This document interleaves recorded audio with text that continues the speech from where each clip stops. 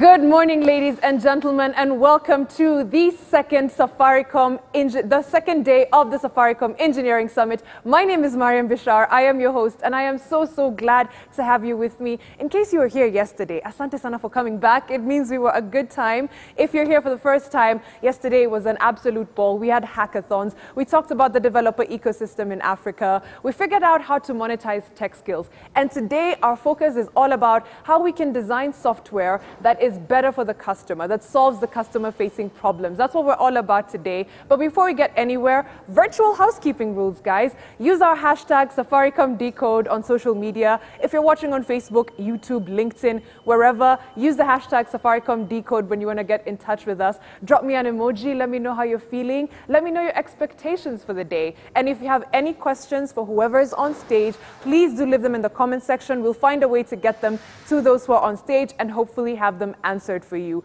I want to thank you again for making the time to join us. This has been made possible, of course, by Safaricom and by our many sponsors who we are super grateful for. And we'll get to the action in just a minute. But I also have a game I want to play with you. I know some people were feeling a bit of FOMO yesterday because every guest that I had, I played a little fun interactive game with them. And I want to make it worth your while. I have airtime to give you all through the day. But if you want 500 bob at, at, the end of the day, all you have to do is stick with me throughout the entire day. It's as simple as this. I'm going to play a game called Passport Stamp with you guys, okay? Like you're collecting passport stamps. If you're a traveler or you want to be a traveler, I know this one is for you. So during every section, whenever you see me on this camera, I'll give you one stamp, okay? And the stamp for the first section is the name Nikola Tesla. Kama unamjua ni sawa, kama umjui Google, but just remember that name, remember that name. Nikola Tesla, that's your very first stamp. And at the end of the day, I'll see who has collected stamps from every single time I came to talk to you. So that's your first stamp. If you collect all of them, I will give you 500 bob worth of airtime. That easy. I've also got, got more money to give during trivia games and also some fun activities to engage in. I've got great people I want to talk to, have fireside chats with, maybe go in the 360 booth and see how we look dancing or pretend pretending to dance. So please do keep us engaged. Let me know how you're feeling this morning. I will begin the day by setting expectations for myself and for you. And I've got Angela, who is a self-learning um, student of the, in the world of tech. And I want to get to know what does she expect of the day? What does she want? What does she need from this summit? Who is she hoping to see? Uh, is there anyone she's not hoping to see? I don't know. That's a little bit controversial. But allow me to welcome Angela before we go on to the main stage. Hi, Angie. I'm okay. Is it cool if I call you Angie?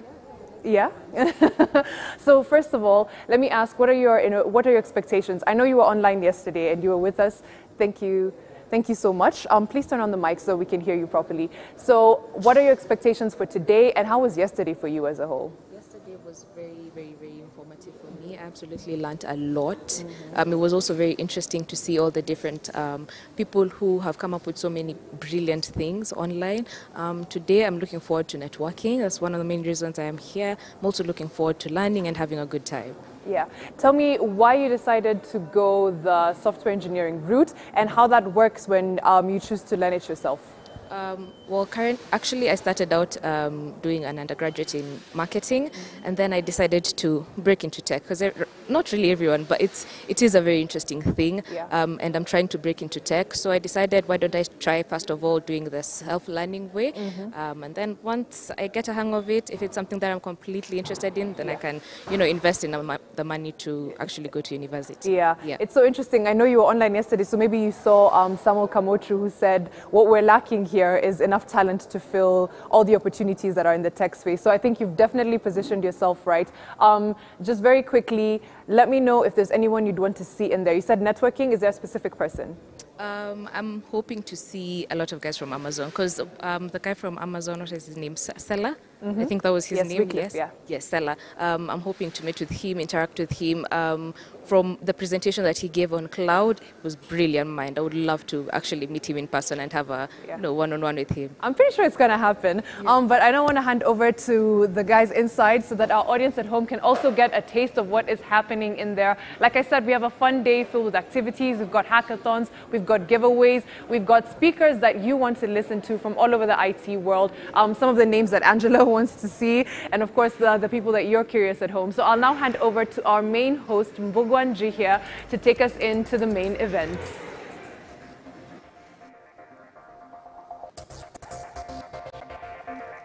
Good morning. Good morning. Hello, hello. It's great to see everyone here today this morning. I should even say TGIF, right? You know, always looking forward to that Friday. For those who don't know me, my name is Mbugua Njihia. Um, Mbugua Njihia on Twitter, Mbugua Njihia on LinkedIn, and along with Mariam, who's outside and also facilitating with, uh, with a virtual audience, we will be your facilitators for day two of the Safaricom Engineering Summit. Day one was, was fabulous, day one was amazing. We had lots of great talks and keynotes. For me, some of the highlights were the live demos, where we got to see how some of the Safaricom teams within the engineering um, department get to do their thing, right? And seeing the sort of depth in which they go to to make sure that uh, services and solutions are, um, are, made, are made available for millions of, um, of, of consumers. We had insightful uh, challenges from, um, from, from Michael, who said we should stop looking at Nairobi as the nucleus of innovation or anything, anything tech. That there's stuff happening across the counties, and we need to be very intentful and very um, intentional about looking outside of maybe our, our, our, our common towns to find innovation at its, um, at its nascent stages and, and, and surfacing that up. Just a bit of housekeeping. Um, if you need to go to the bathroom, on your right, I see the signs are not lit up yet, but on your, on your right, um, go right outside the door, you'll see the signage for the, for the bathrooms, and in case of any emergency, the exits are to either, um, to, to- to either side. We are streaming live on Safaricom's official uh, handles, on YouTube, on LinkedIn, and Facebook, and we're using the hashtag Safaricom Decode. I'd like to acknowledge some, some sponsors in the room. I see Alice Munyua, Director of Director Africa Miradi at Mozilla Foundation, Mozilla Corporation, and Celebwa Wycliffe, Country Lead um, Adele, and again, a host of other Safaricom C-level execs that we'll get to meet um, th- throughout the day. Acknowledging also the online audience, yesterday we had over 1,500 virtual attendees. If you combine that with the over 250 who attended physically, you could imagine the size of the live event if everyone, everyone made it. So kindly, um, if you're online, remember, even in this room, continue to engage on, um, um, on the hashtag Safaricom Decode and ask your questions there. We'll be picking uh, questions at random and, of course, incentivizing guys who, who, who, engages, uh, who engages a lot more. I'd like to get us right into the first session. And the gentleman about to come to stage needs no introduction. I'm fortunate enough to call him a friend and a mentor. Uh, I actually call him Mwalimu. Dr. Bitange Ndemo, Balozi now, ambassador, Kenyan ambassador to Belgium, needs no introduction. And I'd like to welcome him on stage to actually walk us through his, his thoughts on the impact of blockchain on economic growth. Mwalimu Balozi, karibu, stage is yours.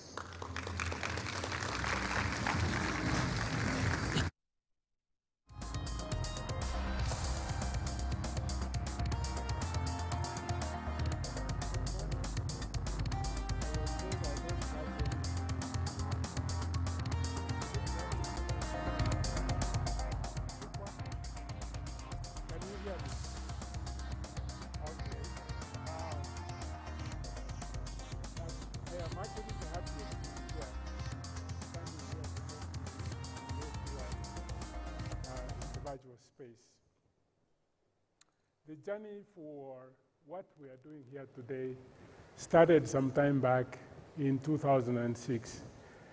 By 2009, we had started to meet at a small place called iHub to discuss how we can foster innovation. And the discussion then centered around how do we get government data to create apps? How do we solve um, these kinds of problems in agriculture, in health?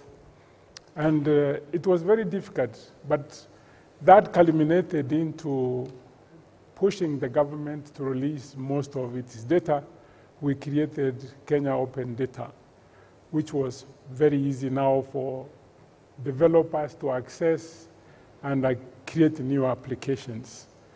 But what has characterized that period between then and now is that people did not uh, learn how to collaborate. So individuals would come develop an app. Uh, one of the persons who have suffered most is me, uh, because many of them come to me and say, "Can you look at my app? What is it? What? How can I improve this and that?" But uh, even with that kind of development, we have learned so much. We have learned, for example, that technology uh, can enable or can reduce inequality. If you see what mobile money has done, we have reduced inequality because we have many applications around the fintechs. We now understand that technology can impact agricultural productivity, but we have not uh, intensified uh, use of especially emerging technologies to create more good out of agriculture. We have seen what technology is doing in the health sector. We are also seeing what technology has done with respect to education, democratizing it, and we're seeing more uh, being done by you young people developing applications in virtually every aspect of the economy. Now we need to begin to think differently and I'm very happy that Safaricom has taken the leadership um, with Mozilla to bring new solutions going forward. Because in the area of agriculture, if I can say what Mbowa was saying, that we need to dive deep and understand what blockchain is going to help us going forward. Um, some of you understand that uh, blockchain solutions are helping us to streamline the supply chain. We now begin to understand the value chain in our agricultural sector, but still we have a lot of problems that we need to intensify use of this technology that takes us to what we call Web 3.0. And this is the area that we need greater collaborations to develop bigger solutions that would solve big problems that we have in Africa. I always say that God is very great to Africa because He has given us many problems and the big problems that when you solve any of these big problems, you create a major solution and a major enterprise. And that entrepreneurship or enterprises emanate from problems when you solve them.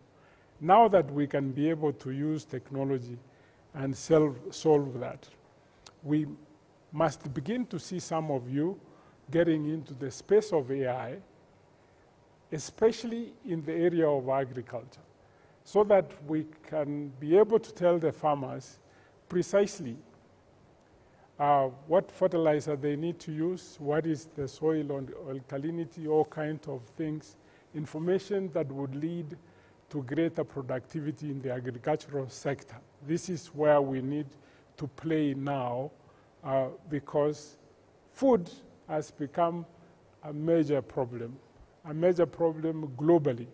This year alone, we may not afford a chapati for Christmas. Why? Because of the crisis in the Ukraine and Russia, which supplies Africa almost 80% of the wheat production, most of you consume wheat. So we must begin to play in that space so that Africa could be feeding the entire world simply because Africa has 60% of the global uh, arable land. We have that opportunity, we have the land, we have the brains like you. We need now to develop solutions, create supply chains that are more sustainable, leveraging emerging technologies, and becoming, taking Africa from where we are to a new space for Africa. Um, we need more companies like Safaricom to begin to invest in this space because we are able to create what is called the demographic dividends. We have younger people than any other continent. We have, these younger people have got great education. We must exploit that and create a demographic dividend, not only to serve Africa, but to serve the entire world.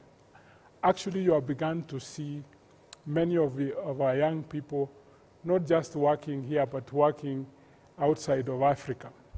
That is how we can change. There are also emerging opportunities which would get into the solutions that you build, especially in building Africa's supply chains. Um, some of you know that DRC Congo joined East African community. We need to understand the implication of that and begin also to develop our own Silk Road across the continent of Africa. This is the time that we have the opportunity to open up Africa across Africa, something that has never been done, and perhaps our leaders in the EAC would see it fit to create infrastructure which would go from Mombasa to Pointe-Noire in the Atlantic coast. That would change the mathematics. It would change the supplies from West Africa. For example, uh, some of you know we have a nascent uh, chocolate industry developing here, but we have to fly uh, the materials from Ivory Coast to Kenya. And that would change the whole mathematics. Who would provide those solutions? Those of us who are seated here, or those who are listening, um, to see the future of Africa change and also create greater prosperity for Africa. There are other efforts that we are making. For example, we've been discussing with many uh, groups uh, many universities. In fact, yesterday I was talking to my vice chancellor that there are some courses that we must introduce so that we build capacity among the young people uh, here. Um, MasterCard has been kind to give us resources to create greater capacity. And you are going to see from September that many of you get the opportunity to undertake data science and artificial intelligence at graduate level and paid for by this organization in partnership with companies like Safaricom. We must develop that capacity because that's how we can change Africa. The area of data science, which also links, you know, the, the emerging tech from IoT to blockchain to data analytics. They are all uh, related, even AI. Uh, it's actually an advanced data analytics. Uh, I think you begin to see some adverts asking some of you to begin to undertake those courses. But the reason why I'm speaking here today is that we must change. We must change from what we've been doing before. This is a new phase beginning. I think my friend uh, will tell you that we are going to 2.0 Kenya, um, Kenya ICT development or apps development.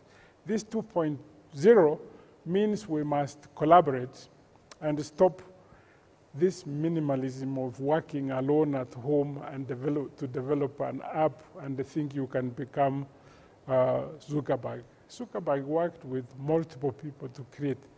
I was fortunate to visit when Facebook was so small at Stanford. Uh, it was an army that was developing Facebook. I have not seen that kind of collaboration. That collaboration only works if we begin to trust one another. Um, if we cannot trust one another, there is no way we can develop uh, big applications or bigger solutions like I've talked about Facebook. And that's my prayer today. Um, because I was not told how long to speak, is it one hour or two hours? Or I can end my speech here with a prayer that we live here beginning to trust one another to build bigger solutions um, that would solve Africa problems going forward. So thank you so much for listening to me. Asante Mwalimu. If you could, if you could just stay on stage.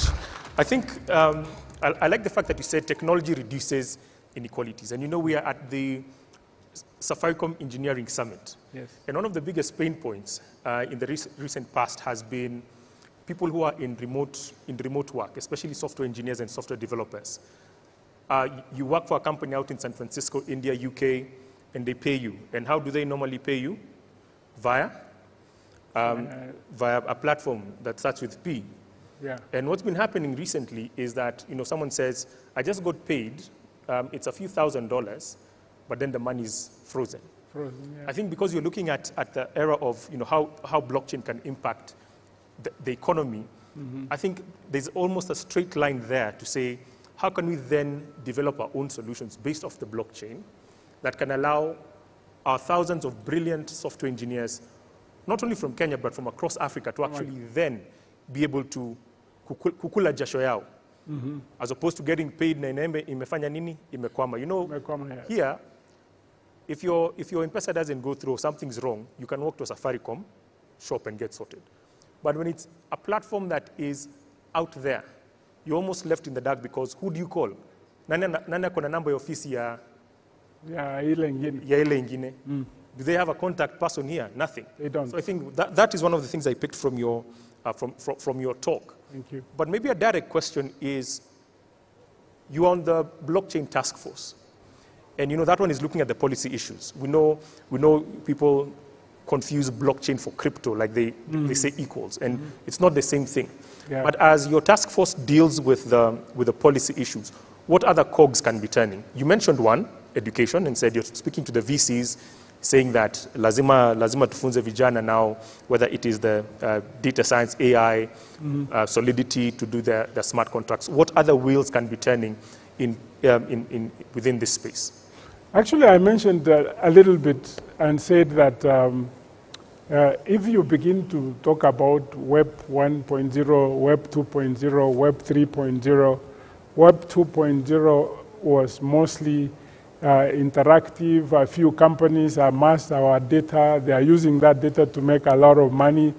And now people are fighting back and saying, we must stop this. And that is moving to uh, the blockchain era where um, we can have um, those who need our data to talk to us and uh, even include us in, in terms of us being beneficiaries of, of our data we must understand those dynamics such that we don't have a few companies out there controlling that and enabling us to interact with this bigger company. Of course, um, these giant companies that have amassed data from us are fighting back because that is their revenue model. Mm -hmm. But going forward, it's going to change because um, of the distributed ledgers. Would we have our own ledgers for our own Africa here and we are saying, talk to us first. Yes. What, is, what is going to happen? We must begin to think on how we move to this phase and what we need to do. And it's blockchain. The solution is going to be around uh, blockchain. Um, of course, we must begin also to educate government. The regulators must be enabling because what is happening is that it is inevitable that we are going to have the central central bank digital currencies, uh, meaning that we must begin. At least Kenya, we are lucky that we have had digital Precursive currencies and yes. stuff. We're shifting into that space. Uh, take the government initiatives very seriously around digital literacy, because if we do that and go ahead, we'll probably be helping the entire Africa. Because everybody, even those in the US, those in other countries, they come to Kenya to look at what are the experiences we have had with widespread digital, um, digital payments. Fantastic. So there is a space that we need to lead and they begin to provide the leadership. Excellent. And, um, and also picking from one of the things that um, Balozi said about us developing in our own silos, Yeah. I think one of the things we have is what I call creative capital. I'll come and call um, Mwalimu here and say, I have this idea. I cannot compensate you for it now. Like you're saying, how was Facebook built? It's people came and sat and said, I have this brilliant thing. Let's come together and build it out and create that, um, you know, that unified value. So I'd like to call on stage before uh, Balozi leaves, John Jogona to appreciate uh, Balozi. And I think Thank you. Uh, you know, when I meet Prof, there are so many hats he wears. Uh, professor sits on our board, and I think I've had the honor of, of interacting with him. And I can tell you it's very challenging when you have someone as smart as this in tech. I've worked in other companies where on the board there was no tech person, and you would wow the board. But it's very difficult to wow the board of Safaricom uh, with Prof. So thank you so much for the challenges, the opportunities. As you go overseas, uh, we are gifting you with a nice, let me get it out of here, Safaricom Decode hoodie. Oh. We believe you are, you are our Safaricom software engineering community ambassador. Thank so you. as you go to Europe Yeah. and the home of the EU, wear this proudly and as you represent our engineering community, Thank you. as well as some other gifts. Asante, Asante. sana. Just this one or this? There is more things in here. Okay. This is the one I wanted to showcase. I know it gets a bit cold out there. Thank you very much. Uh, Thank you. Balozi, you can take your seat. and Thanks, George, I guess you could just go straight there because you're, you're coming up next with your, with your live demo. I think one of the, some, some of the challenges that um, we can actually, no, not challenges, opportunities, now that I think of, when looking at the position of Safaricom and now that you're talking about blockchain. Yeah. You know, one of the things you guys have been doing is, um, of course, getting us to make sure that, you know, now my, my, if, I, if I didn't have my ID on your database, that I now have it Yeah. because of, of course, the regulations. But I'm thinking about it, when you're looking at smart identity and the ability for me to port my identity, I actually don't think no, the person who knows more about me than anyone else is who? It's probably the telco. Yeah. So imagine a situation where now, as you're exploring with um, you know, the Safaricom engineering community, Yeah. or the software community at large, is to see how maybe Safaricom could be a pioneer in that and say, look, we're actually using blockchain and Bogo, I'm giving you the ability to move with your identity and use it to verify many other services at maybe a cost that is much. Actually, that's interesting. I don't know if Liz and Tim will talk about it. Okay. Uh, the, the engineering community at Safaricom has built a digital identity. So we are fast doing it because we, we have customers who are in consumer, enterprise, and financial services.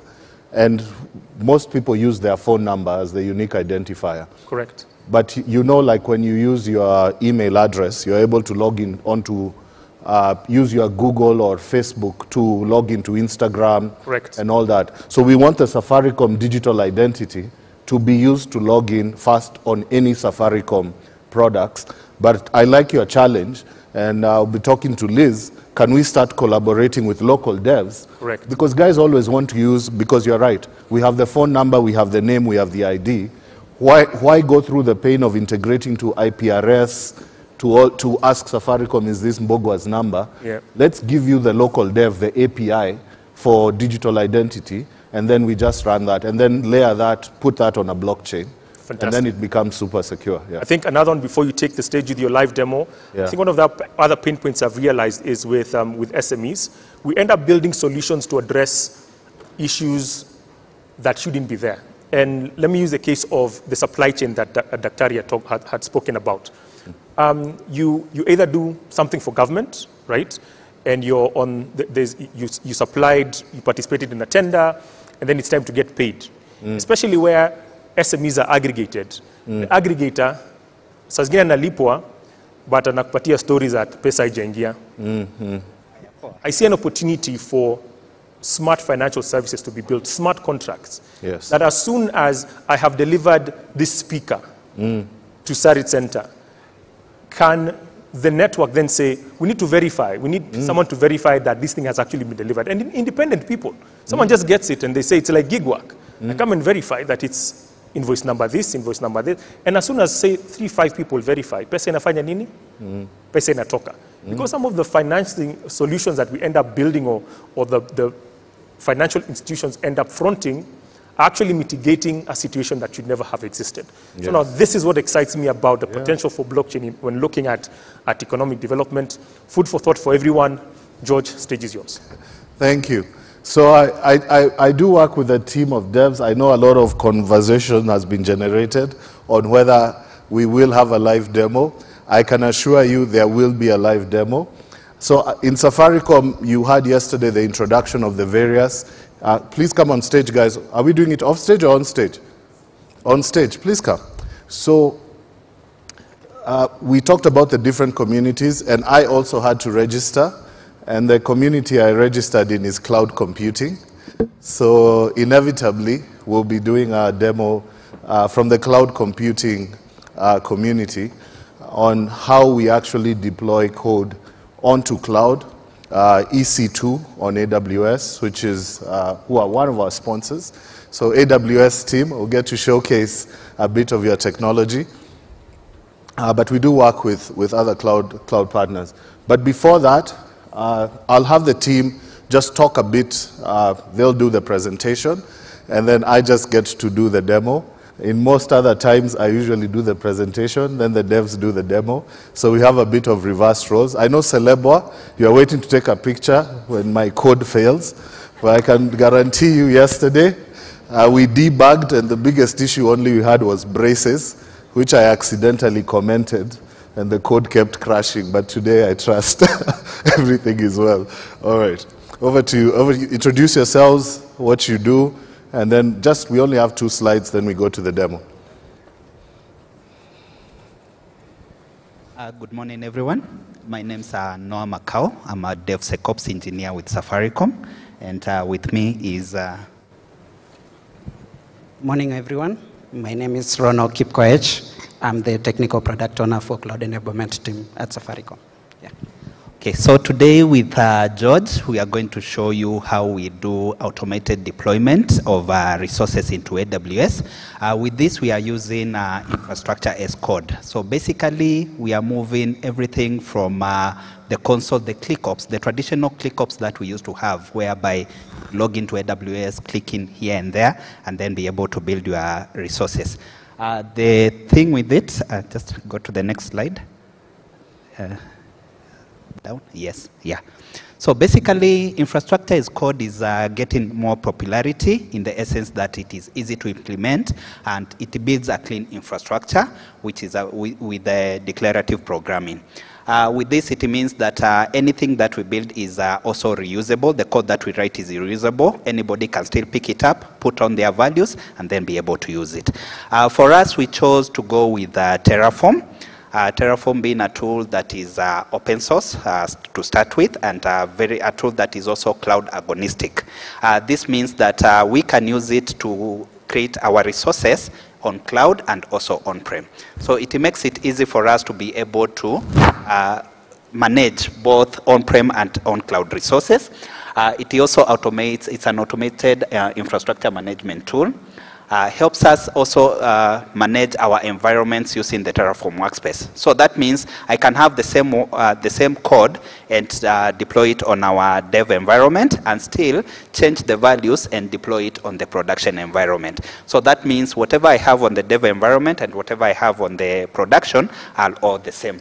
Uh, it also helps us with the, with the use of uh, HashiCorp Vault, uh, helps us with secret management, and then reduces the development cost for us. Because now that means uh, having the time around, uh, the time taken for us to build the resources, uh, using the reusable code becomes shorter and also we minimize any errors that we are getting there. So Rono will take us through the next slide where we see the flow on how we do it. Okay, thank you. No. So I'll just take you through a sample of actually how we implement our pipelines in Safaricom and especially how we do the now the Terraform pipelines. So for infrastructure as code, if you'll see the pipeline, it's similar to what we have as also our development pipelines. So we are thinking it around where we have uniformity across everything.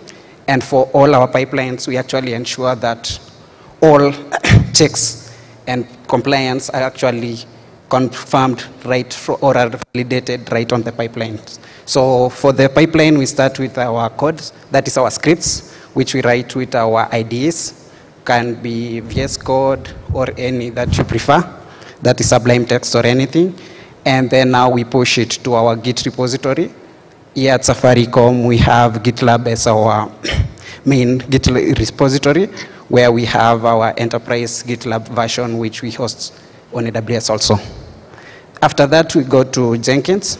Jenkins is our primary CI tool, which we use for both our applications, uh, application pipelines, and also we use for now infra pipelines. Then uh, we run the Jenkins, the Terraform commands, which is now for the initialization. We validate, we plan, we apply, and in need, we can also do destroy. For Checkov, that is for the security scan. We also have infra cost to check on the cost that will actually be, we will have on production. Then after that, we just provision the infra on any, which could be now AWS or if it's on VMware, we can actually do it also on premise. Yeah. I'd invite you now, George. Good. I think yesterday when uh, Komuchu was on stage, uh, a lot of people are very excited because uh, they were saying finally uh, somebody is coding in a dev summit. So I think when we looked at the program this morning, we said between Prof and the next speaker, we'll make sure that uh, we follow. So Kamuchu, you are still teaching us. And uh, in the usual agile format, uh, we did learn and brought a bit of coding. So the code's on HCL. It's already been done. I think I'll just be executing the Git commands. Uh, the positive thing, as, as I was talking yesterday, I think somewhere around uh, line 118 is where we ended up having a problem. 116? 116, 118. but everything's good. We've just tried to, I see Mark at the back. Uh, Mark, we've not compromised your subnets. Uh, we created it all afresh, but I can't show uh, the entire uh, piece of code. So I think we'll just, so essentially what we're doing here is, is creating an EC2 environment uh, on AWS, uh, purely using code. no need to go to any screen to, to prepare it or portal to do anything else. Uh, once I complete the commits,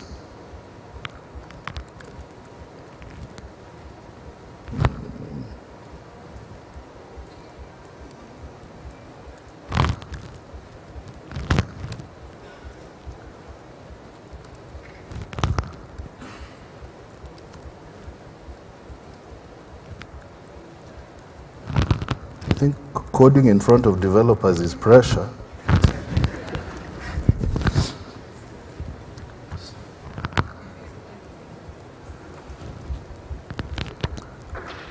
So it will take about one minute for us to see uh, the instance uh, coming up. So I think in the interim, uh, probably I'll just have Rono and Noah uh, just talk through the steps. So this is the automation that's there. Essentially, you would probably have to go through a lot of these steps. They'll just take you through everything, including the security scan that we do, uh, so that make sure that it does comply with our baseline standards. For you as a developer, you don't need to worry about all of this. The moment, because of the DevSecOps automation that they've done, all of this has been fully created, prepared, and it's ready to, to, to be consumed. Many times we'd have situations where devs are saying, we've done so much work with our end users to build the code, but then we're having challenges uh, with getting it deployed. So you see, we're already at the first stage, now we're at stage three. So I'll just have uh, Noah, you or Rono, want to take them through?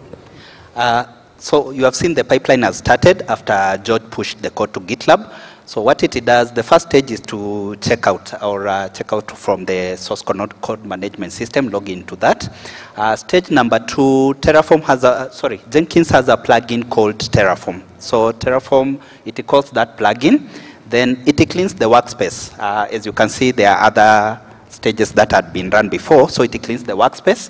Uh, from there, it clones our repo now from uh, what George has pushed, bring it in here, then uh, runs the Terraform command init to initiate Terraform, validates that our code is up to par, it does not have any syntax errors and such.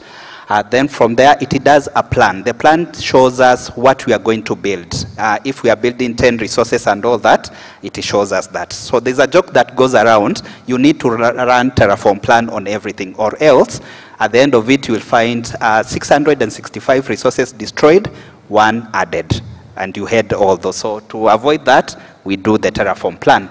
After that, we have a tool called InfraCost, which is also an open source tool. It does for us a cost estimation per month of the resources that we are going to add. So we do not have any surprises at the end of the month with the bill. We already know how much it will cost us. From there, it runs a security scan. The security scan is also run by an open source tool called Checkov. Uh, this one is more inclined on the infrastructure and as code tools. So it will check to make sure that we have compliance to everything that is uh, out there or anything that we are building does not have any security loopholes. And if they are there, alert us, we close them. Uh, then after it finishes that, actually that is the longest stage of them all. As you can see from the past, we have one that took a minute and 10 seconds. So after it is done with that, the Terraform apply is now the building of the resource. It will just log in into AWS, build for us the EC2, and then we are good. It's the shortest of them all.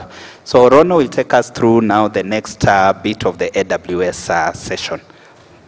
So I think before Rono, uh, the positive thing is we should be able, uh, once we've seen the, us uh, get the refresh going, we should see our new instance. Uh, it's the one that you see now, it's running. Click on the instance ID. I think one of the exciting things, and I'll just get Rono to talk about it, uh, is really what he's uh, insisted on us having tagging. Uh, so you see the new environment we've created, uh, created by yours truly, uh, done on Decode, with you seeing. So we do have this environment, and it is usable. So it didn't crash, it worked. Uh, but maybe, Rono, you can just talk about the tagging, and then I'll take them through storage, then we'll be done with our demo.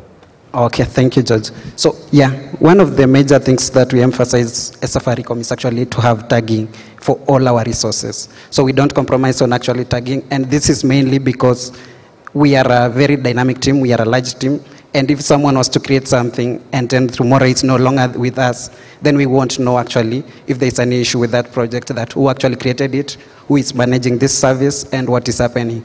So that is why the first thing we say is we have, we should have tagging as the base minimum. And to do that, we have implemented service control policies on our AWS organizations to ensure that people actually tag, and if you do not tag, actually you will not be able to create your EC2 instances.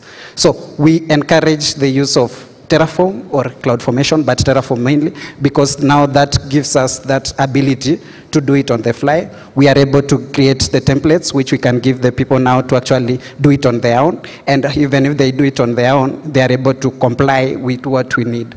So tagging also is important for costs because we are now able to know each project, how much does it consume, such that we can compare, this is what you provide, this is what you consume at AWS, this is how it costs us, and then this is the return it give, brings back. So that is now why tagging is important.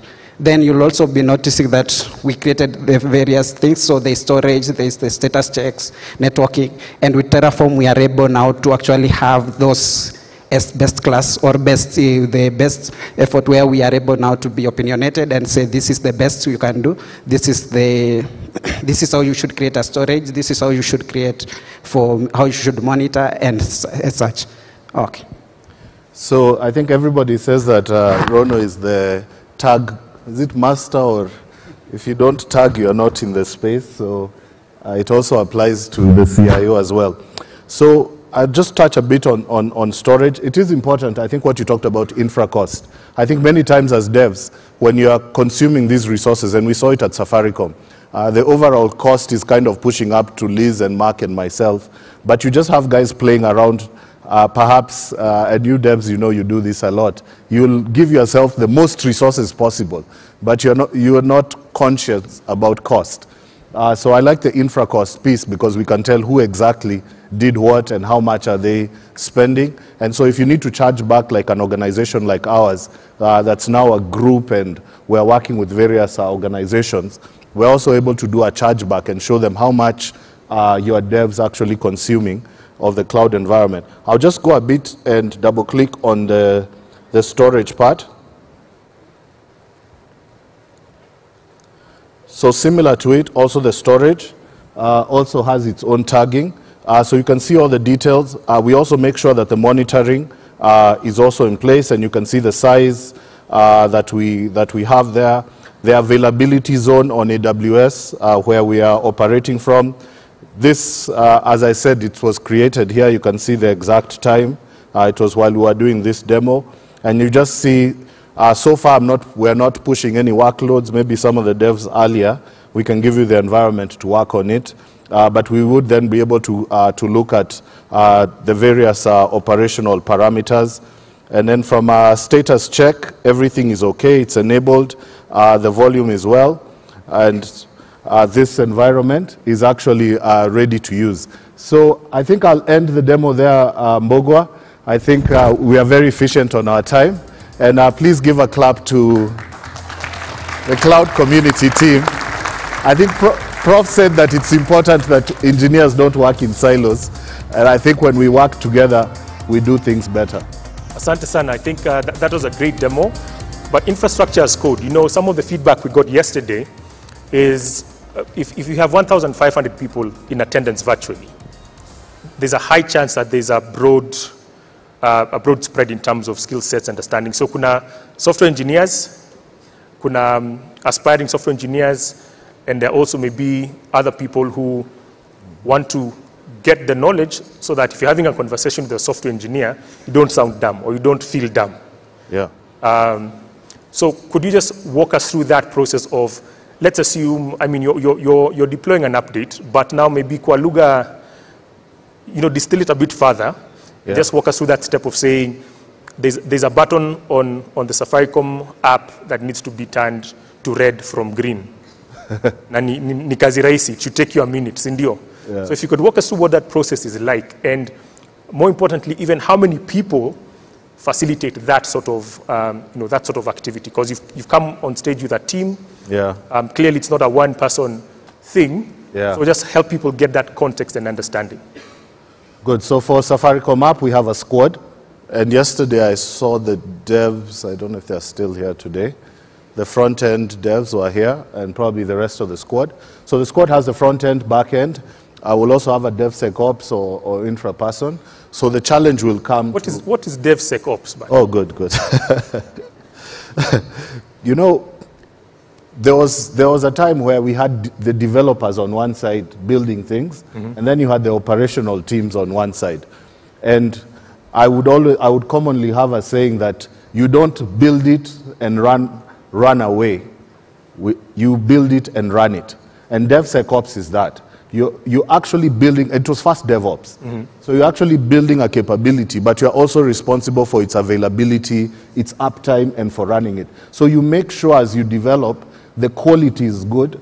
If you do have a bug, and one of the KPIs that we have on DevOps Agile is actually availability, we look at the mean time to restore. So if you've built something and it the moment it has a problem, mm. debugging and fixing is taking too long, you're actually not doing well on your KPIs. So SEC was not there for the longest time. So Dev and Ops came together pretty quickly.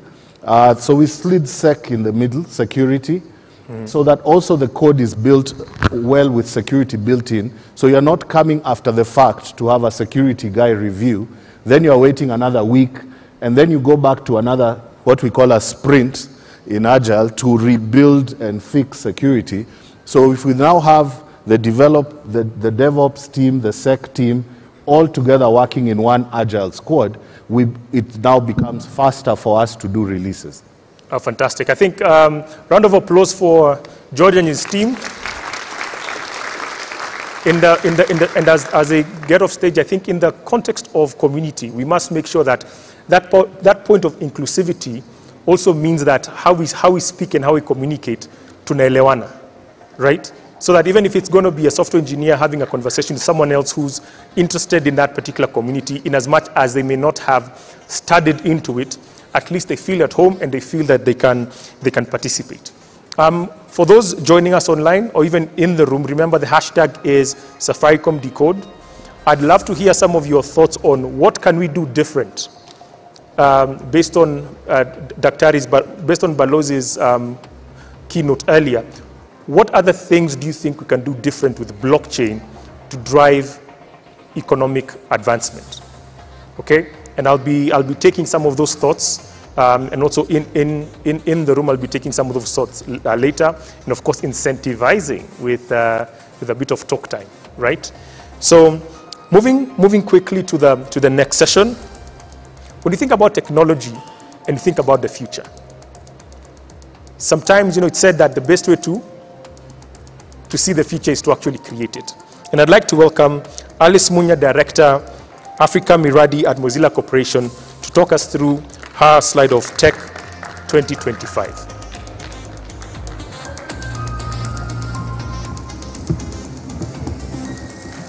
Good morning. Good morning, everyone. Well, they don't make hoodies for small people like me, um, so but it's actually quite warm. So thank you very much. Uh, my name is Alice Munyua uh, with Mozilla Corporation. Uh, for those who don't know, Mozilla is owned uh, by a non-profit, the Mozilla Foundation. I work for the corporation that is the product making, money making side, but we are a mission based organization and uh, we are a global and vibrant community with a mission to promote openness, innovation, and opportunity on the web. We are globally known for our popular web browser, Firefox, so I want to know how many of you use Firefox. I'm removing my glasses so I can. Okay, how many of you use Chrome? Okay, I want all of those who use Chrome to delete it immediately. How many of you use Brave? Oh, good. It's only a few of you. What, what about Safari? Oh, yeah. I would love to see Firefox actually becoming the dominant browser in this region for so many various reasons. To begin with, we just launched, just before I came, we launched a translate function on the browser. And so far, the translation is mainly, as usual, languages in the Western world, in Europe and in North America. So I really truly believe the internet is not yet for us, and that's why it's really great to have all of you young people, especially developers in this room, to begin to take what we have, both from Mozilla and from AWS and everybody else, and to begin to make them our own.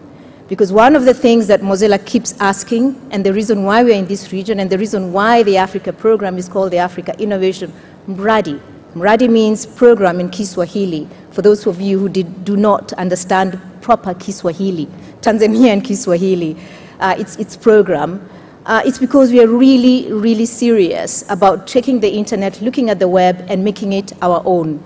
We keep asking, what is the internet? What is the African internet? And we still don't have an answer. Because why? When you look at even Mozilla products at the moment, for example, we just launched Pocket two weeks ago. It's, a, you know, it's an app that helps content curators bring together content. We launched it for the first time in Kenya. The reason why, because a lot of the curated content were catering for, to people who live in Silicon Valley, who are white and male. Sorry, my friend. Uh, you're the only white and male here. Uh, but my colleagues, most of them are in Sa San Francisco and they're white and male. Uh, and that's the problem I think I saw yesterday. A lot of male speakers and very few women speakers. So I'd love to see more women actually take on uh, this, this, this, this sectors. There are very few at the moment I can see, and I think there were only two that spoke yesterday. So Mozilla is also very curious to see what the problem is with that, and I believe, I think the problem starts with how we present STEM from a very early age. So we are globally known for our Firefox browser. I hope by the end of this, all of you have moved to the Firefox browser. Our mission is to ensure that the internet is a global resource and that should be open and accessible to all. And so we know that uh, we have quite a number of us on the internet, but there are still billions and millions of people. I think we heard from Michael yesterday about the four forgotten billions or millions that are still largely part of this, uh, of this continent.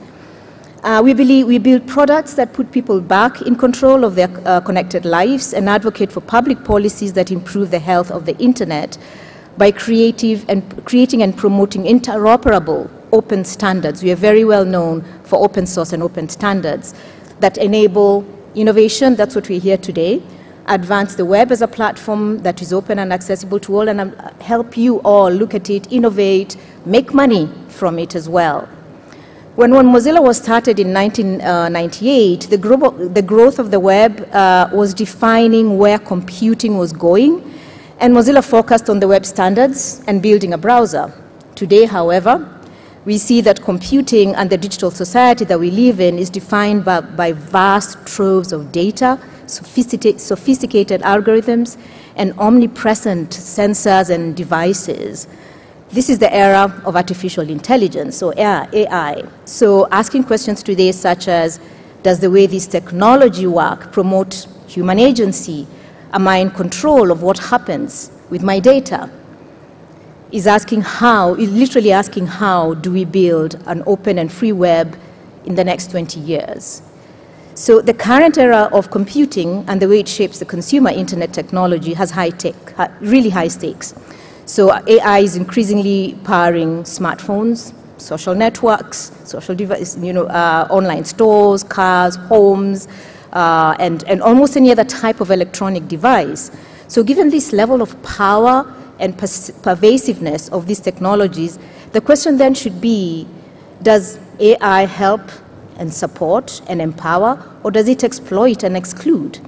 And will we have a huge impact on the direction that our societies, especially, are heading with in the coming decades? So, one area that Mozilla has chosen as a focus uh, regarding artificial intelligence is voice technology. And I think you heard from my colleagues yesterday. Uh, as it plays a really crucial role as an emerging and powerful user interface, especially for devices that don't have a screen, and as a method to increase accessibility of services and information. At Mozilla, we are really concerned with the availability and accessibility of these voice, voice technologies, especially to people who speak languages um, underrepresented, for example, Kiswahili and you know, our local languages here in Kenya. Um, and most of them are underrepresented by current commercial solutions or applications that don't have the financial means to afford what's on the market. The risk is that populations with under-resourced languages are left behind and not able to benefit from voice technologies, especially uh, um, specifically on the potential of AI generally meeting the 2030 Sustainable Development Goals. This would set up yet another digital divide. It, it's already set, set up another digital divide. Another aspect of Mozilla that is, we're working is building open source tools such as Deep Speech, um, and uh, which is speech to text uh, uh engine, and Mozilla text-to-speech engines as, as, well as open data sets. That is Common Voice. Um, so, what, so what we see is a change coming, and the question then is, is just the time frame and what's actually required to make it happen, what do we really need? You know, all of these new technologies, both blockchain, peer-to-peer -peer protocols, you know, can take a while to get here because we know it's not just about technology and business, mod, business model, model and revenues, it's also about social understanding and consciousness. And what we learned with the web is you need, to, you need those use cases and the tools that make it easy for people before it really takes off. And I think M-Pesa is a really great example of that. I'm hoping, you know, Common Voice and Pocket and other products become really great examples of that. And we all know that technology does not solve human nature. And so what we're experiencing on the internet now is all human nature the good, the bad, the ugly, you name it. It is human nature. And there are some things that about the open web that we cherish and want to revive, those that have underlying values, I would say, you know, like transparency, of course, but also the ability for more people to participate, uh, uh, more and, and, more opportunity for more people, more level playing fields uh, to create, because these are all the things uh, that the open web signifies, and we need those.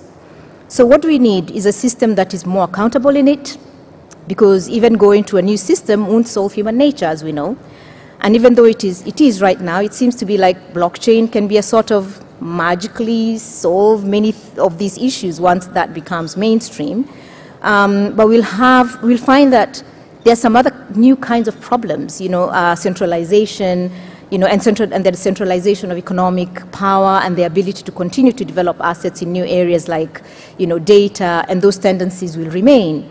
So I think to move backwards towards exploring decentralization, you know, will give us a new opportunity, just as the open web, you know, um, cannot be an open web uh, alone. So we need to have that sense of accountability and responsibility that goes along with openness. So, and I think where the early open web and open internet, uh, that is where the early web, the early, early web and the open internet really got lost. The technology and the systems developed at such high speed, they you know, move fast and break things, but with no accountability about the mechanisms in terms of the social impact they were having. So, um, you know, we all know, you know, um, that, and we all understood that we had some shared purposes, but accountability mechanisms didn't grow. And so it's, it's with this that I would really like to congratulate, you know, uh, Safaricom's journey there for starting, you know, uh, for this transition to a tech company, you know, with the motto simple, transparent, and honest. And, you know, to, you know, to acknowledge as well that Mozilla has been through this transition as well. And, you know, it's taken a while, and maybe we are at perhaps 75% done. Um, but there's a lot, it means a lot to run a business and how to run a business in a way that you can be proud of at the same time, making sure that you're being you know, simple, transparent, and, and honest to, to your users. So, um, you know, one, of, one area that I think uh, Safaricom and I think Mozilla and others are going to be having to struggle with is the area of a data economy. And I think, you know, George, you and I and, and, and your team be talking about, you know, how do we, how do we take on the, the issue of data uh, and make it more empowering than extractive? Um, and how do we manage that you know, power balance uh, in terms of how we use in, in, your data. You know, and the current paradigm of data governance has, on one end, the commodification of data uh, at its heart, but not really the user benefit and public good. And I think that is one thing that we all need to, to really, you know, you know, like think about and perhaps, you know, ask our developers to start thinking about a really respectful way of collecting data that powers a lot of our innovation, but at the same time is respectful and not extractive. So we have to make sure that the interests of the communities are sufficiently protected. Um, and I know that, you know, at the moment, few companies hold the data-driven economy, but as we all come into it, uh, I think the idea of effective protection and, you know, meaningful uh, individual control must be on the cornerstone of uh, data-focused, you know, uh, work that we do, including uh, legislation. So um, in that informed use, so we eventually get informed users, empowered users, uh, strong security, and you know uh, limited data protection that is also powering a lot of our innovation going forward. I thank you very much for this opportunity, and uh, thank you for having invited uh, uh, Mozilla to be part of this. Um, our desk is, is demonstrating some of our products, hubs, and Pocket. Uh, we launched uh, Hubs um, and Common Voice. We launched Pocket just a few weeks ago, and I welcome you all to you know to have a look, pass by, and hopefully we'll be able to hold a couple of uh, collaborative hackathons soon, so we can play around with our open source products. Thank you very much. Thank you, Alice. In, indulge me for a second. I mean, you know, we say that the gateway to the internet is oftentimes the humble browser. You know, most people don't even know the origins of that. And I think it's fantastic that Mozilla is now merging that with voice. And I think the combination of that, and remember yesterday we said, um, especially with, um, with, the, with the challenge that's happening, that there are over 200 million Swahili speakers across a region that covers around 14, 14 countries. So if you combine those two, I think it forms something very powerful and connected to the conversation from the earlier speakers, looking at Web3, how we consume um, information. I mean, this Pocket, how we consume uh, other services. I think we're starting to see a very nice, you know, the, the recipe book is now open for really innovative solutions. But you, before you leave stage, um, let's talk about the issue of ethics. And you know, where does the buck stop? There are all these solutions that are being created all over. Most are AI-based. Um, where does the buck stop? And who should be the chaperone of that? How do we handle that ethics conversation?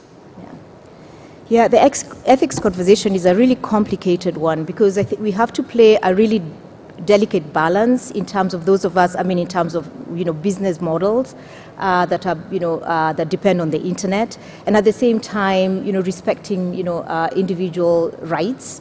Uh, we already have a data protection, you know, uh, legislation here that clearly calls for like meaningful consent before you access people's data. At the same time, you know, some of us, for example, Mozilla really touts a lot of our products have, you know, um, have privacy uh, by default. For example, our web browser doesn't follow you, doesn't collect information. I'm, I'm really serious about this. Uh, you know, for Mozilla, for example, the, the, you know, the, the model, the business model of collecting data to, to uh, power our innovation, that's not our model at the moment. Our model is fast create products that are meaningful, uh, that empower the, the, the, individual to take control of their own, uh, uh, their own you know, uh, online experience. And so Pocket being one and the other. But at the same time, working with low, and, low, and, low, and, low agency, policymakers, you know, I've been a policymaker myself. I served on the CCK for, for 10 years on the board. Uh, and one of the things I really admire about the regulatory authority here in Kenya, uh, from when I was with, with them, you can tell my age, six, you know, over six years, over 10 years ago, um, we launched uh, M-Pesa without really having any regula- regulations. There we simply just said, let's launch, let, us let's launch it. And then if there are any uh, laws that are being broken, we'll come and say, hey, you know, let's sit down and have that conversation between the financial regulator and the communication regulator. And I believe that is how, you know, uh, that is what has allowed us to have this kind of conversation. But not leaving ethics aside, you have to yeah. always ask yourself, I'm developing this product what impact is it going to be having on people beyond just making money out of it? Uh, you know, uh, there's example of a lot of fintechs that mine people's data that is simply unnecessary. Like, why do you really need uh, my DNA or my iris uh, scan or earlobe to get a Huduma number? you don't need that. That's excessive data. Yeah. And why would you want? Why would you want to collect all of data from nearly 50 million Kenyans and put it in one centralized database? That already is a honeypot uh, for anybody who wants to steal that data. Can you imagine if I got access to data of 50 million Kenyans with all of that? What I could do with that?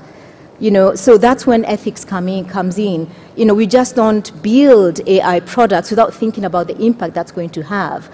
Uh, because we rush, we are always rushing with a technology solution before thinking about, but what really is the problem?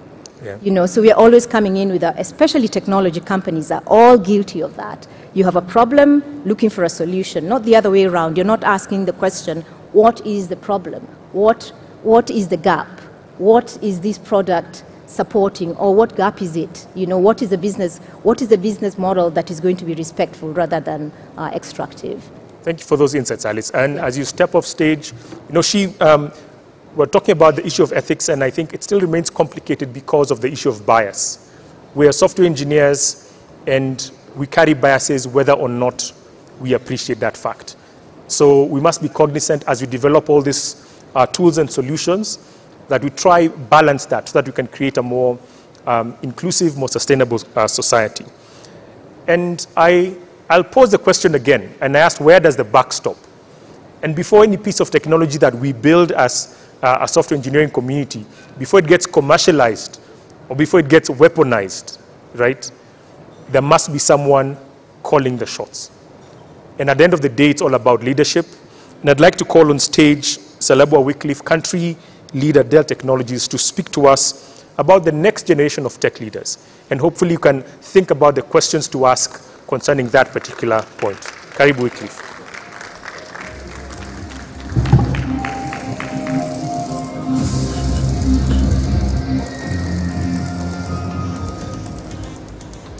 Hello, hello. Good morning. Good morning again. Thank you very much, Safaricom, for giving me this opportunity to sit here and uh, uh, talk to you guys about uh, the next generation tech leadership. My name, as you heard, is Wycliffe Selebwa. I'm the country leader for Dell in Kenya. based out of Nairobi, and Dell is actually domiciled in Nairobi for the East African office. Uh, talking of uh, leadership in tech, I think uh, from a larger background of my life, I have been in tech, whether it was in the motor industry, whether it is in IT, whether it is in hardware, software, networking, and anything else going to the cloud, it's all been technology. So to the best of my knowledge, and I think I should share this with you, is that what will form the next tech leadership depends on a couple of things. I will start by telling you something about Nokia. Nokia was acquired by Microsoft in 2016. When the CEO of Nokia, at the last uh, speech, when he was announcing the takeover by Microsoft, that is Stephen Elop, he said two things. He said, we didn't do nothing wrong, but we lost it all the same. And his entire management, plus himself, broke down in tears. Why did they break down in tears?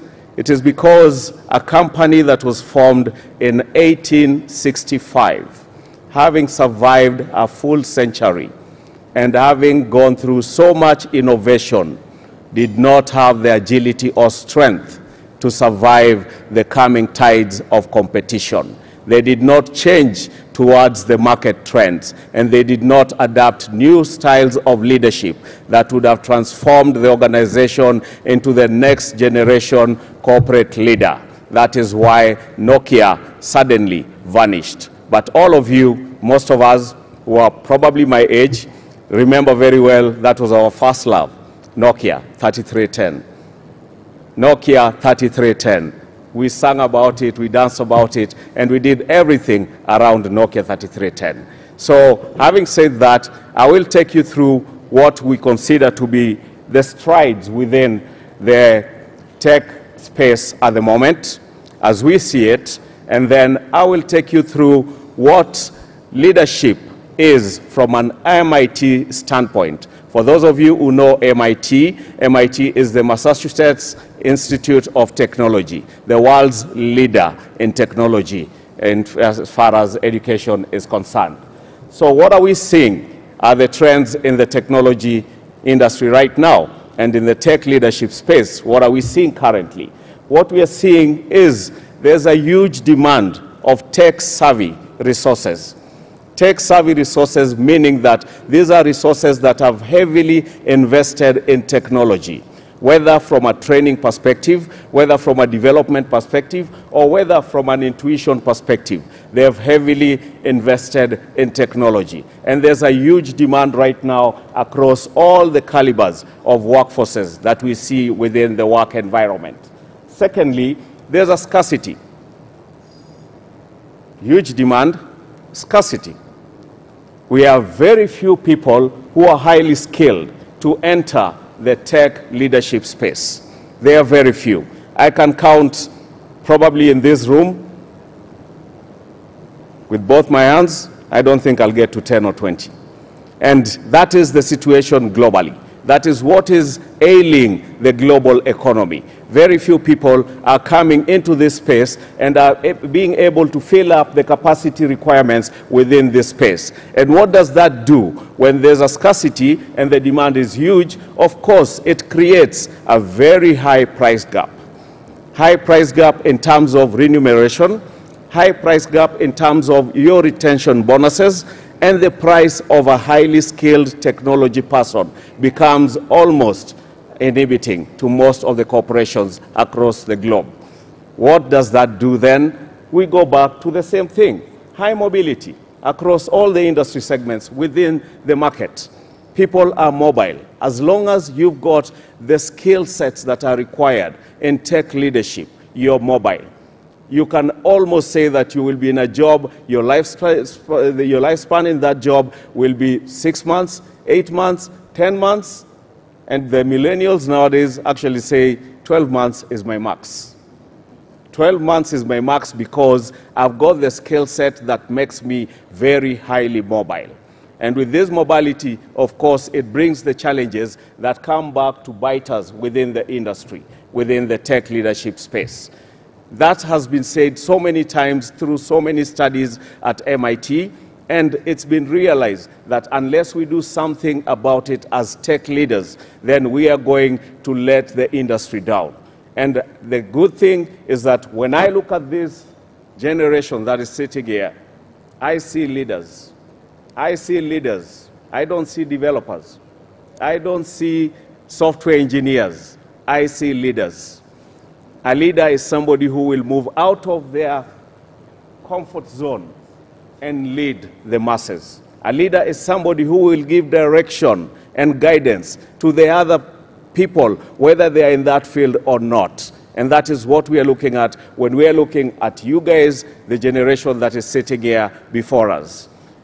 MIT goes ahead and says, what are the four or five things that we require to see in a leader in the coming generations?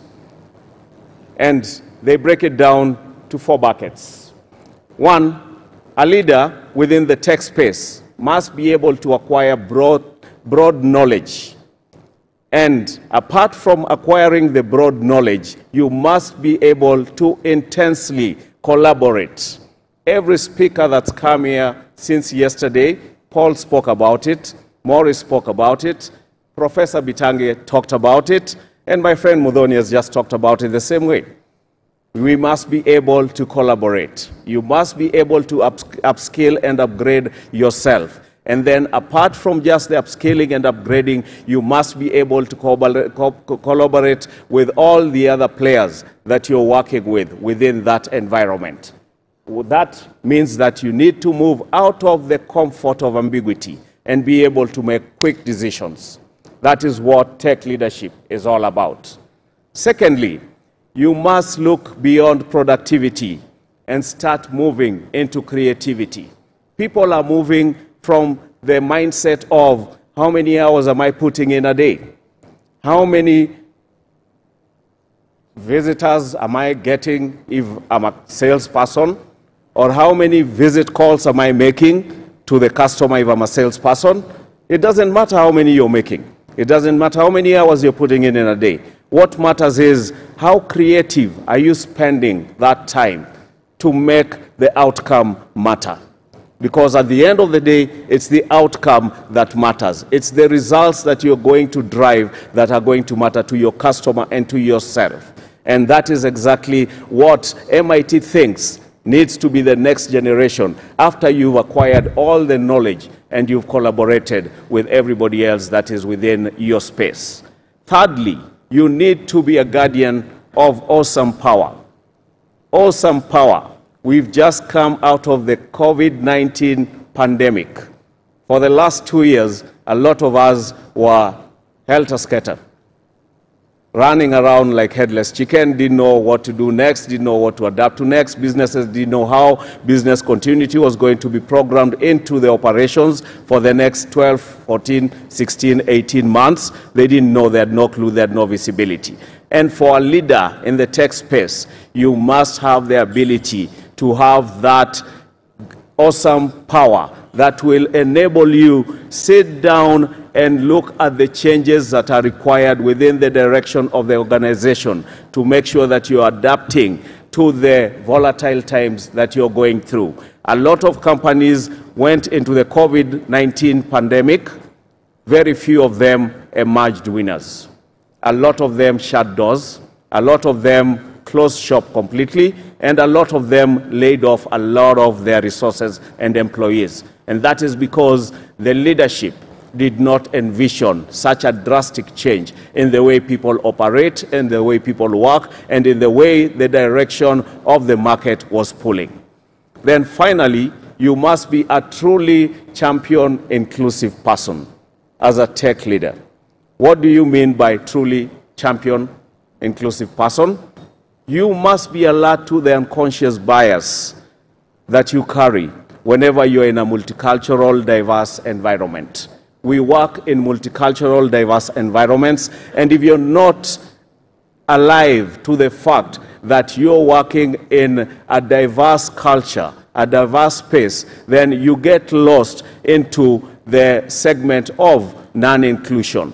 You start looking at other people as not being part of the same organization or being part of your team, and you start excluding them from whatever you're doing, whether it's in decision making, whether it's in running programs or projects, or whether it is moving ahead in terms of the organization. So, looking at those buckets, MIT clearly spells it out for you.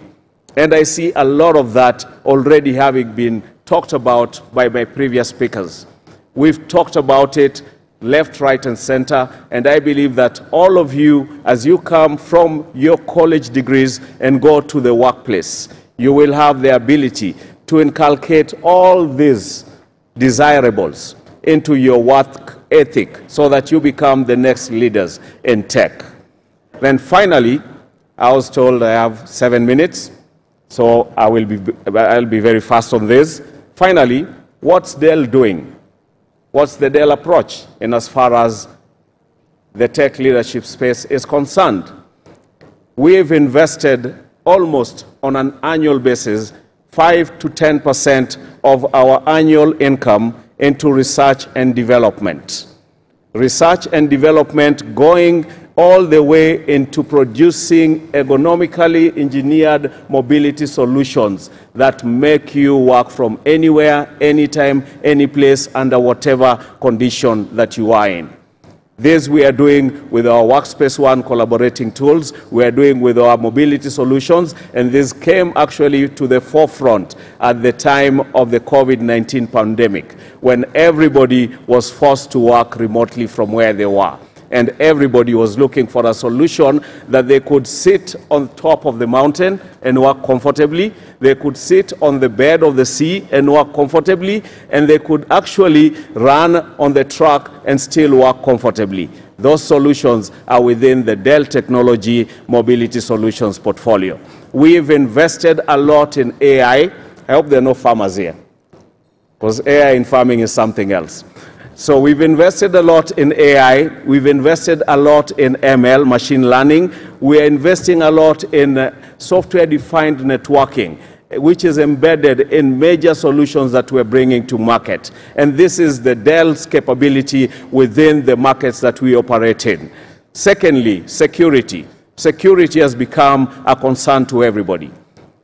We are, we are told by the cybersecurity organizations that every seven seconds there is, there is a cyber attack attempt. And this has happened even in Kenya here with organizations that we know very well. And we are investing as Dell in security big time.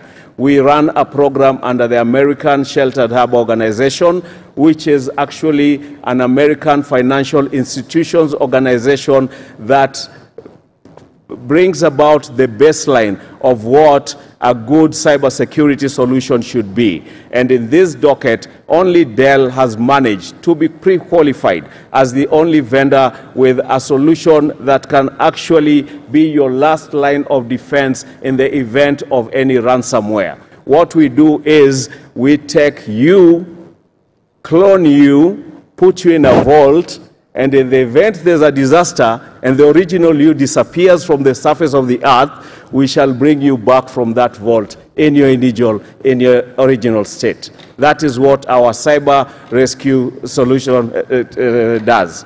Then finally, we are investing heavily in very highly scalable and resilient infrastructure.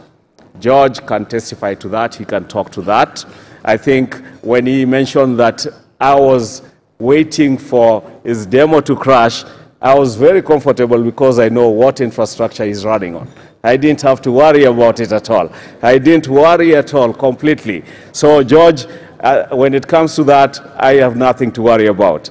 And uh, finally, we also run multi cloud agility or environments to do with cloud, whether you're talking about a hybrid cloud, whether you're talking about a, pri a private cloud, and we assist our customers on their multi-cloud journeys. That is what Dell does in a nutshell. Coming down to the local level, what do we as Dell do? I will touch on three things. There's the digital solar hubs that we just initiated about three months ago, starting with Makueni County. Dell has provisioned a digital solar hub for 16 divisions within Makueni County, which are fully serviced, fully equipped, and fully supported by Dell. We are partnering with Camara, who is our educational partner within Africa, to deliver this so that we can assist the governments in Africa bridge the cyber, the, the digital divide. Why did we start with Makueni County, for example? Somebody would ask that. Because Makueni County has a governor that is IT savvy.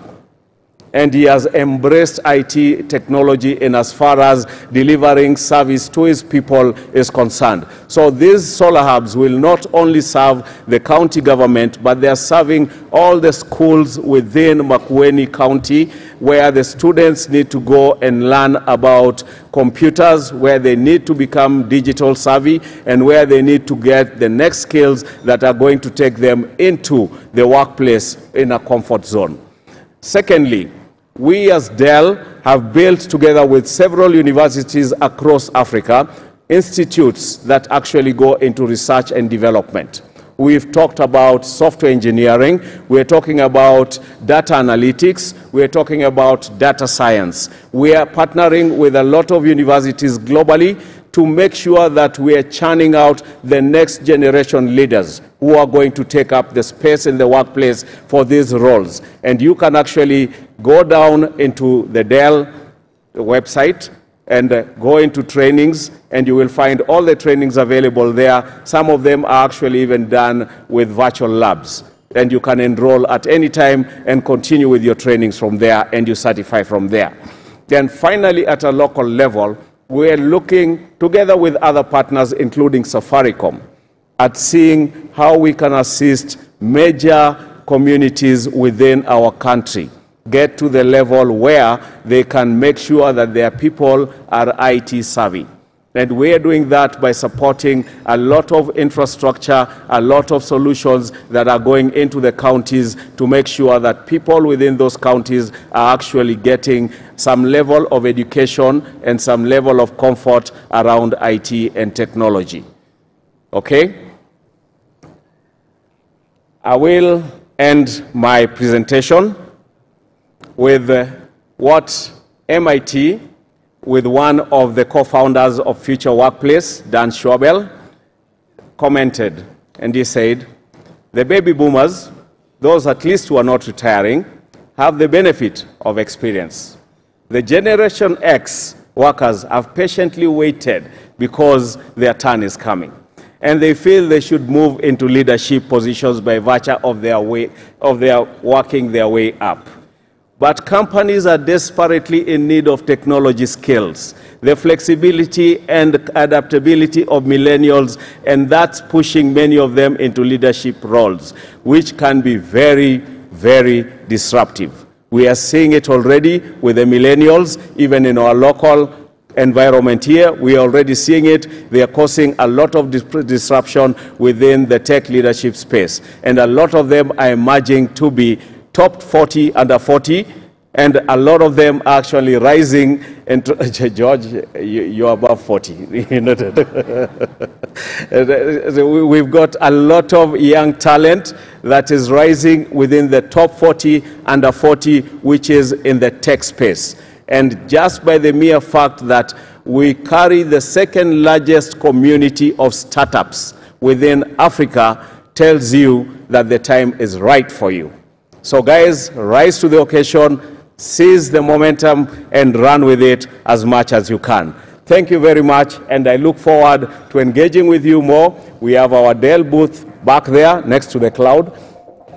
Please feel free to walk there, have a chat with our guys there, go into our website, and uh, for those of you who are looking for opportunities at Dell, jobs.dell.com slash merat. Did you get that? jobs.dell.com slash M-E-R-A-T. Please feel free. Once again, Safaricom, thank you very much. We are glad to be your partner of choice in as far as technology infrastructure is concerned, and we shall journey this uh, journey together hand in hand until we get to the next level of development. Thank you. Thank you, Wycliffe. Um, I mean, we, we've determined that leadership is at, both, at two levels. One, corporate and individual. You highlighted quite a bit on, on the individual and for the benefit of, you know, the larger audience that may also be composed of businesses or business owners. Would you have a cheat sheet um, in terms of a strategy that if someone is looking at then establishing leadership across whatever function, what would they look at in terms of as being an, an organization? What would, would they look at? Well, uh, thanks, Jaya. That's a very good, uh, very interesting question. And uh, it talks about leadership at an individual level and then leadership at a corporate level. One thing that I'm very clear about in the entire of my career is leadership begins with you. Leadership begins with you. You will not learn it in any school. You will not go to college to learn leadership. Leadership begins with you in the way you carry yourself around, in the way you engage with others, in the way you interact with others, in the way you empathize with others that correlate with you. So leadership begins with you at a personal level. And it is your responsibility to drive yourself into a leadership position that can be determined or can be uh, referred to as commanding. Why? Because there are leadership traits that you must inculcate as you come up through your leadership journey. And once you have all these traits with you, which actually depend on where you're looking at or where you're looking from, skill is one of them. Uh, integrity is one of them. Uh, when you look at it in terms of hard work, is one uh, diligence is one of them and then uh, teamwork is also part of it. So at the end of the day as an individual you must be able to build all these across within your portfolio so that you can sell yourself. At the corporate level excuse me at the corporate level I believe all organizations have their own leadership structures, and they are defined by certain matrices that as individuals we must aspire to and surpass. And when it comes to corporates, I think the best thing that you may do as a corporate is make sure that you're setting in place the right leadership capabilities within your teams, and then also ensuring all these are being inculcated in your team members before they come to the corporate space. That's what I would say. Fantastic. I'd like to call upon Naisenya to help us appreciate uh, Wycliffe. Naisenya, come on stage, please. Thank you. Just give us a minute. We'd like to appreciate you.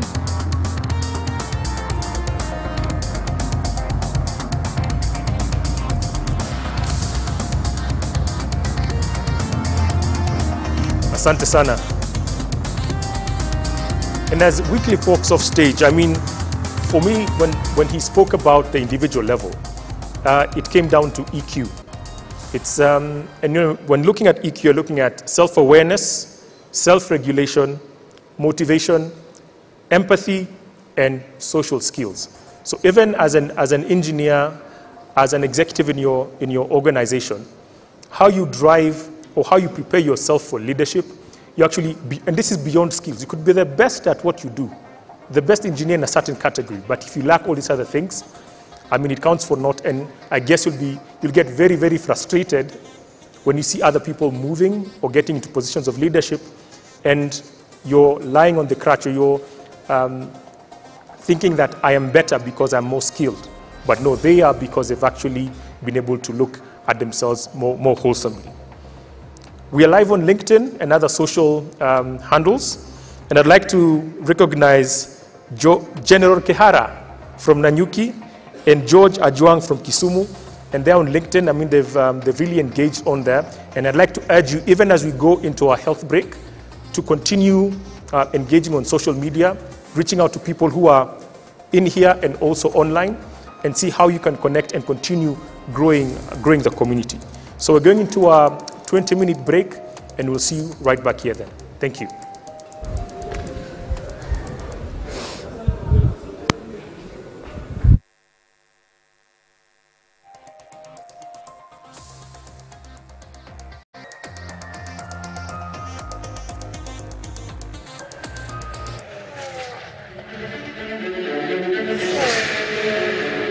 he transformation is having a, a very significant impact on business outcomes, particularly within the Formula One environment. The pace of change within Formula One is really quite staggering. You've got tens or hundreds of thousands of data points streaming off the car in real time. The speed of that telemetry is increasing, and therefore our speed to understand it and interpret it and to make decisions off the back of it needs to keep up with that. So there's not really any point where we can have downtime, there's not really any point where we can have a loss of service. The faster we can design components, the faster we can engineer components, the faster we can deliver changes to trackside. IT is a, an intrinsic part of that. You couldn't have those systems that enable the design and optimization without an IT platform underneath it.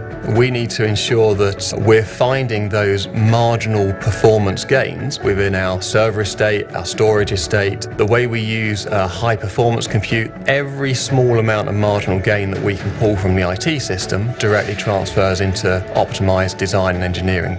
So it's very easy to draw a parallel between IT transformation and on-track performance.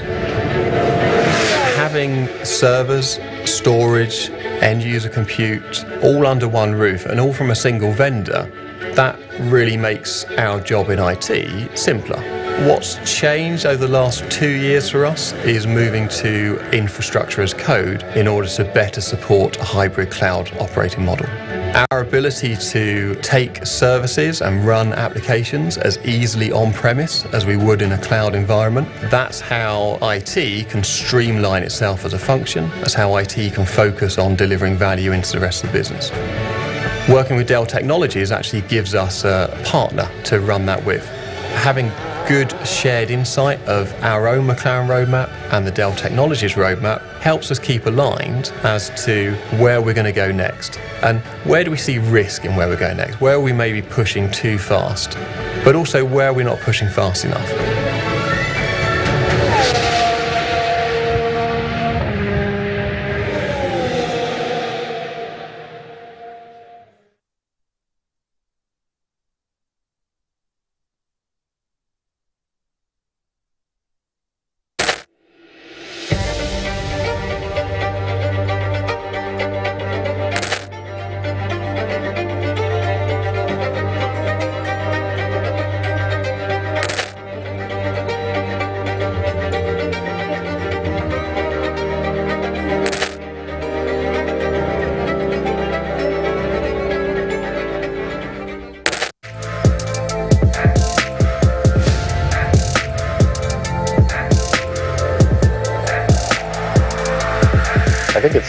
Safaricom engineering community. Uh, tuko tayari eh? Tupatie Q, tupatie cue. Kenneth. she, she jumped on the so questions. We, we have we have been using. we, use, we will be using. Hiyo point inalikataa. Eh, atukwambia tukuje goal.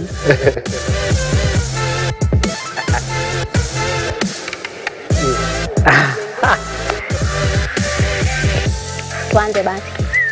Hi, my name is Naisanya Mungai. My name is Kamau Maina. Jacqueline Mudani. My name is Felix Mene. My name is George Chuguna. Dennis Kipruto. I am Mark Koyer. My name is Ayan Kanan. My name is Kenneth Awino. I am David Kazi. Alan Kipsang. My name is Rosmina. Wycliffe Kipkoge. I'm Jill Mora. My name is Rosanne Uguelo Diero. Bildad Mwangi. My name is Stephen Juguna Maina. Ngesa Marvin. My name is Beryl Anchep Kemoy. Victor Mwenda Rwanda. My name is Edna Njoroge. Benson Macharia. My name is Jude Juma. Hesbon Kipto. And I'm Safaricom Engineering Community. I am Safaricom Engineering Community. I am Safaricom Engineering Community. I am Safaricom Engineering Community. I am Safaricom Engineering Community. And I am Safaricom Engineering Community. I am Safaricom Engineering Community. I am Safaricom Engineering Community. I am Safaricom Engineering Community. I'm Safaricom Engineering Community. I am Safaricom Engineering Community. I am Safaricom Engineering Community.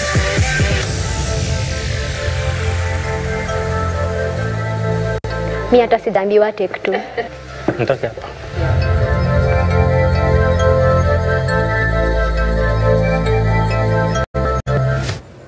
I promised you guys an amazing day, and so far I'm doing well, guys. I'm keeping my promise from Ambassador, Ambassador Professor Bitange Ndemo, George Njuguna. Of course, we've just spoken, we just heard from Wycliffe Celebwa and Director Alice Munyua of the Africa Mradi at Mozilla Corporation. It's been an amazing morning, full of insight, and you guys have been so engaged online. I love hearing from you. I saw Red Pete saying, I think we can use AI in farming, and there's a whole conversation going on there in the thread about how we can use AI in farming. Um, I've also seen someone say that they feel like they need Wycliffe Celebwa to be their mentor, and that's from several people. So I think I'll have to get Wycliffe on this hot seat for a little fireside chat later, and maybe he can talk about his presentation a little bit more. I'll be speaking to Alice Munyua as well in just a minute, but I've got giveaways upon giveaways, guys. First things first, 500 bob worth of airtime at the end of the day, if you can collect all my passports. So I'll say this, my second passport of the day, if you were there during the beginning, you might not have heard that one, and that's okay. Second passport of the day,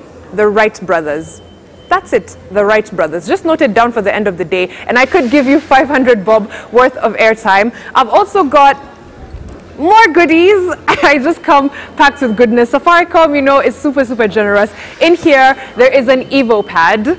There is a power bank. There is a decode hoodie because you guys asked for decode hoodies yesterday and we said sawa, tumewasikia. Decode, decode hoodie in inakuja. Like I said, power bank, Evo, uh, Evo pad. Of course, we've also got a very nice hoodie and a notepad. All that is for you and it will be awarded to you by the Safaricom digital team. So keep it here, stay engaged and keep staying with us. I've also got comments from the guys in LinkedIn because we appreciate you. Sometimes we may not always be there present with you, but we want to make sure you are heard and you are seen. So first of all, I want to shout out Judy Mudoni from Juba in South Sudan. Thank you so much for tuning in, man. I'm hoping it's warmer there than it is here, but thank you for tuning in, Judy. Um, Cyrus says, hey guys, I am a trainee in the ALX software engineering program, and I'm so happy to join the summit that Safaricom provides. I think a lot of you are happy to network even virtually because I see it happening in the comment sections as well, to think through ideas, to collaborate. I never want to hear that the engineering community is stingy again, okay? We debunked that myth yesterday with Samuel Kamochu, and we continue to do it. Um, I've also got Towet Kipkingo who says this is the best learning opportunity ever. Agreed. Like I said, when the cameras are off, it's me and my notebook, okay? I'm going to be a techie by fire by force thanks to the Safaricom Engineering Summit. Um, as I promised you guys, I will have Alice Munyua, who is the director of uh, Africa Mradi at the Mozilla Corporation. She's going to join us now, and we can go through what she talked about earlier. If you have questions, please go on YouTube, on LinkedIn, and I can see if I can ask her a few. I'll invite Alice now to join me.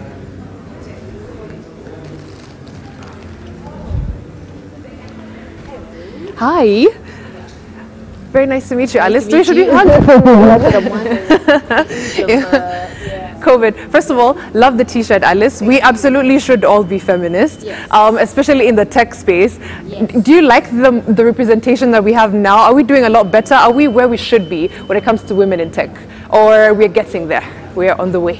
We have a long way to go. Okay. Yeah, just from looking at yesterday, uh, I, I stayed in and I think there were only two women the whole day that presented. Yes. And uh, they presented late in the afternoon. Oh, afternoon. sorry, uh, we cannot hear you. Can I just switch this on for you? Yeah. Sorry, Hello, could can you hear me? Yes, now we can. Please repeat Okay. the answer. Yeah. Yeah.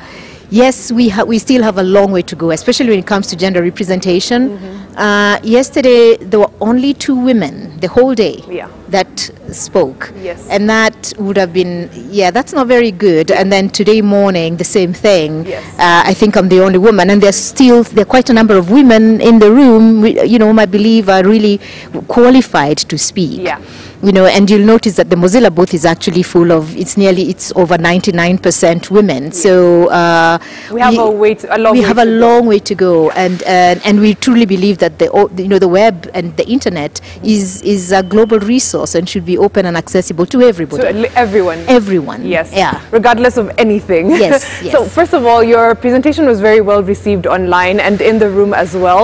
Um, but I'll start from the beginning. You work at uh, Africa Mradi, which is which works for, like you said, the profit-making arm of Mozilla, right? But it's more about um, Mozilla as a whole is more about social impact. How do you bridge the gap between uh, we need to make profit and we need to do good? I, I know it's a very wide question, but um, as best as you could explain it, how do you make sure that you're providing impact while still remaining profitable? Because the lights do have to stay on.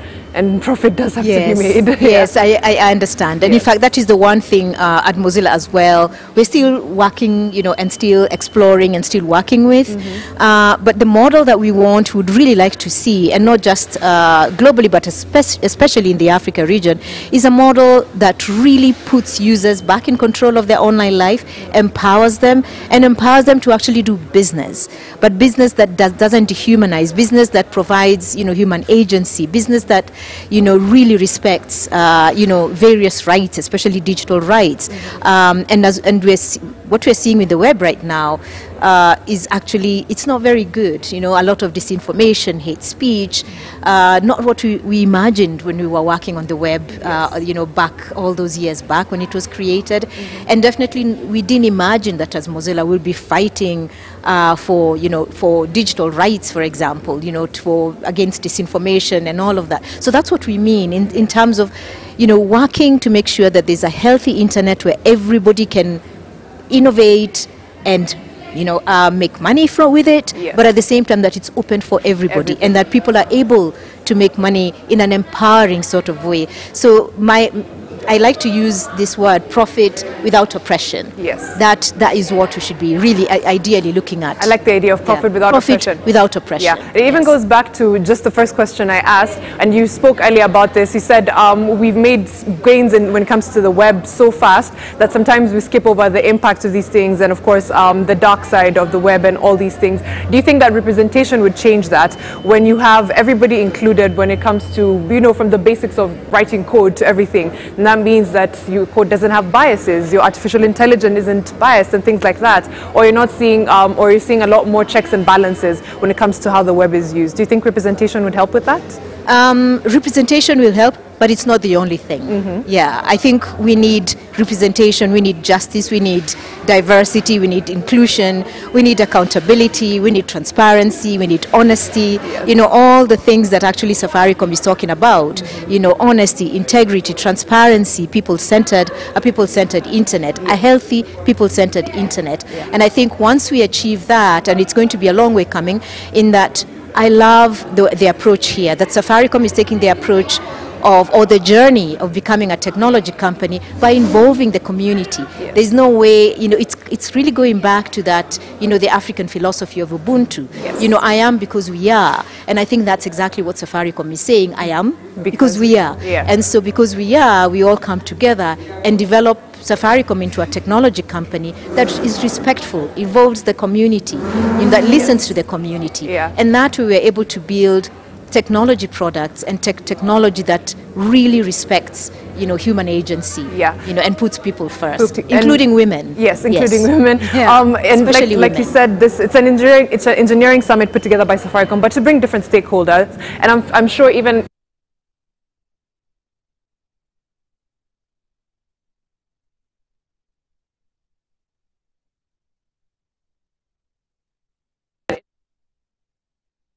and using the internet to the best of their ability.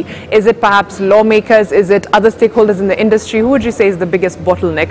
Um, or maybe a, a softer word than bottleneck. yeah, it's not so much a bottleneck. I wouldn't really call any stakeholder a bottleneck. I think I, I really tend to believe that every stakeholder has, you know, uh, has really, you know, uh, good motives. Uh, so, I mean, I hope. As, uh, yes. to the best of our knowledge. To best, yeah, to the best of our knowledge. But the, my, my biggest problem we see, and at Mozilla we see, there's so much, we focus so much on engineering and technology and not so much on humanities. And that's the problem. And then we, we look at every single human problem and, and think, oh my God, this technology is going to help. No, you, there's no, you- technology cannot solve social problems. Uh-huh. It will not. Technology can only be a facilitator. Technology is just an like an, like infrastructure. Uh, your mobile phone is not going to solve all your problems. The mobile phone is not going to solve our corruption issues. Uh, blockchain is not definitely not going to be solving our corruption issues. Yeah. In, in, in no. That's so technology. Could, we- could we lean in on that one a bit? Because most people uh, hail blockchain as the end of corruption, you know. No, because corruption is a human problem. Yeah. Yeah. Uh, and in fact, I tend to think technology sometimes might, technology tends to facilitate biases. Like we're seeing with AI. As we create AI, the people who are, who are those that are creating after artificial uh, AI?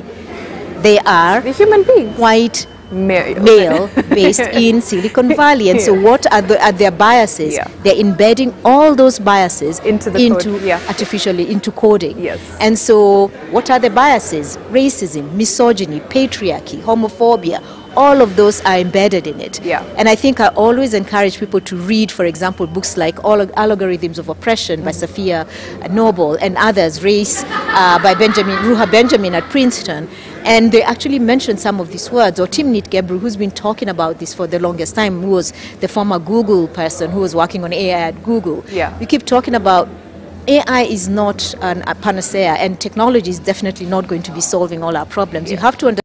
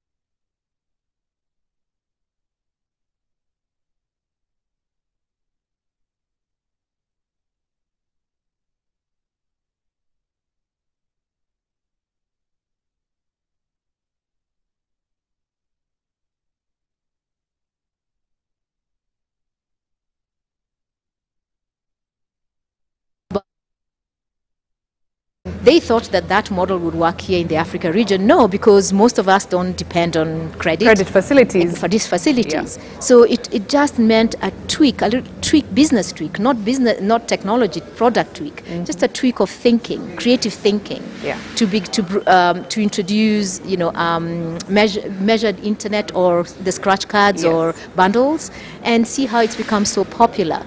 But if they had come here, really insisting on this is the way the mobile should I'm going work, to I'm going not- to mail you your phone bill at the end of the month. Yeah. How? What's my address? Oh, yeah. We don't even have an address Not just that, I don't have that kind of income. Yeah. I can only afford a shilling or even less than a shilling. Yeah, a day. A day Yes. to, to use. And so the allowance for that. And I think that's why M-Pesa is, is so important. And uh, Safaricom becoming a tech company is so good because they can continue to think from that perspective. Yeah. Yeah. Do you think we can draw a tangent between um, what you're saying, thinking of um, a solution and then working backwards to the problem?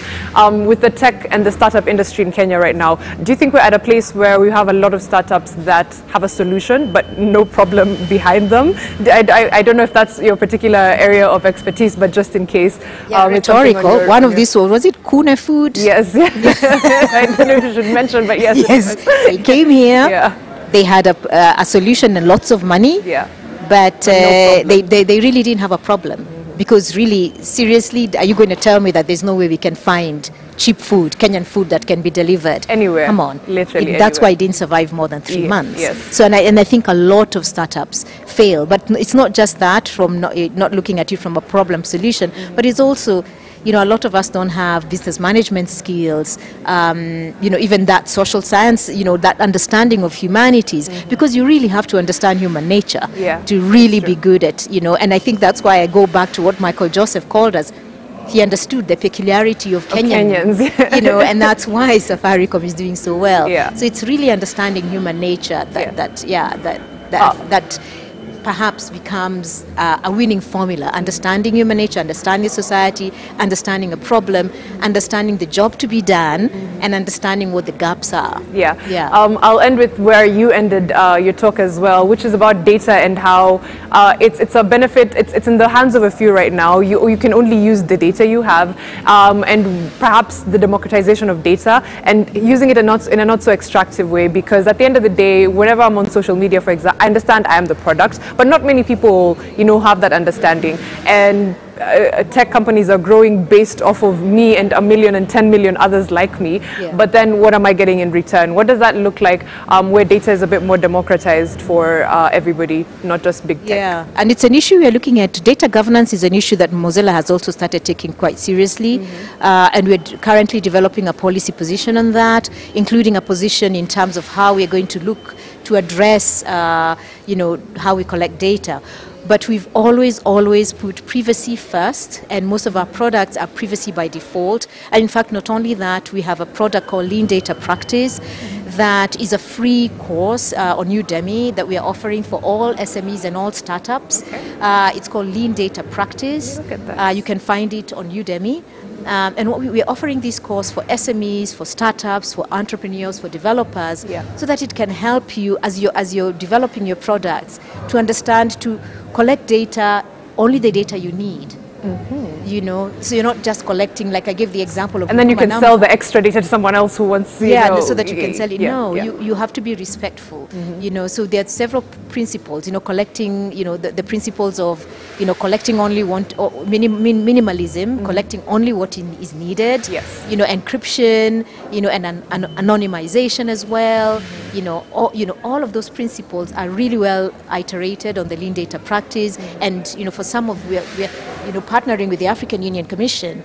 they have a huge project called A Thousand SMEs, and we, are, we want to offer that course to as many startups and SMEs as, as possible, especially here in Kenya because we have a data protection commissioner. Yes. To help them also make sure that they're adhering to the law. Yeah. You know, so. Would you say we're at a place where, um, I, I, just from a layman's perspective, I'm, I'm a fan of uh, the EU and how protective they are of, of people's data. Yes. yes. Uh, do you think we're at a place where that could be our future? Or, uh, you know, we always play catch up with things, so it will take us as much time as it took the EU to get to a place where data protection is a priority. How long would you say we have before we get there? In, in just a, you know, in, in your opinion, your best Yeah, no, no, we have we don't have a long way to go. One one thing I'm, I am uh, I'm very proud of Kenya as a Yes. Kenyan Yeah. is we tend to be really fast when it comes very quick when it comes to these things. Yes. Uh, and in fact, I tend to think that our data protection legislation is the best uh, in the African continent. Okay. You know, um, and we now have a data protection commissioner. I'm hoping that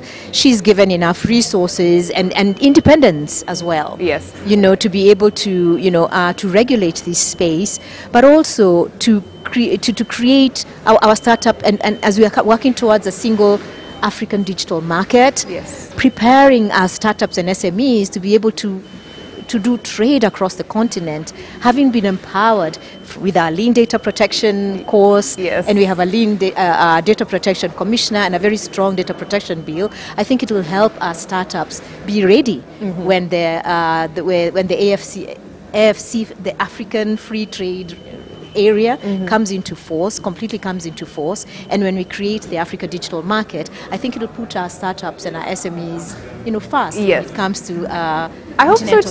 trade. I mean, we've, we have been um, a leader in Africa when it Yeah, comes to, and we continue to. yeah, and we continue to be. So hopefully the trend continues. Yes. Um, I'll get a little bit more and more less formal now. First, who is your favorite artist?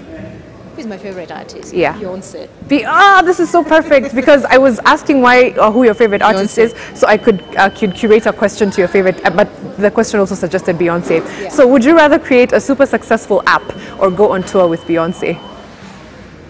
Both. Can I have both? Oh, don't. It's the would you rather. You have to.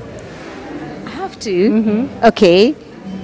Ask the question again as I'm Would thinking. you would you rather create a super successful app or uh-huh. go on tour with Beyonce?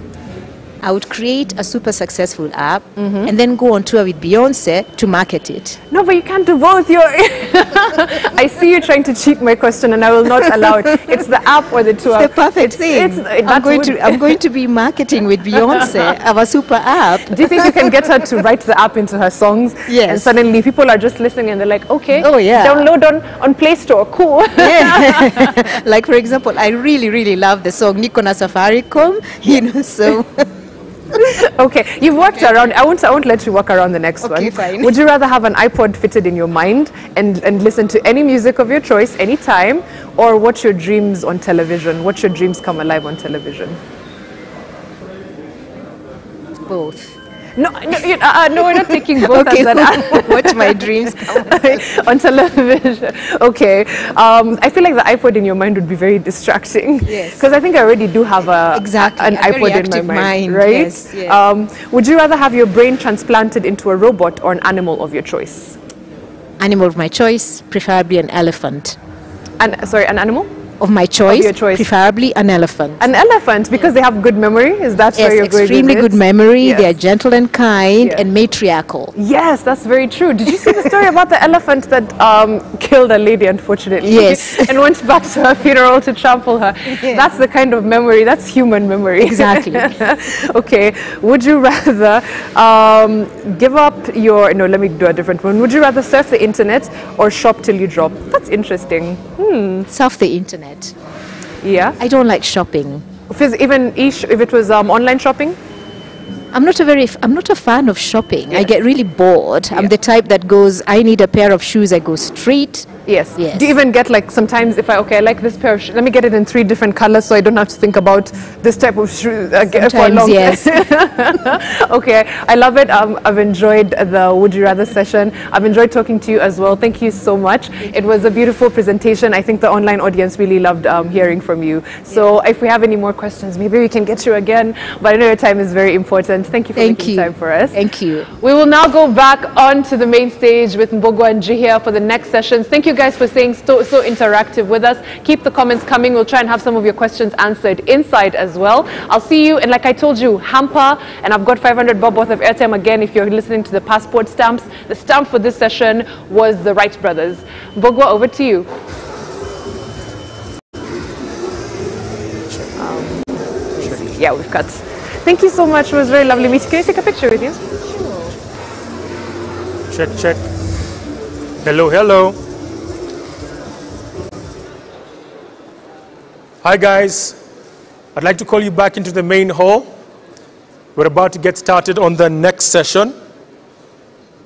Kindly take, kindly take your seats. DJ Asante Sana for those awesome beats and vibes.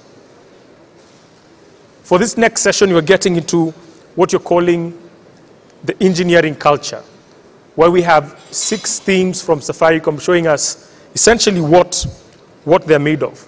And if you see something you like or something that you need more explanation on, kindly, the hashtag is Safaricom Decode. We'll be able to pick it up from there. And the first, the first demo, the first live demo, is application observ- observabil- observability. Gosh, to, to, to, using Dynatrace. And this is by the Business Support Services Tribe, led by Gideon Kago. So this is part of the digital technology team that builds, delivers, and operates core business platforms such as billing, messaging, integration, call center, and USSD. The BSS stack that they're going to be looking at is the core layer to the network and helps in ensuring service provision and experience to Safaricom customers. Gideon, stage is yours. Thank you.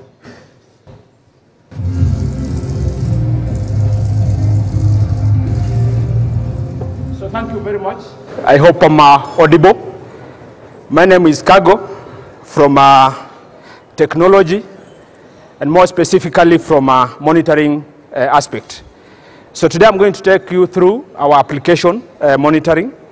And uh, as a number of teams have talked about the different layers of applications. Yesterday we heard about uh, DXL. Today we have heard about cloud services. And from a customer perspective, we'll want to ensure that all our services that we have are properly monitored. And uh, for that case, I'll take you through one of our application tool that we use for monitoring and ensuring that our services are up and running.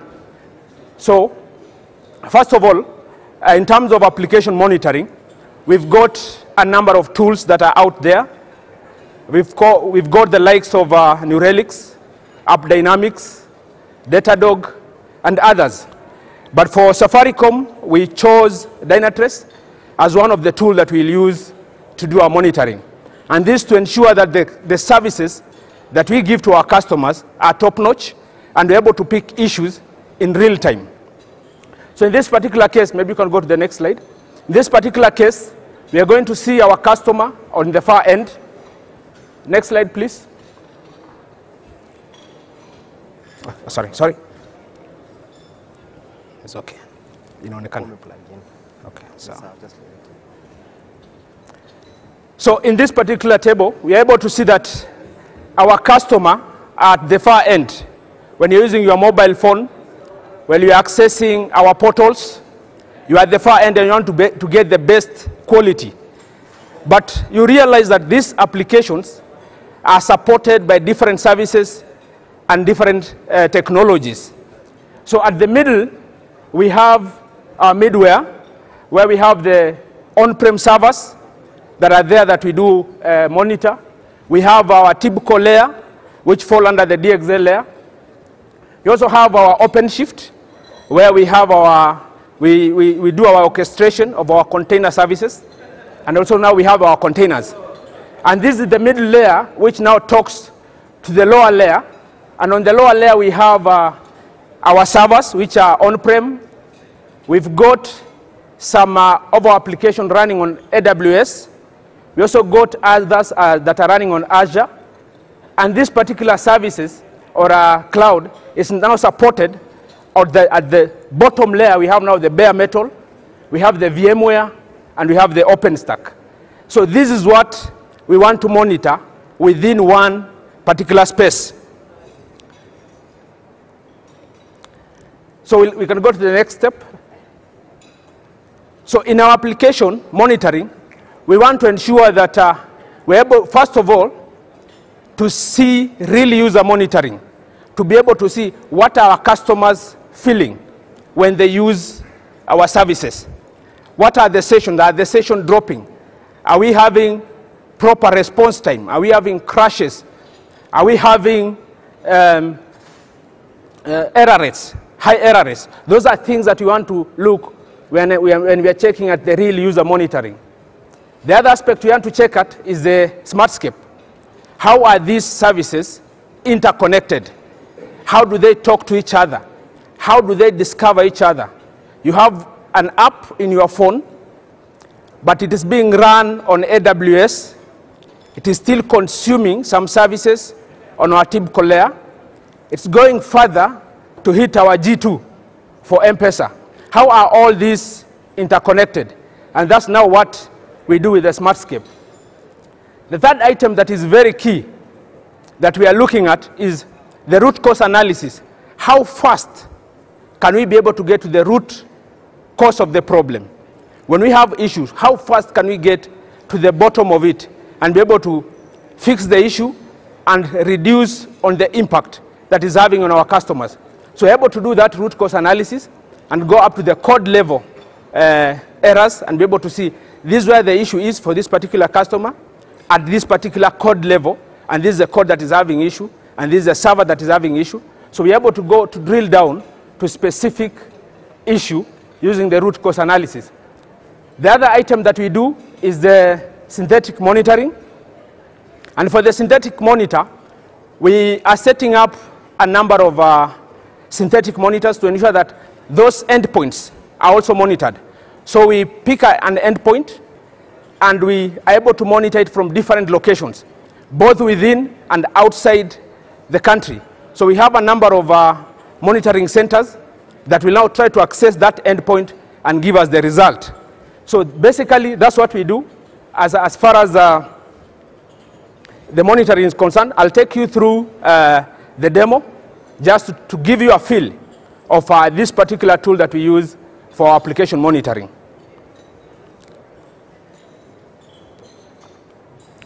So let me start with the M-Pesa app, for example. This, uh, I believe all of you have the M-Pesa app with you, and we're able to monitor the customers that are accessing this particular app at any given time, even in the last five minutes. And able to see, for example, I've been able to select 30 days here. I can be able to go further to whichever time that I want. For example, if I go to, for the last two hours, I'm able to see the customers that have accessed this particular application. They're actually 119,000. I'm able to see the, the guys who have been able to have a few crashes, which is only 238 people. I'm able to see even the distribution. Where are these customers within the universe? As you realize, M-Pesa app is being accessed worldwide, especially now that we have uh, mini apps and we have even the Visa card part of it. So we have customers that are outside Kenya. We want to see how are their experiences. And in this case, I can be able to hover around and be able to see the customers in South Africa, uh, who are 146. I'm able to see in DRC, in Sudan, in Russia, and whenever I change this, I can be able even to see the customer who are there for the last 24 hours in different locations. And now this gives us a feel of how is our application performing and how our customers feeling. This tool goes further to show us the customer satisfaction level. And this case is what we are calling the Apdex level. The Apdex level is how is customer satisfaction when they are using our application. And in this case, we are looking at the response time and the error rate. So we can say either the customer is satisfied, either the customer is tolerating our services, or our customer is now fully uh, frustrated. Those are the three layers, and in, particular, in this particular case, for M-Pesa app, we can see it is 0.92. The range is from 0 to 1, 1 being the best, and above 0.85, that customer we consider they are satisfied. So we also use this uh, particular tool to show the distribution, as I said about the Smartscape. So this is the Smartscape that we have, and these are all the resources that we are monitoring with this particular tool. So we're able to see currently we are doing 100 applications that are being monitored as we speak. Uh, these applications are supported by 20,320 services that support these 100 applications that we are monitoring. At the lower level, we have 98,000 processes that are currently running to support the 100 applications that we are seeing there. Down there, we are able to see the number of servers that we are monitoring at this particular time and their health, actually. For this particular case, you can see we have around 28 that have issues that need to be fixed. At the lower level, you can see the data centers that support these servers that we are monitoring. So the 22 data centers will support the 2,800 servers, which will support now the 96,000 processes, which now will run these services, and now application will be, will be at the upper layer. Again, we can be able to, to pick uh, the topology sketch for a particular application and see how is that connection for that particular application. I'll take you through that. I'll pick an application. Um, for this case, we have seen the M-Pesa consumer app. Let me pick uh, an application like uh, Safaricom app, for example.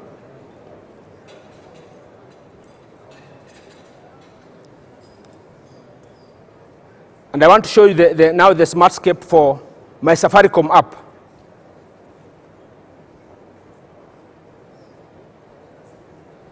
So this now the, the Smartscape for the My Safaricom app. We are able to see that My Safaricom app has the services that are supporting it. Some of them are Java. Java. We have uh, Apache. We have uh, Kafka for streaming. We have um, web services. All these now support our My Safaricom app. On the lower level, we have again the processes because each service will have the underlying processes. Down, we're able to see that for My Safaricom app, it's being supported by 63 servers or EC2 instances, and some of them are running on the cloud, and some of them are on-prem. So we're able to see maybe from the, the ones that are running on the cloud, we've got uh, EU West 1, and we've got EU West 1B. So that's where our application are running. So this cannot be achieved without having a proper monitoring tool. Because essentially, before you could have the application being monitored from a different place, maybe Firebase, we have services being monitored by other tools. We have servers being monitored by another tool. We have uh, data centers maybe being monitored by another tool. And that brought a lot of disconnect. And our service operation team were having it hard time to pin, up, pin out where the problem is. So with this, we're able to ensure that we give the best service and we're able to, to see the correlation of the different services. I'll also take you through uh, the part for the synthetic monitors. So we have been, been able to set up around 256 synthetic monitors on different locations. So for example, we have Dubi, which is being monitored from two locations. We have uh, all this, and we're able to see the availability. We're able to see uh, the response that we are getting from those particular uh, endpoints.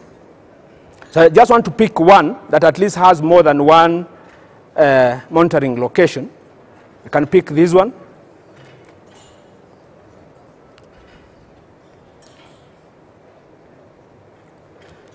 So if you look at, for example, one of the application, which is the bill manager, we're able to say, we want to see if a customer is outside Kenya, is he having good experience? So we have a monitoring center at Abu Dhabi. We have another one in Joburg. And now we have our own on-prem servers. So all these servers will try to call this particular endpoint at a given interval. In this particular case, we are doing at every 15 minutes. Every 15 minutes, we, to, we want to see, is this application up? So this is what we are using for synthetic monitors, just to ensure that our customers who are outside Kenya, still they're getting the best quality. The other aspect that I want to take you through is uh, about the SLOs. Now this is where we bring the business into our monitoring because the business understand the language of service level objectives. So for most of our applications, we have put a service level objective. And we are saying, for this particular application, this particular service, we want it to have these SLOs. And we ask ourselves, are we meeting this SLO at each and every time?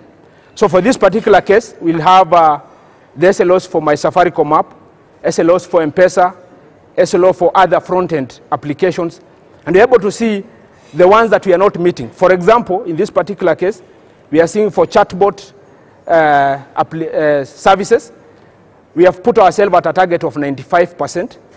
We are doing 93. So we already have a gap of around one point something. So that's the error budget that we have. But for most of other services, we are meeting those particular uh, objectives. I'll also take you through now for the root cause analysis. How do we do our root cause analysis? In this particular case, uh, allow me to, to work with you in this. I've picked uh, one problem, and uh, in this particular problem, we're able to see that the customers, the service that is impacted is a postpay, and uh, it's still being worked on. Another one that has already cleared, we had a problem with uh, device financing for a, a very short stint. And we were able to go to the code level and be able to see that for this particular problem that occurred at this particular time, the problem was a, a HTTP 500 error. Of course, that's the server side error. And we're able to pick that this is the endpoint that has the issue. What this does is that our SOC team is able to see exactly where the problem is. And if it's to fix it, when they call the support team, they tell them exactly that the problem is error 500 on this particular server. Even if it manifested itself from an uh, application perspective, our SOC team is able to give it and tell the support team exactly where the problem is. So I want to take you through. Um, this is where we see the, the problems. We are able to analyze the problem here. So currently we have 89 issues. And uh, this 89 issue, Makau, is for the 92,000 processes or servers, uh, services that we are seeing, the 2,000 servers that we are seeing, all the data centers. So out of that, only 89 issues are open as we speak. And uh, these are C4 information. So, but if you look at what has been closed, there are quite many. Uh, so far for the last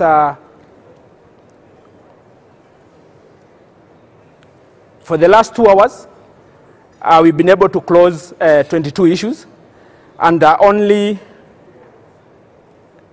the ones that are open are 93. And this because it's real time. Some of it has actually occurred 11:18, and currently I think we are at 11:19. So one minute ago, two minutes ago. So it's real time. We're able to see exactly where the issue is. On this particular case, we're able to see that this particular server, sorry,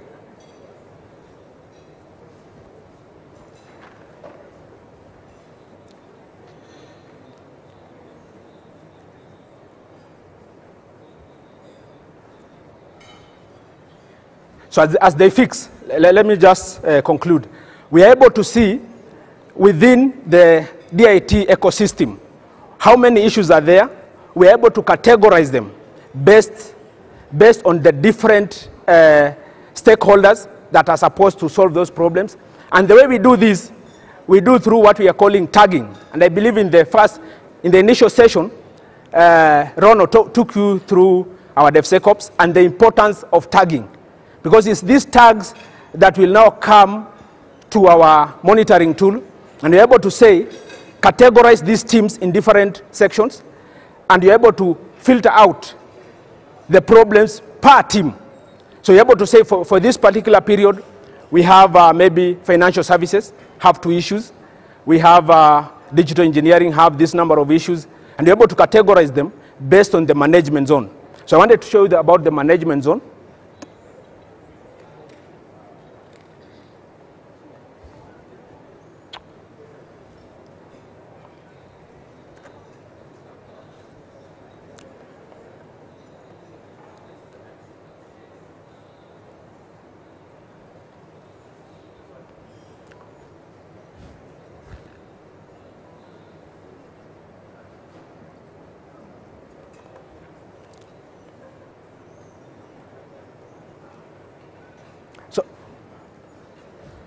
Thank you. So th- this is a problem that we just clicked, and uh, we're able to see the issues on our CPU saturation.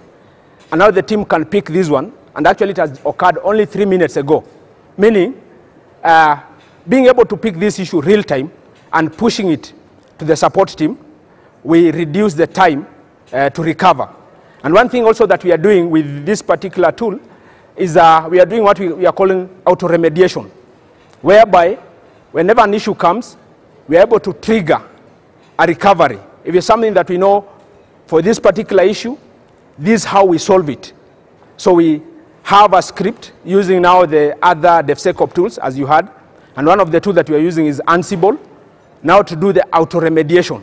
So some of it will be fixed automatically whenever they come up. The last part I wanted to take the team through is on uh, user sessions.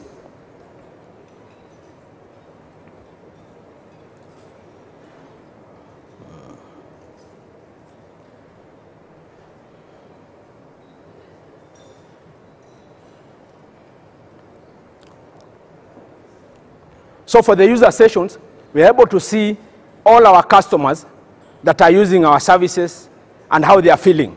And in this particular case, these are the customers. For the last uh, two hours, we've had around 638,000 customers using our applications. We can be able to go further and uh, filter based on the different applications. I can filter based on M-Pesa. So we've got around 391 customers that have used our application for the last two hours. Uh, what we are doing, we hash uh, these uh, users so that we don't have personally identifiable data going to our applications. So you won't find uh, like my name here or your number here because we have to hash them for privacy purposes. So in this particular case, this is a, a real customer that is using our application and this customer is live. So we can pick one. I, I'll, I'll wish to pick the one that has a, a few errors so that we're able to narrow down to it. If I pick a customer like uh, this one, we're able to see the status of that particular customer, where the customer is located, the kind of phone that the customer is using. Is this customer frustrated? And uh, the kind of device that he's using, the kind of browser that he's using. So you can go further to that particular session and drill down further. Now for this particular case, you're able to see the IP address, the application version that the customer is using, the Android version, and whether even the, the, the phone is on a, a portrait or a landscape. Then we're able to see where was the pain point for this particular customer. So I've picked the one that is uh, very frustrated. So we pick, he has got uh, nine issues. We can now filter down and do now the analysis for this particular customer. And where we have the issue with this customer is uh, on the token generation at the network layer. And uh, if you go further, you're able to see there's the Java unknown error. So you're able to go at the code level and see where this error is coming from. And for this particular case, just a step back.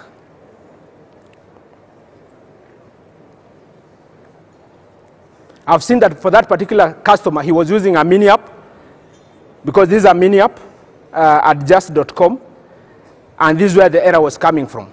So if you are now to engage, you as the developer, you have developed your application, you have put it on our mini app, and now we have issues with the application, we can be able to pick it and tell you the application that you are running on our mini app has these and these issues. So you're able to pick at the code layer and tell you at the Java level, this is where you're having the issue.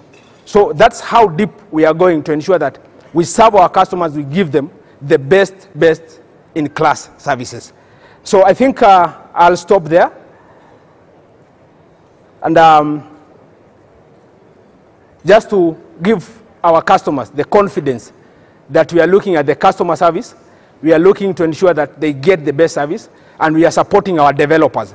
So when you come and develop and you give us our, your mini apps, we're able to go deeper and also work and collaborate with you, even in fixing the issue that we are facing. So thank you very much. As I said earlier, my name is Kago, and I'm pleased to have you guys.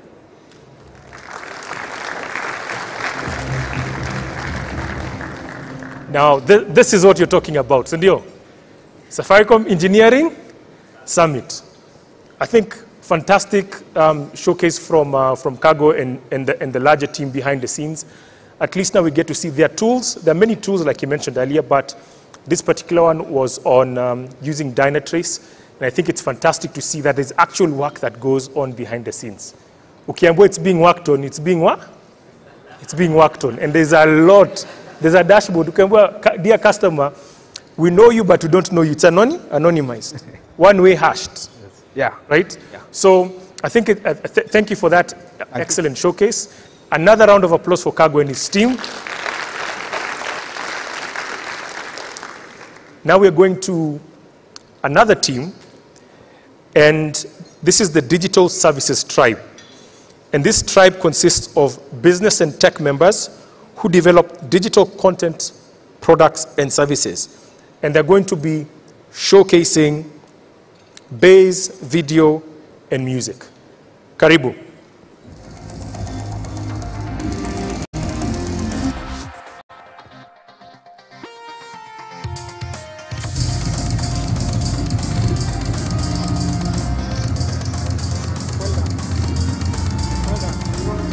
Mason.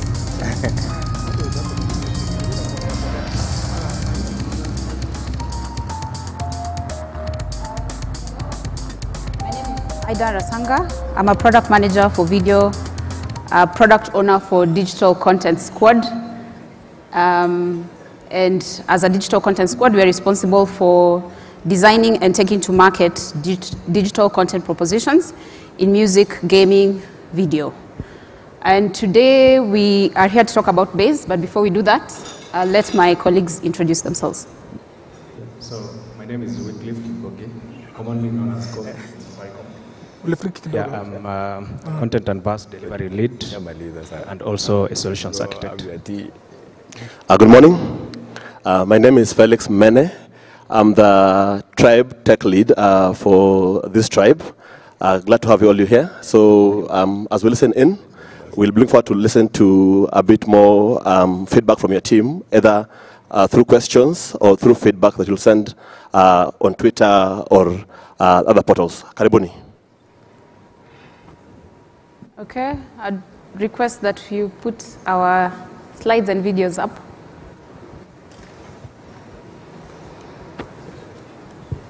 Thank you. Okay, so as you all know, the smartphone revolution has changed how we live our lives today, from how we consume content to how we learn, to how we communicate with each other, and to how we consume content in general. So um, the growth of smartphones is what has led, or rather created or necessitated the need for us to create a product by the name Baze. And Baze is an entertainment platform for both music and video. Sure, how to cue. Next slide. Is there? Is this this? Oh, yeah. Okay. So what Baze does, it places entertainment at your fingertips, meaning you can watch content anywhere, anytime on your mobile phone.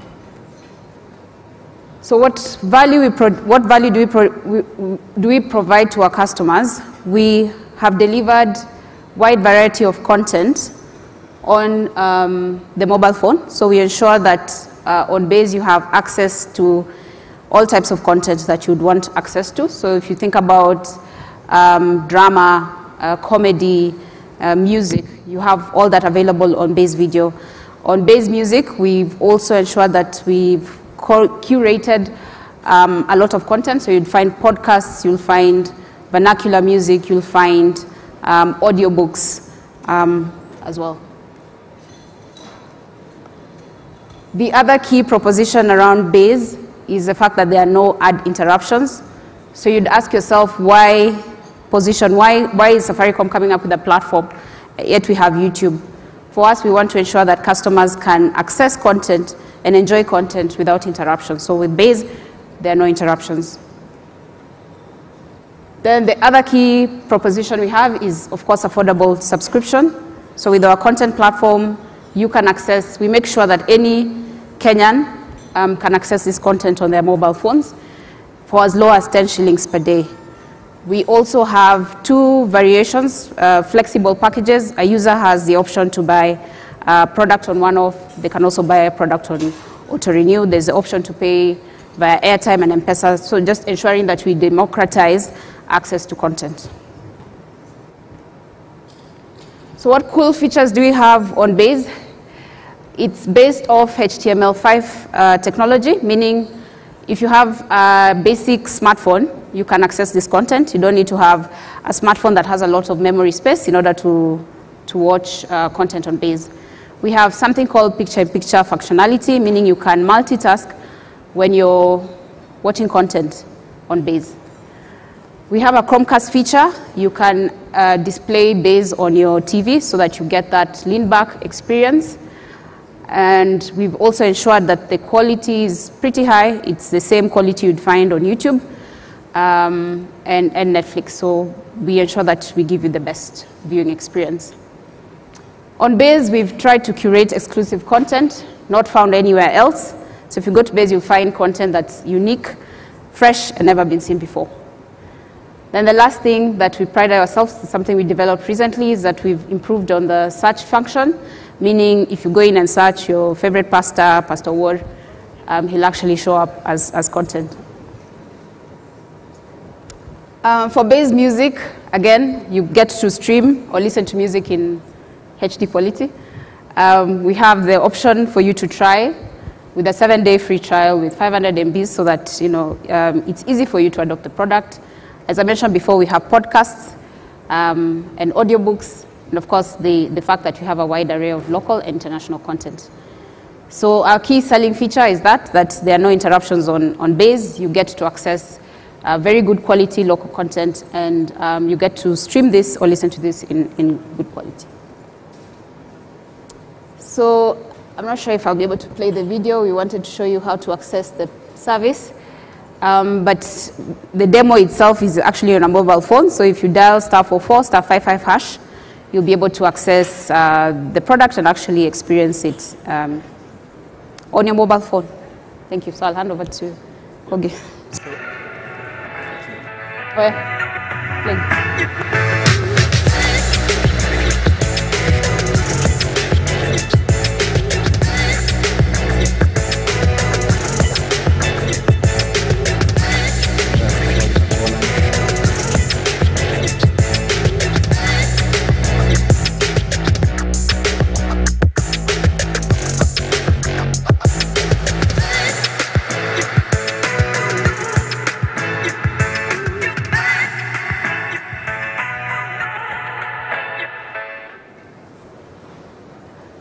Yeah, so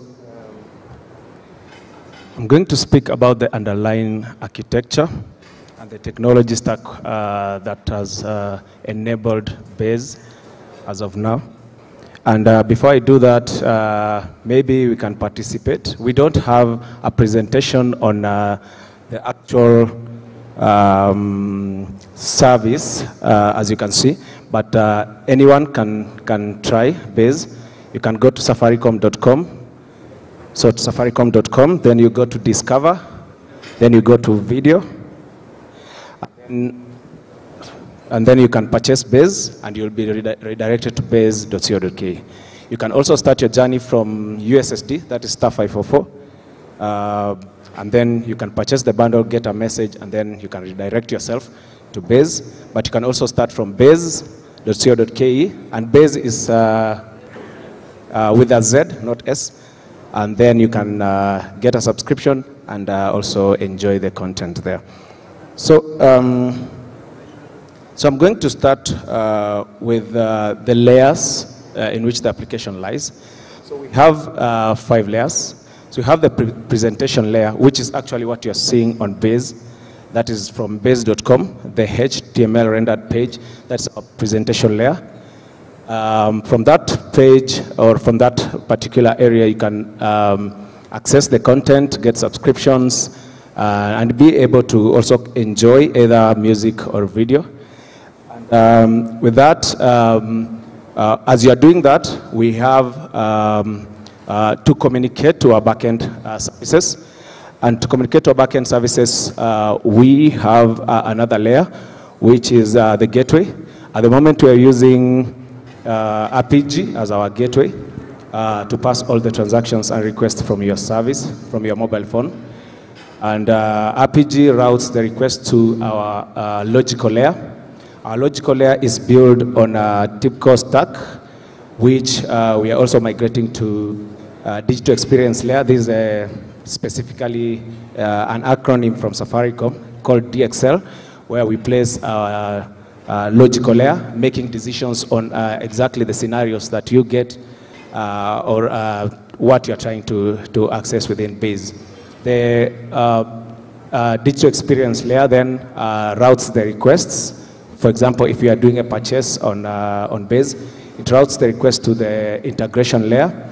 We have an integration tool. This is an enterprise service bus called TIBCO, in which this is the only uh, layer that can actually communicate to our core systems like billing system, M-Pesa, and all that. This is to ensure abstraction uh, from um, the implementation of the actual billing system from the implementation of the actual service. So um, TIBCO as our service, um, enterprise service bus uh, enables that particular um, uh, implementation. So um, I also want to speak on uh, the managed service. So what we have done is uh, this is kind of a hybrid between Safaricom and one of our partners. So um, Baze is a managed serv service from a different partner. And then uh, with Safaricom, we provide um, the billing aspect uh, for Baze. And then together, we integrate the two systems. So uh, speaking on uh, the managed service itself, what you are accessing on your phone. Uh, this is built on uh, Google Cloud Platform. So uh, uh, all the architecture is based on Google Cloud Platform, whereby uh, we use uh, several technologies on Google Cloud Platform, including Google Buckets, Redis for caching, we use some CloudFront edge for, for content delivery, and also uh, we ensure that we have uh, different uh, availability zones within um, the architecture. So um, I also want to speak about some of the future plans we have. So currently, if you look at Baze, how it is architected, it looks like two different systems when you move from Baze to Safaricom.com and then from Safaricom.com to Baze. So what we're doing is uh, we're ensuring the user experience is better, and that's why we have it here, so that we can continue to build a product that is actually um, favorable to our customers. So if you actually go to baze.co.k and start a journey from there, you'll be required. And then after you log in, if you do not have a subscription, you will go back to, uh, you'll be redirected to safaricom.com, where you'll get your subscription. And when you are directed back to Baze, unfortunately for now, you are required to log in again. So we have other technologies that we want to utilize to ensure that um, the experience that a customer is getting on Baze is exactly the same experience you are getting on safaricom.com. And the seamless between Baze and safaricom.com is not uh, clearly seen uh, from a customer perspective. So some of the uh, technology stacks that we have, we have um, something called head enrichment. So head enrichment is a technology where we can actually uh, identify customer and uh, uh, be able to get your MSISDN without you providing your MSISDN. So with this, it means if you're on Baze, if you're on Safaricom.com or any other Safaricom provided platform, you'll be able to be identified and not asked uh, your identity when you are, you're accessing those sites.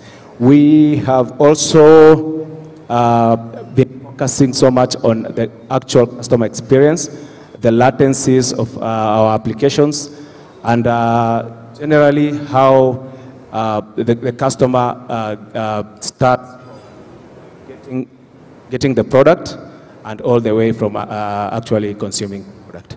So um, up to there, I'll, I'll let our lead pick from there. Yeah, uh, thank you, Wycliffe. Uh, thank you, Ida. Um, as you've heard, at this base, we are only beginning. We were able to do this with only about, was it four or five guys? A partnership with, the, uh, with Mobi Media. Yes. But there's uh, much more coming. So we'll be doing quite a bit more as we get into this year uh, within the video, music, and the gaming area. Uh, so we have a full team that we're working with. We have also our partners, uh, AWS, coming on board. So our call to the team, or the committee, is that we need you guys to partner with us. Uh, I believe we have a good number of rich skills or rich uh, knowledge within uh, our base, and we want to tap into, into all of this particular um, uh, rich knowledge. So we'll be requesting that you plug into this.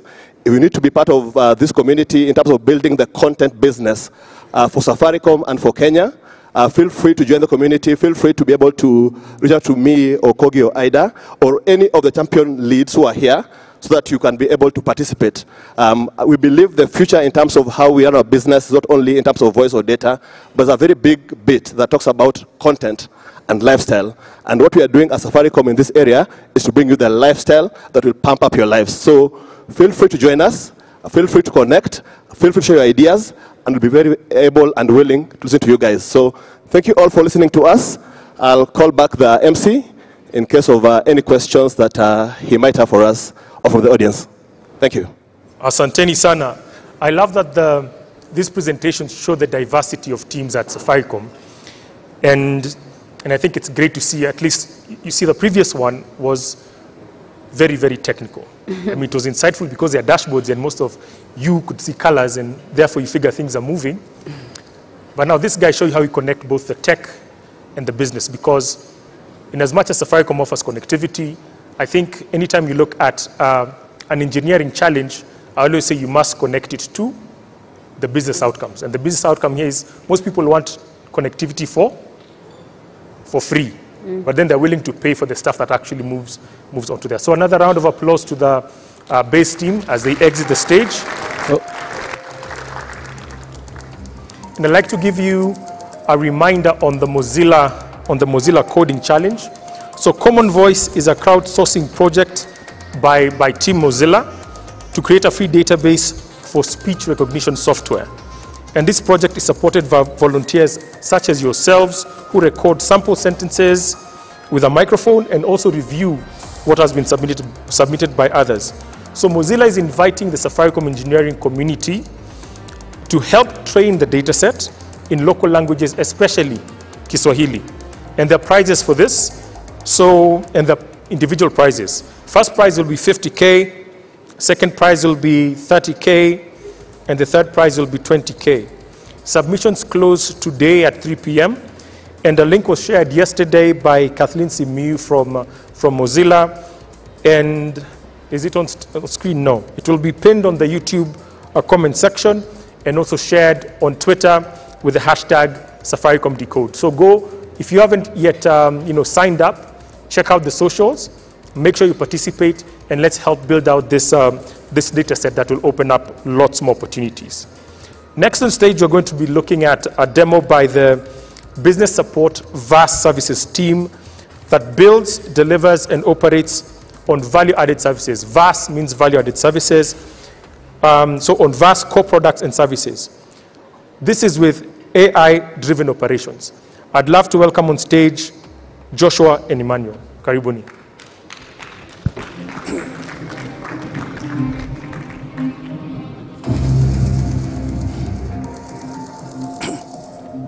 Where is the cutting?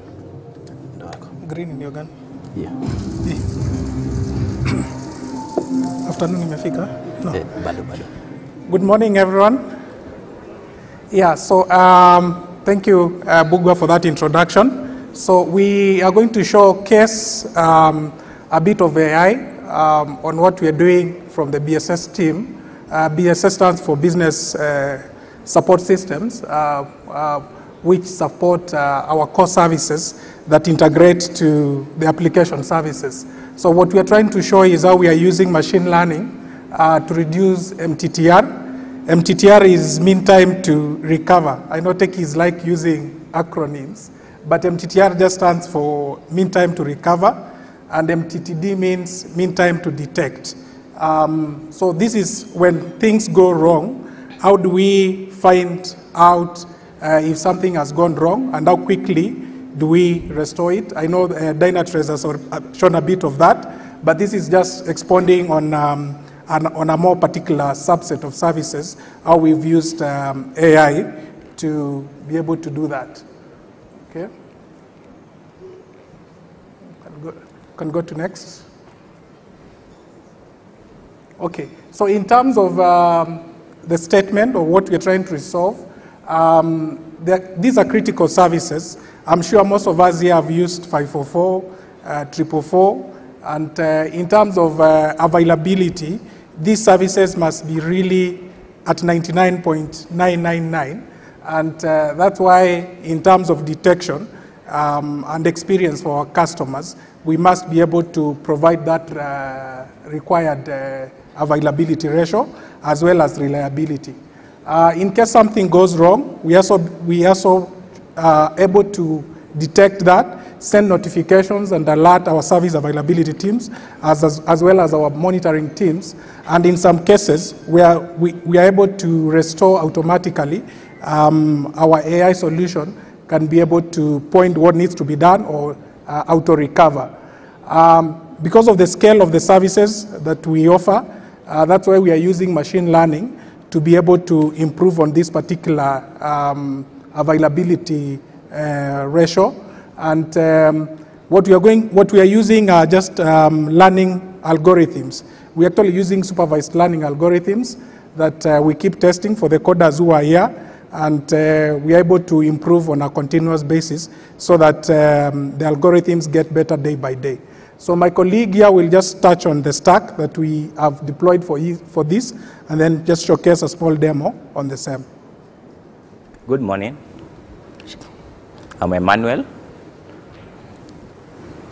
and I will, I will be walking you through the stack. So basically, for you to be able to, to, to learn from some data, you first need to identify the data, and we start with identifying what kind of data you're you using. And with the current era, there are a lot of data which is being generated.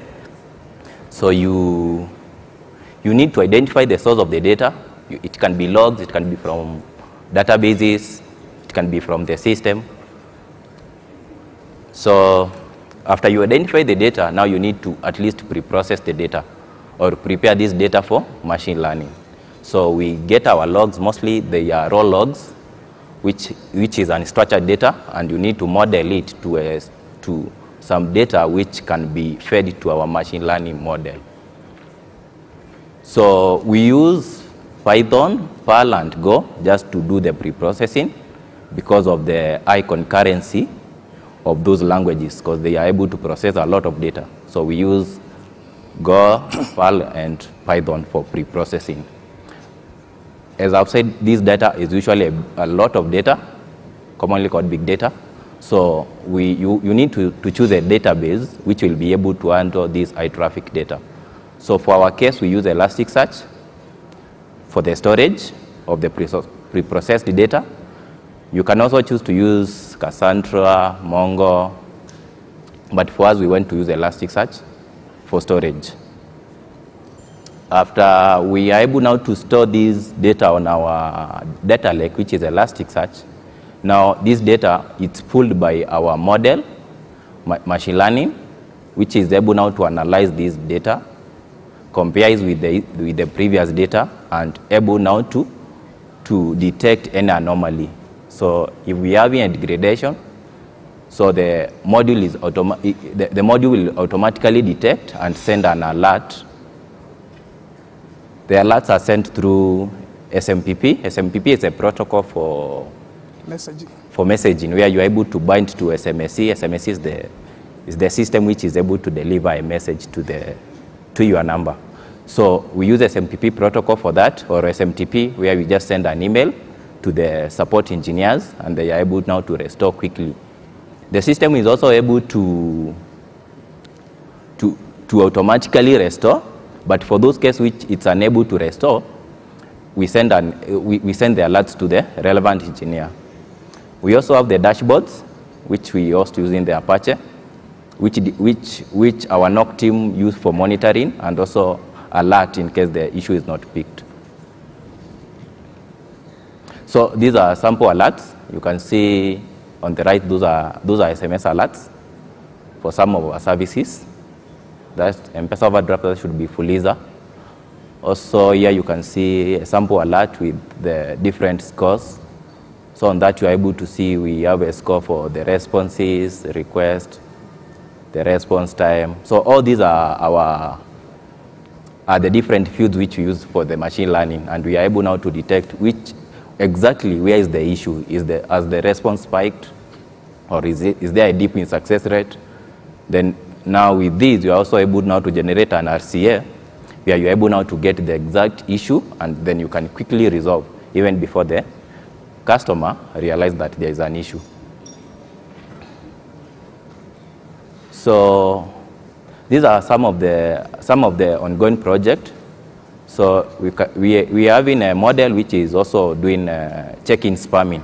At times you get, you get spammed maybe by, by the sender name, partners. Eh? You get maybe some, some spamming, maybe it's a system which has behaved. So we are also doing monitoring where we are able now to, to check the frequency of the SMS sent to, to, to subscribers number. And, and, and from, the, from the pattern we identify, we are able to identify if, this, if the sender name is spammy, and if it's spammy, we put it a candidate of spammy, then we, we are able, it's now able being, being able to be reviewed and necessary action taken. So I'll take you through a demo briefly just to show you just show you the, the dashboards. Please connect. Connect. Mhm. Yeah, it's Okay, there. so.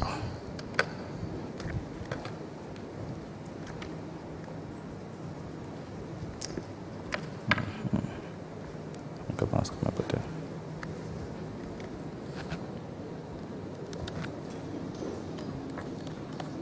Mm, Ndio hiyo ilikuwa imekuja. Okay, okay, okay, okay. There was fast.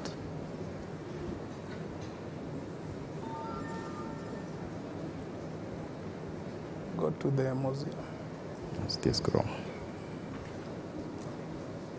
So we give it some few seconds for the platform to come up.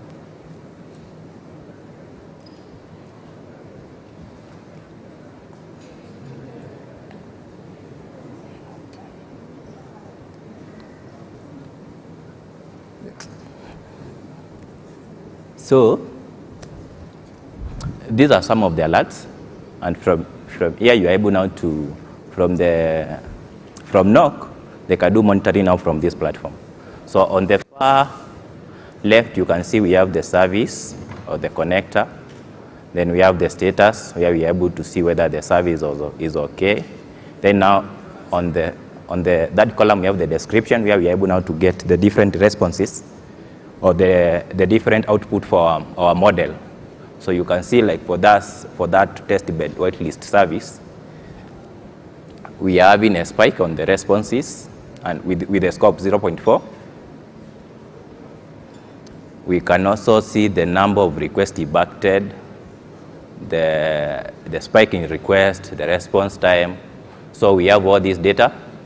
We can also see the start time for this particular issue and the duration it, it has taken. The same alert has also been sent through the different channels I've showed on the previous slide where we were able to see the, the SMS and email alert. So this has already been picked and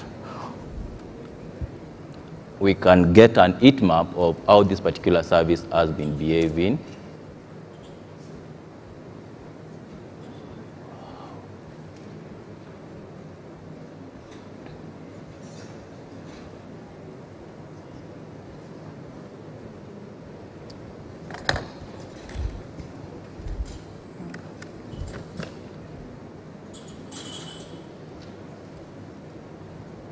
So here we have a graph. The green means the service is okay.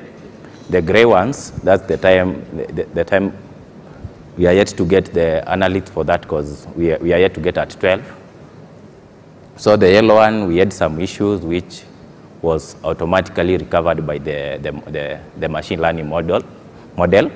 So from here, you just have a brief history of how the service is running.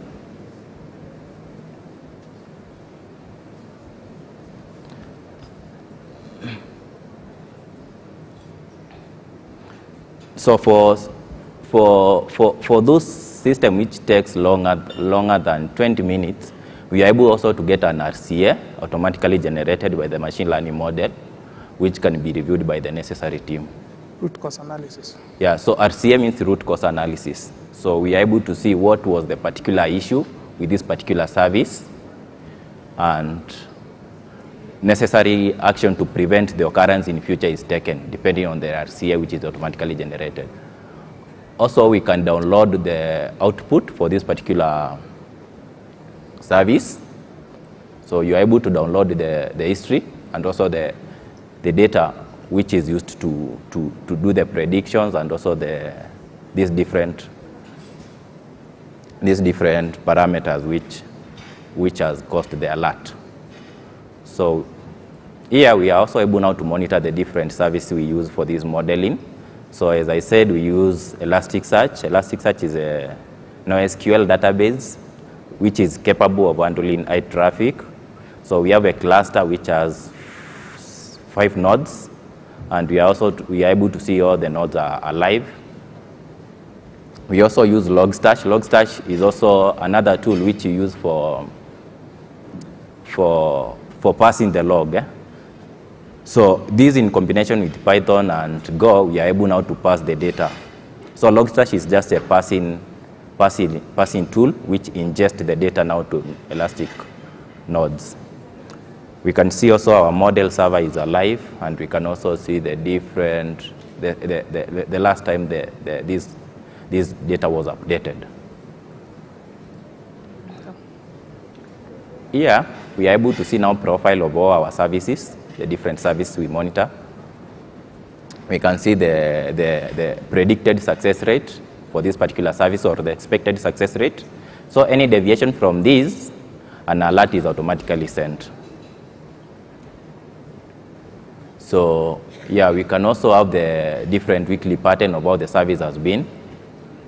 So here you are able now to see the, the pattern for this particular service. So any deviation from the expected pattern, an alert is automatically sent by the alerting tool and the monitoring tool. Yeah, I think that's all. Yeah, thank you, Emmanuel. So, yeah, so that's, um, we wanted to keep it brief, uh, just to showcase how we're using AI. Maybe if there's any question we can take, but um, that's, that's it.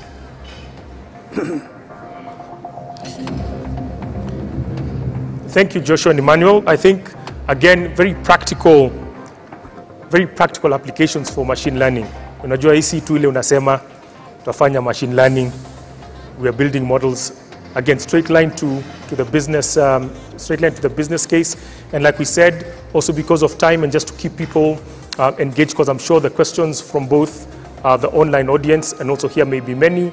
We're asking them to go onto the socials using the hashtag safaricom decode please ask your questions there and the teams are looking through those comments and, and that feedback and they'll be able to respond to you uh, to you directly so another round of applause for joshua and emmanuel as they leave stage the next presentation is on DevOps by the team that do pipeline for automation and software delivery within Safaricom, looking at continuous improvement and delivery frameworks. Peter Kiptanui, stage is yours. Karibu.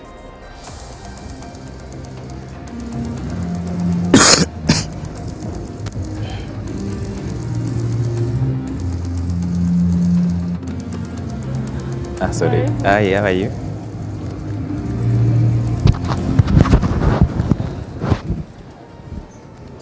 Hello, hello. Good morning. Um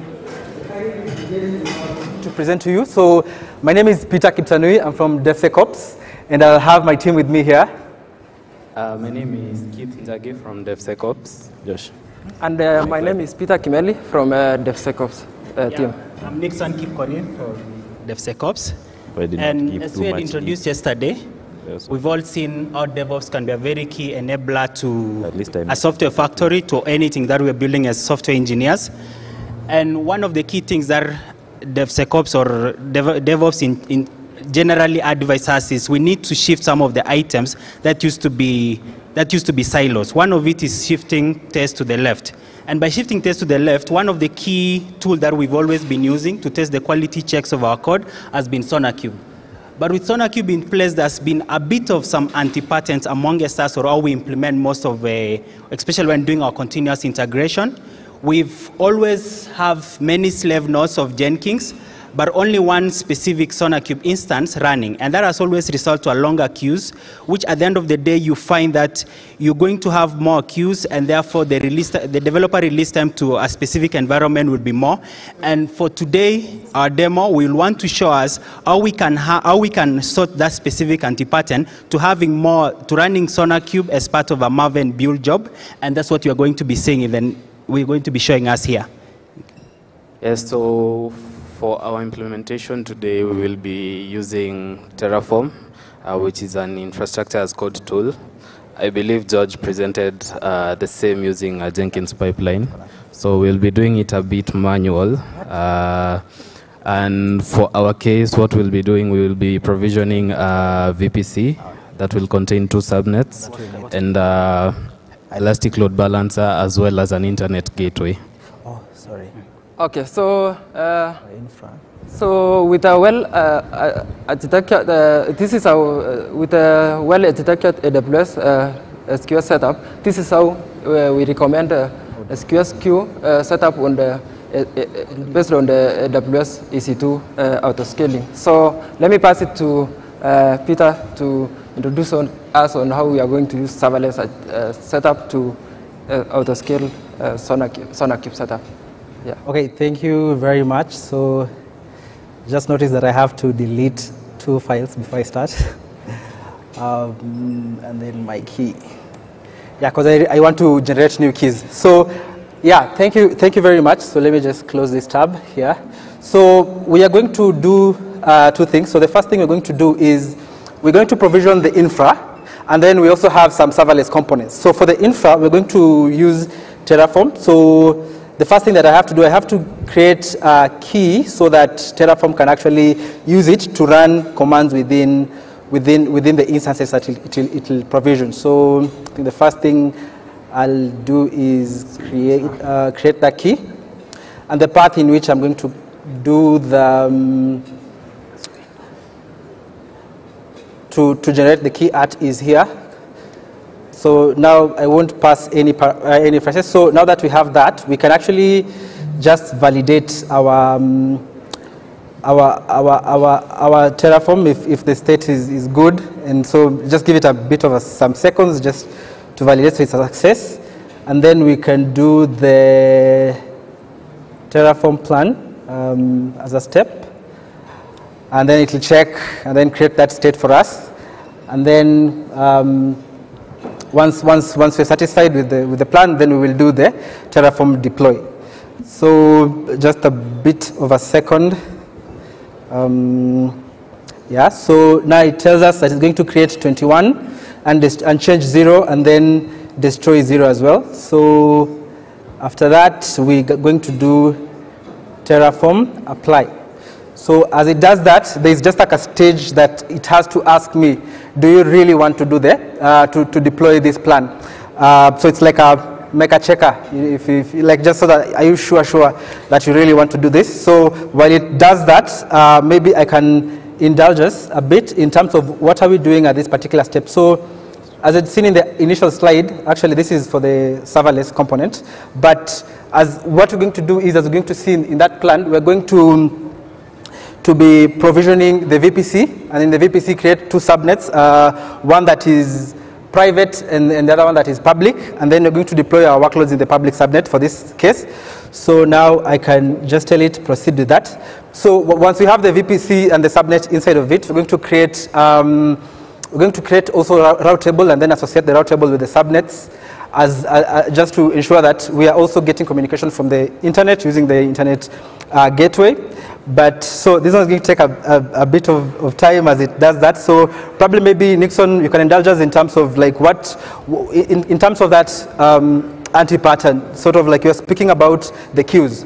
So maybe you can indulge us in, in terms of how that can affect the, release, the developer's lead time to release. Yeah. Mm. So when it comes to DevOps or DevSecOps, the key metrics that we have to follow would always be one of the four metrics that we follow in DevSecOps is deployment frequency, time, lead time between the time of code commit all the way to a specific environment. And when you find out that in a, in a, so in, that means that in every step that we have to go, be it continuous integration, continuous deployment, eh, it has to be very short period of time so that we can be able to achieve those specific matrices. And if you, in a, in a case whereby most the anti-pattern has been, you have one Jenkins with several slaves, and we always, we always find that in some build stages, one of it being called JEX, or when you are doing some security, when you're doing some quality scans, you'll find that if one specific stage takes longer time, regardless of the slaves that you have, the nodes that you have, you'll still have to wait a similar time. And what we came to think about is instead of running SonarQube as an instance of itself, because if it is within a given stage, it will still take more time since it is. So think of, um, let's bring it this way. Uh, with SonarQube being, because SonarQube is going to be one of the stages in our continuous integration, if it takes more time, it's still, regardless of the slaves you have, it, it, it will still um, impact our lead time or release time. And therefore, with our case here, we are running SonarQube as, as, a, as, a build, as a build instance which can auto-scale depending on the demand. And in this case, we are, it's, a, it's a pattern that we ran, we run SonarQube as one of the build stages instead of having on its own specific environment. And that's what we're trying to achieve here. So with the inference code Terraform, which we had been introduced earlier, that is what is helping us to provision the environment, to set up those specific instances, and then achieve the, pattern, the, the, inf the you've seen the architecture diagram that we have there. That's what we're trying to achieve by doing this. Yes, and also I think there's also the, the, element of cost. So you had Rono speak of in the cloud, we also have to manage our costs. So the good thing with the auto-scaling uh, uh, uh, group is that as is mentioned, so when the demand is high, so for example, maybe it's a day where guys are doing a lot of deployments, you can provision for many instances of Sonar, and then it'll, it'll shrink, it'll, it'll scale in when there are no major uh, deployments, for example, in that particular night or, or day. But another thing to mention is that, so right now, the, the reports are stored in a Postgres server, which we've provisioned, and the SonarQube instances, when they boot, they will connect to that particular um, Postgre MySQL. So right now, it's still creating the AWS table uh, in the public in the in the public uh, subnet. So just a bit of time, and then so also another thing to mention: there's an ELB that is being created, and it's actually one of the outputs that we have. So we're going to get the the the the uh, the EL the ELB URL uh, public URL. Yeah. So you can see I have. Uh, I have a security police for, for Spring Boot. So inside these images, we have a golden image for the Sonar itself. So inside the images, what we're doing is we, um, we, we, have, we have a, a, Spring Boot application that is an SQS consumer. So the way in which, uh, and I'll speak of, of this architecture as, as we continue to build so that you understand what is happening. So in the Sonar stage, what we'll be doing, we will be passing, we'll be passing that message to the SQS to be queued there. And then, and then we have a job that checks checks, checks the SQS, what is the length of the messages we have there, and then it computes the number of instances we have in our auto-scaling group. And then it returns that metric to the CloudWatch, and then CloudWatch will take this, depending on the latencies that you have predefined, it will trigger an alarm for it to scale out or scale in, depending on the ratio that you have in terms of the length, or which is the, the, the jobs that are in the queue, vis-a-vis -vis the instances that are already provisioned. So it is taking a bit of time, but I think it's about two Let's just give it a few seconds. But the ELB is being created now. I think that's one of the last things to be created. So if you see the Terra ELB, it should be okay. So the launch configuration, the workers are still being created. So just a bit of time. It's taking, I, I don't know, it's taking a lot of time. Maybe there's a lot of workloads in that particular place. So um, let me also speak of now the, the second stage to my, to my uh, deployment plan is the serverless framework. So yes, we have used um, Terraform, and Terraform is actually good for infra-infra, like we're talking about VMs and stuff like that. But then AWS also is heavy on on uh, of serverless uh, frameworks, uh, of serverless components. For example, your SQS is a, is a serverless uh, component. For example, your um, SNS, uh, those kind of items. So in this case, if you see in that diagram, so for the things like, for example, the Lambda functions, I'm creating them using the, the serverless framework. Um, I, uh, so yeah, so we have, we have the, we have the two um, Lambda functions that we're going to provision using there. The, um, the serverless framework itself. So it's a, it's a node application. You, you can get it on the repo. And then you initialize that project. And then you can do your deployment. It's just like Terraform, but now specifically for, for the serverless components. I don't know why this thing is taking too much time. Um, but let's just give it a bit, of, a bit more time. So it's saying it's 1 minute 50. So I think by one minute, by two minutes thirty, it should be, it should be, it should be done. Um, Talk about the reports. Yeah. Uh, so wait for this to finish up the setup. If there is any question, you can air it out, especially on the diagram bit and any other suggestion that we could have on that.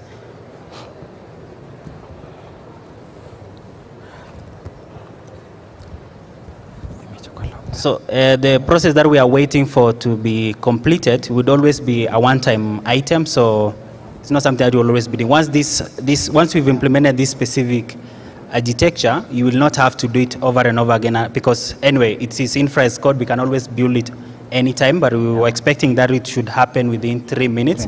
But it seems it's taken a, quite a bit of time. Yeah, it's, it's saying two, two minutes, 40, 40 seconds. So also the, good, the, beauty with, the beauty with implementing it in infrastructure as code, like using Terraform, for instance, is the ability to recreate this. Should, should it be found like it's a golden way of implementing your SonarQube, you can actually recreate this by just doing the, the, the, the Terraform uh, plan and then apply. And then if you want to destroy it again, you can also always destroy it. So it is sort of like um, a, a good thing to have the state of your infrastructure being maintained being maintained in code. As well, I think, the, I think in the developer community also, there's a challenge in terms of how do we how do we put our Lambda functions in code as opposed to just going to the console and then editing your JS file there and then uh, deploying it on, on, on, on, on, Lambda, on the Lambda functions. So if you have the, um, the, the, the serverless framework, you are at least able to just do a git push, and then you can have these uh, particular uh, stages run to provision those, those particular serverless components. Um, I don't know what's happening. Maybe the US East 2 today is busy or what, man. Like it's taking forever to provision these things. So let's give it like, say, a minute. We see it complete. I don't, I don't think we're going to go to the serverless one, but just a bit of time. Maybe we can.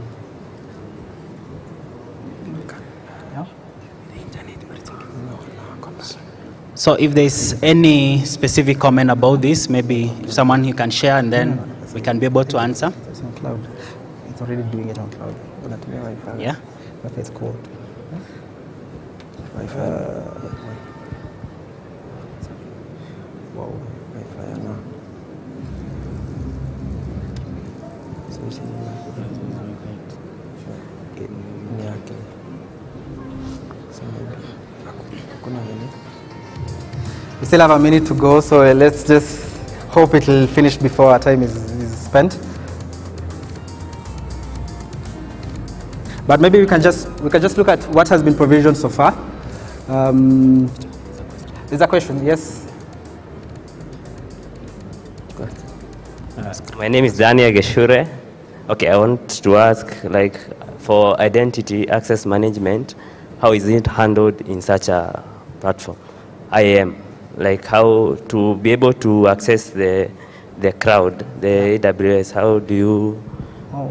in such a setup, when you are using Terraform Yeah. to to to to be able to provision your your your services on, for example, now you are you are provisioning a, a virtual private network. Yeah. So how do you first because you have to first uh, be able to be authenticated to be Okay, okay, sorry. Yeah, so you, you, yes, I, I, I get your point. So how do you, so when, whatever, whatever is happening here, you already have uh, pre-configured your, your credentials, yes, you're right. So we have the API keys, the, key, the secret, and the key ID that we already set up. I can't expose it on the demo though. Yeah, thank you, thank you for that question. Uh, I think, I think we're suffering data uh, network issues or what, but um, we haven't complete, let me see. So it's still running, but I'm seeing Uh, I think to add on what Peter has said in matters of authentication, uh, we also use tools like TruffleHog to limit uh, not only developers but also ourselves committing these very same secrets to the Git repositories. So uh, we recommend the use of things like uh, whatever tool you're using, there's a provision for a variables section. So whether it's GitLab, there is GitLab variables. Whether it's GitHub, there's the same for that. the But GitHub Noah did it with his. And I mean, it's uh, we advocate for these as pushing the secrets within the code is actually a security risk to not only you but your organization at large. Yeah. Yeah, I, th I think we'll, we'll end it here. Sorry again. I think it's the network, I suppose, but yeah, it was, it was a pleasure uh, presenting to you. We would have wished to go to the serverless uh, framework, but yeah, thank you. It's been a good audience. Thank you. So we are still around if you want to still follow up with this and check if the environment is done. So we just, Yeah, find us at our desk, hapo nyuma. Thank you very much. Thank you so much.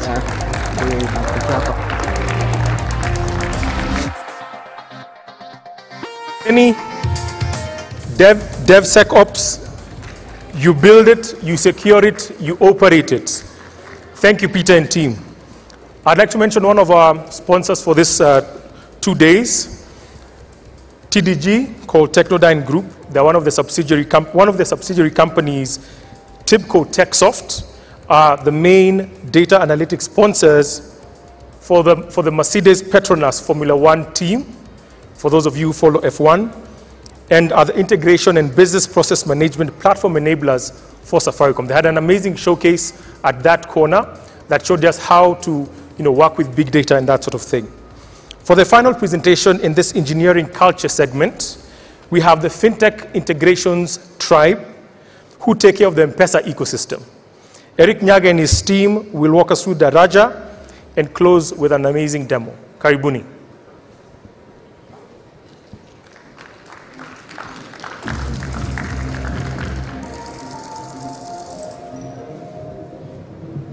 Good afternoon, everyone. My name is Eric Nyaga from the Daraja Squad under FinTech Integration Solutions Tribe in Safaricom. And for us, we usually deal with the M-Pesa APIs. Um, by now, perhaps you've come across the word Daraja. And um, I'm going to be taking you through what it is all about. But first, let me just give you a brief introduction. So today, I'll be presenting on my own, but the rest, the other team is just behind there taking care of thi- things so that we keep our developers happy. Um, so we have um, we, we, we- we've, uh, we've, we've um, come up with a, a few um, platforms, or we've availed two, uh, two platforms uh, in the last uh, few years. And uh, one of the main, and I can actually say the main objective here is to make sure that we open M-Pesa as a, as an, as a platform so that uh, businesses, innovators, developer communities can actually use the power of M-Pesa or leverage on the power of M-Pesa to actually power their innovation and solutions. So um, over the last, um, I think, let me just say, since 2014, we started with a platform that was called Broker. Um, the reason I'm using the past tense is because uh, uh, late last year we decommissioned it and replaced it with another platform called Aggregator Platform. So on this platform, we were availing the M-Pesa APIs in SOAP, um, which is Simple uh, Object Access Protocol, uh, one of the um, early um, protocols for web services. So um, in 2018, um, we, we realized that there's a growing uh, community of developers that are actually very interested as far as um, uh, the mobile money is concerned. The fintech space is really growing, and right now it's a reality. And uh, we thought, well, why don't we come up with a platform that developers can actually come and consume the, the, the API products that we have and the use cases that M-Pesa avails um, in a way that it's easy, uh, self-service, and they can actually take part in terms of the develop, uh, development of the platform. So Daraja is our, first self-service portal, which is available over the internet right now. If you go to developer.safaricom.co.ke, uh, you land on that page. Um, and this is where we've exposed um, at least 11 APIs right now, where you can actually interact with them on Sandbox. Um, you, can, uh, you can have a production-like experience as far as the various APIs that I'll take you through are concerned. So um, when, when it comes to um, uh, REST, today I'll be focusing on Daraja, uh, which is now at 2.0 version. And um, as far as the APIs are concerned, uh, we are using REST as opposed to SOAP, um, uh, which is this, this is one of the most common uh, protocols as far as the APIs are concerned. And Daraja right now uh, uh, has, uh, has, has a number of um, a number of APIs that I'll show you, and also you can see we have actually been able to get a huge developer, developer community over the last four years. Right now, we are sitting at 50,000 and over, and this keeps growing every day because we get new developer accounts created every day on the platform. We also have these developers have been able to also deploy 30,000 plus applications on production. And I can tell you the traffic is growing each and every day. And this, as you can see, is something that is slowly turning from a product within Safaricom, but also a platform that is actually owned by the developer community. And today I'll be showing you some of the things that we are doing around that and some of the things that you can expect in, in, in, the, in the near future. So what do you need to access Daraja, for instance? Um, so previously you, you had to go, you know, get a VPS or a virtual private server, uh, do a VPN tunnel or an MPLS link so that then you can access the API platform that I mentioned earlier, Code Broker, which is in SOAP. But now, right now you just need an internet connection. So if, with internet connection or a shared domain, uh, I mean, a, a, a, hosted domain somewhere in a shared, uh, in a, in a shared um, uh, host, you can actually consume these APIs. So um, what you need to do is access the developer account, developer portal, uh, that URL over there.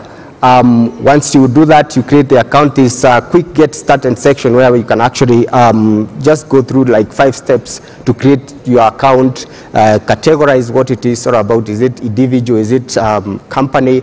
And all that. And then you can create your first sandbox uh, application or test application, and you'll be automatically um, allocated the test credentials. Um, so you need skills in REST, developing in REST, of course. You need some coding, understand JSON, uh, and all that, so that at least even as you even as you interact with the APIs, you you have you have um, you have the, the capability to you know troubleshoot, do the uh, uh, the service deployments and all that. All right. So these are the APIs. These are just some of the APIs that you can find on Daraja right now if you go to that portal. Um, we have dynamic QR, which is the newest. We have C2B, which is one of the most common APIs. We have B2C, reversals API, M-Pesa Express, account balance, pool API, and transaction status query. So uh, for those of us who have interacted with the APIs, um, M-Pesa Express is by far one of the highest consumed API products on that platform. And I can tell you, a lot of us have actually interacted with it. If, if you've gone to uh, an e-commerce site, for instance, and you actually check out and you, you just enter your phone number and you get that prompt on your phone requesting you to enter your M-Pesa PIN. That product, that interface that powers that experience is the M-Pesa Express. So when you go to Daraja, you'll be able to interact with that and you'll have a live or a production-like experience um, uh, as far as that, that, that API is concerned. So um, I'll quickly go to the dynamic QR. Um, so this, simply put, is dynamic, is just QR that is dynamic. Uh, previously, um, we, had, uh, we, had, we, had, that capability or that uh, feature on, on, on, on, or rather, it's still actually there. Uh, what you could do is just go to the M-Pesa app, and then if it's a till, you have a printout or a QR display where you can just scan to read the, the till number, and then you enter the amount and complete the rest of the payment journey. So right now we have this API, and what this does is that it enables you to actually uh, dynamically generate not just the till number, but this time even the amount. So let's say you are at a PO, you are, you are, you are using a POS system. You are using a POS, and um, you have a screen there that can actually display a QR. So whenever the, uh, you know, the customers are just coming to check out, uh, they just need to scan that QR and they get the till number, for instance, the amount, the only thing they need to do, if it's a buy goods, is just enter the PIN and complete the journey. So this is now open for developers out there to innovate around. You can think of all those use cases that you, that you have uh, on e-commerce, on POS systems, and all that. So this is one of our newest, and we are excited to invite every developer in this in the community to actually interact with it. Even as we improve on it, uh, you, you get and you, you also contribute to the to the to the same using uh, by by giving us feedback. All right, so we have the customer to business API, which is um, uh, one of the most common APIs. When you go to a, a supermarket and you want to pay for your shopping, um, you, you enter your till number, your, your, your amount, your PIN, and then complete the transaction. Then the transaction details are already captured on the POS system, so you just need to confirm the phone number, and that deal is done. So this API is also what is the one that enables you to purchase your tokens uh, within a second and you get your, you, you complete the transaction. As the M-Pesa message comes, you have the KPLC token message in your inbox. So this is the API that allows that, that enables that. And we have so many other use cases that you can see here, um, including mobile banking, that is M-Pesa to bank deposits. This customer to business API uh, enables you to do that. So these um, uh, also you have the B2C, which is like the opposite of that, uh, whereby you can send money from a business to a customer. Um, a very common uh, use case or application for this is when you are withdrawing money from your bank to your M-Pesa wallet. So what happens is that the bank has consumed this API, has integrated to this API, that then they can quickly uh, initiate a transaction directly from their banking system to the recipient's mobile number and they receive it within, um, within under a second. So this, this, this, this and, uh, this and uh, other APIs that I may not be able to talk about uh, because of time uh, are the APIs that as developers, you just log in there, interact with them, and we have more coming. A lot of features are coming as far as the portal is concerned and even the experience is concerned. We've gotten a lot of feedback from the community and you've seen, hey, this is no longer our platform, this is the community's platform. So um, uh, uh, I'll just brush uh, through the others. So we have account balance, which allows developers to actually check or businesses to check the balance in their business account. We also have the API that enables uh, businesses to automatically initiate transaction uh, um, from their accounts. For instance, if you made um, uh, a deposit to say uh, a bank account or even made a, a, a, wrong transaction to a till, they can actually use this automatically from their system to initiate that reversal. Um, we also have transaction status query, and as the name suggests, this one now gives you the opportunity to or the capability to check the status of a transaction that you might have missed a notification or a confirmation message for on API, and it will also give you additional information. So if, for instance, you missed uh, what we call uh, callbacks for the APIs, this API will enable you to actually fetch or get that status, the status of that transaction so that at least you, you can do the reconciliation or the other uh, processes that are involved. All right. Um, today I really wanted to talk about best practices as far as the APIs are concerned. Um, we have things that we have to do at, uh, as a squad so that we make sure that the experience of the portal is concerned. And there are also things that we can give as tips to the community so that you make or you get the most out of that portal as you interact with the products that we have availed. So these are just some of the uh, uh, uh some of the tips that we felt would be great if, as developers, we can actually pay attention to them. Um, when you're interacting the APIs, especially for the cases whereby you're not just doing it for, uh, you know, uh, testing the platform, but rather also want to deploy the production, the, the solutions to production. What you can see are, are basic principles as far as, uh, uh you know, any software development is concerned. But they are key because as time goes by, um, uh, it is easy to ignore them because we have uh, platforms that are automating some of these things API uh, library, uh, uh, SDKs, API uh, libraries that are actually automating all this, but it is also important to make sure that is taken care of. So number one, please always read the documentation so that you make sure that even as you consume, let's say, M-Pesa Express, you are able to know which parameters are to be passed in what format. For instance, when you talk about um, the till number, if you're passing your till number, what format is it expected to be in? you can assume it's going to be a number, but when you pass it in, in a different format, then uh, you might be challenged with, by, by um, basic errors because of that particular format. Uh, and if you just go through the documentation, it's, it's, going, it's going to be an, an, an issue in that you'll be able to, by the time you do your code, you'll have taken care of that. Uh, I can tell you, we've seen cases whereby developers really struggle with that as far as the business shortcode is concerned. Um, it's not just the format, but also the parameter spellings. Business shortcode, for instance, is supposed to be in camel case or uh, lowercase or uppercase. All those things are important. And you know, if you pass in any other, any other format, all those will be issues that you'll have to deal with. Um, you can see all the other things to do with the optional parameters, which is one of the things that we've seen, especially during the data minimization initiative that we previously initiated.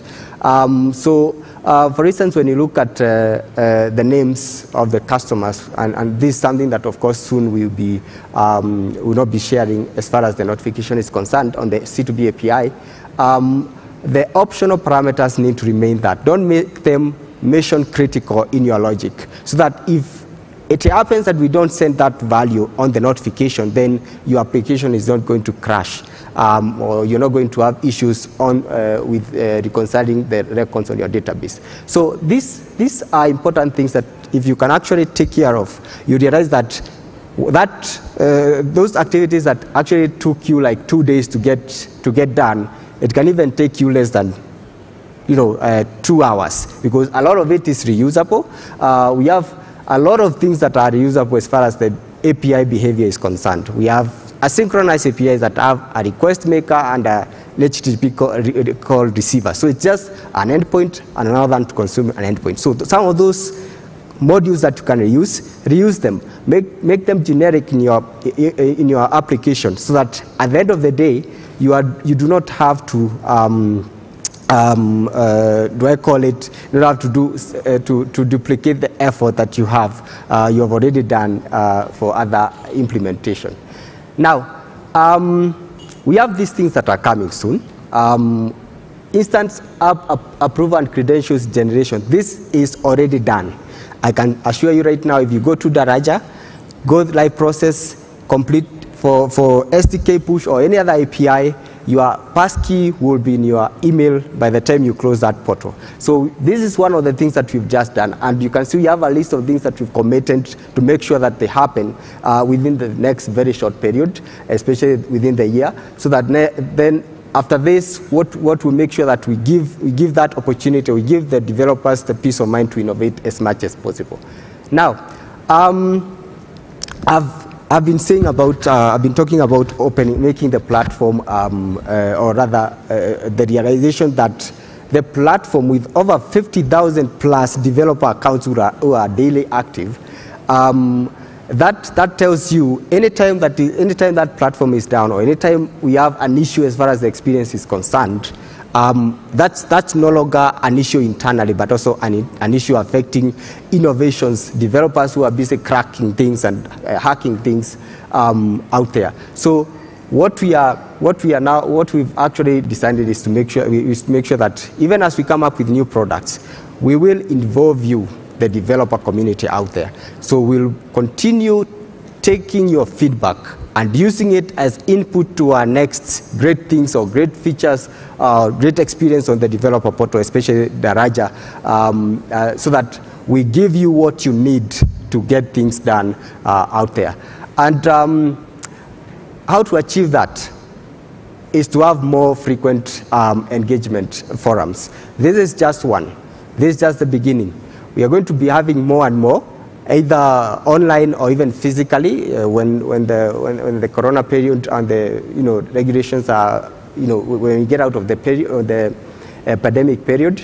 And at that point, we'll be able to even ask questions, interact with the squad, ask, give them that candid feedback, because that is what we really need to know what pain you are, you are feeling out there when you're interacting with the platform. And uh, in that note, I would like to invite you we've come up with a Telegram group or a Telegram channel whereby we, uh, we want to make sure that we interact with you every day. Every day that we are coming up with a new product. Every day we are coming up with a new experience as far as the, the portal is concerned. We want to engage you so that you can be part of that development team. And kindly scan this QR. It's, it's going to take you to that Telegram channel, and we are going to be having um, uh, a lot of great things in that in that channel. Other than just the co-creation opportunities, we'll also be able to, um, you know, uh, have you guys suggest what you like. Um, we can even get that feedback in real time if you are facing any errors. Let's troubleshoot them in that particular channel. So um, as I wind up, I would like us to just scan this, join us there, let's get things going there. Because I know we might have a lot of questions after this, but the team is on standby to make sure that we respond to those queries on this platform.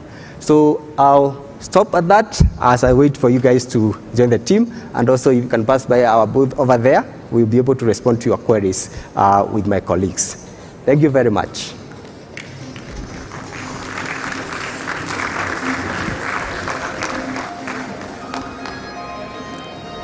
Thank you, Eric, especially for those best practices.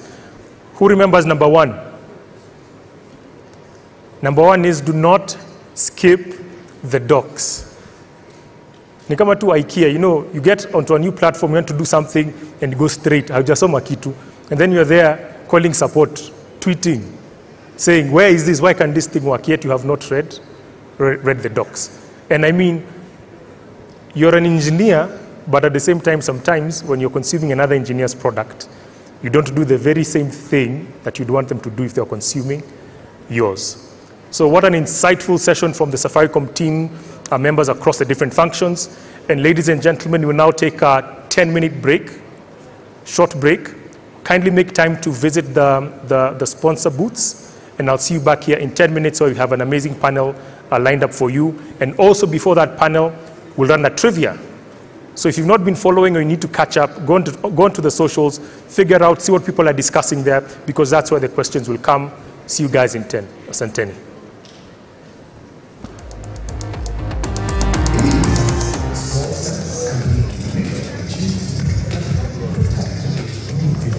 And accessing your office network from anywhere enables you to network with people because being connected is an advantage. Orders must be processed, tracked, and delivered. So you can move from ambition to success. Feels like Cloud 9. And being on the move takes vision. Let's help your business be built for bigger with Safaricom Tech Solutions.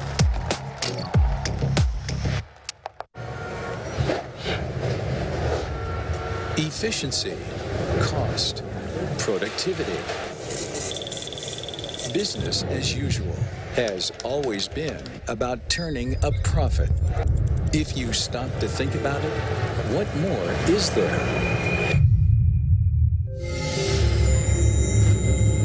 The universe, nature, life, civilization as we know it is about the search for something greater than ourselves. Huawei Cloud is innovating technologies to make the world more inclusive. The cloud, AI, 5G are building a fully connected, intelligent world. They do more than drive digital transformation. It's a new paradigm for innovation. Imagine, if you can, what amazing secrets await when we unlock the secrets of the universe. What cosmic answers will we learn? AI can help preserve in the rainforest by identifying the sounds of gunshots or the sounds of illegal logging, protecting the most precious sounds, birds, and trees for generations to come. In cities around the world, we can collect traffic data and analyze it to improve transportation and bring order to a chaotic world. Even reporting the weather can be improved with AI. With more accurate forecasts and timely alerts, we'll travel safer and get home to our loved ones. Also, so many delicious flavors, chili, herbs, and spices automatically selected to improve flavor, quality, and nutrition. Delightful flavor explosions to dazzle our taste buds. A cloud for everyone, unleashing the power of innovation, making every day better. A cloud for pervasive intelligence and a better future. Huawei Cloud. Grow with intelligence.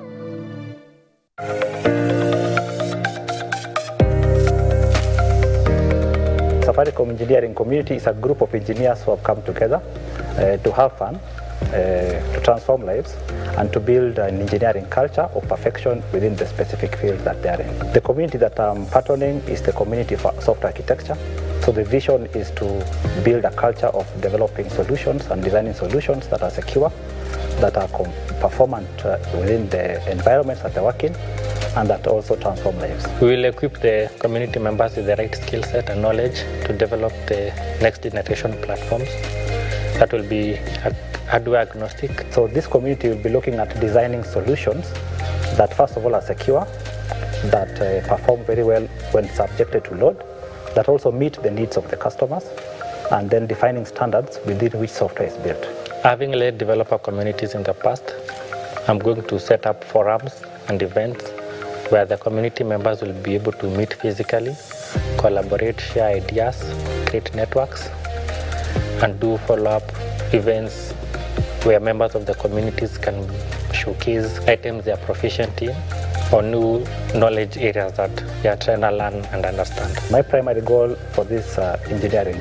community will be to bring in experts from the market to work with young engineers to grow their skill, to share engineering practices, and then also to give them a platform where they can show guess what they're doing. A strong community has is made up of people with different skill set, both junior and senior, We're able to collaborate freely, share feedback, receive feedback, do knowledge transfer whenever they meet, whenever someone reaches out for support.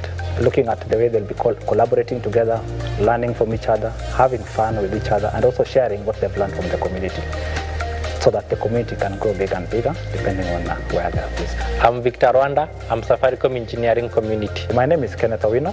I am Safaricom Engineering Community. What a great conversation we've been having so far. I see so many of you really enjoyed Eric's presentation, and I'm glad that you did. I've seen so much love for him. First of all, Wadi, you say that um, Daraja is proof that software is about simplicity and solving basic problems. Absolutely right. We just had the conversation with um, Ms. Munyua, Alice Munyua, and she said the exact same thing. I think Eric reiterated that with his presentation for sure. Um, Davis Matengo, great presentation. Your slides are clean and well put. That's to Eric. And then, of course, some very technical questions, which I hope hope you'll get answers to in the group in the group chat because you guys are very active. Clinton is asking, due to the introduction of data protection policy, what is the solution for businesses who need to send confirmation, confirmation messages to customers after pay payment while we get masked numbers? He says we always we do not always get STK push. So that's a very important question, and I can see there's a conversation happening around that. But I'm really glad at how well you guys are engaging with us. We also have people watching on LinkedIn as well, not just here on YouTube. I see Dennis Chacha. Uh, um, who is feeling um, very nice and very happy with the conversation. And Abdul Aziz Hussein, who says it's a great presentation. Um, and we have a couple of other people from all over the country, some from South Sudan. Yesterday we had guys from all the way in Canada and the US. So thank you so much for being with us. I've been playing a game with you, collecting passport stamps. If you've been keen, then you, you already have two stamps, okay? I'm not going to say what they are because you have to be there for each part of the day to get all the stamps and collect 500 bob at the end of the day. But just in case you've been there, this is your third stamp stamp, collect this name, Joseph, Joseph Fourier. I hope I'm saying it correctly. F-O-U-R-I-E-R. F-O-U-R-I-E-R. That is your stamp for this session. Remember, if you collect all of them at the end of the day, 500 bob worth of airtime. I've still got a lovely gift hamper there with an Evo pad, a notebook, a power bank, a hoodie that you guys have been asking for. So please do stay engaged with us. I'm having a tiny fireside chat, uh, fireside chat now with uh, Lenin Oyu, Sembo Oyunga, who's going to join us. He is a senior director for global product solutions at Oracle. And let's just have a talk with him and figure out how Oracle comes into play, what opportunities exist there, and how the Safaricom, the very first Safaricom Engineering Summit is going for him. Welcome.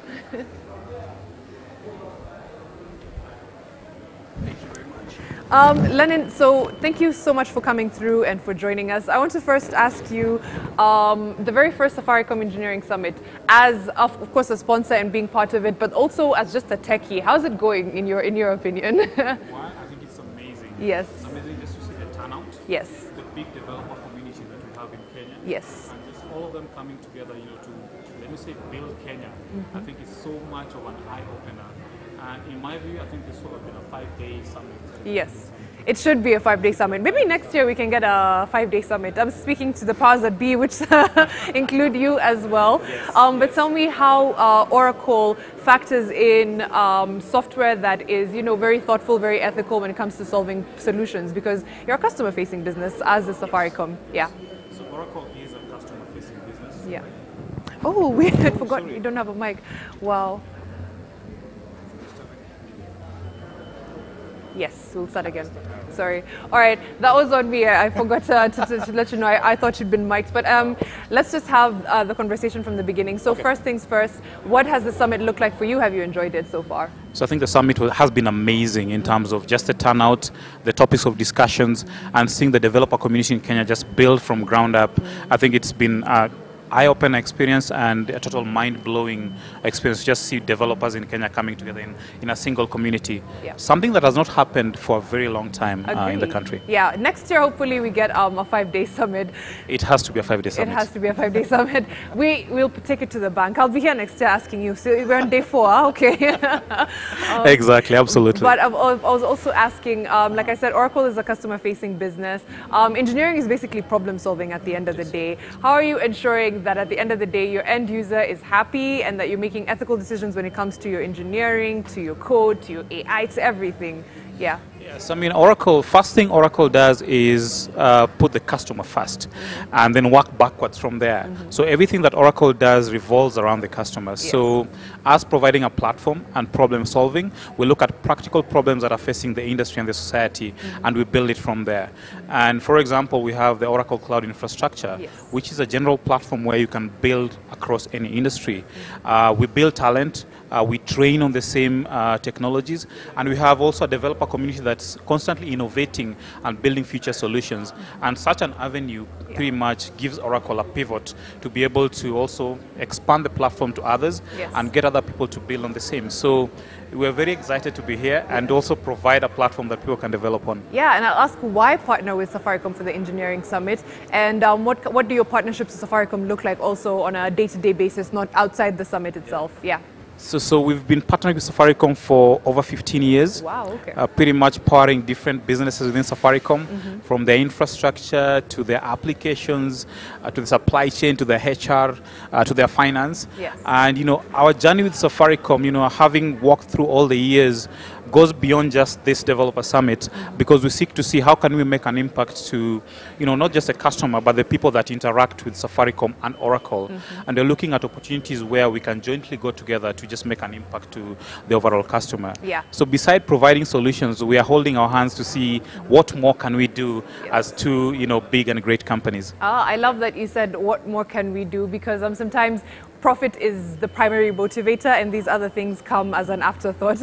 and we've had quite a bit of that. Um, yeah. I'll ask just from a tech mind, what do you think makes um, a good tech company? What separates a successful tech company from a not successful? What, what, and what determines who's going to be a startup success yeah. or a startup failure? Or in general, yeah, just longevity in this industry? Uh, I think a couple of things. Yeah. Uh, one is agility, because a successful tech company will have to be very agile in how they operate. Yeah. Because we're in a world where technology is just becoming faster and faster in terms of adoption, mm-hmm. and we have new things. Uh, secondly, is capacity. I mean, a good tech company will have the capacity to be able to move fast.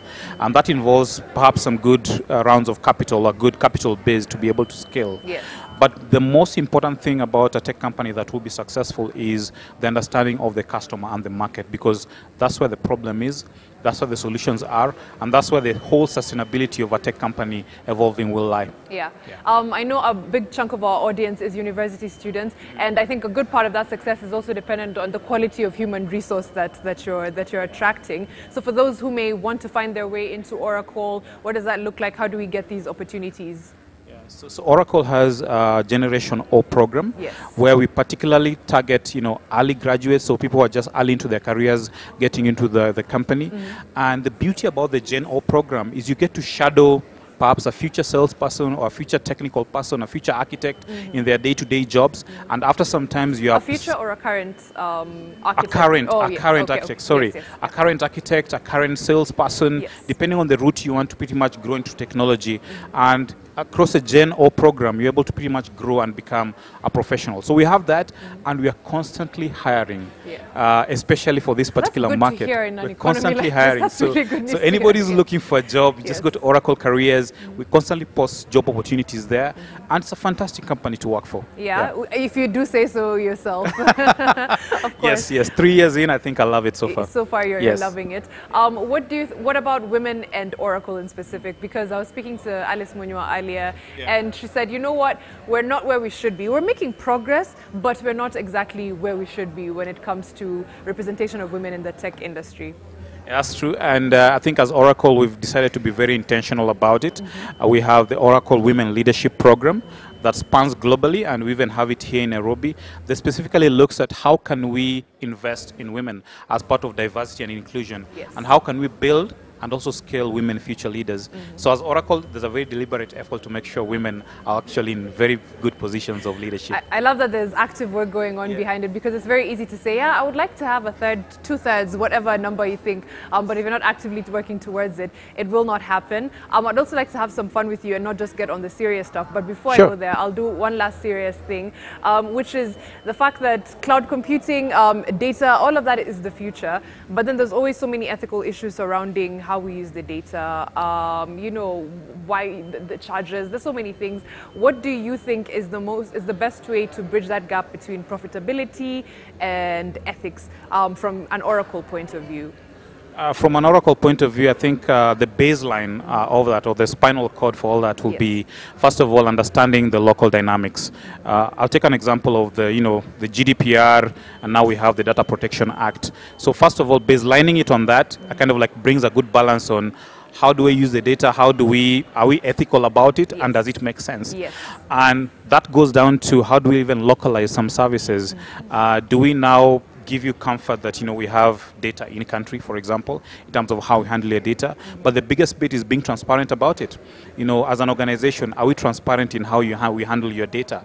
Are we transparent in how we deploy our solutions? And are we true to it? I think once you do those, you're able to pretty much, you know, do a horizontal across this, let me call them pillars in this particular instance, Yeah. and, and solve the solutions. And um, you mentioned localization, and I went on a different tangent. I think sometimes we problem solve while thinking globally of tech as a global thing without really putting into perspective that uh, things are different here than they are perhaps, you know, at Oracle's home base and elsewhere. Uh, what would you say are the, the biggest opportunities operating in Kenya for Oracle and the biggest challenges? I think the biggest opportunity is we're in a market where you know the growth, uh, you know, the growth gap is so huge in terms of where industries are trying to leapfrog, uh, you know, to be automated for the future, Yes. and that presents opportunities in terms of what we can do better. But the challenge of that is uh, the speed at which we need to address this gap uh, is not yet at that particular level as you would compare to a first world country. Yes. So it's kind of like a give and take situation where you need to leverage on the global strategy to address a local problem with an understanding of the local dynamics. Yeah. And that gives, I think, a very good mix of a very good opportunity to pretty much grow here. Yes. Yeah. So I'll open it up to the audience to ask any questions to you, and they'll be asking, of course, on uh, YouTube or LinkedIn. Sure. They're watching from everywhere. But in the meantime, I'll play a game called Two Truths and a Lie. Yeah. So you start. You just give me two truths about yourself and a lie. I'll try and figure out which one is is the lie, and then we'll switch it back. Okay. Yeah. Uh, so, so introvert Okay. um, plays uh, basketball, Okay. plays golf. Introvert plays basketball. Plays all. All three seem very plausible. Hmm. I don't want to go with the. I'll say you're. You appear extroverted, so I'll say that's that's the lie. I could be. I, I guess I'm looking. You look. You're looking like I'm wrong. Am I wrong? You're very wrong. Oh no. Okay. Do I get a second guess? Let me give you a second. Honestly, if I get the second one wrong, I I will just leave this here and I'll let you take over from me. I'm doing terribly. Um. Second guess, plays basketball, plays golf. I don't want to, to just be obvious about it and say Lennon is tall, so of course he must play basketball, but tall people play golf too. It's a hard one, right? It's a hard one. Let me go with plays golf. Wrong again. Uh, I, God. Okay. Am a So terrible the, the two truths, uh, Uh-huh. I'm an introvert. Yeah. I'm introverted and uh, I play golf. Yes. Uh, I don't play basketball. Wow. Okay, so I am a bad reader of uh, faces, I guess, or liars. That should not. That's not very. That's not a very good thing. Again, keep the questions flowing online. uh, But I'll also um, do two truths and a lie so that you can see if you're a better judge of character in quotes than than I am. Um, truth. Hmm. I'm a tomboy. I have two siblings. And hmm, what should I do as the last one? This is my first time working with Safaricom. Um, the lie will be you're a tomboy. it's actually a truth. At the core, I am. I am actually a big tomboy. Should I give you a second guess as well? Give me a second guess. Okay, so go for it. I think it's on the sibling side. Um, so you guess I do not have Two siblings, Would you guess more or less? I think more. Would you guess more? More, yeah. More. Okay, it's actually less, but it's fine. It's true. I do not have. Yeah, I only have one sibling. So that's a that's yeah, that's a fair guess. I got it. Um, yeah, it's, it's a very fair guess. I don't know why I, I thought that you would guess it's the fact that this is my first time working with Safaricom. And I was like, okay, no, maybe that's one kind of does not make sense. Yeah. I've seen you before working Okay. Safaricom. Okay, fair enough, fair enough. Um, we'll get to the questions now. Let me just see. I'd seen someone asking um, more about the the opportunities that are open at Oracle for non-tech people. Okay, that's a good question because I think, uh, especially with this being an engineering summit, you assume everyone here is either in software engineering um, or some form of computer science, and, and so for non-techies as well, are there opportunities, um, and what do they look like? Yeah, so there's tons of opportunities because Oracle, being a technology company, uh, has technical people, Yeah. but around technical people are the whole ecosystem. So there's sales, there's business development, there's strategy, uh, there's uh, there's back office, there's finance. So there's a whole ecosystem of opportunities in Oracle beyond just the technical bit that we look at Yeah. uh, as a company. So so my my reply to that is we have let me say all the opportunities Yes. at Oracle. Yeah. Would that require, uh, would a tech background still give you an advantage even when you're applying for something in biz development and, you know, um, back office, fine, you know, everywhere else? Would a, a background in tech help you or give you an added advantage? Because nowadays we have so many resources that Yeah. can allow anyone to be a techie. Should, you know, if you're willing It's, to put in it, the time. it, it could give you an edge on an opportunity because it's a technology company. Yes. Uh, but beyond that is Oracle look at the niche on what you bring on board, uh, despite you not even have a, having a technical background. So, Yeah. uh, you know, you could have a niche in finance without a technical background Yeah. and still nail a finance job in Oracle. That's that's that's very fair. Um, I'm seeing. I'd seen another question. I've just lost it. Give me one second. All right. Um, there's a conversation. Okay, so there's the conversation around data protection that we'd even talked about. Um, now that we have a data protection commissioner, we'd spoken about it earlier with even Alice uh, Munyua. What does does that mean that it's something either to be scared of or to be embraced? I know you said you're very, you know, it's transparency and openness when it comes to comes to your data is uh, is, is is key to how Oracle operates. But sometimes we can overdo things as a country, I guess. Sometimes, you know, and then you're like, okay, this is meant to be regulation, but now it feels like oppression. is that a fear that you have, or you are open to um, data protection, privacy uh, going a notch higher? I think let me start by uh, change. Change is the most permanent thing. Yes. And I think as human beings and organizations, we're all afraid, afraid of change or something new. Yes. So I think it's more of something we need to embrace and change on how we kind of like work around it because uh, there are reasons that we have data protection acts, the reason that we have data residency rules in the country. And I believe technology should be flexible in terms of, you know, uh, being water that fits into a glass. So, so in my view, I think it's something that uh, we should embrace rather than fight because in embracing it, we're able to even find more opportunities. Okay, fair enough. I'll end now with uh, a game that I've played with every person I've had on the fireside chat, chat and I've had very interesting answers, but it's always different questions. So let me see um, what I should ask you. I want to find questions that are better suited for you. So, would you? Ra- this is interesting. are you on Facebook? I am. Okay. Would you rather be stung by a jellyfish or give up Facebook for a week? Give up Facebook for a week. Really? Even if it's a non-poisonous jellyfish. I don't do well with pain. Have you ever been stung by a jellyfish? no, I don't should- wish to. Okay, it's not. It's, it's not a pleasant experience. So I think you've um, got your best answer. Would you rather lose all your contacts or lose a thousand dollars? Wow. Okay. I'd rather lose a thousand A dollars. thousand dollars. Yeah. Because I think. Your phone book is almost, you know, people say your network is your net It's worth. your network any day, any day. so let the thousand go. Um, oh, that's no, that's that's a dumb question. Okay, would you rather watch TV all the time or never again? That's an interesting one. Yeah, I'm not really a big TV fan, so I, I would probably be on the never again side. Yes. Yeah. Is that because you think that TV is no longer engaging for you? I think because the engagement model has changed. It's it's TV, it's phone, it's tablets. Mm-hmm. Uh, so I could do without a TV and still Get all the content. get you all the content Ah, one way or another. You know, so it's so interesting that even my mind has switched. That when I think of TV, I don't think of the box now. I just think of the content. Yeah. So when I said give, up- when they said give up TV, I thought giving up uh, movies Content. and series and everything. Yeah, th- that makes it a bit tougher, right? that makes it tough. Yeah. Which one would be the option then if I said I think up? I- all I'd stay with the TV then. You'd say, okay.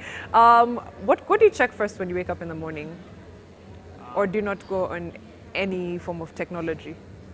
So when I wake up in the morning, I, I don't kind of like go in any tech for, for about an hour. Yes. I usually have a quiet time Yes. uh, to think, uh, kind of like uh, reflect on the day. Yeah. Uh, then after that, uh, I will pretty much go on my phone, and the first thing I will check is, is, is LinkedIn, even before my calendar. LinkedIn before your calendar. Okay, so that answers my question. I was going to ask you between um, your email probably and your social media, Twitter, Instagram, which one do you go to? But clearly LinkedIn. So I guess the email would be the closer, Yes, the closer answer. yes, that's right. Okay, so now we can do conundrums, which are a bit tougher for someone who's in tech.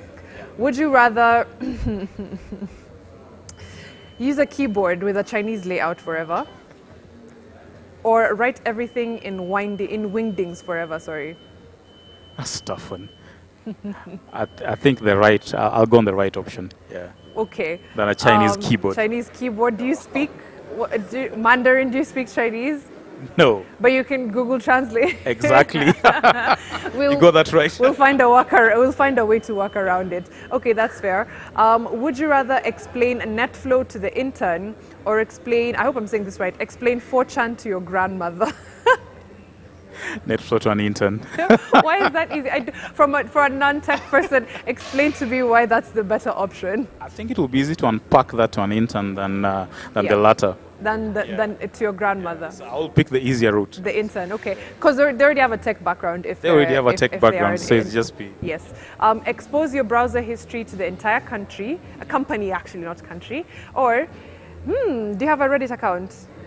No. hmm Share a Reddit username. So I'll tweak that Uh-huh. to your either sa- share your social media DMs with the entire company or your browser company, your browser history with the entire company. Yes. I would, sh- I would share my social media handles No, no, not DMs. DMs, not handles. or DMs. Yes. Okay. yes, I know.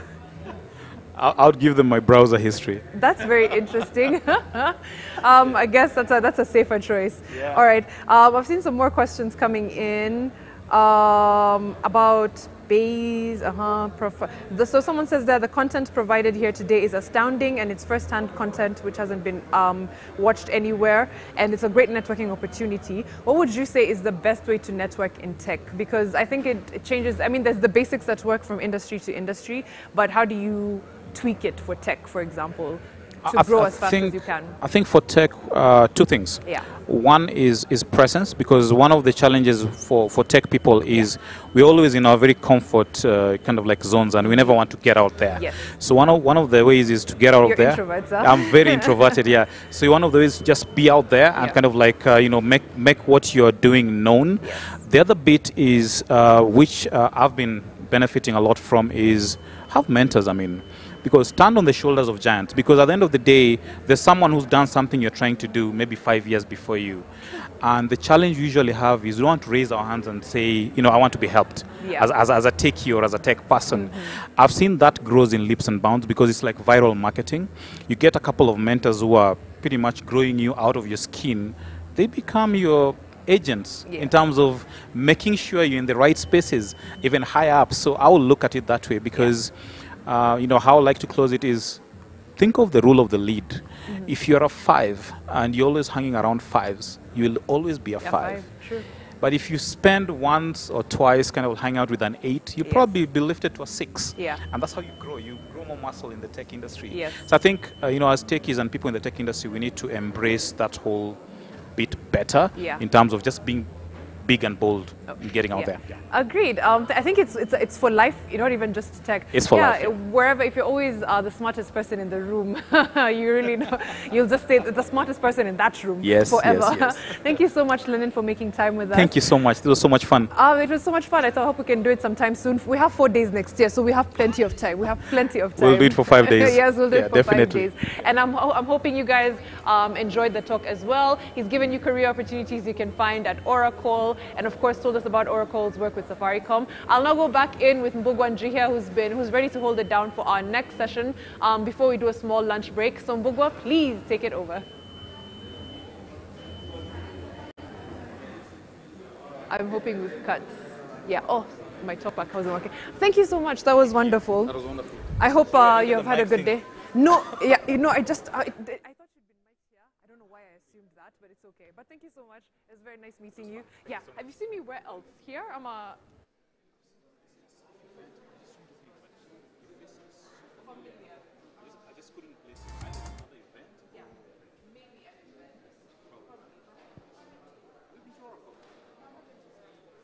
Mohanga, over to you. Bugwa, welcome to the session. My name is Fides Nyamuhanga. I'm a manager, managed security services, cyber security in Safaricom PLC, and today I'll be the moderator. And I'd like to welcome my panel, um, Ivy Cachero from Dell. Welcome on stage.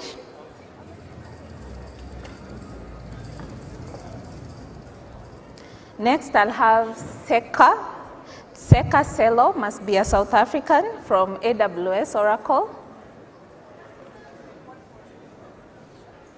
Welcome, Mr. Seka. And finally, I'll have Harry Harry from CIO Africa. He once hosted me in a session. Now I get to be the host. Welcome. So we have uh, limited time, and uh, we communicated with my panel that we'll keep our responses short and precise and detailed. And I hope by the time you leave here, you'll be interested in taking up the topic that of, of discussion, which is navigating digital transformation in an evolving cybersecurity landscape. So my first question, and I'll start with the lady in the room, Ivy.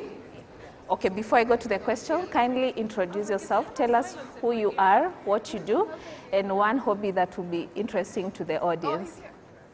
Um, my name is Ivy Cachero. I'm the territory manager for SecureWorks, handling the African region. I'm one hobby. I'm a foodie, so me, I just eat a lot. So wherever there's good food is, is, is a plug. Uh, I've just had uh, the viazi karai is outside. So Interesting. I wonder why we are not the same size. But over to you, Seka. Hi, um, my name is Salot Seka. I'm a solution architect at AWS, and I work with uh, Safaricom in building their solutions. Thank you. Yeah, to you, Harry. Uh, good afternoon. No. Good afternoon. My name is Harry Harry, not Harry Hair, Harry, Harry. and uh, I work for DX5, uh, which is formerly uh, CIO Africa. My hobby? yes. I do glass art. Do you know what glass art is? Okay, you can look for me later. Oh, good. At least we have cloud people who give us services and we can Google what all these are. So is everyone able to hear my panel loud and clear? Anyone struggling? No. So we'll start our discussion. I know people talk about cybersecurity, but what does cybersecurity mean to you? And what does it mean in this evolving regulatory landscape? We'll start with you, Harry. I think cybersecurity is a, is securing your digital assets, you know, in its barest form. Because, uh, you know, you expose your assets, your digital assets in the internet, uh, and they, you know, there are good guys in the internet and there are bad guys in the internet. Uh, so you, you need to be able to secure those assets uh, so that, you know, you don't uh, get into trouble or people don't uh, take advantage of uh, your systems or use your system or steal your, your data or whatever it is. So cybersecurity in its, in its barest form is a, you protecting your digital assets online.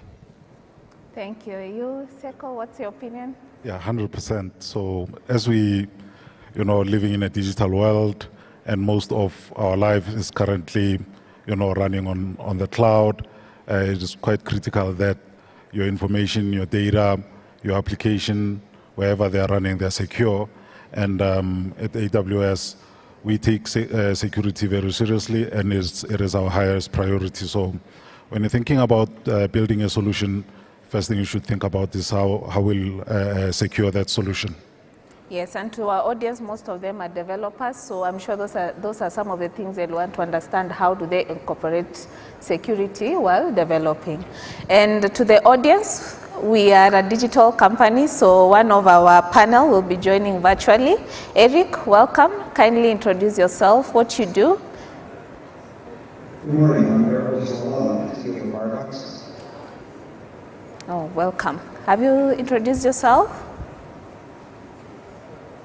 Uh, I'm sorry, can you hear me? Yes, kindly introduce yourself. Tell us what you do. Uh, yes, I'm Eric Rescorla. I work for Mozilla. I'm the CTO for Firefox. Thank you. So we've just started the discussion. You're not left behind. So you do a lot of cloud solutions and services. How has cybersecurity evolved and how is the regulation around cybersecurity evolving as most organizations are moving cloud? Um, by um, evolving your, your solutions, you get new use cases that were not possible in the past. And, um, you know, regulatory organizations and governments are basically looking at the implications of um, what does the new cloud world mean in terms of governance, all right? And um, the, the, the, Kenya Data Privacy Act is an example of that. So um, as solution uh, builders, we must think in the context of the governance around us in terms of how compliant are we with the laws and the rules of uh, the countries we're operating in or the markets we're operating within uh, so that you don't find yourself having put a solution out there that is not compliant with the regulations, especially with African countries as the, um, the data privacy regulations are, are being promulgated into law. Oh, thank you. So, Ivy, I know cybersecurity, uh, when um, Harry introduced it, talked about protecting your digital assets. But what are we protecting, protecting it from, and how is it affecting digital transformation? Um, you know, I think the idea of where, how we used to think about security before is we'd think about locking our doors, uh, making sure um, we have security guards and whatnot to ensure that we are secure. Uh, what's that, what that has now evolved to is because we've adopted a lot of um, cloud native uh, platforms, we've adopted a lot of online related um, assets and applications for to make our lives easier. What that has done is also created an exposure and to what we'd call the cyber security threat landscape, which means the physical people we once feared are now pretty much online. And so to be able to protect ourselves from those who would call um, the bad guys online, and this would be either state state-owned um, uh, government, I mean state-owned threat actors. Mm-hmm. It could be you know just hacktivists who are just having fun, and, on, and and different types of individuals who have different interests are the guys we're now trying to be more concerned about. So it's, um, it's more strategic and in some cases just, you know, a bunch of random folks trying to um, leverage as much as they can on the internet. So who we're trying to protect ourselves, it could be basically every anybody. Mm-hmm. So we're trying to be more proactive and more um, cautious uh, in how we relate to the uh, with the applications and there are a lot of the technology that has now um, advanced for our efficiency. All right. So to Harry and uh, Seko, how does this affect the human resource? Human resource being here, people who are in the industry, being organization where they hire people to form the different uh, policies, how has it affected them? okay, let me, let, me, let me take that. And, and I think I want to go back a bit uh, to, to look at also the, from, from a regulatory, uh, just a regulatory point of view. I, I think security and cybersecurity is a responsibility of everybody. Yeah? It's, so, so regulators are going to put their, uh, their compliance uh, policies and regulations for, for people to, to follow and make sure that you're safe, uh, to make sure that uh, the landscape, whatever it is, it could be banking, it could be manufacturing, it could be whatever it is, uh, that environment is stable. Yeah, it's safe and stable. Uh, but at the end of the day, uh, businesses are run on tech. So businesses are run on systems.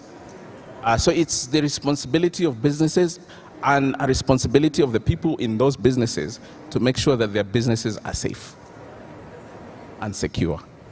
So I just wanted to, to throw that in as, you know, because you see, we, sometimes we, we put too much responsibility to the regulator, but actually it's our responsibility to make sure that whatever we put out there is secure. Yeah? So, so I just wanted to bring that out. Um, in terms of uh, resources, of course, uh, cybersecurity, I think, uh, I think one or two years ago, I, I, was seeing that we have a shortage of probably, I don't know, some millions uh, of cybersecurity experts. Mm-hmm. Um, and, and that is because, you see, this whole concept of digital transformation uh, has brought in a lot of digital stuff in the four in the businesses, uh, which means it has also created a very wide threat surface. Yeah? So organizations are, you know, continuously very vulnerable in terms of, because uh, you see everybody, so let me give you an example. Sorry, I, I might take too much time, but let me give you an example of uh, what happened during COVID-19. You know, March 20, 2020, when everybody now had to work from home, um, and, uh, you know, we were not ready for that. Yeah? But uh, IT people, engineers, had to make sure that that happens quickly for business continuity, right? Mm-hmm. Uh, but then that happened, and a lot of guys actually uh, had to create uh, systems where now people can log into the corporate land from home, which was not entirely secure at that point because you know you needed to get people to work. Yeah? yeah. So that opened up a lot of uh, a lot of issues. And if you guys remember, 2020 there was a lot of hacking going on, especially in the financial services sector. Uh, so, so, so we need to. I think for organizations, I think it's it's it's an investment in in in. Uh, uh, in uh, resource, human resource, but it's also about engineers like this one, the, the, the, people in the room, engineers who are budding engineers, we need to, to start creating that pipeline uh, for, for people to get into this space. Mm-hmm. Yeah. Thank you. Harry? All right. So from an AWS point of view, as I said, um, security is our highest priority. And um, we have what you call the well-architected framework, which I would highly recommend it for any developer out there building an app. Uh, um, as, as we have said, there have been, there's been a flurry of, of applications that have come to the market in order to make people's lives easier. So when you're building your solutions, um, you should always have a, a human resource, as you're saying, in your team that understands security to ensure that all those checkpoints around how secure is the application, um, have you done your penetration testing, is always taken care of. Um, security shouldn't be, when you're building a team um, or, or, or putting together a plan to build a solution, security shouldn't be an afterthought, but it should form an integral part of your team and your plan Mhm. so that uh, you can use tools like the well-architected framework, which has a security pillar, Mhm. then you can use that to review your application, and ensure that you have taken care of the most uh, well-known uh, security flaws that developers make. And I assume these uh, uh, frameworks for cybersecurity, do they come inbuilt with some of the solutions, for example, AWS offers, or they have to form their own best practice? So that you find organization A has different from B, or are they similar, or what happens? Yeah. At AWS, we have what we call the shared responsibility model, Mhm. and we believe that um, as a developer, the, the or, or uh, an organization, the security of your customers' data is your responsibility. We will actually give you the tools, the guidelines, but you need to ensure that you apply it on your solution. So it is your responsibility as an application developer to ensure that you have applied all our guidelines on, on your application. All right, thank you, Harry. So, to you, Eric, for joining virtually, what is your opinion in terms of the regulators governing the cybersecurity landscape? Do we have enough? Do we have, uh, do, are all sectors and domains covered within cybersecurity? Well, I- think maybe we have enough. Um, I, I guess I worry in some cases about whether the regulators are trying to regulate the right things. Um, so, you know, uh, one thing I would say is there's, there's a real tendency um, in regulation to think about response and to think about having visibility into systems and visibility into breaches, but we need to start earlier than that. And we think about how we regulate systems so that they're built securely so we have fewer uh, cybersecurity incidents and not so much that we are able to recover from when they happen. And so, you know, one thing that we see is that, you know, it used to be very, very hard to build secure systems. Uh, and uh, for some of the reasons that were just being mentioned, that we're now developing a set of practices around how to build those systems more securely with things like frameworks, things like memory-safe languages like Rust, um, you know, things like um, you know strong cryptography. And so what we need to do is regulation needs to foster um, people building more secure systems so that the systems uh, you know, do not suffer so much from the kind of uh, cybersecurity problems that we see. And I think I see a lot less emphasis on that, and a lot more emphasis on sort of visibility and surveillance, and, and also kind of security box checking, and less on the kind of system architecture that we really need to see to have, um, you know, the systems we need. Mm, Thank you, Eric. Ivy, to the same question, um, what is your opinion in terms of regulation on cybersecurity locally? See, for me, I think when, when we focus on, you know, policies standard, is we get into the approach of just focusing on ticking a compliance box, as opposed to uh, addressing the risks that we currently have in business. So other than, and, the, and the problem, problem with checking boxes, it converts um, organizations to look at jargons in terms of technology to acquire. So just because they'd want to take uh, a compliance metrics for, for whatever sort. So they, they, if, if we focused on risk, we for sure will meet compliance. But if we, you know, uh, it's, it's, it's not as- assured that we if we focus on compliance, that we'll be able to focus on uh, and resolve some of the risk uh, elements that we have. And just to give an example is, you know, when we talk about the major key problems that we see a lot of organizations facing, which is um, from a security operation perspective, which is visibility, uh, complexity of the infrastructure, as well as response.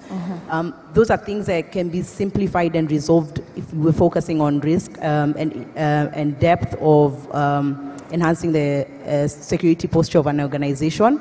But now, if we were to switch that into looking at a compliance metric framework, um, if we said visibility, um, what it sounds like is getting get a log management solution, and you tick a box. Um, if we talk about uh, complexity, you know, uh, you'd find a solution that ticks the box, which organizations would basically focus on that to meet their compliance regulations. So for me, beyond looking at just compliance, I think what we need to start focusing on is on elements that focus on risk and then align those to how we're able to meet compliance. And then other elements of privacy, because of we're looking at risk, but PII um, concerns that organizations have would ultimately also be uh, met because we're looking at a more bigger picture and focusing on solution providing as opposed to just um, compliance. So, yeah, I, I think that was my perspective. Yeah, and I think uh, risk assessment is something that organizations are usually encouraged to do and develop their own framework on carrying it out. So to you, Harry, and in ref, uh, relevance to our audience, most of them are engineers, developers. How then do they support, what role do they play in this landscape, especially in ensuring that organizations comply to the regulatory requirements and also ensuring they are aware of the regulations they need to comply with. Safaricom is a telco, fintech, uh, the organizations that are NGOs. How then do we support by them understanding their role? I think, I think as builders, uh, we, we need to to build with security in mind. Uh, you know, from, from, the, from the word go, I think there's, there's a company that has a tagline uh, that says uh, security by design. Uh, so from, from, from the time you, you know, before you even start building, you, you, you need to start thinking about security. Uh, whatever you're building, how, how have you designed uh, what you're building and how have you infused uh, security into your design before you even start building. I think that's, that would be a good approach so that you, you're not building stuff, then later on discover that you actually need to have built uh, some security features into, into your product. Uh, so you, you start off with security in mind. That's, that's what I would, uh, I would encourage people to do. Seko, does that mean as an engineer myself, I need to learn cybersecurity or leave it as an independent uh, domain where someone else has to come and check for me? Do, are we telling the engineers that they have to learn? Or we just go with the process of, I do my part, someone else does their part? What's your opinion? Well, it's, it's quite difficult to be an, an expert in multiple domains. Yeah. So if you are good at um, coding, uh, you might not be good at cybersecurity. But um, if you think about uh, the process of building a software, um, you usually need uh, multiple disciplines. So if you are not an expert in security, just ensure that you, you rope in the help from a uh, security specialist to review you know, your architecture before you even build it, as we are saying. So um, I think it would be quite hard for every developer to be a, a cybersecurity expert -hmm. and uh, for every DBA to be a, a, the, the area and the depth uh, of, of, of, security is quite a lot and it would distract them from their day-to-day. -day. So I would recommend that they collaborate with, um, as you are saying, you know, uh, how do you know what, what regulations and compliance are enacted upon your industry? So you need to understand the industry you are in, understand who the regulatory bodies are and what the legislations are and get an expert in that domain to guide you to ensure that you're compliant, be it a security um, specialist, be it a compliance specialist, or even legal. Yes. And just to hammer your point in, uh, Seko has said that you just need to understand or know who are the regulators in your industry. If you're developing product for an NGO, manufacturing, uh, health, know the regulators, then get an expert to give you more concrete information or even recommendations on how to implement. Maybe, maybe to add, can I add something yes, on that? Sorry. I think um, I think in the keynote earlier on, we the the um, speaker mentioned about um, ensuring that we don't run a lot of development in silos. Mm. So the idea is organizations have experts as well in-house who understand, one, the business objective, because the the challenge sometimes of leveraging external resource is internal teams understand what the business objective is and, and what the organization is trying to achieve. And then you've got the technical resources as well in-house. So you've got legal guys, you've got uh, the um, security teams that um, you know manage security operations and different functions within the organizations. So the idea is when building the team in, in, in the project team is to keep those resources in mind so that they could help raise an awareness of certain things that as a developer you might not need to you might not think about. But because those teams are key stakeholders as part of the project then they're able to input their views and, and their thoughts. So again because again making this thinking of the business in mind is you don't security for me always is security shouldn't necessarily come at the expense of business Mhm. so leveraging every critical resource that you have internally for efficiency is, is, is an appropriate approach to look at it from that perspective Okay. And to you, Eric, as an owner, as the CEO of your organization, do you think you sh- what is your opinion about organizations sharing data with the regulator to inform some of the recommendations that they give? Are they sharing enough? Do we need to do, does, do organizations need to share their threat attack vector, their threat intelligence, some of the risk and the breaches that have happened to the regulator, and how does that help in forming recommendations? So, I mean, we already do see quite a bit of information sharing um, with regulators um, and also other companies. Um, so, um, you know, I, th- I think that, that that certainly does happen. You know, it's always hard to balance. I think uh, sharing specific details versus sharing generality, because every time you share specific details, of course, you're sharing information that both, you know, both may be a threat to the privacy and security of your users and a threat to the, you know, to the company's um, confidential information. Um, so, so, so we certainly do see quite a bit of threat intelligence sharing. Um, as, as I said, I, th- I think that you know, um, perhaps more important than sharing um, details of threat intelligence is sharing, um, you know, what's possible and uh, uh, you know, with the technical frontiers. So. Um, you know, this is a very fast-moving field, and so what we often see is attempts to regulate that are, I would say, out of touch with what is actually practical in the real world. Um, you know, one, one example, um, you know, I often give is the GDPR, um, you know, cookie uh, bot banners, which I think were well intended, but you know, uh, we're, we're not connected to you know what, what real practice in the website was. And if you look at GDPR cookie banners, you know, they're, they're really quite onerous and very unpleasant. Um, so there's an example where, you know, regulators, I think, didn't take um, insight from industry about what was, what, was and wasn't possible.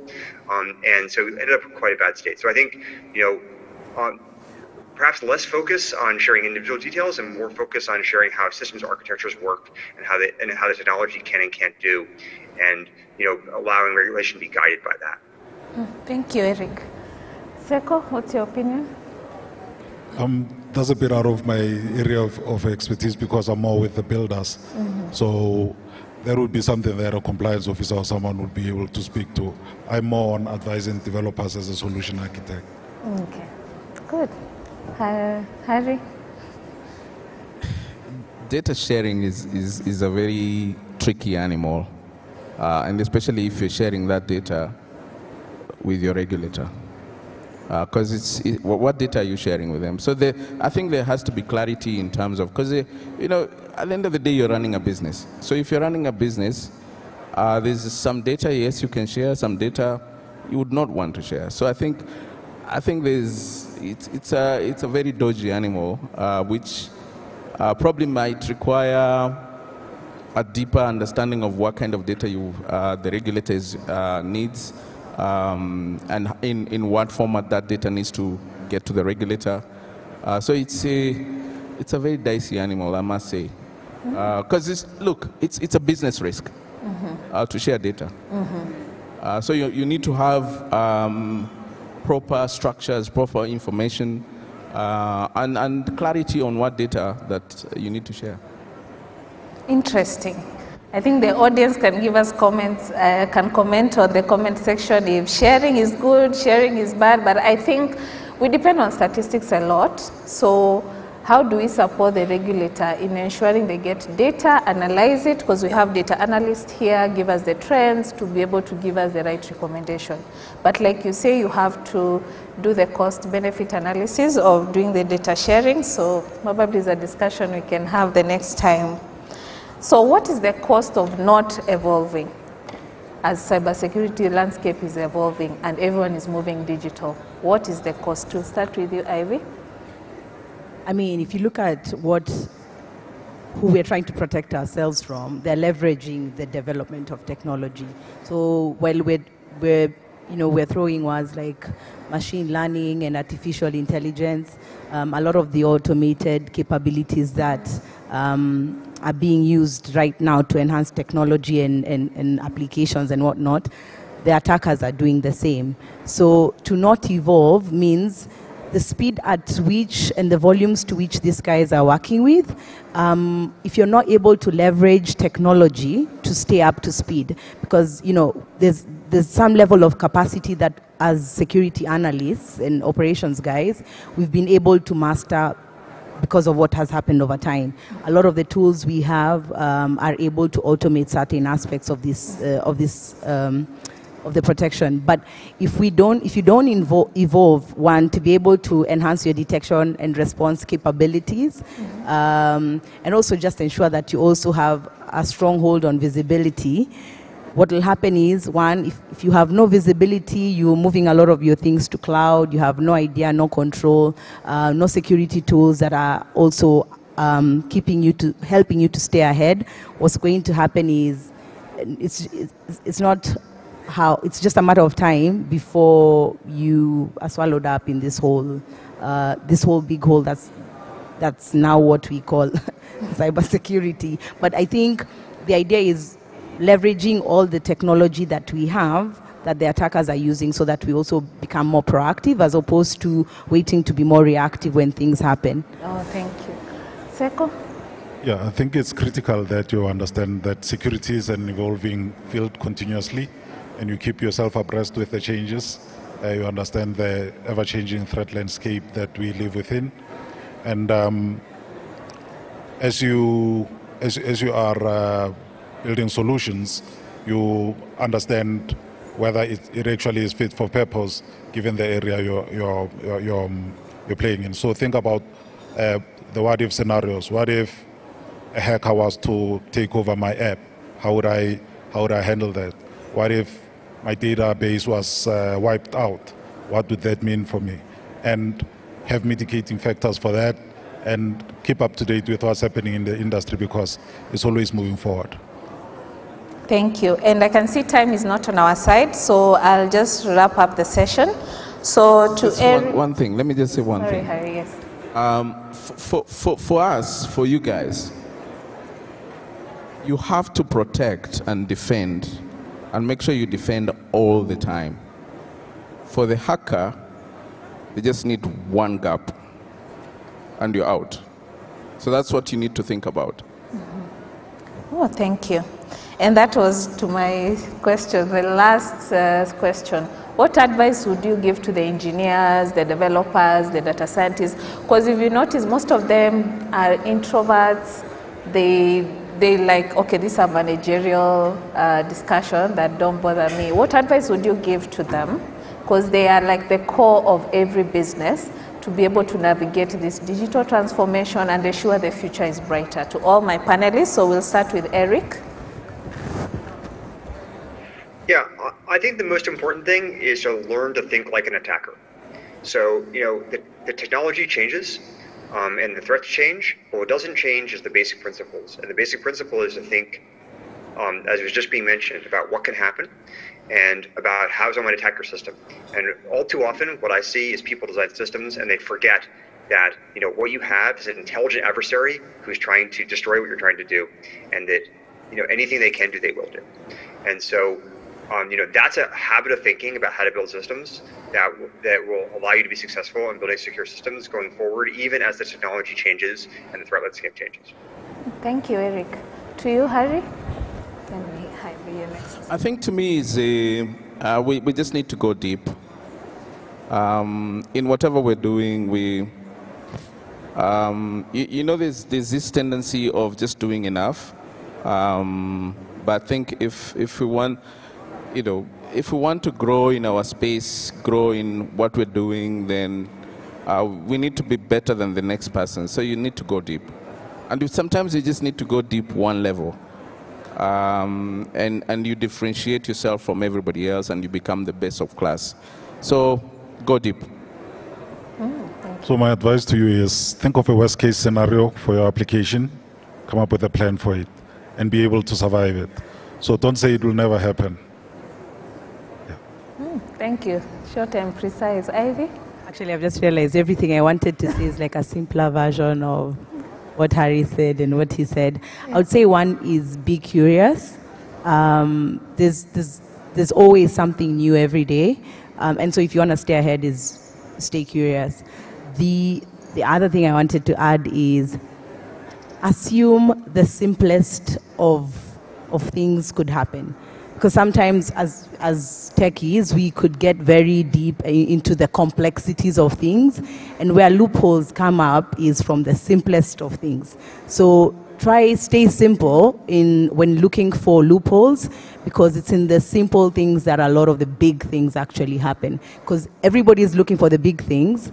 So if you try and once in a while switch off and just assume you are not that deep of a techie you'll be surprised Thank you to our audience, to the panel, Harry, Seko, and Ivy. Thank you for taking time to joining and sharing your insights.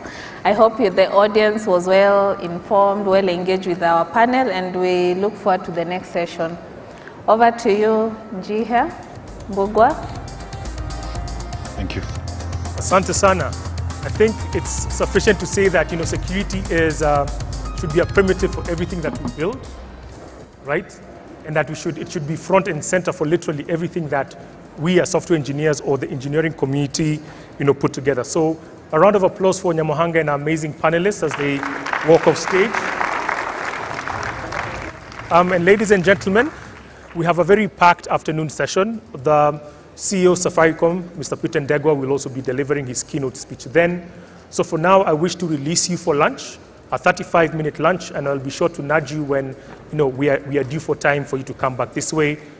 Bon appetit.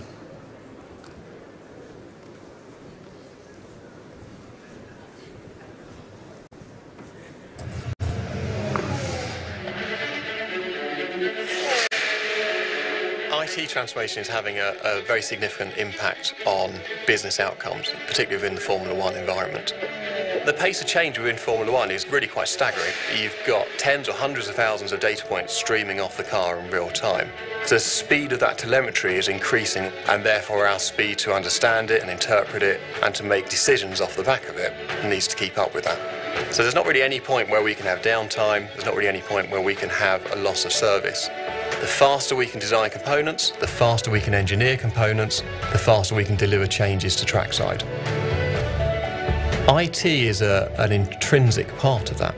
You couldn't have those systems that enable the design and optimization without an IT platform underneath it. We need to ensure that we're finding those marginal performance gains within our server estate, our storage estate, the way we use uh, high performance compute. Every small amount of marginal gain that we can pull from the IT system directly transfers into optimized design and engineering. So it's very easy to draw a parallel between IT transformation and on-track performance having servers, storage, end user compute all under one roof and all from a single vendor, that really makes our job in IT simpler. What's changed over the last two years for us is moving to infrastructure as code in order to better support a hybrid cloud operating model. Our ability to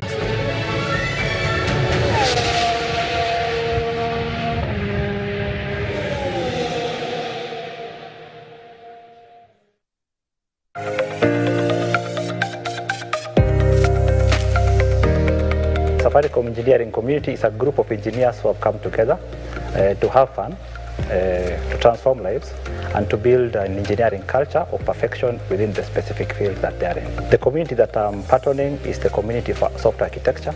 So the vision is to build a culture of developing solutions and designing solutions that are secure, that are performant uh, within the environments that they work in and that also transform lives. We will equip the community members with the right skill set and knowledge to develop the next generation platforms that will be hardware agnostic. So this community will be looking at designing solutions that first of all are secure, that uh, perform very well when subjected to load, that also meet the needs of the customers, and then defining standards within which software is built. Having led developer communities in the past, I'm going to set up forums and events where the community members will be able to meet physically, collaborate, share ideas, create networks, and do follow-up events where members of the communities can showcase items they are proficient in or new knowledge areas that they are trying to learn and understand. My primary goal for this uh, engineering community will be to bring in experts from the market to work with young engineers to grow their skill, to share engineering practices, and then also to give them a platform where they can show showcase what they're doing. A strong community has is made up of people with different skill set, both junior and senior, who are able to collaborate freely, share feedback, receive feedback, do knowledge transfer whenever they meet, whenever someone reaches out for support. Looking at the way they'll be called collaborating together, learning from each other, having fun with each other, and also sharing what they've learned from the community so that the community can grow bigger and bigger depending on uh, where they are placed. I'm Victor Rwanda. I'm Safaricom Engineering Community. My name is Kenneth Owino. I am Safaricom Engineering Community.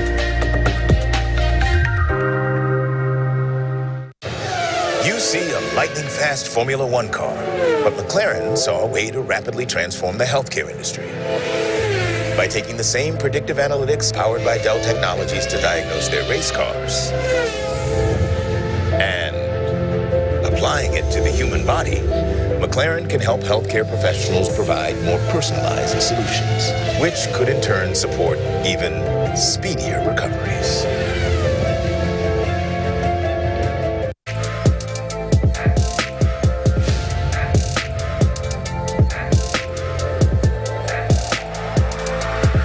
Think it's a Safaricom engineering community. Uh, tuko tayari eh? Tupatie cue, tupatie cue. Kenneth. she, she jumped on the questions. We, we, have we have been using. we, will be using. Hiyo point inalikataa. Eh, atukwambia tukuje goal.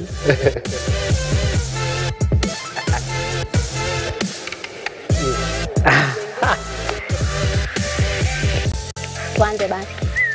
Hi, my name is Naisanya Mungai. My name is Kamau Maina. Jacqueline Mudani. My name is Felix Mene. My name is George Chuguna. Dennis Kipruto. I am Mark here. My name is Ayan Kanan. My name is Kenneth Awino. I am David Kazi. Alan Kipsang. My name is Rosmina. Wycliffe Kipkoge. I'm Jill Mora. My name is Rosanne Uguelo Diero. Bildad Mwangi. My name is Steven Chuguna Maina. Ngesa Marvin. My name is Beryl Anchep Kemoy. Victor Mwenda Rwanda. My name is Edna Njoroge. Benson Macharia. My name is Jude Juma. Hesbon Kipto. And I'm Safaricom Engineering Community. I am Safaricom Engineering Community. And I am Safaricom Engineering Community. I am Safaricom Engineering Community. I am Safaricom Engineering Community. And I am Safaricom Engineering Community. And I am Safaricom Engineering Community. And I am Safaricom Engineering Community. I am Safaricom Engineering Community. I am Safaricom Engineering Community. I am Safaricom Engineering Community. I am Safaricom Engineering Community.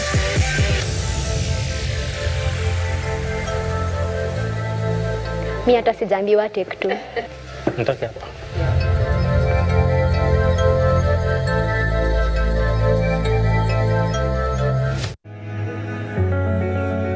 I really deeply believe that you need to give more than what you receive, and that the best reward is the goodness that you will bring into this world. And one of the most innovative programs that I've seen is this solar powered classroom. It's a concept to bridge the educational divide in areas where uh, you are suffering not only from poverty, but also from lack of access to uh, energy The Solar Learning Labs are very important to Dell Technologies because it really embodies all aspects of how we drive social impact. It's fully sustainable. It reuses shipping containers that otherwise would have been discarded, and so it really exemplifies our circular economy. It clearly applies technology to drive transformation in youth and help benefit their education. And all of that together really helps develop this culture of inclusivity that is so important for us to address some of the most complex social issues that we have. When you provide technology access, it's just been incredibly transformative regardless of program, regardless of culture. Hemos diseñado un espacio que va a ser para el aprendizaje de jóvenes en habilidades del siglo XXI. Computers has helped me because I've been doing task math and it has been improving my grades from 60 to 98. We want to open up the opportunity for others to partner with us. And so we're now enabling the crowd-funded approach so that we can scale the impact. Don't underestimate your capacity to transform the world.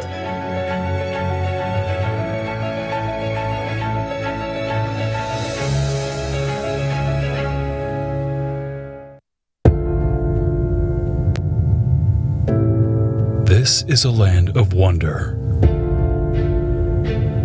the source of all life, the cradle of civilization. Right now, a wave of intelligence is spurring new growth. Cloud and AI are breathing new life into this fertile land of ours. Here, intelligence connects all things, driving insights for a smarter future. Track weather changes, uncover the secrets of time and space. Explore the depths of the universe with relentless computing power. Tap into the pulse of Mother Nature, bringing smart agriculture to the field. Analyze geological structures to unearth more resources. Activate the value of data for more efficient use of energy. Accelerate viral gene analysis to save people's lives. On this land, computing unlocks boundless possibility. Build intelligent roads for a faster, safer drive home. Reclaim the desert and give life back to Earth.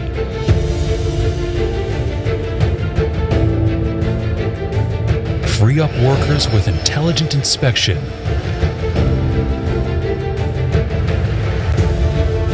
Jumpstart the digital economy with intelligent data infrastructure. Make minds safer, smarter.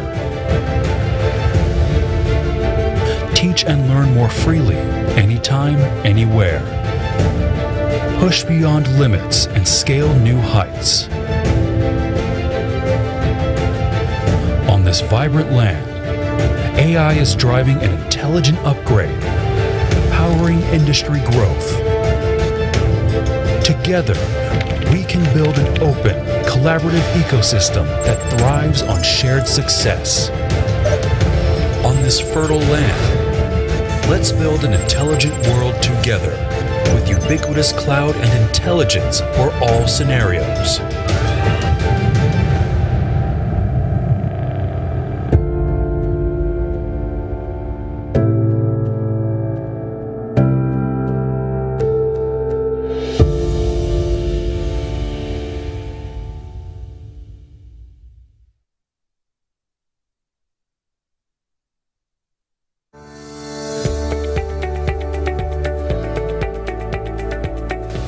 Feeling that uh, engineers are coders. They just code, that, is it. But the reality is that uh, engineering, um, also engineering basically involves being able to create products that change life. So Safaricom engineering actually uh, community entails being able to create products that are able to change the world in terms of how we operate. So the vision, uh, mostly when it comes to product management, is to be able to create products that are able to change life. Yeah, I think community participation uh, is, is more geared up to the com- comfortability that people have within the, the community. So my intention to that is to ensure that the communication line uh, is simple and of course um, ensure that we remove bureaucracy to ensure that uh, decisions are not only made by the leads, but also the community itself. The goal will be to bring on board engineers who are able to understand products that they're able to put in place. So you move, you move away from being able to do a code work to a point whereby you look at the value that you create with your products across board. The chapters will impact the technology community uh, specifically uh, on innovation. We will ensure that we have uh, products that are aligned to the community's vision in terms of technology and uh, a vision uh, with Safaricom, uh, in which we, we ensure that we have a sustainable environment and also impact lives outside for the community to have a sense of pride to, within themselves. So number one will be to create an enabling environment for engineers to be able to um, interact easily, engage easily, share information, to be able to feel that the voice are heard. So the, the impact to the world uh, from our community and especially the products area is to ensure these products uh, that the community is providing uh, to the world is uh, uh, products that are more sustainable, future-proof, and they are products that they can actually uh, be replicated outside the community and outside Safaricom uh, to ensure that uh, more and more lives are impacted uh, within our areas. What I believe makes a strong community is a team that works together, that collaborates. Being able to pull different brains and different ideas across board um, will be able to change the world. A strong community is a community that has have passion to what they are doing uh, and, and, this passion should give them a pride, a sense of pride uh, that uh, uh, they belong to a community that is listening to them and also providing opportunities within uh, their area. I'm Safaricom Engineering Community. I am Safaricom Engineering Community.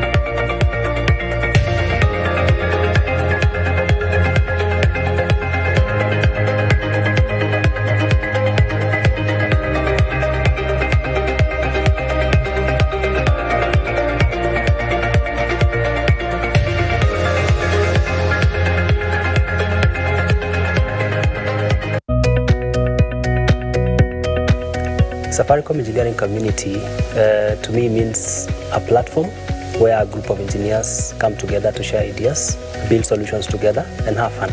Uh, my vision for the community is to make it the best place to be, where we can be able to build value-based IoT solutions uh, that can be able to transform lives. I hope to see the guys who have never built electronics before to be able to get over the first few bumps of playing with electronics, of writing uh, some code into, into these bare metals. My primary focus for the IoT community would be to create a community that will be loved across the country and indeed across the globe. Number two would be that we can be able to push for adoption of IoT applications for commercial uh, use cases and in there be able to create efficiencies that uh, can be applied through IoT technology. We're going to ensure that we have a range of sessions and we're going to have a discussion with people how they could get started with building these devices and then go into uh, having more events focused on intermediate sessions and then expert sessions. And also in between, we're going to have some kind of hackathons where people can be able to use these skills to be in a real environment where they're able to grow by building products. The other bit will be uh, to create and, of course, contribute to the IoT industry um, by benchmarking with others across the globe, uh, contribute to the standards, and then way into the big area around big data and machine learning that can then be able to help us uh, drive use cases or build value or get value out of the data that we mine through IoT. Um, the other bit will be also to um, make good use of technologies like narrowband IoT, where we can be able to create solutions um, specifically using NB-IoT, and therefore um, create solutions that can be able to, you know, work longer for longer durations using, um, uh, you know, low energy and uh, having longer battery, battery lifetime. A strong community is a community where um, it attracts all sorts of talents, not only engineering but also people who have interest in technology. A strong community is a community that uh, fosters collaboration, uh, where we can be able to, you know, create virtual sessions, events together, you know, uh, uh hack together for solutions, being able to pick up uh, scenarios, investigate and find solutions together, develop and co-create applications that can be used not only for commercial reasons, but to better the life um, of everyone. We should expect events across the year, uh, some in-person events where the organizers have very close engagement with attendees, uh, things like code labs. And then we're also going to have some events where we will talk about our products, or generally the general products in the market. And then also big events which probably focus on networking and talking to people and, and things like that. My name is Ngesa Marvin, and I am Safaricom Engineering Community. I am Safaricom Engineering Community.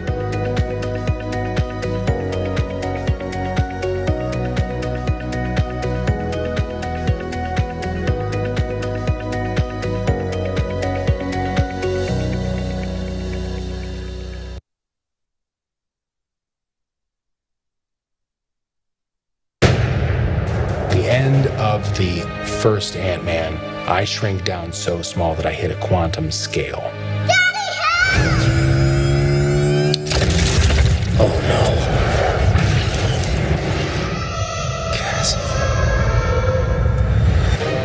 And it's the first time Hank has ever been exposed to somebody who could go down there and come back. And that begins to set in his mind the idea that maybe he can go get Hope's mother back. In Ant Man and the Wasp, we're going to explore the quantum realm we start to play with the whole notion of scale.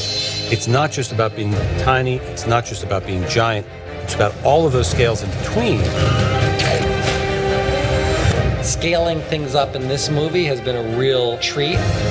This is the control room of Hank Pym's laboratory. And we're making a film that revolves around technology and science and engineering and quantum physics, we need some of the most cutting edge technology to help us tell our story. Ant-Man and the Wasp rely on high performing technology to be able to save the world, to be able to fight crime. Their superpowers are technology. That's what Dell is about. So we thought that this was a really good fit for both sides. Ant-Man and the Wasp teaming up. Will see Ant-Man size action and giant size action, and you may see a lot of different size action in between. Having amazing visuals allows them to immerse themselves in the world. Maybe you just need someone watching your back, like a partner. Will they be able to work as a team together? Will she be able to find her lost mother? Set against the backdrop of quantum realms and shrinking and growing. That's the fun of making an Ant-Man movie. I don't want to die. We didn't die. I dare you to blink because things don't stop moving. Eh, what I miss? We were just tiny.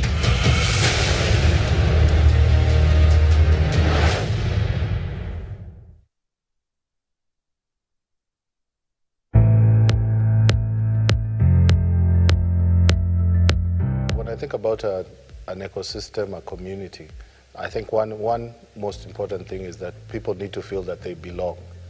I think second, it needs to have a purpose. And I think third, the community needs to be able to, to be successful, to feed into the members what are their aspirations, what are their needs, what are the things that you can actually pull together, you as a corporate like Safaricom, and give to the community so that the community can grow so it might be access to things like uh, are there environments that are there? It could be training materials.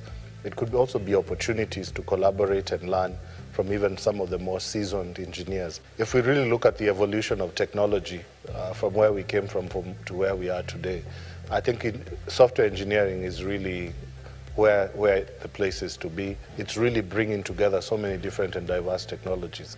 So at Safaricom, we feel there is a need to have it. I think so many of the other technology disciplines have had communities uh, organized, but I think as we evolve to become a purpose-led technology company, uh, software engineering really is at the heart of it as we look to build solutions not just to digitize and automate uh, the experiences of our customers and give them new products, but also to digitize the way we work as Safaricom. But we do recognize as a trendsetter in, in society, as the largest uh, organization in the region, the largest tech company really, that we need to then be a leader and not wait for anybody else. We've also seen a lot of uh, big tech players uh, coming into the market and they're looking at our software engineers, they're looking at software engineering in Kenya. So we believe by having a community, we can all come together, create more opportunities, uh, really not uh, look at the challenges we face, perhaps in terms of competing for talent, but how can we actually build a strong community that can attract so many people into it and then be the strongest, most vibrant, have the largest contribution, but also realize that engineers are not just there to take, they can also give a lot more than just coding. How do we also create opportunities, I believe, across Kenya, where a young man, a young lady in some far remote area is able to access this community to get opportunities, to learn, to access perhaps technology like cloud environments, uh, big data play areas, for example, where they can actually begin to learn, but also begin to practice and plug into mentors who can guide them as they start their technology journey and also grow in it. I think one of the most exciting things we're seeing in the software engineering space is most of the people are young. And I think they're moving at a very fast pace. I think that the democratization of technology means that somebody can actually pop in today with a new technology that you didn't even know about and tell you how it's applicable and can do things way better than what we're using. You know, how do we harness all those great ideas and be able to build stuff for Kenya by Kenyans? So the impact I see to society of a strong engineering community is also being able to democratize technology where they can actually build solutions that are going to have a huge impact not just in their own families because they're able to perhaps bring money, but even address some of the societal problems that their communities have always faced. But it just needed somebody with that lens, it needed somebody with that skill set, it needed somebody with that opportunity to be able to address it. So I see the impact not just being within Safaricom, but where our purpose as Safaricom is transforming lives. And this becomes yet another way that we use technology to transform lives. I am Safaricom Engineering Community.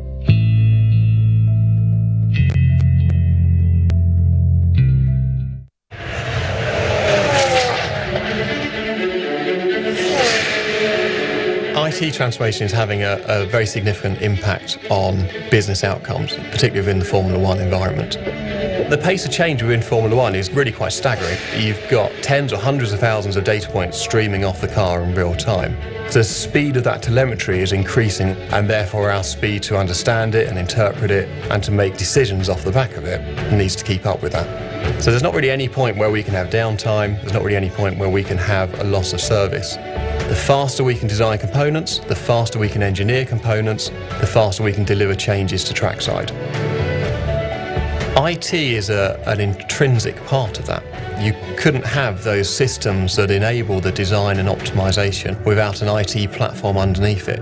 We need to ensure that we're finding those marginal performance gains within our server estate, our storage estate, the way we use uh, high performance compute. Every small amount of marginal gain that we can pull from the IT system directly transfers into optimized design and engineering.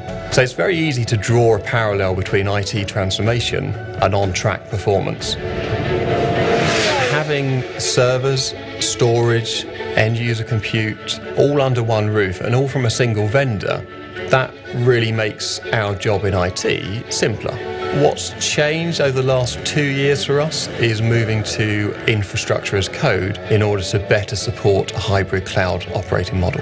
Our ability to take services and run applications as easily on premise as we would in a cloud environment, that's how IT can streamline itself as a function. That's how IT can focus on delivering value into the rest of the business. Working with Dell Technologies actually gives us a partner to run that with. Having good shared insight of our own McLaren roadmap and the Dell Technologies roadmap helps us keep aligned as to where we're going to go next. And where do we see risk in where we're going next, where are we maybe pushing too fast, but also where we're not pushing fast enough.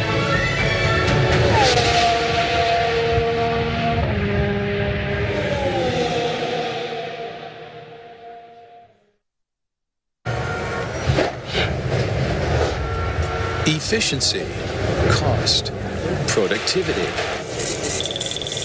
Business as usual has always been about turning a profit. If you stop to think about it, what more is there? The universe, nature, life, civilization as we know it is about the search for something greater than ourselves. Huawei Cloud is innovating technologies to make the world more inclusive. The cloud, AI, 5G are building a fully connected, intelligent world. They do more than drive digital transformation. It's a new paradigm for innovation. Imagine, if you can, what amazing secrets await when we unlock the secrets of the universe. What cosmic answers will we learn? AI can help preserve in the rainforest by identifying the sounds of gunshots or the sounds of illegal logging, protecting the most precious sounds, birds, and trees for generations to come. In cities around the world, we can collect traffic data and analyze it to improve transportation and bring order to a chaotic world. Even reporting the weather can be improved with AI. With more accurate forecasts and timely alerts, we'll travel safer and get home to our loved ones. Also, so many delicious flavors, chili, herbs, and spices automatically selected to improve flavor, quality, and nutrition. Delightful flavor explosions to dazzle our taste buds. A cloud for everyone, unleashing the power of innovation, making every day better. A cloud for pervasive intelligence and a better future. Huawei Cloud. Grow with intelligence.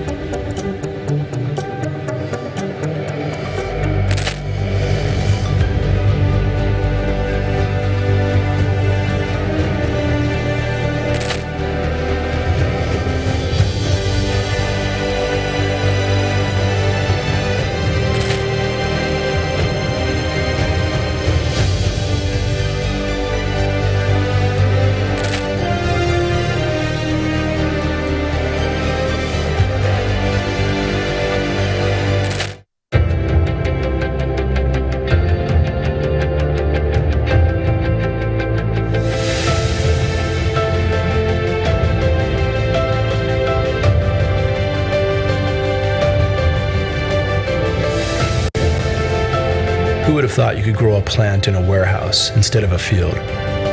Without sun, without soil. We're doing it, and we're not only doing it on an experimental level, we're doing it on a commercial level. Today we focus on leafy greens. We believe we could grow anything. Our vision is to build farms in cities all over the world to allow everyone to have access to fresh, great tasting, healthy food all year round. The fact that we could grow plants using 95% less water, zero pesticides, as much as 390 times the productivity per square foot as a field farmer shows what technology can do. We're able to understand the plants better than anyone ever in the history of farming, and it's by the data. And this is why the relationship with Dell Technologies is so valuable. We are collecting all of these data points of what we're giving the plant. What spectrum of light, what nutrients, how do we improve quality, taste, texture? We're using data analytics and becoming better farmers. At the end of the day, it's about how do we deliver a better product to the customer.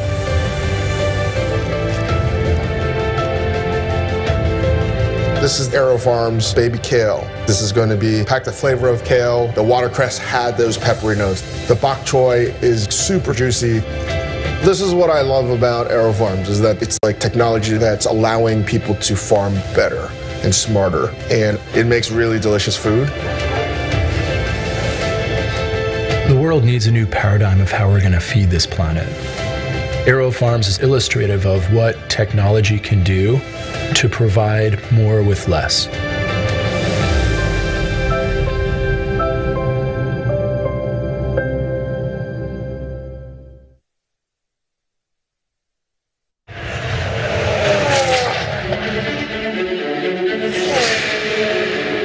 IT transformation is having a, a, very significant impact on business outcomes, particularly within the Formula One environment. The pace of change within Formula One is really quite staggering. You've got tens or hundreds of thousands of data points streaming off the car in real time.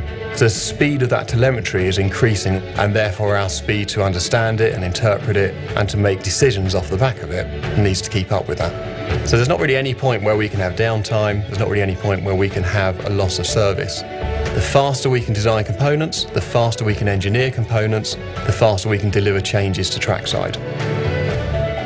IT is a, an intrinsic part of that. You couldn't have those systems that enable the design and optimization without an IT platform underneath it. We need to ensure that we're finding those marginal performance gains within our server estate, our storage estate, the way we use uh, high performance compute. Every small amount of marginal gain that we can pull from the IT system directly transfers into optimized design and engineering.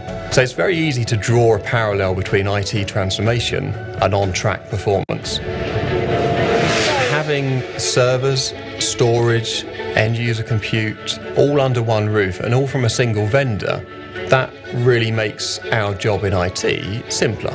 What's changed over the last two years for us is moving to infrastructure as code in order to better support a hybrid cloud operating model. Our ability to take services and run applications as easily on-premise as we would in a cloud environment, that's how IT can streamline itself as a function. That's how IT can focus on delivering value into the rest of the business. Working with Dell Technologies actually gives us a partner to run that with. Having good shared insight of our own McLaren roadmap and the Dell Technologies roadmap helps us keep aligned as to where we're going to go next. And where do we see risk in where we're going next, where are we maybe pushing too fast, but also where we're not pushing fast enough.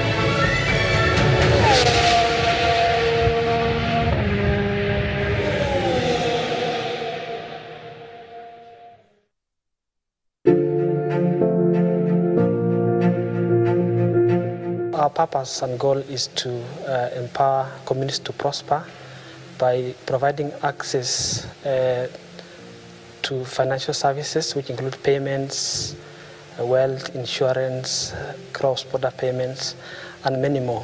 The goal of the community is to uh, open up uh, fintech platforms, basically the M-Pesa ecosystem, to partners and developers. So we continue to do this through uh, providing a one-stop shop uh, uh, for all our APIs to uh, to developer community, uh, where we have comprehensive documentation, and as well as also the tools and standard APIs that can uh, facilitate the, how fast the developers can integrate to a, a system.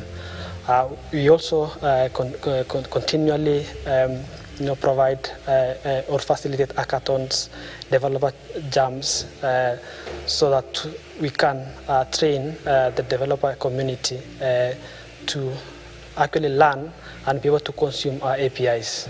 Uh, once, of course, we've equipped the developer community uh, and opening up our ecosystem to the rest of the world. So we can actually uh, empower uh, the individuals to build products and services, basically different use cases on top of M-Pesa uh, ecosystem. And, and, for, for instance, uh, across the world, we have APIs that can allow um, you know, partners and developers to move money across the world, so in and out uh, of Kenya and also fintech ecosystem. Hi, my name is Esbon Kipta. I am Safaricom Engineering Community.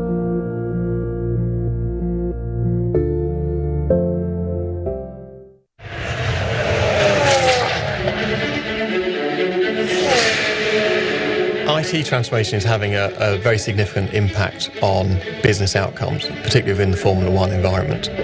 The pace of change within Formula One is really quite staggering. You've got tens or hundreds of thousands of data points streaming off the car in real time. The speed of that telemetry is increasing, and therefore our speed to understand it and interpret it and to make decisions off the back of it needs to keep up with that.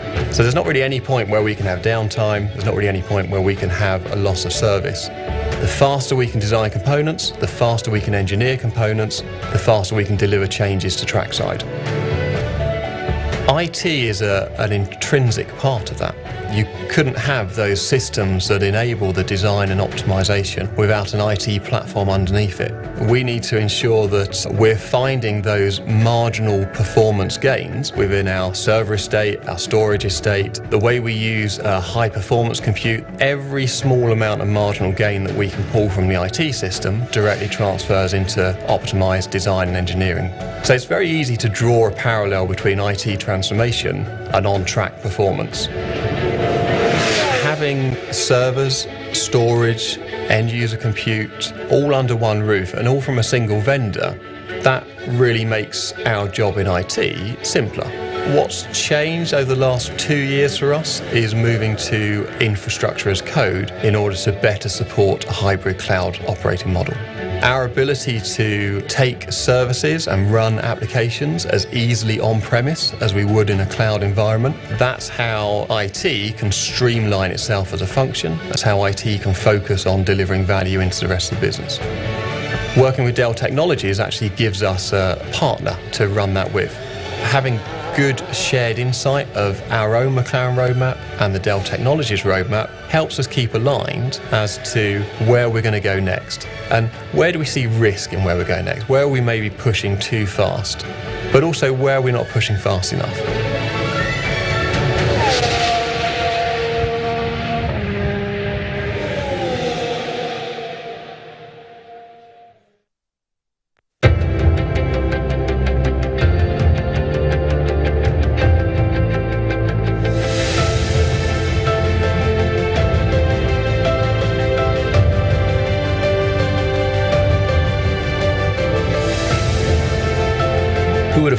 Grow a plant in a warehouse instead of a field, without sun, without soil.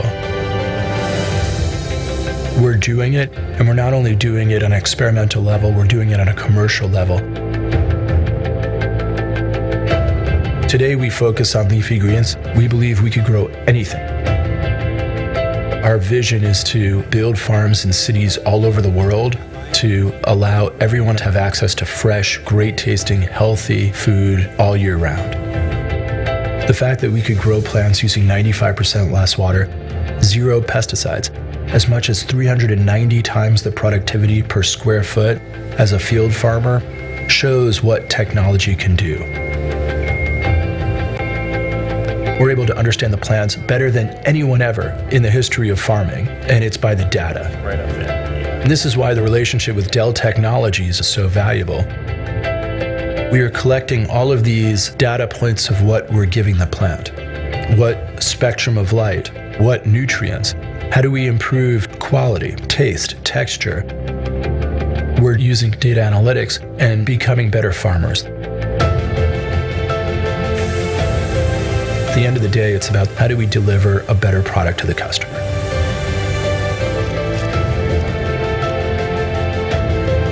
This is AeroFarms baby kale. This is going to be packed the flavor of kale. The watercress had those peppery notes. The bok choy is super juicy. This is what I love about AeroFarms is that it's like technology that's allowing people to farm better and smarter, and it makes really delicious food. The world needs a new paradigm of how we're going to feed this planet. AeroFarms is illustrative of what technology can do to provide more with less.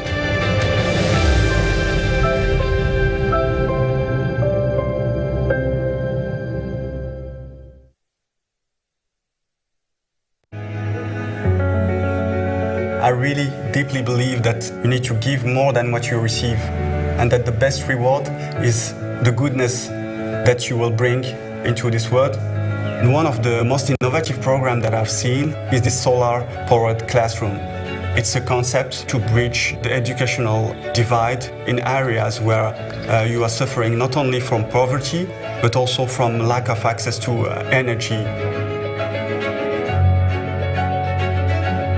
The Solar Learning Labs are very important to Dell Technologies because it really embodies all aspects of how we drive social impact.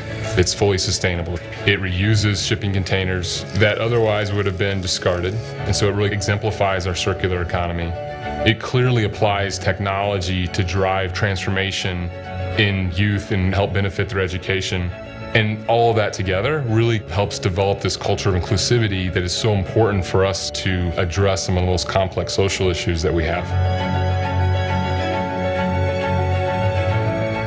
When you provide technology access, it's just been incredibly transformative regardless of program, regardless of culture. Hemos diseñado un espacio que va a ser para el aprendizaje de jóvenes en habilidades del siglo XXI. Computers has helped me because I've been doing task math and it has been improving my grades from 60 to 98. We want to open up the opportunity for others to partner with us. And so we're now enabling the crowd-funded approach so that we can scale the impact. Don't underestimate your capacity to transform the world.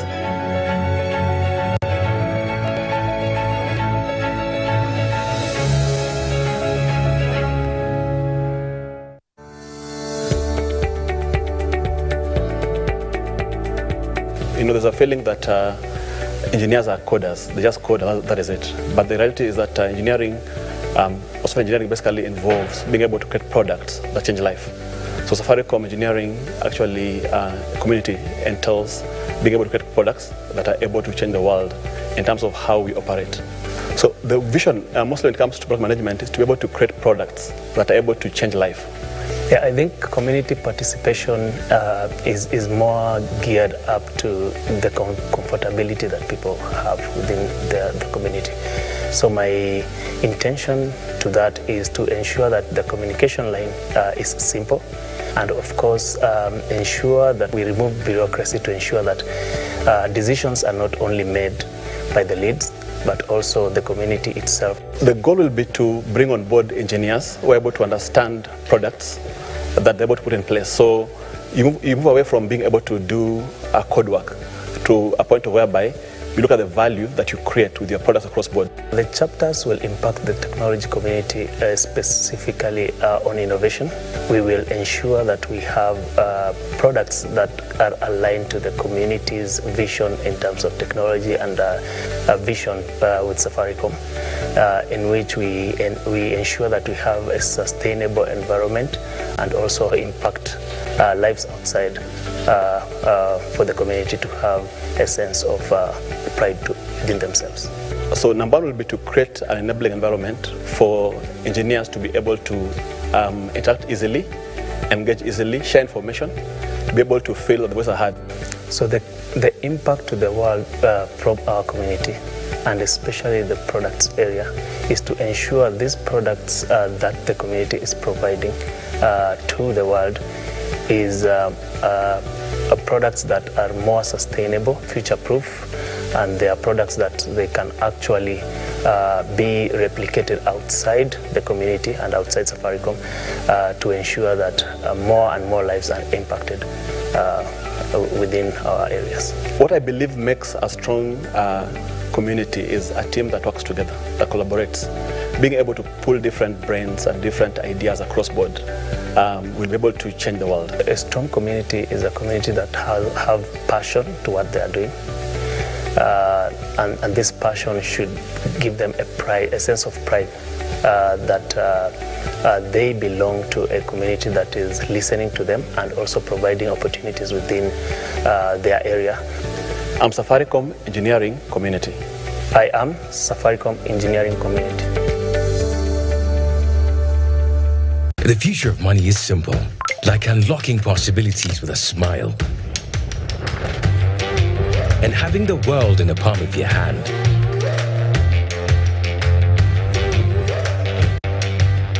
It's the ability to touch many lives at the same time and turn your dreams into reality. It's forgetting and still remembering. Simple is having everything that you love in one place. From the ticket to your next meal to your ticket to the next holiday. It's an easy way to ask for a boost when you're low. And keeping track of everything on the go.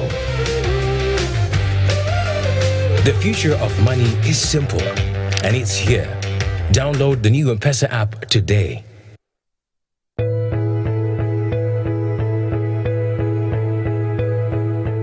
My name is Derek Wesonga. I've been at Safaricom for the last three years now. I am the Enterprise Digital Engagement Lead. Before that, I was the Digital Channels Tech Lead uh, Digital Engineering. When I was making the career choice, it came down to between law and uh, computer science. And all I knew is I didn't like talking a lot. So software engineering was, it seemed more appealing sitting behind a computer as opposed to being in a courtroom the whole day. Digital transformation definition is uh, where you're using digital technology to transform, you know, business processes and communication. My key job really is to ensure that our customers have a good experience accessing our products. Probably the most important attribute that can make a person successful in software engineering is curiosity. If you look at the industry right now, we have a lot of young talent coming in, and uh, that has enabled people to work in teams as opposed to before, where you know it used to be certain you know individuals. But right now we have so many more guys doing this thing. You know, in terms of customer obsession, we actually really you know feel that we are quite close to the customers. Uh, whenever we release something positive, like for example in my previous role, when we were working with my Safaricom app, anything positive we will get feedback almost immediately, you know, through the you know normal channels and also through you know Twitter, especially if it's something wrong. Predicting the future is quite hard, right? They say um, the pandemic was a great technology accelerator. We're going to have a lot more remote teams. I think that's that's a guarantee. And then, uh, you know, in terms of borders, as far as software engineering is concerned, it's going to be really changed. So before we could only hire engineers from, you know, Kenya, but even right now, as we speak, my team is composed of engineers in Nigeria, Ghana, and even Uganda. So I, I think um, that's really the kind of trend that is going to go. So basically being more of global citizens. For our dream to be accomplished, we have to work with very many stakeholders, some in technology, stakeholders in business, and you know, the other guys have their own priorities. So basically getting them to buy into this single vision that we have probably is the most challenging part of my, my job. Digital transformation has impacted my role. I would say, like, for example, some of the ideas we would want to implement before that were really hard. Right now, with the whole digital transformation going on, we have a lot more ears listening to us. In point is a project that I have right now. It's something that we just were pushing with my former boss uh, from last year, and uh, you know this year it became a reality. My parting shot is from Ludwig van Beethoven, and uh, he says, "Don't just practice your art, but force your way into its secrets, because for it and knowledge will force ma- men into the divine." A big shout out to the enterprise IT team led by Alan, the DIT team, and my team SME platforms.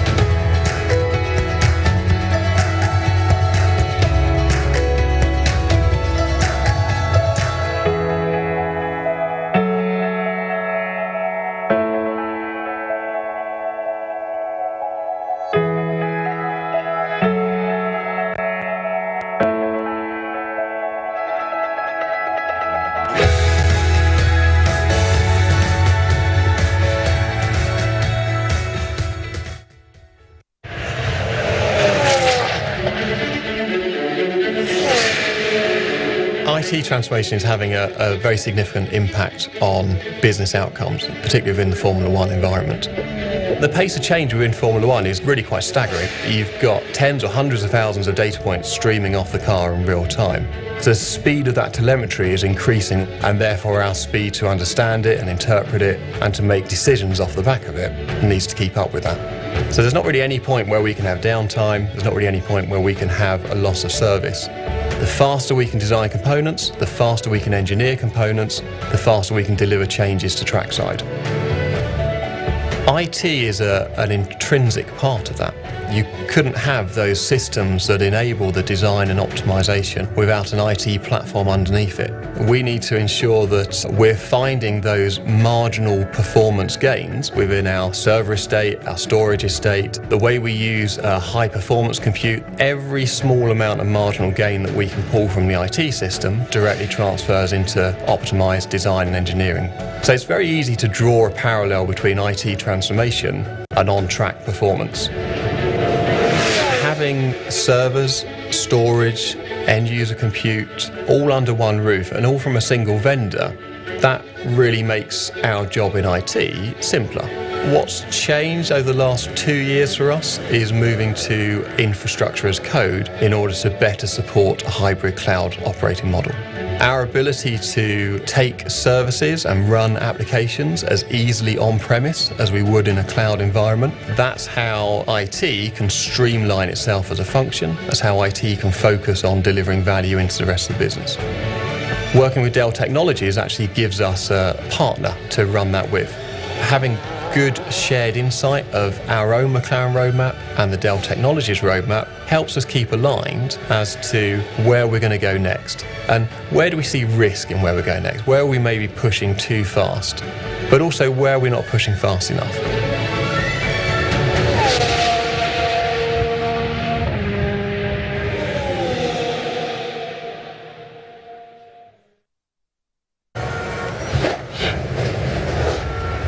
Efficiency, cost, productivity.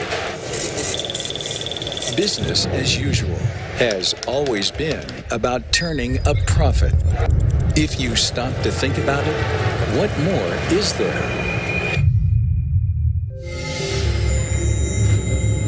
The universe, nature, life, civilization as we know it is about the search for something greater than ourselves.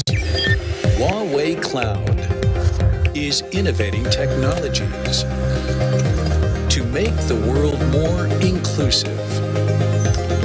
The cloud, AI, 5G are building a fully connected, intelligent world. They do more than drive digital transformation. It's a new paradigm for innovation. Imagine, if you can, what amazing secrets await when we unlock the secrets of the universe. What cosmic answers will we learn?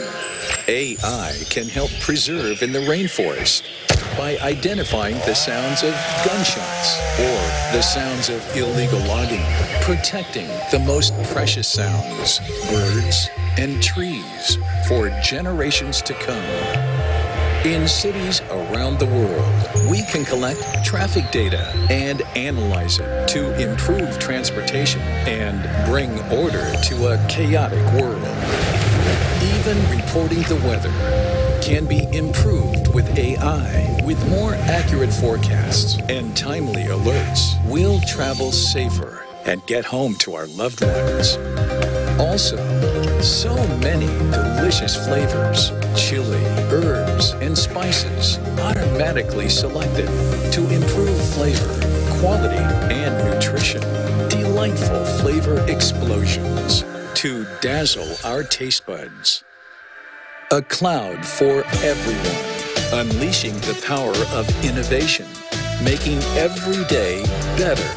A cloud for pervasive intelligence and a better future. Huawei Cloud. Grow with intelligence.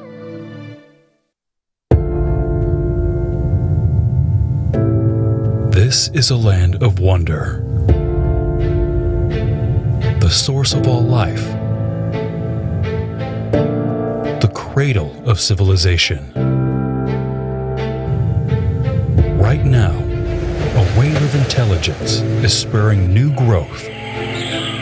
Cloud and AI are breathing new life into this fertile land of ours. Here, intelligence connects all things, driving insights for a smarter future. Track weather changes, uncover the secrets of time and space. Explore the depths of the universe with relentless computing power. Tap into the pulse of Mother Nature, bringing smart agriculture to the field. Analyze geological structures to unearth more resources. Activate the value of data for more efficient use of energy. Accelerate viral gene analysis to save people's lives. This land, computing unlocks boundless possibility. Build intelligence.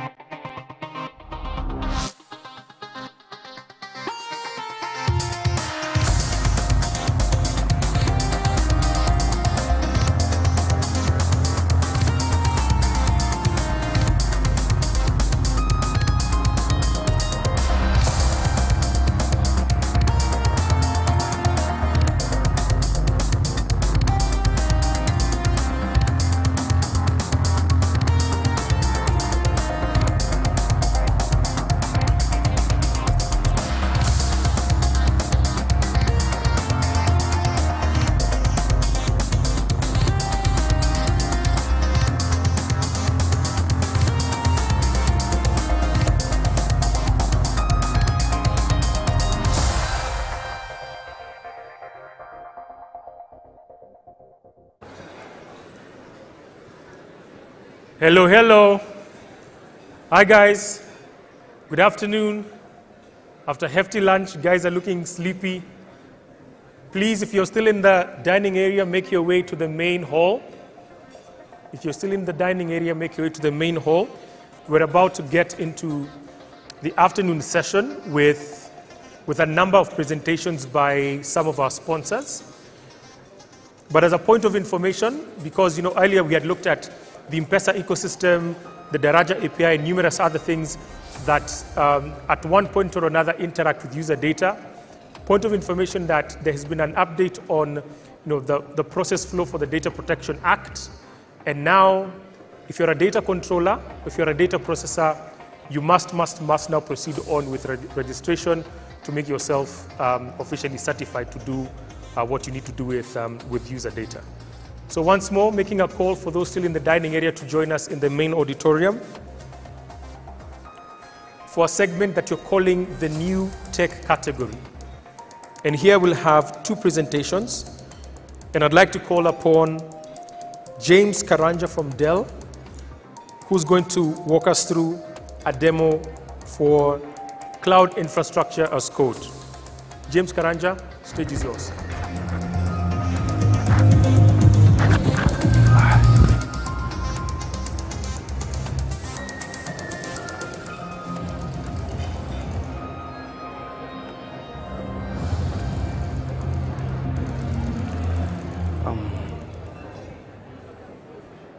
So good afternoon. So I'm the first session after lunch, so I believe we'll try to keep it light. Uh, my name is James Karanja, and uh, just a quick correction, infrastructure as cloud was done today in the morning, so there was no need to repeat it. So we are going to talk about emerging trends in cloud, focusing mostly on developers and operators at a one-on-one level. So mostly based on my review of the crowd, the young people who are looking at um, joining enterprises, what they should be aware of, and of course it also benefit people who go beyond the one-on-one level.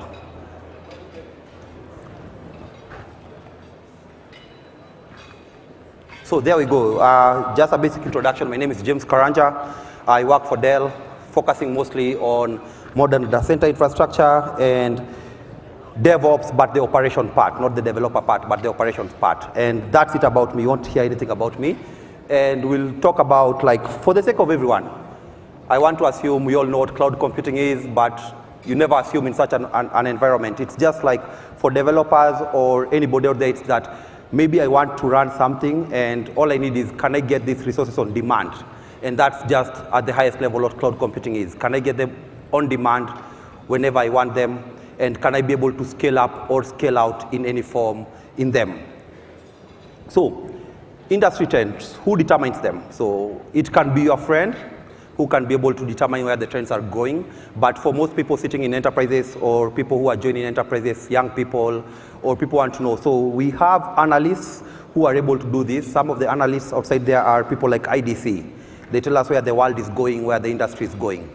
And another form of analyst who everyone knows is Gartner. So basically, they tell you, this is the industry you're working on, this is where we want to be, and this is where maybe you should be focusing your, your time on. And most of these I'm showing you are mostly cloud related. And of course, other ways of knowing where the world is going is via, of course, online, we normally know what's going on, but usually there is so much out there going on such that you don't know what to focus on. So, what and why? So most of the time, us as engineers, like I was chatting with somebody out there, we normally know the how. If you tell somebody, deploy something, they easily can't do it, right? But the, normally the question is what, why, why am I doing it? And what, what is it that I'm doing? So for an emerging trend perspective and what we are seeing right now in the industry and what you are seeing that people are looking at, especially when you're looking at developer side and operator side, focusing on tech. Of course, there are other people focused on the business side of things. We are seeing a lot of multi-cloud. And from a multi-cloud perspective is like taking an organization like Safaricom. Maybe today they work with AWS, right? Tomorrow they work with Azure, and they work maybe with other kinds of cloud. So they may have whereby an organization decides to have different workloads sitting in different places. And this can be driven by various uh, organizational needs. Maybe it's a compliance need, maybe it's a costing and everything. Of course, there is hybrid cloud, where majority of the people are moving towards. That's the capability to move uh, data in and out of your data center most of the time. You have invested maybe in a local data center and you want to move your workloads in and out of them. So as developers, we'll cover like what do I need to ensure that when I'm building such applications, they can be able to work in a multi-cloud and hybrid cloud. And of course, there is edge computing. As the world has moved, as we collect more data and as we analyze more data, the, the time taken maybe to move this data towards a centralized location, make quick decisions and everything, sometimes it takes a lot of time. So what happens is that we provide some small of compute instance, maybe running somewhere near the edge where something is happening. Think of it like in terms of a factory. You have a factory, multiple factories, maybe you want to be able to make decision making. And for example, I can use a good example, for, for example, Safaricom. As we move towards a world of software-defined uh, world, right? So maybe the BTS is just a damn thing, then they may attach a small computer there to be able to make quick decisions at the edge, and then after that, maybe they can move them to the to the core. So basically, as a developer, you may need want to think like, how do I ensure that whatever I build can be able to work seamlessly in such an environment?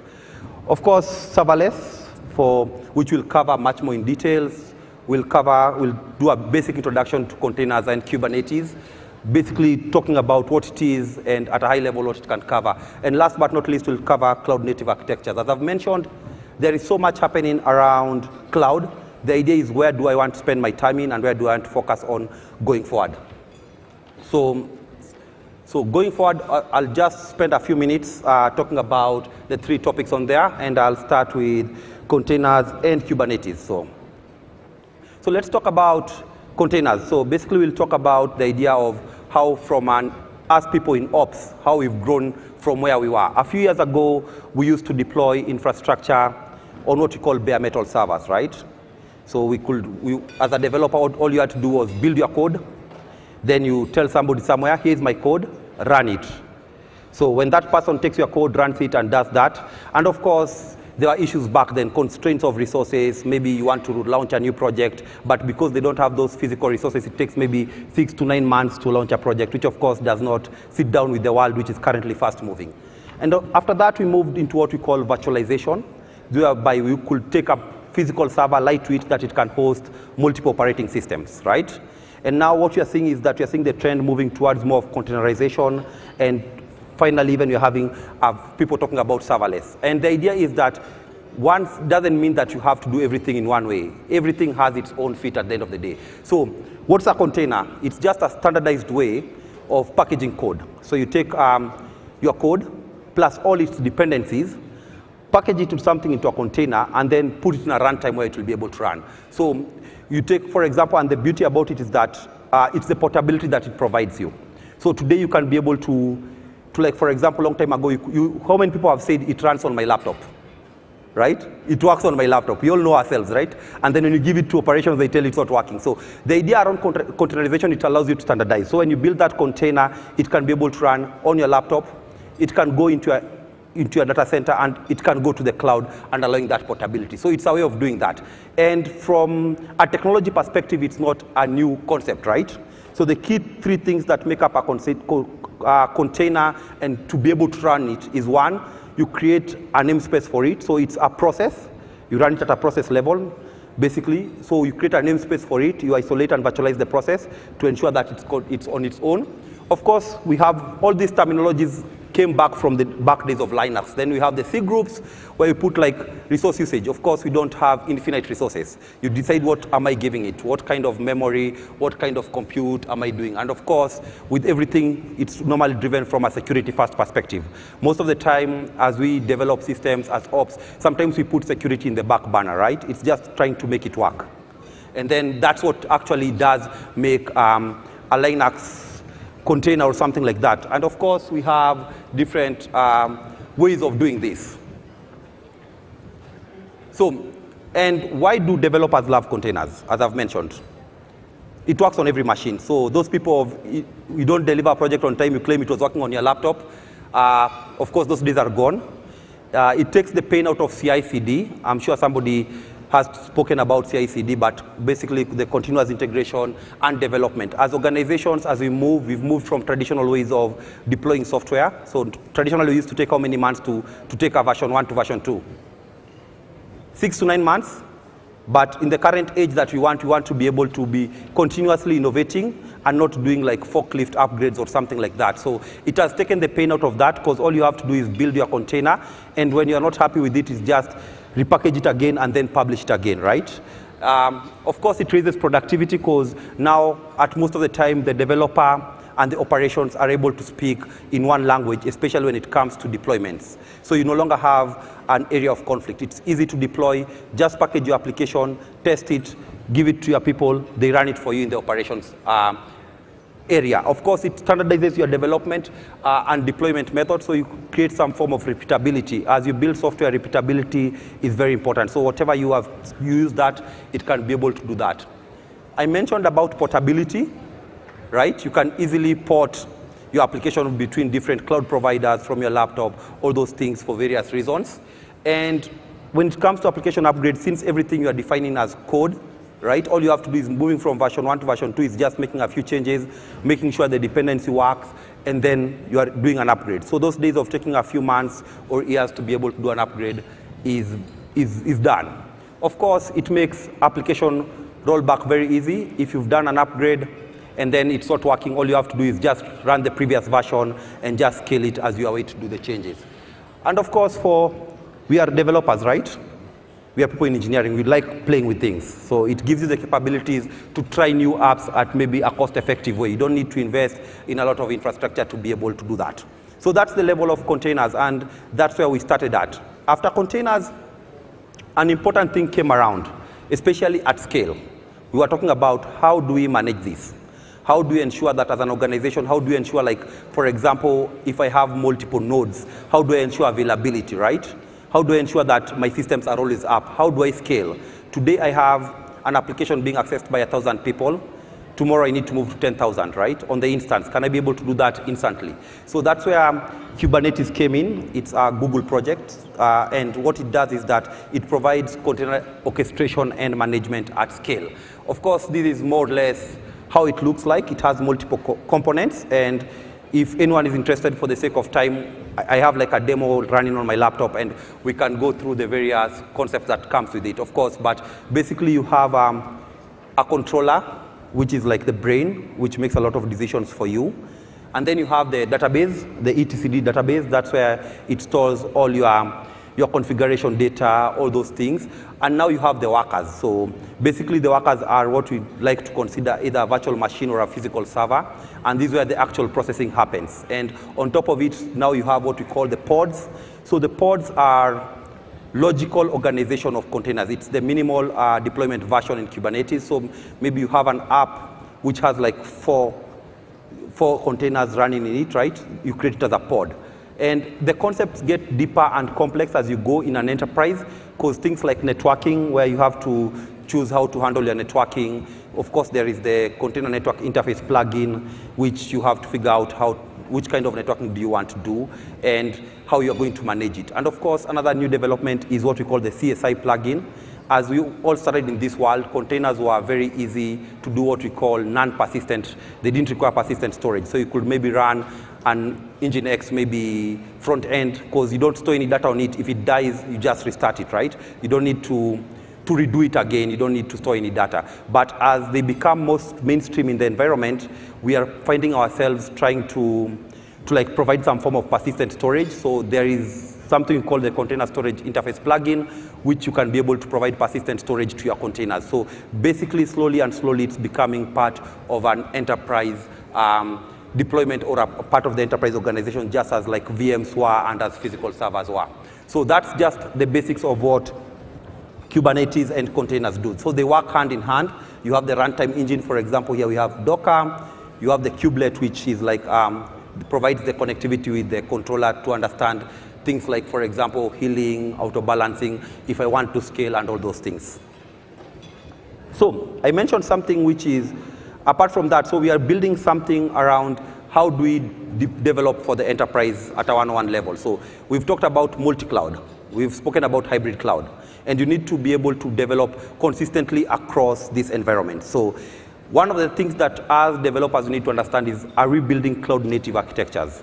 So those days of building environments in a monolith way whereby it was just a single operate, a single application requiring very, very specific hardware to run on it are over. So basically you're trying to build something that can be able to do that. And majority of what I got from the Cloud Native is, if you remember, it, we got the, there is a whole organization called the Cloud Native Foundation. What they do is they incubate um, cloud native solutions and technologies around it. So basically, it's, the idea is, can I be able to build and run applications at scale? So can I start with a single application? Can I take that application, easily make 10 copies without any downtime, right? Or without using a lot of resources? And can I run it across public, private, and hybrid clouds? And the tenants that cover cloud native architecture, as you can see, we have containers, they play a key part. Being able to create a service mesh, microservices, right, where you take a single big application, break it out into multiple components, whereby that one, where also you introduce, if you remember the old days of networking where we used to have that networking stack, you could, you could evolve in one section of the network without affecting the other one. So microservices does the same. So when you break down your application, into multiple systems, you can be able to take care of one, even take it offline as the other ones work, and maybe an outage in one doesn't mean that it's affecting the other ones. So think the likes the way Uber are building the applications, all those things. Um, how many times has Uber told you they're down? Because they're deploying new code, right? You'll all be stuck somewhere in Westlands. So yeah, so that's the idea around microservices. Can I break it down and have specific modules doing certain things? And of course, I can't talk about APIs, you know more about me, but either way, they all have to talk via APIs and be able to do that. Of course, it has four key tenants that are around it. DevOps, which is a practice. We all know about DevOps. It's not a product, it's not a solution. It's a practice where both developers and operators find ways of efficiently running things in an organization. They recently up, put some in between, they call it now DevSecOps, because we are now security-first organizations. Continuous delivery and continuous development and all those things whereby there is no stopping of an environment as you build it. And of course, I've talked about microservices and containers. So whenever you are de developing your your applications, you need to figure out, are they meeting some standards around this? Or whatever decisions I make from front end to middleware to back end, is it making sense across these four key tenants? And a good guide to ask yourself as a developer as you build. I would want you to visit 12factor.net. Um, it, was, it was like, um, it was written by I can't remember, the, it's, it's written by one of the, one of the Heroku, one of the PaaS providers, Heroku. So basically they provide you like um, principles that guide you when you're building a cloud native app. So as I said as developers, most of the time we know the how, right? But this is the what and why. Like for example, are you trying to do this as you build your applications? Does it check this for it to be cloud native, right? For example, you can take the first one. Is it a single code base which I revise? All I do is just versioning on top of it. And of course, like for the backing services, of course, do, can, can I treat them as attached resources whereby now I run everything as code and all I do is attach to the backend and everything. So please, if you have time and, and you are focused more on development, just visit 12factor.net and look at what are the 12 factors that are considered or best practices when building cloud native applications. So just to show you how complex it gets as you go into the cloud native environment. These are projects, one or the other, incubated or in production by the Cloud Native Foundation. So as a, as a developer, as somebody who's working at Safaricom as an organization, as somebody who is out there, you need to make critical decisions as you go by. You need to decide at what level, at which stack am I doing that. Although that's why it's huge even it could not fit. You have to choose what do I want to work with, right? And if I'm working on something and another person is working on something, can all they be driven whereby they talk via APIs or they have a seamless way of talking? And these are the critical decisions sometimes you make in an enterprise when it comes to building software. So you stop building for the sake of building or building in ways that you only understand. So you have to decide where am I going to invest? What am I going to standardize on? So as to avoid this, what we call like a, a loophole once you get into building cloud native applications. So that's a bit of cloud native application. Again, as I mentioned, we are just mentioning what we are seeing as industry strengths, which can guide you on where to, to invest your time, to invest your resources, and all those things. Last but not least, I'll talk about serverless. Um, I've seen everyone at some point, maybe they, they know about AWS Lambda, right? To some extent, right? You take some function, then it's triggered by an activity. So all you have to do is, sometimes people interchange it with function as a service, but there is another end of serverless, which is backend as a service. But the idea is, you are triggering something whereby you have an event which when triggered, code runs. It started simply because for cost savings, but now it has so many use cases whereby you trigger something to happen. There are so many projects that are working in this. So there is Knative, which is basically built on top of Kubernetes. So on top what I've put Knative, OpenFaaS, and Function, which is mostly supported by Oracle, uh, most of them can be able to be run on-prem, off-prem, and you can build your own. Then you have people like AWS offering their own version with Lambda. You have Microsoft with Azure Functions, and you have Google with Cloud Functions. But the idea is, I, what I'm doing is I'm writing very efficient code, which when something happens, it triggers something else to happen, right? Or it provides a certain kind of response. It can be a form of queuing in your code, right? It can be some form of messaging. If, for example, a user does this, kindly send this kind of message or something.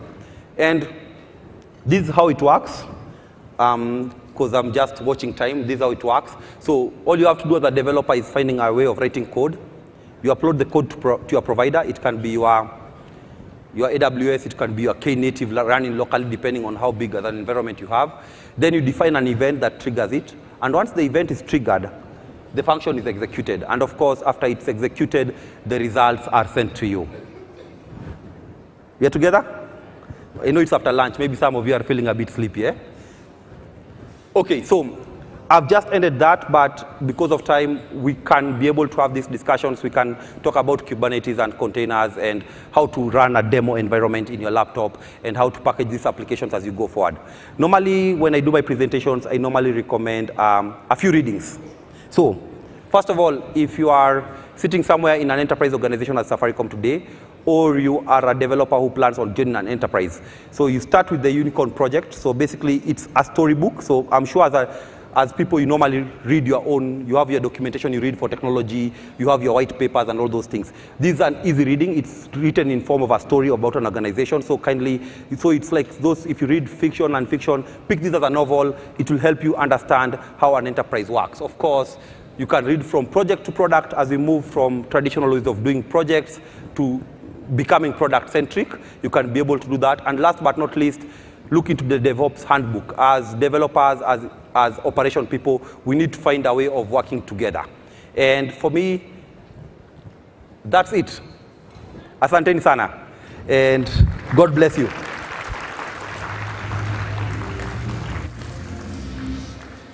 So with every session, I usually look at, um, you know, one, what are one or two things that I can get out of there. From this presentation, it's been that if you're going cloud native, know, 12factor.net that allows you to kind of like a cheat, uh, what, a playlist, a playbook? It provides you principles or best practices on how to do these things. Fantastic. So round of applause for James. Check out him and his team at the Dell booth. And I want to say thank you as well for the recommended reading. I think he's one of the only people who have come through with recommended reading. Oh, one of the others is Kamoshu right here. But fantastic so that you could take this knowledge beyond, beyond this room and beyond these few hours. I'd like now to call upon uh, Joe Kanywa from Atlancis to speak to us about Open Compute. Karibu.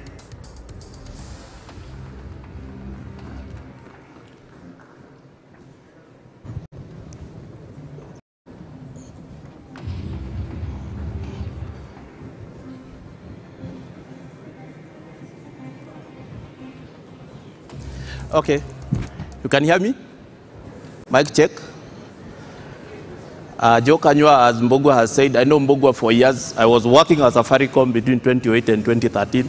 So today is more of actually networking. Forget about open compute for momentarily.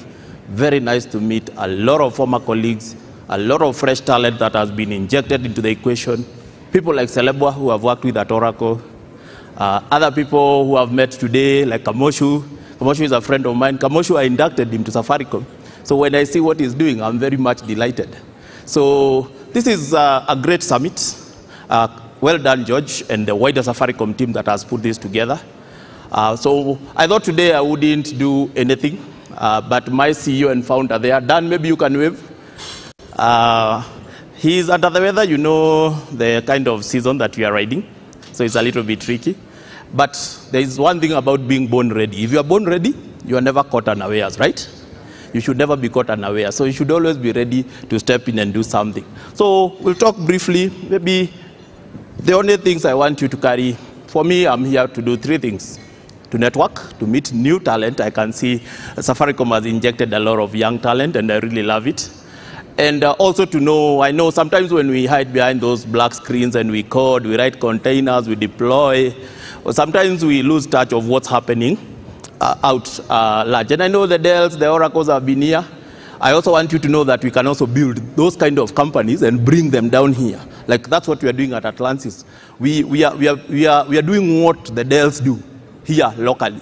And we are very lucky to have Safaricom as one of our customers who are buying into what we are doing. So let's see what we can cover today. So just a quick introduction to who Atlancis is. As I told you, Dan is the founder. We have our co-founder, Tony.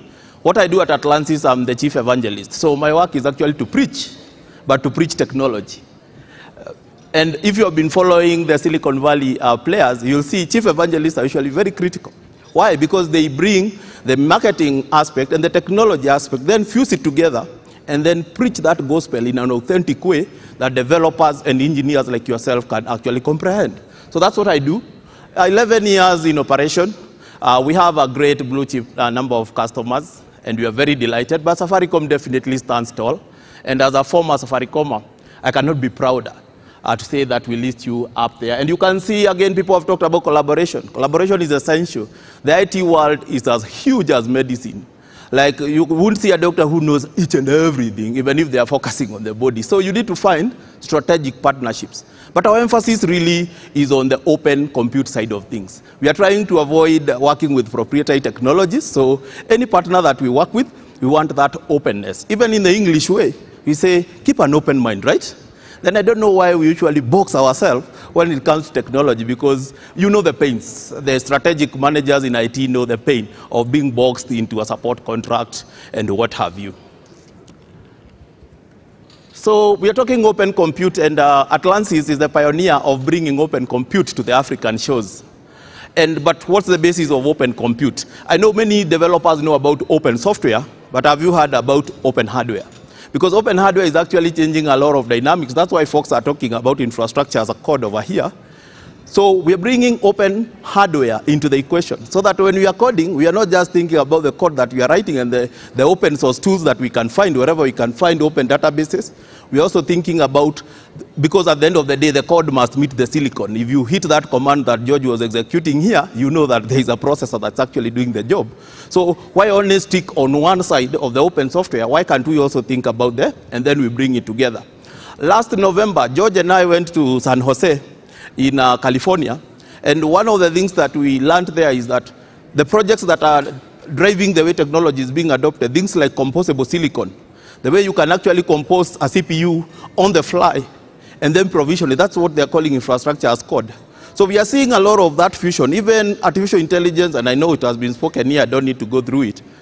We are seeing a lot of what we call software and hardware core design for artificial intelligence because AI cannot run with native capability. If you want to really get the extent of what AI should actually deliver, if you think about a driverless vehicle, for example, if you want to really get to the maximum and to get to the limits of what that can happen, then you have to think about the hardware as well as the software at the same time. So we are here to just also tell you that yes, we are talking software, but we must remember. So what Facebook did, Facebook is the, the inventor of open compute they decided that we are not going to be buying servers from the typical sellers of servers, they know themselves. Let's find a way of building data centers in a different way. And for obvious reasons, because we know in a data center, there is a lot of consumption of things like power, for example. If you can save power, even 10%, even 1% saving on power, that one saving can represent a lot and it can help you to invest on other tools that would add a lot of value. So Facebook actually drew the blueprints of how data centers have always been built and decided that they're going to redesign a data center from scratch. That data center, as you can see the quote there, it was 38% more energy efficient, and that is quite significant. So we are saying, even for a telco like Safaricom, or I hear you are calling it a technology company, and I concur with it, because the uh, communication service providers are all moving to DSPs, what we call digital service providers. I concur with that. That's a very, very humongous saving. But Facebook did not patent how to build an open data center. They decided to share. Typical open source aspect. You share the design principles so that other data center builders can take advantage of those designs. And that's what we are taking advantage of to say that if you're building a data center today, like Safaricom, you are building one in Liburu, then we don't want that data center to be built like the way QoA was built. So when I joined Safaricom, I was told QoA, I thought it's quality of something. Uh, then I was told it's queen of, of apostles. So I still remember that. So the way the data center at QoA or Thika or Kibos was built, then we need to change because the times are changing. The data center need to be OCP ready. And these are the tenets that you can see on this side. It's about scalability. When we talk about in anything in IT, scale is very, very important because you, don't, you can't predict the load. The elasticity of compute is very, very essential. Impact, sustainability. I know Safaricom is big on sustainability. You won't be able to achieve uh, greenhouse gas emissions reductions if you're building data centers that are very power intensive. The power usage effectiveness is on very, very high ratios. So it's about impact. That infrastructure that you're using to run the code and the code components that you're building, what impact does it really have? Then efficiency. Very, I know someone spoke about operational efficiency here, but efficiency is critical. At the end of the day, you need to do more with less, even in the computing aspect. That's what productivity entails, and the openness bit. So you can see the founders of Open Compute, uh, the likes of Goldman, Goldman Sachs, the likes of Microsoft, the likes of Google, they are all members of the Open Compute community. So we as Atlancis, a very small startup here, small uh, reasonably, but we have 60 employees that we are working with. But we are dealing with this. I, I, personally sit in the boards of most of those projects for Open Compute, and I interact with folks from all these organizations. So, and we invite actually Safaricom, we had discussion with Marco Yer, with George Njuguna, that we want actually the Safaricom team to actually join uh, and participate. The beauty of being in a, in a community like this is that you're not bound by the rules of what happens. You can also contribute. You actually provide the designs that can influence how data centers or how CPUs or how cooling systems can actually be built. So that's what we are doing. So we are working very closely with folks you can find here, uh, KPN, folks from Vodafone, folks from AT&T. Those projects, they are at least like 10 projects around power, cooling, artificial intelligence, future technologies, and all of them we volunteer to have someone who is leading, and then there are sessions that you actually meet and you discuss these things. So I, I, I personally, uh, again, emphasize that it would be great to have the Safaricom community there. Uh, I know a lot of text. I don't like text on slides, really. Uh, someone told me once that what bullets do in real life, they actually do even when they're on slides. So they kill the audience. So I really hate them. But you can see on this side, I focus you on this side to say that there are many reasons why people are adopting open compute solutions. Then the number one is definitely cost. At the end of the day, cost is a, this is a business. At the end of the day, you don't want to spend a huge capital outlay on just the technology to run the applications that we, the subscribers, the consumers use. So that's a compelling one, capital expenditure reduction. Then open design. With openness, compatibility is never an issue. Locking is, is never an issue. So you can see the imperative. So we are bringing technology that is really well thought out, and we know that at the end of the day, the clients that we have today and in the future are going to hew and take uh, lots of advantages from that. So these slides, we can share them, but just to see 50% reduction, I looked at one of the tenders that we responded to one of the government agencies. I can state because a public organization can trade. And I can tell you, the second highest bidder who could not provide as much compute power, as much storage, and even the open networking solution was almost twice the proposal that we put on the table. So it was a no-brainer for the customer. So we are cutting the supply chain. We are not killing the OEM. The OEMs will always be there, the original equipment manufacturers, but we are shunting that. We know if you eliminate the broker, what happens in real life? Even your insurance broker, you know, he's also a businessman. Even people broker, you know, in Nairobi, we are very good at trying to cut something. But if you eliminate the intermediary, you know what happens. Value is got. So that's what we are trying to do. Let's see. Yeah, and uh, of course we are getting we are getting very good um, uh, press uh, and publication and publicity. Uh, we you can see like uh, Yahoo Finance, they have already noted that we are not the, the challenge we are always told as Africans and uh, is that we don't really tell our stories and we also lag behind so much that we always jumping on jump, uh, bandwagons that have already taken toll. So it's good to see that a local startup is also being noticed at serious places. I can tell you in Africa, right now there's no one else who is driving the OCP gospel as much as we do, but then we know we are going to earn very good returns out of it. And uh, if you go to the Open Compute projects, just Google Open Compute, you will see the kind of companies that are listed there. None other than Atlancis you will see us there. And we are not just there to make up numbers. You know, you can be somewhere to just make up numbers to say, yes, we are there. But we are there, but, and we are also causing ripple effects. We are doing real things with customers like yourselves, and not just in Kenya, but in the Pan-African region. So we are scaling out. We are keeping tabs with what's happening on the technology front in the world, and you are bringing them to these shows so that developers like yourselves, you won't be limited, and you don't need to necessarily talk about, say, public clouds that you don't even know where they run. We can run this kind of infrastructure in a private data center because we know data residency, data sovereignty is becoming very, very critical. So those are imperatives. And uh, I don't know how many have heard about the telco infrastructure project. This is something I would also urge you to read about. We are also members of the TIP. It's called the TIP, Telecoms Infrastructure Project. So there's a, a global trend. If you see the, the players here, they are very familiar because you're in the telco space. And the push there is to see how can we do software and hardware disaggregation. So normally software and hardware, if you have worked with uh, switches, like networking switches in the past, they usually bundle uh, the, the routing software and the hardware very, very, very closely so that it gives you very limited programmability uh, capabilities on top of that particular device. But what if on the networking front, for example, we can decouple the software, the, what we call the NOS, the network operating system. We decouple that to become software, which can be managed by developers like yourself. And then the hardware, we make the hardware commodity because at the end of the day, the hardware doesn't add a lot of value. What adds value is what runs on top of that hardware. So there's a global push to do disaggregation of software and hardware to ensure that it reduces in terms of value, uh, it reduces in terms of cost, and at the same time gives organizations like yourselves and developers like yourselves a lot of flexibility. So please read about open networking and what you're doing. Again, we rank there.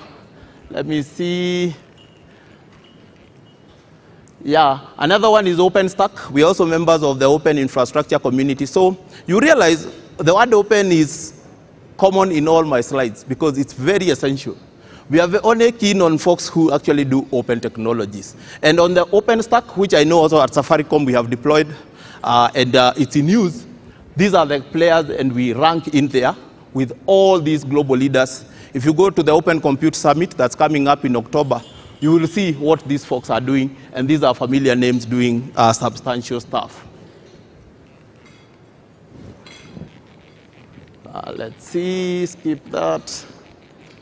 So I won't talk about uh, uh, infrastructure as code because I know that was discussed earlier. Uh, come on. One slide up.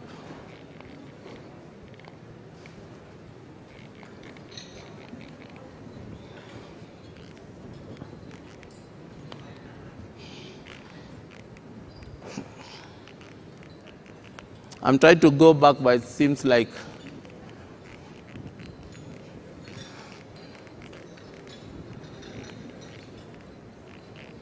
Any support guy? Go back.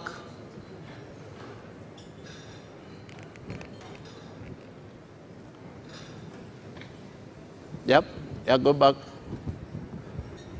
Uh, one more slide. Yeah. Yeah, we can take it from there. So this was demoed in the morning. I don't have to take you through that. Let's go to the next slide. We talk about the TNETs to a greater uh, degree. So these are the open compute TNETs. So if when you join the open compute community, if you need to contribute anything, it will be judged by this criteria. At least an OCP accepted solution must meet at least three of these criteria. So even the solutions we have uh, proposed and the ones that are listed on the open compute community, they meet at least one of these three uh, criteria. openness being very, very essential, that you cannot just say, no, we are going to patent or we are going to prohibit the reuse and the design principles around that. So keep this in mind as you think about solutions that you can contribute. Now I have to be cautious. I don't want to jump. Yes. These are compute nodes, storage nodes. You see that green? We call that OCP green. So in the racks that we have shipped to the data centers that are seated at Thika and at uh, River, if you go and look at those racks, you will see this kind of nodes. Uh, we were discussing with Cephas earlier, uh, Cephas Maundu here, my good friend, and you were saying long ago when we were developers, we used to code with him. My first job was actually a software developer, and we never used to see the servers because the servers were, uh, the, the systems admins could not allow you to even see the servers blinking. So it was pretty much a black box. But with the DevOps, which I see is a culture that you have adopted here, we are seeing a lot of fusion of development and operations. And it means that a developer should be able to swap, for example, a compute node from a rack and be able to replace it. So the way OCP machines, OCP nodes are built, they are completely toolless. You can just pull through and do a hot swap on a particular disk, and then you can go provision whatever you want to provision on it. So this green, if you, for those who are curious, you need to see wh where the code that you write runs. Go to the Thika data center, Joram, I saw Joram somewhere.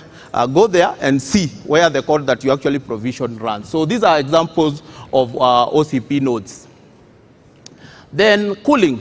Cooling is critical uh, in any, uh, the kind of, uh, you need to think of sustainability from the code you write, because if you write mishmashed code that is not very optimal, you know what happens, that it causes a lot of strain on the, on the CPU level. But then, you need to think about it, even from a cooling perspective. Traditional racks and traditional servers were built with 40 millimeter uh, fans, and what, what that means is that they rotate more. They actually rotate more. But using the cube's law, you can double the diameter, and then they rotate less, and that means they consume as little as 40% power. So any server that we ship also considers this. So you, the developer, do your part on the sustainability, but also know the silicon that you're going to run, we have already thought about uh, that sustainability bit. And these are statistics, they look more business, but they make a lot of sense. If you look at shipment of servers in the world today, the guys who buy from original device manufacturers direct, you can see the growth. 34.4%, uh, sorry, 61.5% in 2020. And these are the statistics that we have. So for us, we are cutting the supply chain. We are going directly to the original device manufacturer and assembling an engineered system that will make more sense to run the kind of workloads that you run. And in your own data centers where you have control and security, you can be able to secure your infrastructure better. So this is the imperative, this is the business case of why we are doing what we are doing. So uh, at, Atlancis, we, we are not picking solutions from the sky and landing them here. We are also building solutions that work based on what we know is needed here in the African continent. For example, we have a solution we are calling Cinnabox. Cinnabox is uh, short for container in a box. And uh, I invite you to have a look at what uh, it does, but in the next slide, I'll give you a perspective. If you look at this deck, let's start from the infrastructure tier. You can see the OCP infrastructure. So we only do open compute technology at the infra tier, regardless of where you want to deploy, whether it's the edge, uh, edge data center, the virtual uh, private clouds, which we are seeing are very critical, but it doesn't mean that you can't deploy on a public cloud like AWS or Google Cloud Platform. There is no limitation, but we are seeing our customers are very much inclined on the private cloud areas and on the edge uh, because of obvious reasons. Then as we go up, we are working with Red Hat for obvious reasons. Red Hat is always an open player. So we say our partners must be open oriented in their thinking. So we are, we are providing a solution that we are boxing, and we can be able to deliver this as a tanky solution. And this will power your DevOps capabilities, because if you are talking about continuous integration, continuous delivery, uh, code release, containerization, you know the Open Red Hat OpenShift is one of the most deployed container orchestration platforms. So we are putting that, we are patching it on the OCP infra, and bringing this solution together. You can see the developer tools on this side. We just did a POC for one of our clients the other day. They were really surprised uh, on the capabilities the developers have whether it's the command line interface, whether it's the, the web UI, whether it's the security capabilities, managing secrets within the platform, all that has been considered. The app services, the platform services, and also the monitoring, the logging, all those aspects that you need to do in a given cluster. So we are picking that solution, we are boxing it and calling it Cinnabox. And the use cases you can read through, they're unlimited. So whether you are moving, you are doing cloud native de development, whether you want to port solutions that you are deployed on, say, an AWS cluster, you want to deploy them locally, it doesn't really matter whether you're doing data science, which are data science workloads or AI ML workloads that are very high capacity, we have tested on our Cinnabox platform. And you're able to run virtually any kind of workload. And I know most of the developers can recognize some use cases here. So what else do I have? Yeah, so I'll skip, I'll skip the web console. So this is just to wrap, this is one of the open compute racks. We just decided to put, this is when we are delivering at Thika. You can see it's not the traditional type of rack, the 19-inch uh, racks that you're used to. Very, very different. They actually don't even close it. You can see the bolts uh, you can be able to add doors if you want. For Safaricom, we had to do it because of the risk aspects. But usually, they are usually delivered even without doors because of the cooling aspects. So if you're able to secure your infrastructure better or your data centers better, you don't necessarily need to add doors, but we are taking cognizance of what the risk team, for example, might say. Someone might just come and pull this through. So this is when we are delivering, uh, this is the rack that I was saying. I invite you to take a walk or a ride to Thika uh, so this is a populated, the parts that are in white means that you have future expansion. You can add more nodes in that particular rack. And I'm telling you, with the OCP racks, we've seen three traditional racks, they fit into only one OCP rack. So even in terms of data center space and density of compute, it's a very, very remarkable change and customers are loving that kind of, because data center space is also, whether you do co-location or you do your own data center, it's a big, big, big, uh, it's a big, big savings in terms of space. So I'll stop here in the interest of time. But of course, we can always have a conversation around this. Thank you very much. Joe, Joe is very passionate. And the one thing he said, I wasn't even prepared. You know this thing, uh, niliambua tu, yes. na nimekuja, na so I think it's, it's great that you're an open, open evangelist. Yes. And you know, for the audience, I mean, we've been looking at, we've been looking at uh, mostly data center solutions. But the open compute, what, not even open compute, that, that mindset of going open also yes. goes into connectivity solutions. Correct. No, you're, you're seeing this is the stuff in this is the stuff on, in, in, the back end, but also if you're looking at stuff in the field, if you're thinking of last mile connectivity, there are also lots of amazing projects. Some of those names escape my mind. Uh, like open. Wi-Fi, for example. Mm -hmm. Yes, uh, there are very many projects around open, including open Wi-Fi. We, we have just done one deployment for open Wi-Fi at Kenyatta University, uh, and it's a, a, child of the telco infrastructure project. So yeah, I concur with you. Fantastic. So yeah. from Atlancis, it's keep an open, keep an open, keep an open mind. So Asante Sana Joe, uh, be sure to network with him and the, and the large Atlancis uh, crew. I'd like to call Mariam on stage because I told you guys that tutakuwa na trivia. So if you have been here and you've been sleeping, uh, we're about to dish out some, some airtime. And we're doing this, remember, we're streaming live as well um, on LinkedIn, on Twitter, on Facebook as well. YouTube. LinkedIn and YouTube. So I think Mariam will go first with the virtual audience, and then I'll shoot my questions for you guys here. Right. Hi, everyone. Hi, everyone. My name is Mariam. I've spent uh, most of my time with the virtual audience. I know a lot of uh, you were with me yesterday online, and it's so good to see you here in person.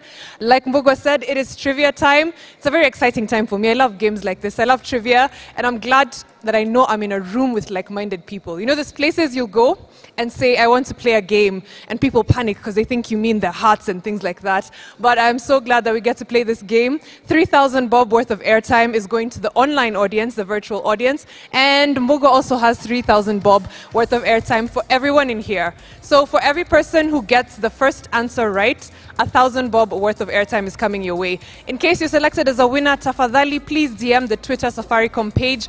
Only the verified ones, because there's many people claiming to be Safaricom, but only the verified pages. So I'll begin with a virtual audience. These are your questions.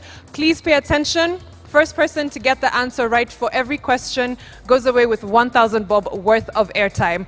I'll also, yeah? Quick one. Yes. I'm seeing people starting to type on their phones, and they are here and they're also online. Uh-huh. Okay, we have crafty people. We will verify whether you are here or whether you are a part of our virtual audience. I, people want to walk away with 2,000 bob worth. Of nice try. We'll have to find a way to, uh, to, um, vert, to, what do I do? Vet. Yes, to Vet, vet. yes. But first, Mbogo, I want to begin with you. Because trivia, everything charity begins at home. Do I get airtime also? You don't get. You, for exactly zero bob worth of airtime, Mbugua, who invented the telephone? Ah, that one is easy. Um, at the risk of giving away my age, Okay. that answer was behind the exercise book in primary school. Exercise book in primary school. Kasuku, the Kasuku exercise book. Okay. The answer is Alexander Graham Bell. Who here had Alexander Graham Bell behind the exercise books? Where are my age? Wow, wow, wow, wow, wow.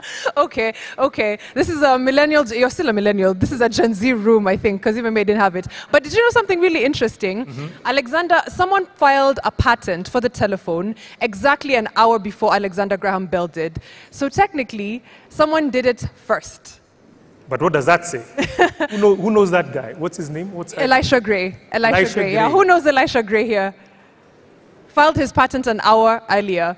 So, kutangulia si kufika. Kufika, execution, execution, execution is key. Absolutely. At umeenda umeweka patent. By the way, I, I speak that way and I'm also, I, ho- I hold a utility patent for a telematics device. Yes. But we are yet to execute properly. That execution has been such a headache.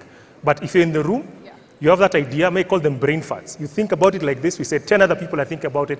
Execute, execute, execute. Otherwise, you become like that guy, I forget his name again. Elisha Gray. Elisha Gray. You become, right. like, you become Alexander Graham Bell and be on the back of exercise books for Ab- future generations. Absolutely. And Godspeed with your execution. Asante. I'll give the audience the question now. Again, these are only for the online, the virtual audience, Tafadhali. Um, your first question, I'm keeping this general knowledge because I don't know if you've been here the whole day online or if you were here for some parts. Kama sti- stima ilipotea, I'm not too sure. So I'll keep them very general knowledge. Let's see who first gets the answer. Your first question, which is the most popular social media network? I won't even give you options because honestly it is an insult to your intelligence to give you options for such a questions. Uh, which is the most popular social media network okay?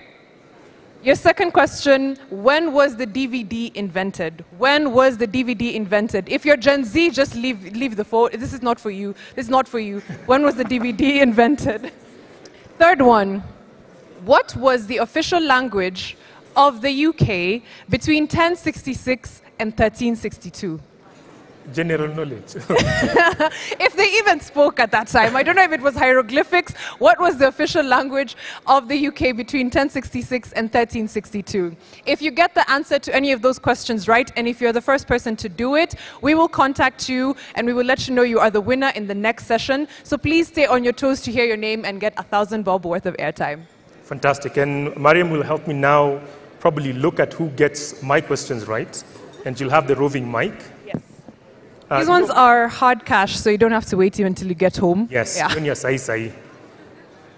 You know, that first question was also a trick question, in my opinion, because where, you know, in, in, in, your, in your homes, in your office, the most popular where? In the world, in Kenya? So that Let's go with in the world. In the world, Let's go with in the world, yeah. Whichever is popular in your heart, that's between you and your phone. sawa sawa. Mine are very mboga. Question one What's the hashtag for the Safaricom Engineering Summit? okay. To be fair, his hand went up, went up extremely fast, yeah? So if you get this right, you deserve it. I think so. Um, uh, the answer is uh, hashtag Safaricom Decode. Fantastic. Patia yeye. Boga sana, here you go. Ah, yeah. Second one is from Alice Munyua's speech. Mozilla is owned by which organization? Again, your hand, your name, hand, everything went up really But she fast. should, she, actually, she should not. You won yesterday, Bana.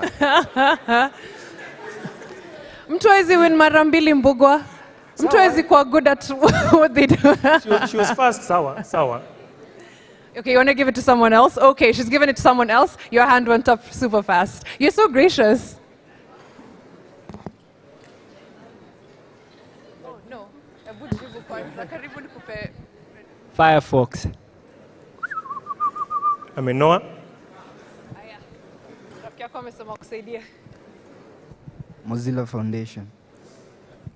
Louder. Mozilla Foundation. Fantastic. That's the correct answer. Mozilla Foundation. And the, la- the third question, the third and last question. Sorry, Mbogo, let me move this side so that I also give this side of the room a chance to get some airtime. Okay. What browser function has Mozilla launched recently? Who whispered? Yeah, you, it was you. Yeah. Fire. Trans. Trans. Mm-hmm. Translate. Translate, correct, correct. So that's 3,000 bob of airtime having been given. There's more airtime coming. So even as we go to the next session where I want to call onto stage Wang Fengming from Huawei to talk to us about the Huawei App Cube. Remember, keep tweeting. Now you can go back online and tweet with the official hashtag, Safaricom Decode, and we'll be back here with more trivia based on the discussions and the presentations that we've had. Asanteni. Wang, stage is yours.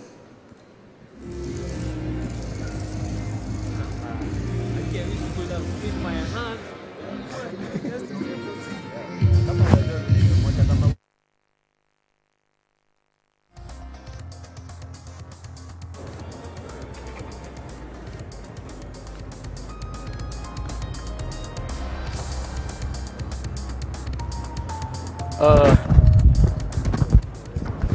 good, good afternoon, everyone. Uh, it's my glad have this chance to share uh, some things with you. Yeah, today I think yeah I learn many things from others who tell more about the technology. But for my topic, I want to share some small story from our company. It refers to technology and also it refers some business case I want to share with you. My topic is welcome to AppCube. I think the first things we need to think about what's AppCube? It's a new word, right? Yeah. AppCube, I think first thing we can separate this word, app and cube. App is application, cube is cube. So what's the relationship between app and the cube? You can see me, right? Today my coat, you can see this coat is not fit for me. It's a, a little bigger, right? So I can handle more. Maybe uh, a baby, a children can handle to my coat. So it's just like the relation just like the coat and me, my body, application. And this coat, a container. So this code can contain more and more application. So this is AppCube. AppCube is application container.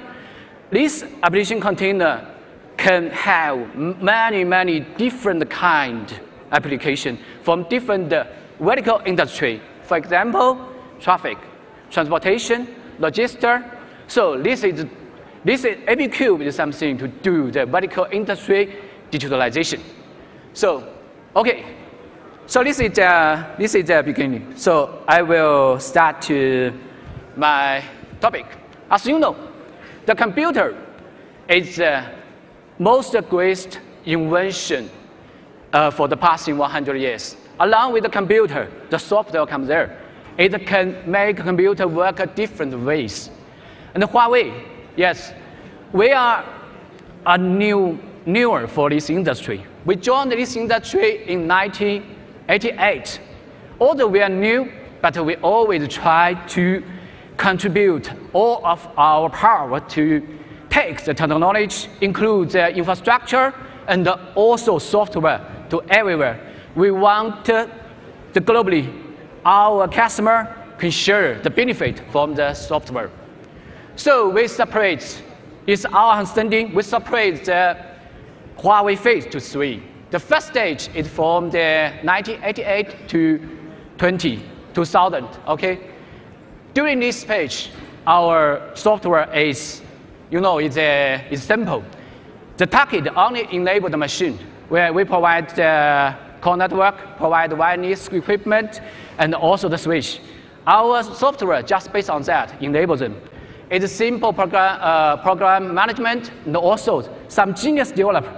It can handle everything. It's full. Okay, and the next stage is from the 2000 to 2015. We get many requirements from our customer, from Safaricom, from global telecom company, and also enterprise. We, our, tech, our mission change. We will enable the industry. We will fulfill the business requirement from, from the industry change. And you know, for their requirement, these are some high requirement for them. It is, a large functionality can carry what's their operation, right? It hundreds functionalities and high performance. It's several thousand TPS because it must handle the service from the, from the country. And the high stabilities, it cannot out of service. And also have perfect uh, qualities and uh, high pre-investment. So it requires a large program management and uh, high complex cooperation between team and the quality control and the security control. And now, yes, we into another phase. It's a new phase. We will take the lifestyle for our customer, for this country. So for the, under these periods, the difficult is for us to enable the vertical industry and build the ecosystem for our customer and take the benefit for the software to the everyone. Under this period, it will have the export MIDI program to cover the live signals. Every day when you wake up, we can use our application to do the service. You can call the food, you can call the taxi, you can do many, many things. You can book the airport ticket, something. Okay. And the requirement for here is different. You know, under this scenario, if we want to enable digital vertical industry, we need more partners join us. It, it will be not a closed teams in Huawei internally. We need more and more partners join us, join our ecosystem to do the same thing. Same team, same dream, right? So, and also the requirement is different. This, under this period, it requires to do the quick publish and the quick innovation, and also not so high requirement for the software quality, software performance stability. We can enhance software along with the business. If this can successful, we can enhance it. If it cannot successful, drop it, right? So it requires Huawei master open source to our partner, to enable our partner. But only open source is not enough. We must do more. You know the coding is high threshold, so we must decrease the threshold. We make our platform to low or no, no very low threshold for entry, and another thing, we must use the angel development mode to let you quick realize it and quick go to the market. Okay. And uh, from our concept, if I want to do something with our partner together, we must do the first exercise. So this is the first exercise we have done in Kenya. It, we call it a digital uh, category. From last year, we built this application based on our, our AppCube platform, uh, two weeks, and then we published it to the market. And until now, we already get more than 20 merchants in Nairobi. For example, the Sky Party and uh, the P, uh, Cafe, yeah, some, some, some, some, some merchants like this, they already use our, our application. This application can help the merchant to improve the efficiency, can do, can, uh, can manage their menu quickly, can take the order quickly, and uh, also can do the promotion very quickly, and also like Joe, for them, he can get more and more consumption there to their merchant to do that, to do that, to do that, to do that, uh, to, to, to have their food, something like, something like this. It's built the bridge, bring the merchant and the customer quickly online. So this is uh, the advantage for our digital catering.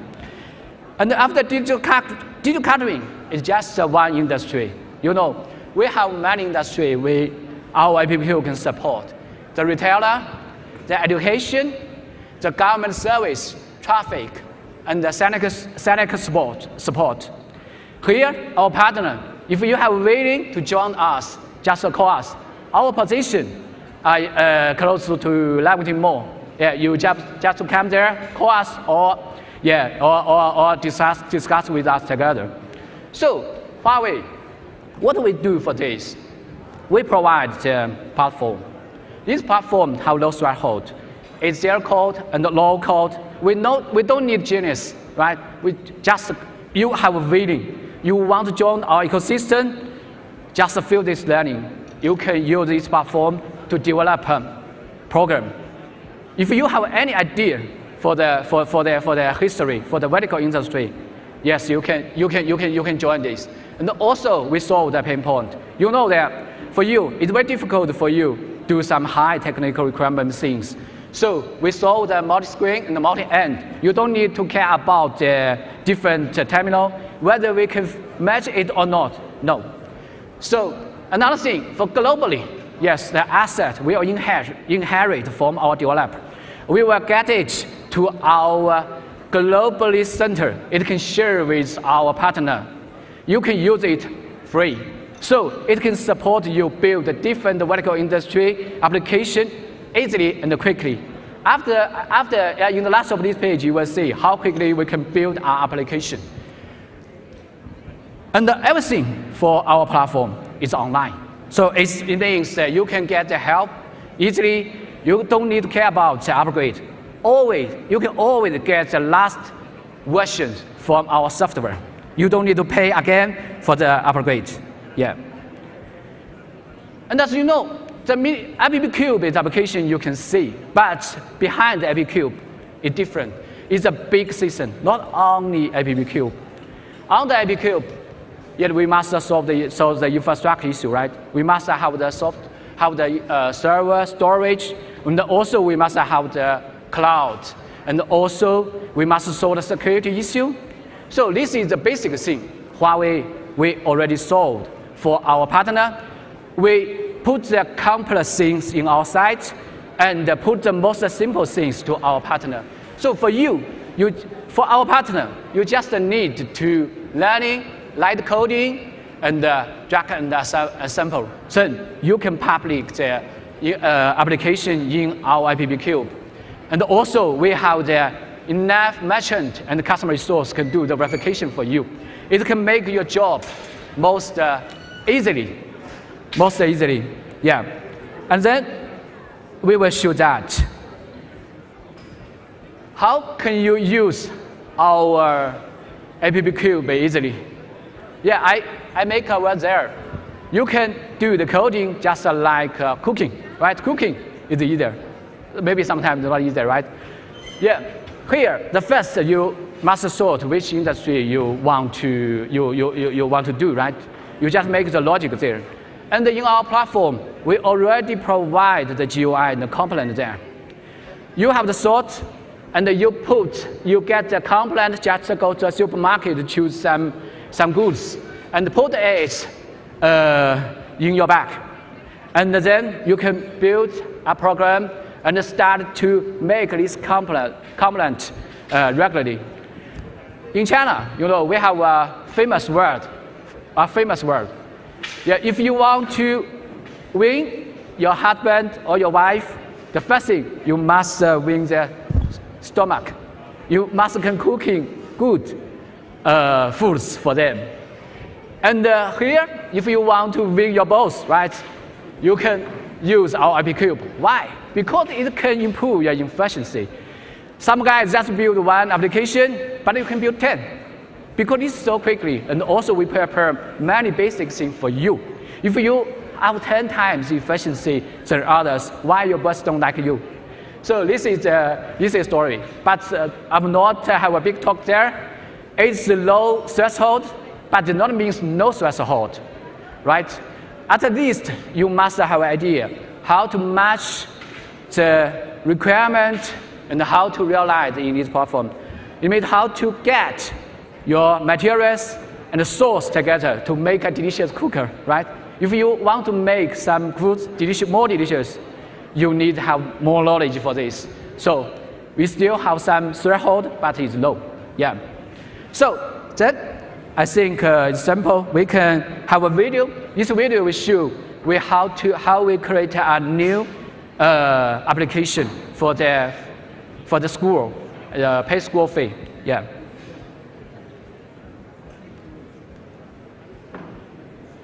Uh, this is page. This is the page. It's the home page.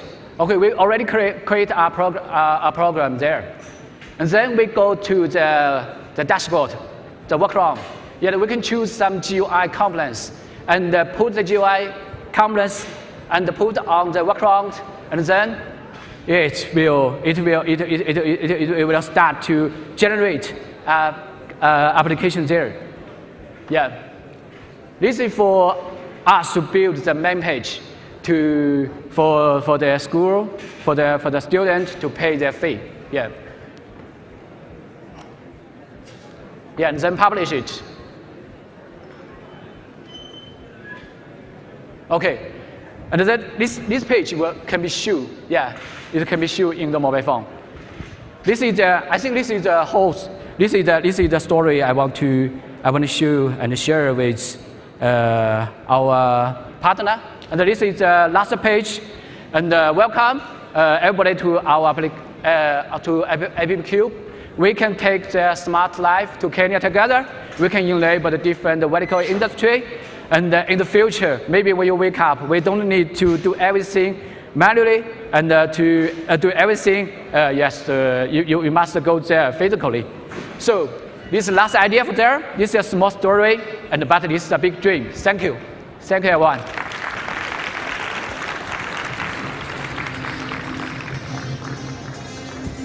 Fantastic presentation. And I said AppCube. It's not AppCube, it's, it's APP. You guys are not listening. Why are you listening? It's APP. Hata for mimi nimepelekwa shuleni kidogo. And I think the integration between you know, hardware and software at Huawei is amazing. Some of this stuff, you think you've read their playbook, but every other time they do a presentation, you see just how expansive that is. So they own, they manage the metal. Their own software runs on the metal. And then they also have the direct consumer apps. That's essentially the entire stack. Now I'd like to welcome John Jogona on stage to uh, invite one, one of our key sponsors here to give us a word or two. John, George, come on stage, please. Thank you, Njihia. Thank you so much. Uh, one of our key sponsors uh, is going to be leaving shortly, uh, so I just thought I'd invite him to say a few words. Uh, for those of you who don't know, actually, uh, M-Pesa actually runs on Huawei.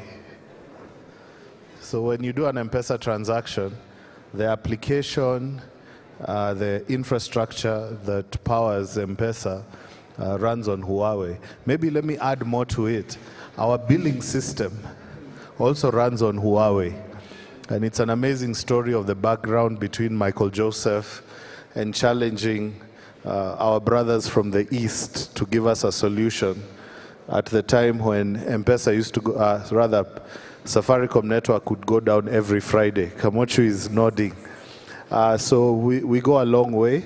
And it's very interesting for me when I work with people from the East and the West, and sometimes they don't always see eye to eye, uh, but I end up being the, the handshake, the API between the two. So allow me to welcome uh, the Huawei CEO, Mr. Will Meng. Uh, please give him a round of applause. He's just going to say bye. He, he loves all these. He's told me to open a shop where I can sell these. thank you, bro. Thank you, thank you. Thank you, uh, because uh, uh, today is a big day, I think, for, for us. Uh, before, I attended a lot of uh, this kind of uh, big party in Barcelona, in Singapore, even AfricaCom in Cape Town. But this is the first time I came to Kenya, and I'm here to experience this fantastic party here together. This is my honor. Thank you.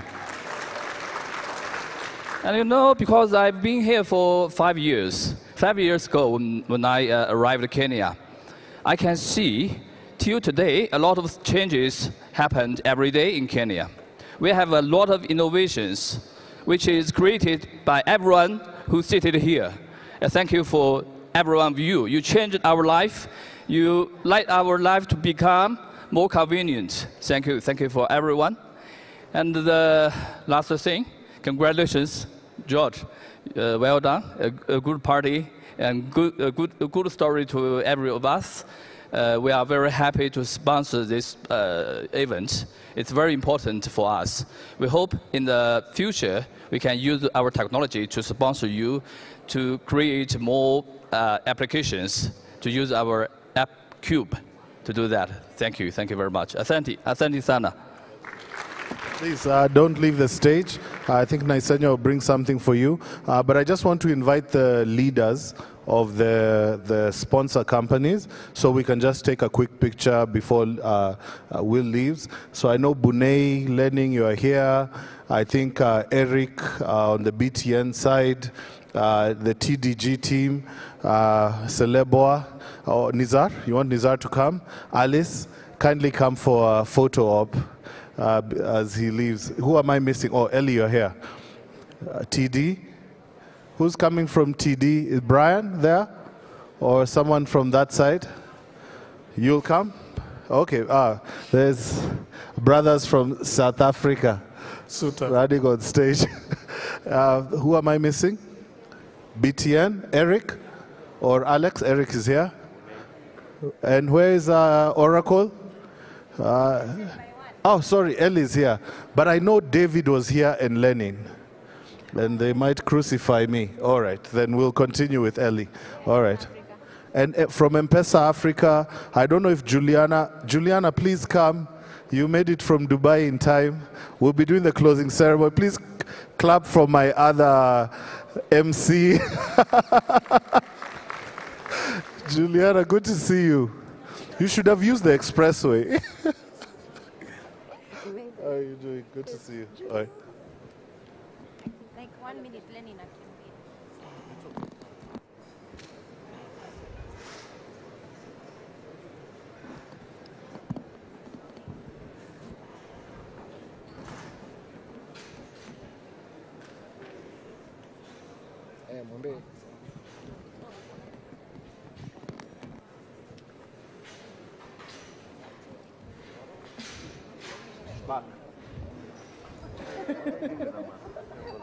We're good to go. Thank you so much. Please clap for them. All your hoodies, your COVID tests, the screen, the auditorium would not have been possible without our sponsors. Thank you so much.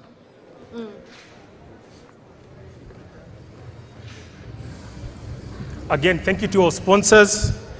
And um, just a quick note for the guys who are participating in the AWS an anomaly detection call. Please get your laptops and make your way to the, to the sides of the stage so you can begin your setup now. And I'd like to invite um, on stage now, he's already on stage, Dominic Juma, Principal Technology Solution Engineer at Oracle, giving us a presentation or a demo, right? It's a demo yeah. of low-code application development with Apex. Thank you. Good afternoon, everybody. As you've heard, my name is Dominic Juma. I'm a Principal Technology Solutions Engineer at uh, Oracle. So today I'm going to do a live demo. Uh, I hope that the systems will cooperate with me today. Uh, I'm going to do it live. Um, to start us off, uh, because I'm talking to developers, I know you've learned a lot of languages. However, those languages will always evolve, and we're trying to add as many people as possible to be able to make use of data. And so Oracle has technology that so we've developed to put and put in the hands of our different users that can be able to help them make uh, applications with as little code as possible. And that tool we are calling Oracle Apex. So in a nutshell, what I'm going to show you today, I'm going to demonstrate today, is, is how we are enabling citizen developers uh, to be able to develop applications quickly rather than using things like uh, spreadsheets that are difficult to control the information in that. So and similarly for line of business developers, they can also be able to extend and quickly be able to bring uh, to uh, to bring uh, applications online very quickly and very rapidly. Similarly, the other people that you are looking at are the professional developers.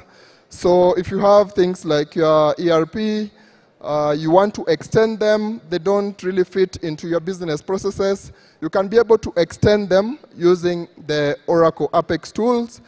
And finally, the other people we're looking at are data scientists. How are they able to bring those visualizations online uh, very quickly? So moving on, uh, because I have a short time, I'm going to now uh, show you a demo. So in this case, what I'm looking at is an education official who has a spreadsheet, and his job is to be able to update the schools that are within Nairobi County, uh, the number of students that are in there so that they can be able to allocate uh, the uh, resources accordingly. So in this demo, you can also be able to do it. Uh, it is within the Oracle Live Labs. I'm going to show the links at the end of the uh, presentation. So the team, if you could move me to my laptop, please. Okay. So it's very easy to do. As you can see, uh, we have to go to Oracle Apex. To use Oracle Apex, you just go to oracle, apex.oracle.com. So once you're there, you're sign you sign in. I've already signed in. In this case, I've said I have a spreadsheet, the, a list of all schools of Nairobi, and I want to create an application that I can be able to do analysis on, I can be able to create charts on, I can be able to report on. And I want to do this uh, very fast. Uh, so first, I'm going to go to my app builder, and then I'm going to uh, say create a new application. So when I create a new application, it's going to ask me uh, whether it's a new application, create an application from file or a starter application. So I'm go I have a spreadsheet as the education official. And then I'm going to choose the file where I've stored my spreadsheet. So here I have my Nairobi High Schools. And then as it loads the data, I can be able to preview and view what type of data I'm looking at. So as you can see, the schools are categorized by constituency, school names, what type of neighborhood it is, how safe, how many seats there are, how many applicants. If I'm satisfied with that data, I'll just save and then load the data. After I load the data, I'll be able to, I need to specify the uh, table name. So in this case, I'll, I'll call it Nairobi Schools table.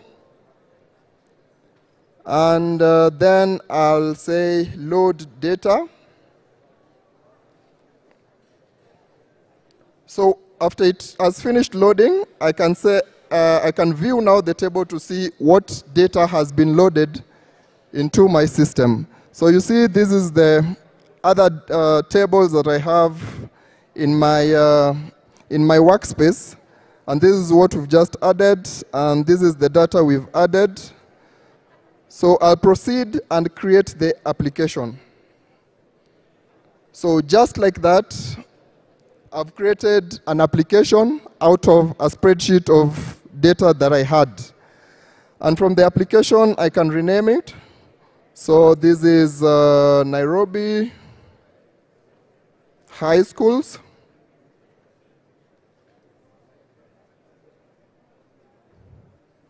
And then I can give a logo if I have a specific logo that I would like to use.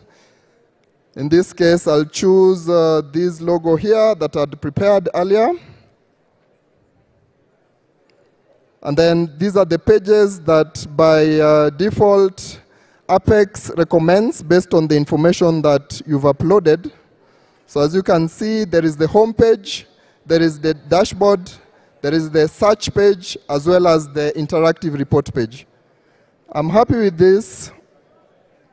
I'd also like to be able, I'd also like to allow my users to be able to install Progressive Web App, so I choose that. If there are any other pages that you are interested in, for example, you'd like to add an access page, just select, and then you create the application.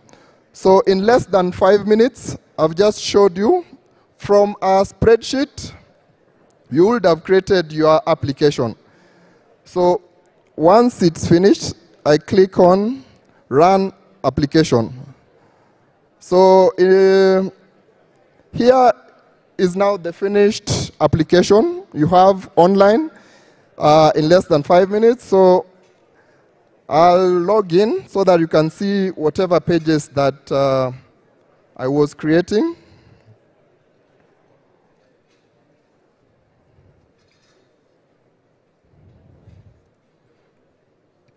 So this is the user's view.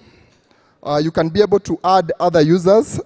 So with Oracle, when you are building our applications, we put in the, we build it with security in mind, and so uh, only the users with the correct rights are able to get into the application. So when you see this, it's because I'm the developer of the application, so I'm able to see everything.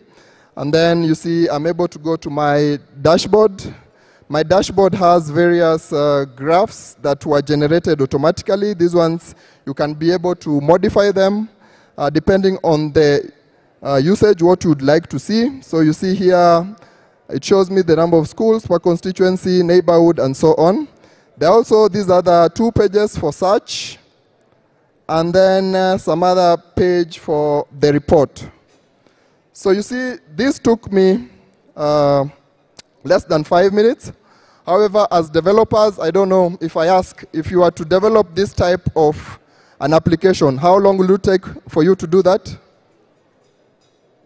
Uh, just shout the answer. How long will it take to create this type of charts, these types of tables, and so on?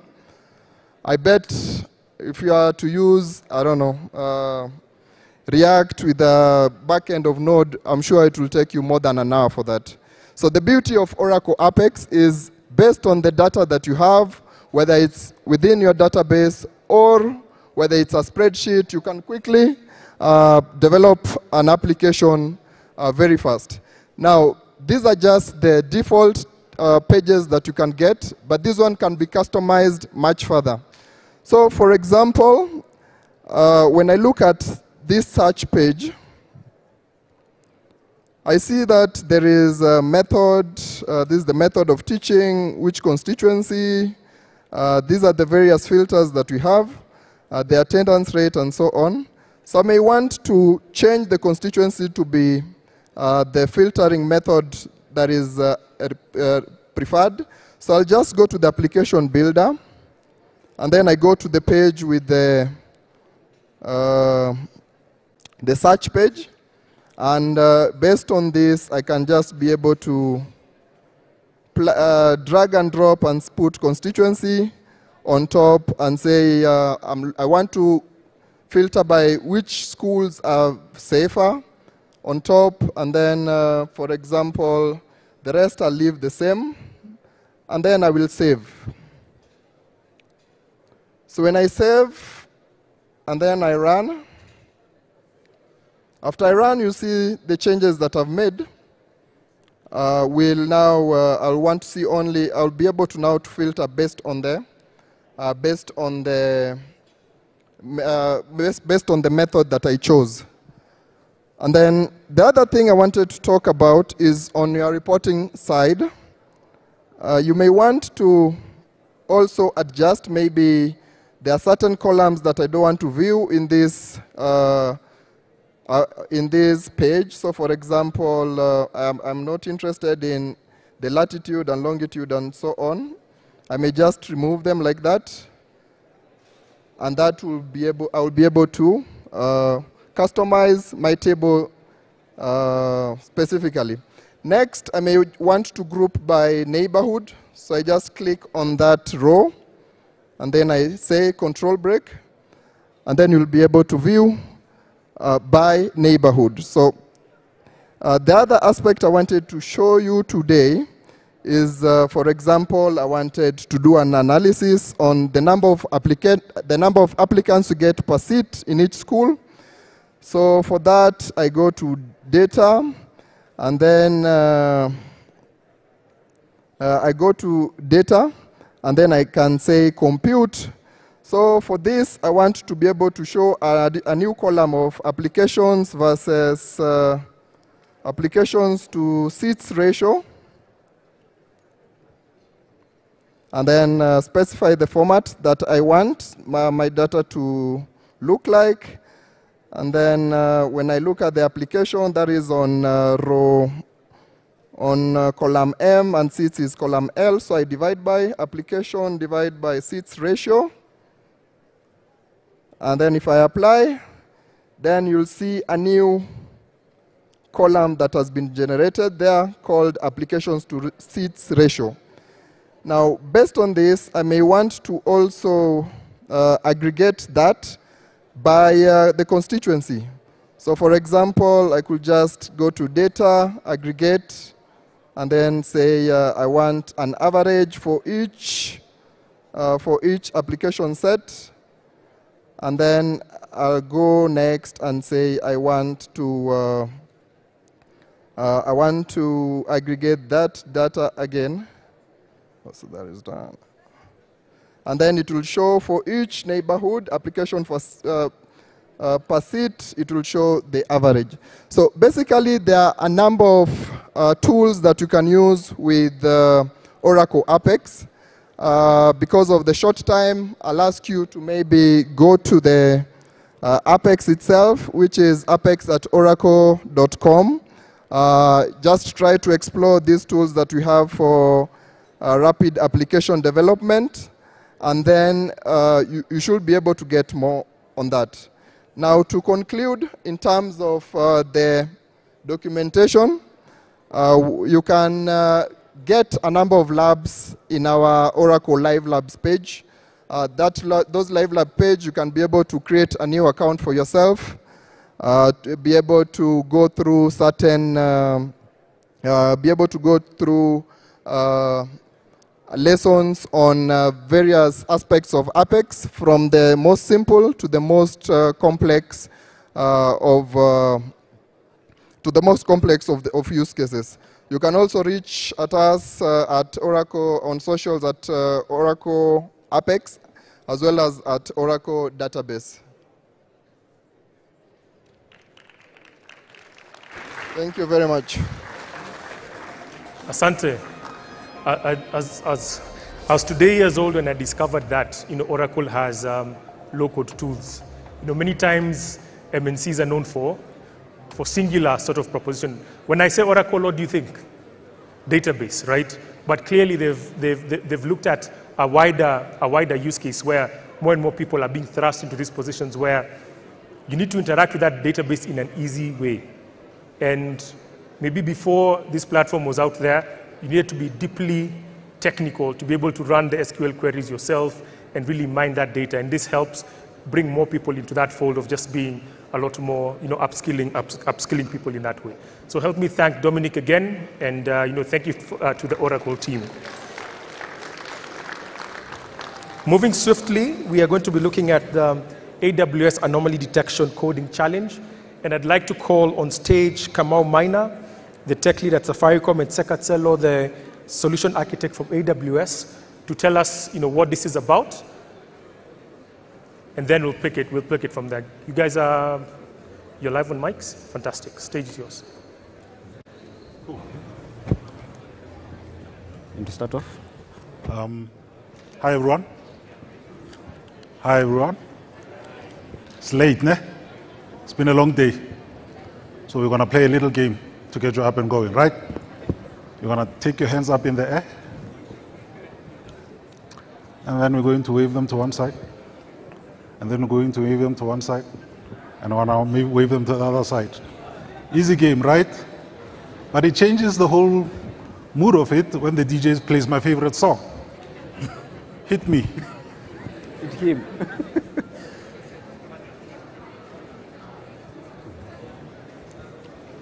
Let's, let's, get this, let's get this party started, right?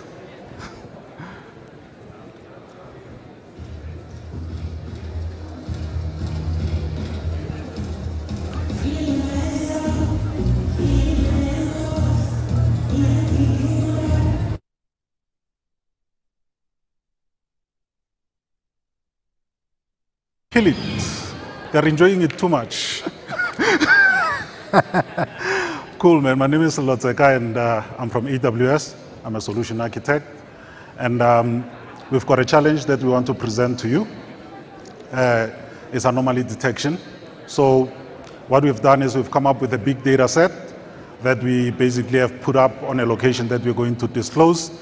And um, if you've got your laptop with you, bring up your laptop.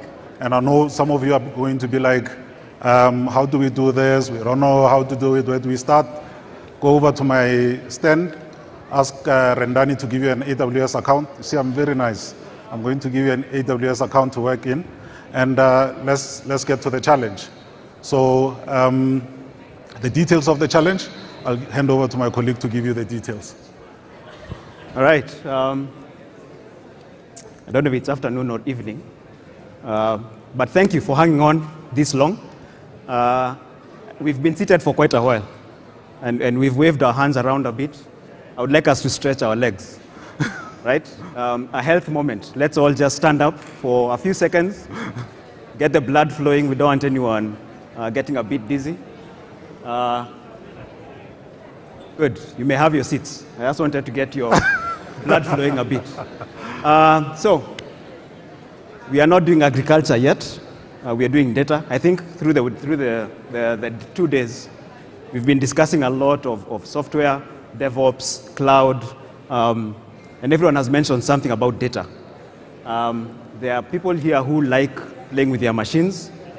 So if you're interested in doing some data challenges, um, I would ask you, get your laptop. There are some tables set up on the sides. Uh, sit there. Uh, there's a data set that is provided. The information will pop up. Um, so there's some data provided, a few challenges um, that have been put into the data. And the idea is to find those problems. All right? Uh, the guys will, will, will um, present the actual information. So anyone who's interested in this challenge, is there anyone? All right, we will, we will guide you through it. Right. All right. Um, rise up. There are, there are some desks there. Pull out your laptop. Pull out your laptop, or you can sit where you're seated. I- It'll take, take us 30 minutes, but we'll, we'll help you along. Yeah. Um, we, we know what the anomalies are, so we might help you a little bit more than you need to. I, I gave him a different list of anomalies. then, Right. uh, you want to tell them about the price? Yes, so uh, there seems to be some shyness as to who wants to participate. So for the first three, it's got, gotten very quiet once I've said some, some awards. So, number one, top, top performer will get 5,000 shilling, 50,000 shillings in cash. So it's not in kind or some voucher in cash. Second, second place will get, I believe it's 30,000. Let me confirm so that I don't um, give you the wrong information. Yes, second place, 30,000 shillings. Third place gets 20,000 shillings. So, here are the rules. You do it alone. We, we don't want shared. So, we, we are talking about um, property, uh, intellectual property. This is yours, so do it alone. Second, we are, we are in partnership with AWS. Uh, as, as Selo has said, if you need an AWS account, please share your email at the AWS stand. You'll be given a free account that you can do all of this work on. All right? For those who use AWS tools, uh, you get a few more points. There are some brownie points for using AWS tools. But if you prefer using your local machine, that's also fine. Then, then you must have really uh, great confidence in your technical ability to come number one. I applaud you. But all the same, use AWS, use your local machine. It's up to you. Um, if you can scroll, uh, scroll uh, up a bit so that they can see the GitHub link. Yes, show us the link. Up. Or if you're a fast typer, you can use Anomaly detection challenge on GitHub. The instructions are there. The location of the file is there. You can take this, write the Python script on your local machine, and find what the anomalies are. Oh, and, and this applies to the guys online as well, all right? If Yeah. you're online, there should be an email somewhere in our instructions where if you find the anomalies, you can just email the, uh, the, the owner of, of, of this repo Where is it? So the link, that's Yeah. the data set. Download it, unzip, do your work. Um, and this should be fast. There are 10 anomalies. I'll give you this. There are 10 anomalies within the data. Do you think you should tell them that? The first one, there is something wrong. With the data? With the data. Yes. Um, Tell us what is wrong with it. Yes, if you get a server error, that's your machine, not the data. Yeah. Um, so there are 10 anomalies. We shall be looking for 10 of them. But the problem is not between the keyboard and the chair. It might be. but I think that one we can resolve. We can solve it. Yeah, we can identify that anomaly. Yes. Yes. But for the data itself, 10 anomalies. There's something wrong with that data, 10 different things wrong with that data. Yes. Um, and as we are doing that, uh, to get the others engaged, Yeah. um, some of the reasons. So we've all talked about software. We've seen a nice demonstration by the Oracle team with, on Apex. And the first thing he did is he went into a database Yes. and, and had some data there. Um, all our applications are very well built. Uh, they look nice. We've seen the, the, the DevOps guys, we've seen uh, cloud practitioners building really nice looking uh, applications. Yes. Um, the interesting thing is, I didn't see an application that was blank. Yeah. There was some information being shared on the application. Um, the data is the important part in that whole thing. All right? So if, if we, if you build a brilliant application, very well designed, very nice and pleasing to your eyes, but your data is garbage.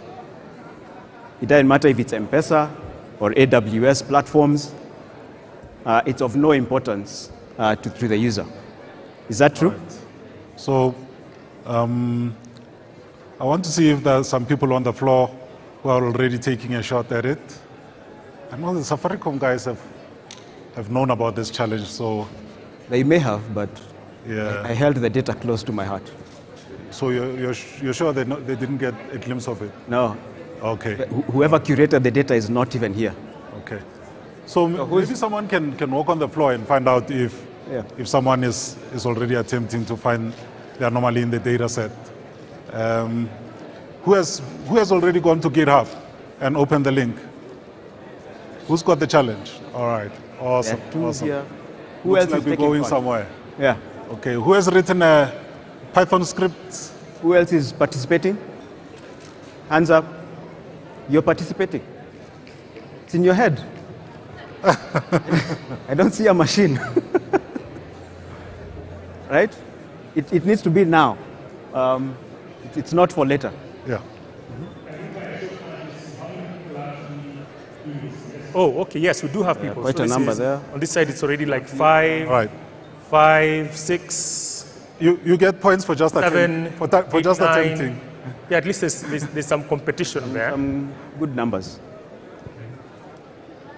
So, Kamal, what, what exactly are we expecting to, to get from, you know, from, from this particular activity? What's the, let's connect it to, you know, they've done it, yes, someone walks away with 50K. What, what does that help with in an organizational setup? So the, the, the idea is to show that um, we, are, we have large organizations. Mhm. I'll take Safaricom for instance. We, we have a lot of data. Um, and we are building a lot of apps, a lot of um, interactions with our customers Mhm. that reads from that same data or generates that data. Um, if we do not understand the quality of that data, uh, then whatever we are building uh, will not meet the expectation. As I mentioned, okay. if we have M-Pesa, we have a brilliant M-Pesa app. Uh, the UI UX guys have done a brilliant job. Uh, the product designers have done a brilliant job. Yes. But if our data is of low quality, if let's say we are assuming we have 40 million customers, Yes. but in actuality we have 20 million customers, then your whole business proposition Breaks is already flawed. Is already flawed. Um, so as our engineers here work on the data, it's, it's a realization and focusing on the value of clean data, of high quality data towards business growth, towards application development. Fantastic. Can you do a time check? How much time do we have left for the challenge? You should. And, on- and, and once they figured that they've, that they've gotten it, what, what's, what's the step? Do they just come first, up. First person can put your hand up. Yeah. Um, and But they we can will, come we up. will collect them and there will be a prize giving at the end. Yes. Ah, okay, so f- it's to collate and then. Uh, there's another challenge coming up, uh, just so you are aware. There's another challenge coming up, so if you're really good at coding, uh, we're going to build an API in real time. We will tell you what the API must have, and then you'll have to build it quickly and show it to us. All right? So if you're really good at coding, you might get this anomaly detection challenge and get the API build out and win two prizes in one day. Wouldn't that be cool? On a Friday, you know. On a Friday. That would be yeah. nice. Okay. Cool. Should I give you a hand? Should I come help you? I'll code with you. If, if, if you're done, please meet us at the side here. There's no prize for being the first to finish. prize is on the quality of the work done. Exactly. It's, it's, uh, and ask for extra paper. it's, it's uh, You need. yeah. okay. So what have you got? Did you get yourself an account? No, Do you want I'm one? using my local work collab. Yes, are we using SageMaker? Anything. Anything. Yes. Did you get the file? Yes. All right. Yeah. Oh. Wow. Okay. I thi- Certain are different. Yeah, yeah, and I think guys, guys are more comfortable working from there. Because ile, like George said, kuna pressure. Yeah. Ukikuja kwa stage, there's pressure. Too much, so, too much. The spotlight is too hot up here. and remember, no collaboration. I'm just seeing guys collaborating. They, they'll share the They'll share the prize. Yeah. hey. Very good. You mind if I ask you one question, Kamal? Yes, I mind.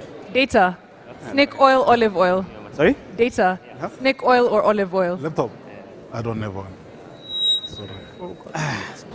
Is both an option? Both an option. I'll, I'll allow it. I'll allow it if you can Um, walk me through why you think so, why you think that. All right, so for, for myself personally, it's, it's olive oil. Potential. Why? Okay. Yeah. So With- you don't have to put them on stage for The, the analogy goes, data is the new oil. Um, I don't think you want to consume crude oil.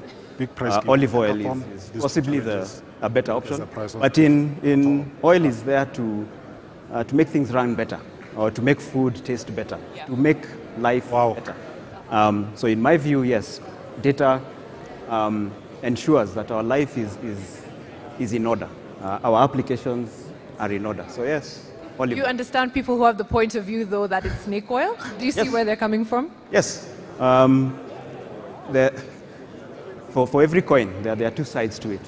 Um, we like seeing the better part of it. Uh, the flip side of it, there was a panel we had here about data security. I mean, uh, information. No, no, no. It's, it's, it's not, Um, they're not dependent. All right. Take one column, major part run of through it. that field is the data that we as organizations hold. Um, and access to that information, that data, all of a sudden unlocks a world of hurt for very many people. All of a sudden, the olive oil turns into Into snake oil very fast. And how would you say you can be ethical with data? Because you will get it, you will collect it, but how can you be ethical with your data and ensure that even if it's olive oil to you, it's not turning into snake oil for someone else? It's very difficult, um, and, and this is a challenge in all IT fields because you have a lot of privilege, a lot of responsibility. Um, for a data practitioner, uh, and the one thing that I always urge is just integrity, personal integrity.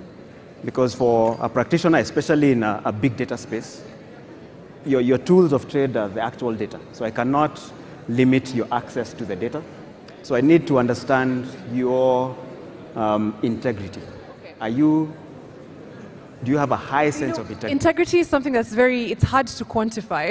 it's hard to measure. Yeah. Are there ways we can put in actual checks and balances? Because Yep. I, I would like to depend on you and say, you know what, I think Kamau has, is, is, is, is, a, is a very honest person. Yeah. But at the end of the day, I, I can't be sure of that. So is there a way we can put in actual checks and balances to ensure that data isn't misused, sold, etc.?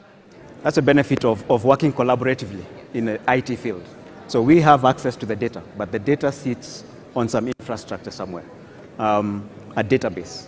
There's a database administrator who will give me the required rights to that data.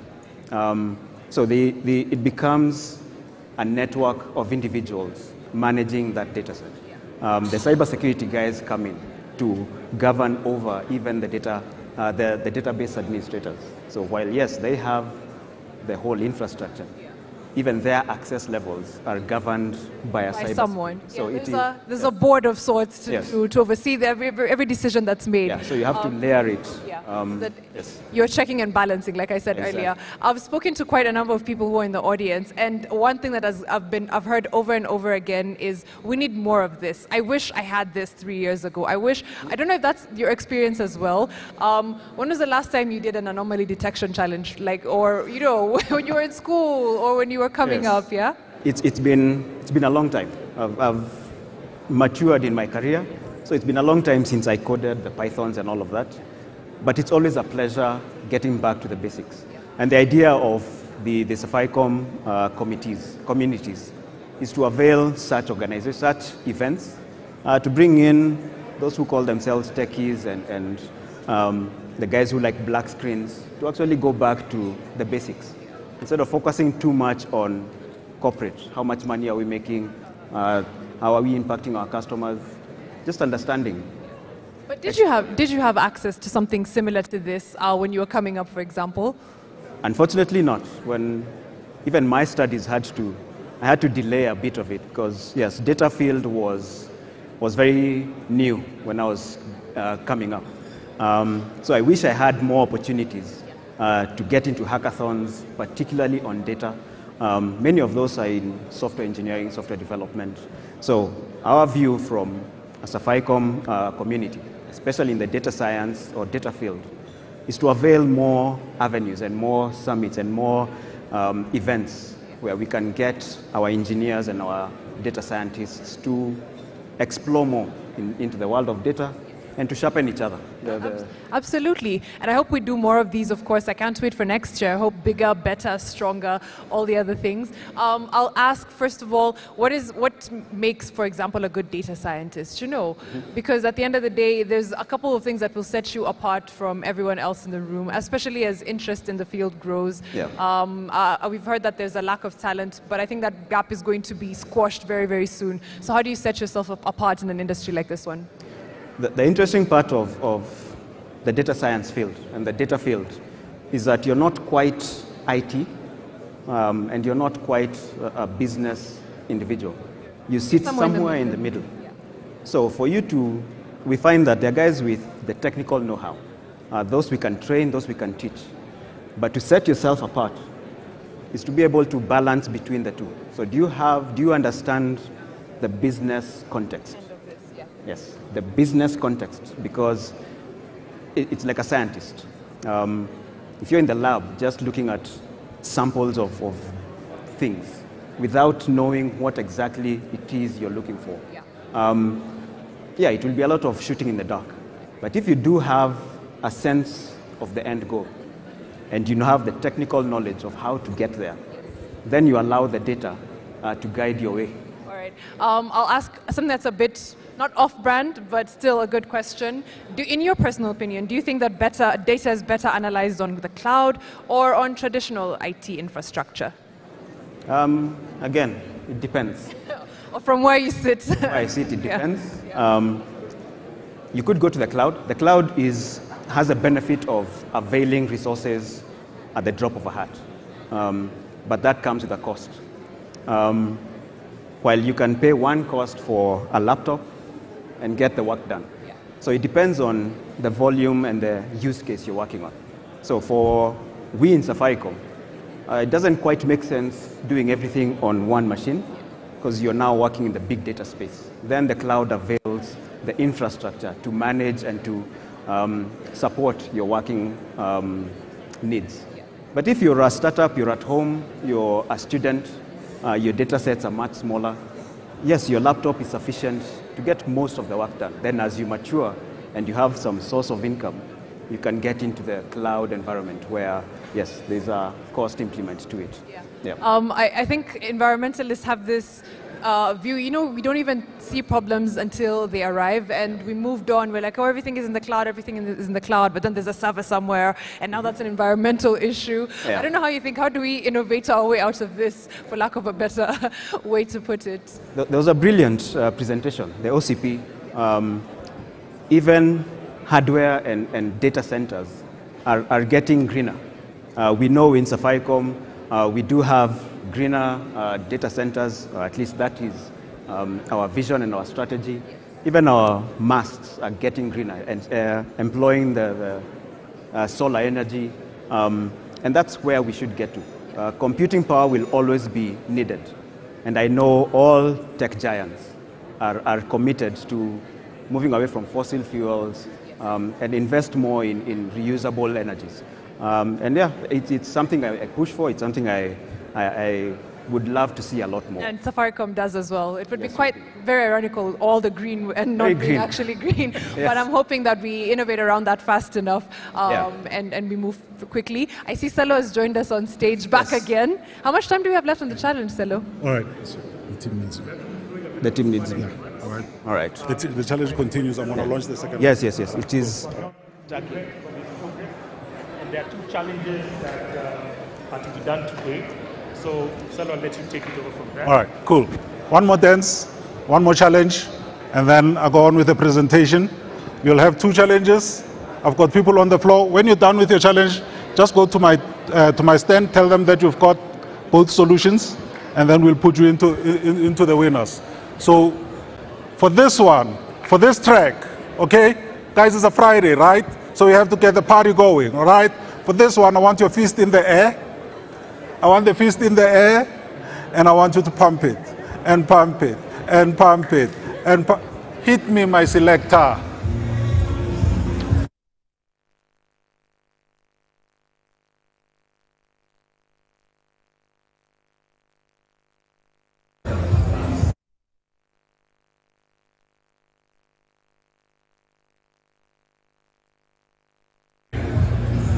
I want those fists up in the air. Come, come. I want the fists in the air. Come. Here it comes.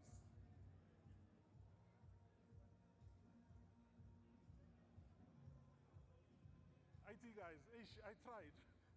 Kill this guy. All right, cool. So, for the next challenge, um, is it up? Yes. This is our API challenge. Just scroll up a little bit. Let's show them what they need to build. All right. Uh, API challenge, uh, SAF SC Summit, GitHub. All right. Um, we expect you to, there's a JSON file there, which is a customer. The idea is we want to see how quickly you can build an API that represents a customer. All right. This is, this is bread and butter for people who want to build apps. If you can't build an API, you can't build an app, you can't persist data, all right? So look at the JSON file. Uh, it's got a structure inside. I want your API to be HATEOAS compliant, therefore it can save the data into some persistent store, can be a database, might not be. What if it's running in memory? It's all up to you, but I want a working API, HATEOAS compliant, customer, create a customer, update the customer, delete the customer, find a customer. Okay? If you've written an API, you know what I'm talking about. It's called a microservice. The challenge, prize money. DJ, one more time.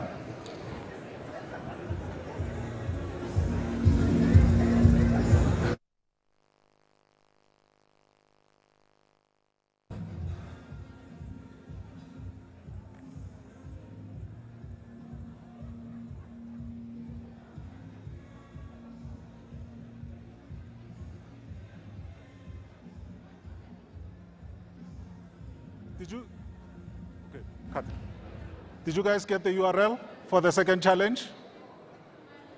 It's, it's an API, all right? This one you don't have to even be on AWS. If you just build an API on your local machine, tell me what it, uh, that it, it follows the instructions, prize money. We clear.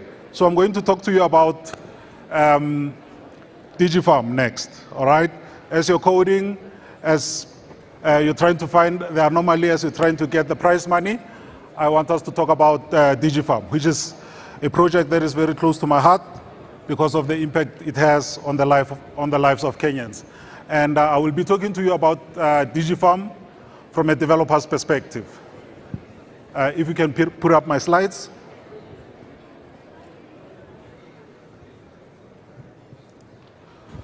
okay, I know. I've got you working on the anomaly detection. I've got you working on building an API. And I want to talk to you about DigiFarm. I hope you can multitask somewhere in the middle of, of that. But the reason why I wanted to actually come and talk to you about DigiFarm is because it's quite an inspirational project, and it's quite one of the latest projects that has come out of the very innovative uh, Safaricom team. And um, it actually will, will show you what is possible with a little bit of imagination. So I want you to stick around because we've been running a hackathon, and later on, some of the people uh, from Safaricom that have been participating in the hackathon will be coming on and showing you how easy it is to innovate with AWS. And solutions like this basically can come out of a hackathon. So um,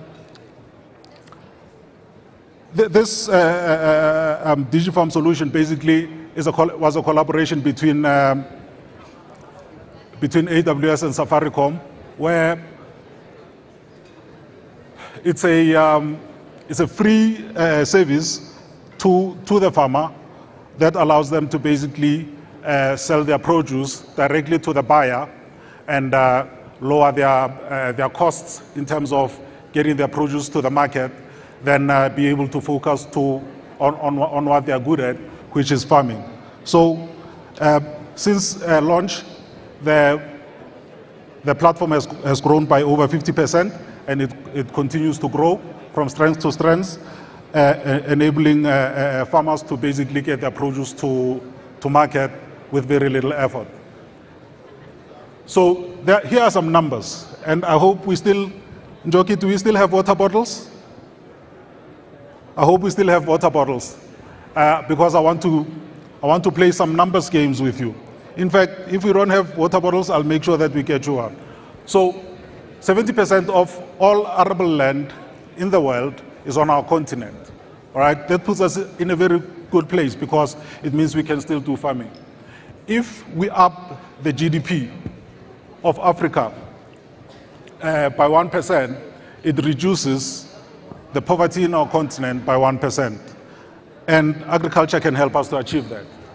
In Kenya, the, the farming sector contributes 30% directly and a further 23% indirectly to the GDP. That's more than half of the GDP of this country directly from farming, all right? And 1% uh, of growth on the agriculture, agriculture side almost gets us to 2% growth on the GDP. So there's an exponential, link between the GDP and, uh, and, the, uh, and the farming sector. Now, um, I've got some more data there on 80% of, of the farmers in, in your country being small holdings, which means uh, you know, small farmers, and um, they basically making around one US dollar a day. That's roughly 30 US dollars a month. What impact do you think it would have if we doubled their productivity? It would improve their quality of life. Now, with that said, I want to see who knows their numbers. How many, what is the population of Kenya? What is the population of your country? Roughly. Yes? Can I get a roaming mic for, mic for him? But I think you won a prize already. Did you not win a prize? No. Uh, I think I gave you a T-shirt earlier in the week. Check. Okay. Check. Let's get you a roaming mic.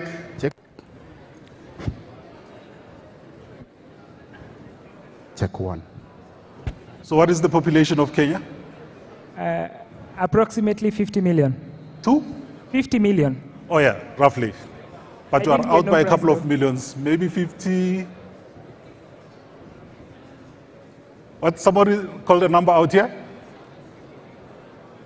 Well, the last, the last numbers published were between 53 and 56, all right? Now, when you're thinking about a solution like DigiFarm, which actually has such a high impact on, on, on, on this population, and you're looking at, at Safaricom with, with the customer base that it has, it gives you a, a, a platform to in, innovate on. And you must solve problems in a way that it impacts the life of your own people. Those problems are the ones you'll understand the most. And you'll see in the hackathon uh, uh, results later that what we pushed our hackers to do is to actually think about problems in an African context. All right? When you do that, then you own the problem because it's hard to duplicate an African problem in another part of the world. Do that make sense? So in the same way that DigiFarm is solving a, a Kenyan problem. So the vision is to basically leverage technology uh, for smallholder farmers, make them more productive, resulting in more uh, uh, sustained food security for Kenya. All right? Uh, so uh, the gentleman who answered me just remind me to give you a price at my desk when I'm done. So food security is, is, is, the, is the main goal of, of, of the platform. Now, the objective was to solve uh, and, and build a marketplace where farmers and, uh, and, and their buyers could meet, all right? Then the collaboration was between ourselves as AWS and, uh, and, and Safaricom to build this solution, all right? Using developers just like yourself and the AWS platform. And the outcome was that we ended up building DigiFarm as a cloud native platform running on AWS services in a very short amount of time at a very uh, uh, uh low cost. And uh, we use serverless. Now, for a water bottle or for a t-shirt, can somebody tell me, what do I mean when I say serverless first? we, we build DigiFarm in a serverless first way. What do, I, what do I mean by that? Let's give him a mic.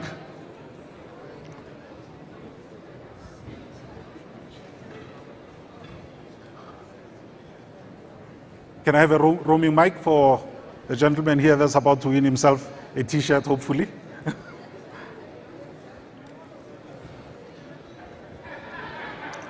okay, I've got another hand on that side. Where are my microphones? Okay, we're going to get you a microphone. So, my question is serverless first. Why does it make sense for you as a developer when you're thinking of, of building an application, when you're thinking of building a solution, even the anomaly detection challenge, the API that we gave you, why must you think serverless first? But what is serverless first? I think I can take that. Go ahead. Yeah, so serverless means that you don't need, you don't think uh, you don't need to think about infrastructure. Who's speaking? I'm here. Stand up. Okay, I, I, can't see you. Just stand up so we can see you. I, I think uh, serverless means you don't need you don't think to you don't need to think about uh, the infrastructure that you need to provision so that your application can be running. So AWS caters for that. You have serverless uh, instances where you just need to configure a your compute. and exactly. run on the fly. Yeah. Exactly. So you don't have to think about the infrastructure. You don't have to think about the servers. You don't think, have to think about the containers. All you do is focus on your solution, serverless first. That's, way, that's the way you should approach, approach application development, especially from, from a mobile point of view. Try to make it a Lambda function. If maybe you need a long-running process, then come to containers. If you need uh, an EC2 instance because maybe you're writing some proprietary, then you come to, to, to servers and you create your VPCs. If you do serverless first, you're probably going to write a very cost-efficient solution uh, as we did with DigiFarm. I hope it's clear. Uh, catch me when I get off stage. So the bottom line is that um, DigiFarm was, right, was written in a, in a serverless first approach. So during the, um, the process of uh, uh, designing a DigiFarm, we had to get input from the farmers, we had to get input from the buyers, and understand what their pain points are. All right? And this is what they, they, base, they basically told us that the main decision uh, making factor in uh, which crops to, uh, to plant is perishability. Because if you plant perishable um, vegetables, and you don't have a fridge, they will go to waste, right?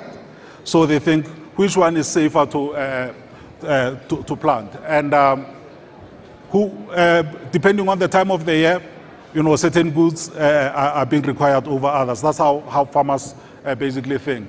And price, price, price, all right? The buyers will down negotiate them and try to get them at the lowest price possible. Uh, they start thinking about, about price before not they don't think about pricing before planting. They plant, and only at harvest they start thinking, how much can I sell this for? Whereas it would have been better to actually negotiate your price at planting time, so that you can lock in your buyer and lock in your price, and plant and harvest, knowing that you have a locked-in sale. Um, you know, and uh, most buyers actually do not plan as well. They just rock up at your farm and they want to give you the money that they have in their hand, which actually puts the farmer at a disadvantage. So this is the kind of thinking that we applied in, in building the solution in, in terms of understanding what the customer wants. So also for yourself, when you're building a solution, really take the time. It's very important. Take the time to interview your customer and understand what they need. Very critical. So what are the benefits of, uh, of, of the DigiFarm uh, e-marketplace? It's supply. It gives farmers a, a, platform where they can put their produces and where buyers can actually uh, connect with them without having the need for a middleman. Uh, consistency in supply. So produces must be available irrespective of the time of the year. As, as long as the, the, there's a, definitely a buyer who will buy your goods, you should be able to plan for them even if the demand is not high, as long as we've got the, the purchase locked in. Uh, price uh, is, is, is, a big thing in a, in a, in an un, kind of a free market where people can uh, barter with you. But if we can lock in our prices earlier, and I can actually set my price and, and find the, big, uh, the highest bidder, it is actually more beneficial to the, to the farmer. And also by removing um, the, um, the supply chain costs, it, it actually increases the margin for, uh, for the farmers. And obviously, logistics and tracking, there's no use in buying the, the produce if they never arrive at the customer.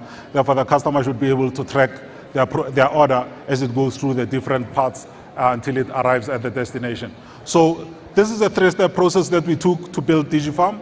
Uh, we started with an envisioning, all right? A lot of people just start building their solution without doing an envisioning. You must envision your, uh, your solution, think about it, and then uh, after we, we envisioned it, we, we basically built a prototype with a prototyping team at AWS.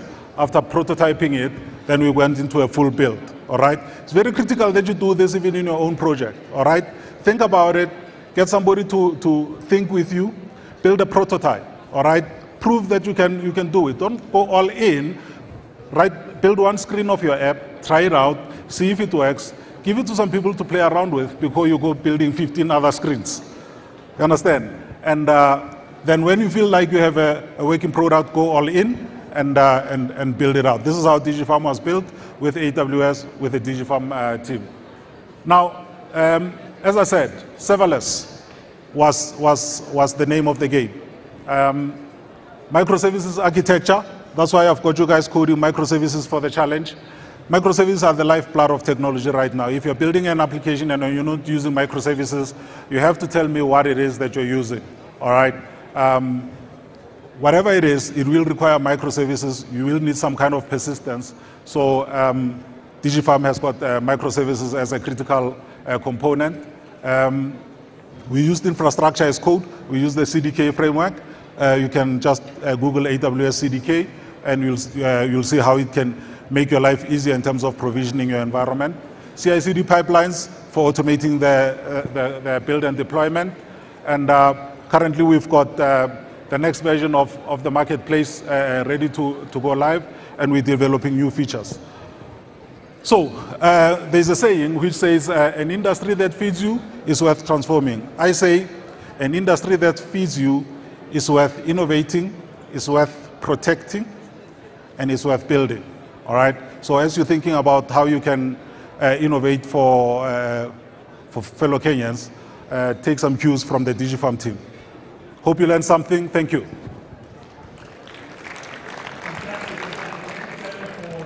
You know, those we've combined three sessions in one, which is uh, which, which is great.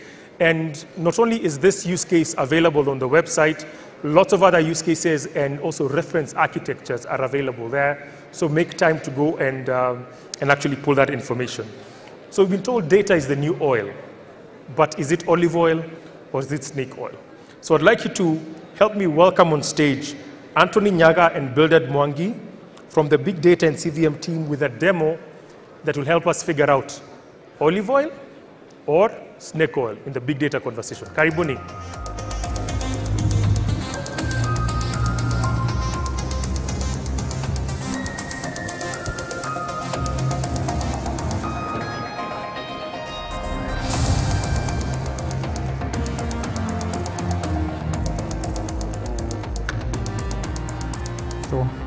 Hi everyone. As my name is Anthony Nyaga, and it has been a long day. I Was almost feeling like I'm getting decoded out there, but now we are here. So I'll let my colleague introduce himself, then we can carry on with the presentation. As you can see on, on the on the chart there, it is all about the machine learning engineering. But we, we have had some talks of about the machine learning at Safaricom, but we want to talk about on what it takes to get a machine learning into production and what kind of infrastructure do we have in place and how do we scale it.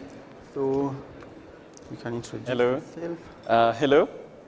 Uh, my name is Bildad Mwangi. I don't know if you can hear me. Bildad Mwangi is my name. I work closely with Anthony. Uh, we are machine learning engineers. So, and uh, I think uh, we will engage more as we continue with our presentation. Uh, thank you. So we can go to the first slide, please.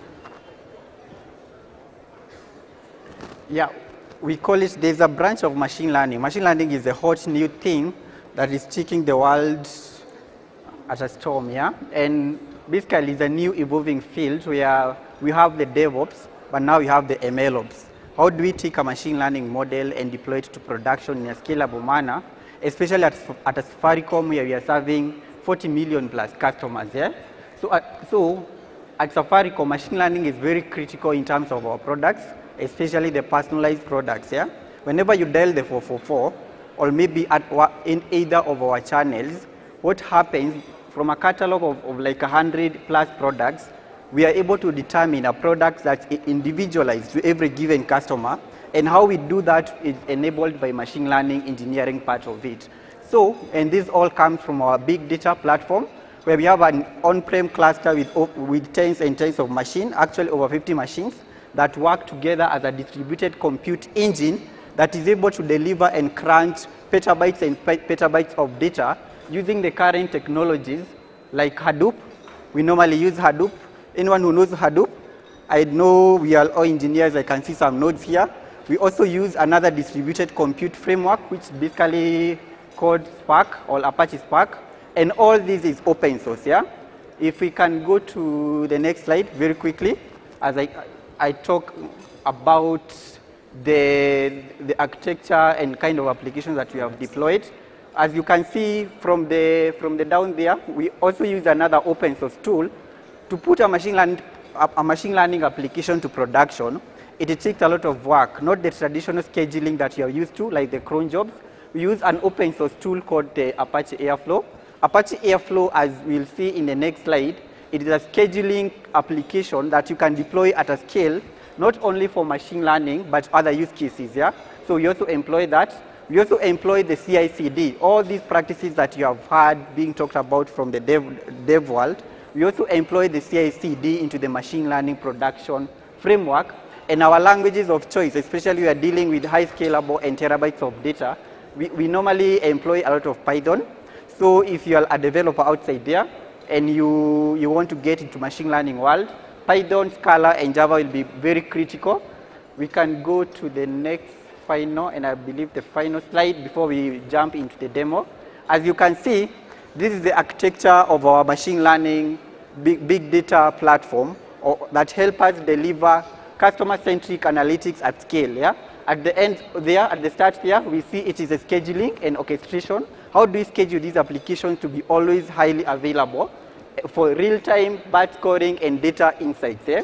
So uh, below there, we have an engine called Ecosystem AI that we have currently deployed as a real-time engine for our recommender services so that can be able to personalize and individualize offers based on customer behavior that is specific to you as an individual. And remember, this is not a, like a specific use case. This is an in-house framework that you have developed as the machine learning engineering community in Safaricom to help us deliver different machine learning use cases at scale. Below that, I've, I've, spoken. There's a component for the data storage. We have an ETL framework. Most of us know about the Apache Spark. Then below that, the most important thing to deliver the business value, it is the alerting and monitoring to make sure it is aligned with the business KPIs. Yeah? And for that, we, know, we employ Grafana. And these, all these are open source tools. Yeah? If you don't mind, I'm going to switch to a quick demo and show you the stack from the code now, as my colleague will be closing in terms of explaining how we tie all this together in the business KPIs alignment. As you can see my screen there, I'm sure you have seen a lot of black screens today, and I probably this will be la the last one for the day. This you can see the structure of how the, a machine learning deployment framework look, looks like. If you have ever worked in machine learning or data science environment, there's a kind of a protocol that data scientists usually follow. How many know Jupyter Notebook? Data scientists work with an application called Jupyter Notebooks and build their models and experiment using that. But when it comes to hitting to the production, you can't deploy your application using the Jupyter Notebook, yeah? That's where the both of us comes in and another team behind the scenes working very hard to deliver this kind of frameworks that I are able to take those models and experimentation and deploy them at scale. Yeah? This is a structure that is, that is open source and anyone can come and clone it from our GitHub and be able to go and deploy machine learning systems in production at scale. So maybe quickly, quickly, I can show you the, the different Airflow pipelines that we have. We normally start with the getting the customer feedback and aligning it with our internal data then we do some feature engineering here. Then we go and do the feature store. Feature store is, is, a, is a new class of databases for the machine learning application. Yeah? After we have done that, we, we come and build another ML pipeline for training and scheduling the, the, the machine learning models. And, and you can see end to end there, we start by pulling the data, validation, which is very critical. Then final one, we build and push to production the final thing you see here, as I was saying, this is very critical for monitoring and alerting and alignment and tracking of the business KPIs. This is where now we come and track all the products that we are serving to the customer in a 360 view and making sure they are aligned with the business KPIs. Yeah. you done? Yeah, you can go. Okay. So uh, thank you, thank you, Anthony, for that presentation. I don't know if you could take me back to the slide. There's a slide that I want to talk about. So this is what happens behind the scenes, yeah? So, but uh, there has to be a reason why we are doing this. There has to, uh, another slide, go back. Yeah, I want to talk on this. So before you even think of building any solution or solving any problem, so there has to be an origin for that. Like the reason why we build solution is solve societal problems that have both business value and also has value for the customer. So in our case, it is to help our customers to present them with offers that are personalized. And these offers are personalized based on the machine learning uh, engine. So I'm going to talk about the model approach and uh, the optimization. So there are two components here. There's the recommendation engine and there's the optimization part. So uh, my colleague talked about the feature store. One of the inputs for our machine learning is the features. So this is an example of this, like the feature, uh, the data, the customer data. That is, for example, the voice, uh, the data, maybe the M-Pesa data, for example, the, the revenues, both data, voice, from uh, our premium services, uh, uh, services, and any kind of revenue data that might be helpful. There also the loyalty data, that is historical, uh, like Tunukiwa data, all that is in the feature store and it helps in terms of uh, the predictions. To drive this personalization, a propensity model is used. So what is a propensity model? A propensity model is just a basic application of mathematical modeling to try and predict the probability that a customer will take an action. And in our case, the action is taking up an offer or buying an offer. So we are trying to present our customers with offers that are convenient for them, that is uh, cheaper for them, affordable, yeah? So the other bit is the opti- optimization uh, component, and uh, there is price calculation. So these recommendations, we have to make sure that they are profitable. And for us to do that, I'm going to take us back to class Kidogo. I know some of us uh, did some uh, commercial arithmetic back in school. Remember that sum you are doing, profit is equals to buying price, there's some buying price, there's some selling price there. So in our case, there, there is one of the features that we use, it's called the COPCAS. The COPCAS basically contains information about the customer spend at a given uh, specific time. For example, a customer spend at an, uh, the average spend of a customer in an hour or in a day or in a given just any time. So the profit calculation, uh, we, I give, I'm going to give you two scenarios here. The first scenario, we, we have to, the goal is to uh, present the customers with offers that are not diluting our revenue. By, by not diluting our, our revenue, this is where the profit calculation comes, comes into play, so that the, the, there's business in whatever we are trying to, to push. So the first scenario, if, I imagine this customer X uh, is presented with, a, with an offer that's costing like 100, and then uh, there's another, and then the, the, you present them with, uh, with that offer, but the average spend for that customer is like 150. So the profit calculation for that will be 100 minus 150. So in that case, the uh, revenue is diluting because we are getting negative 50. But uh, the next scenario, imagine there's another customer, customer Y, who is presented with an offer, but there is something else. This customer, within that hour, he normally probably or she normally uh, tops up. Like he won't or she won't purchase just once. In an hour, he or she will purchase like twice. So there is an element of frequency. So we'll do a frequency multiplied by the, uh, the cost and then minus the COPCA.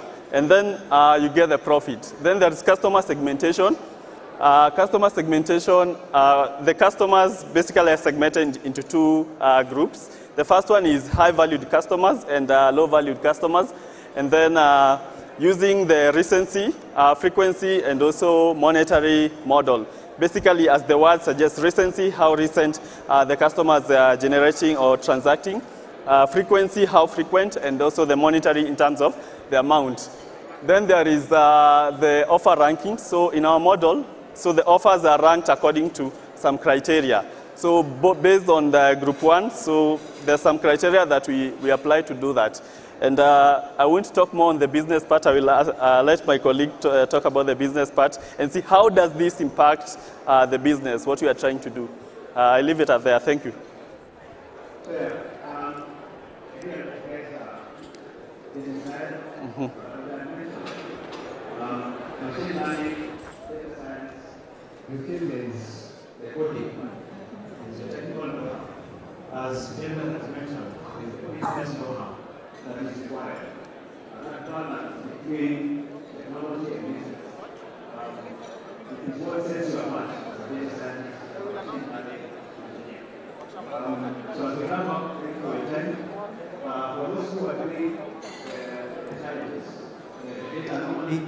and the API uh, challenge.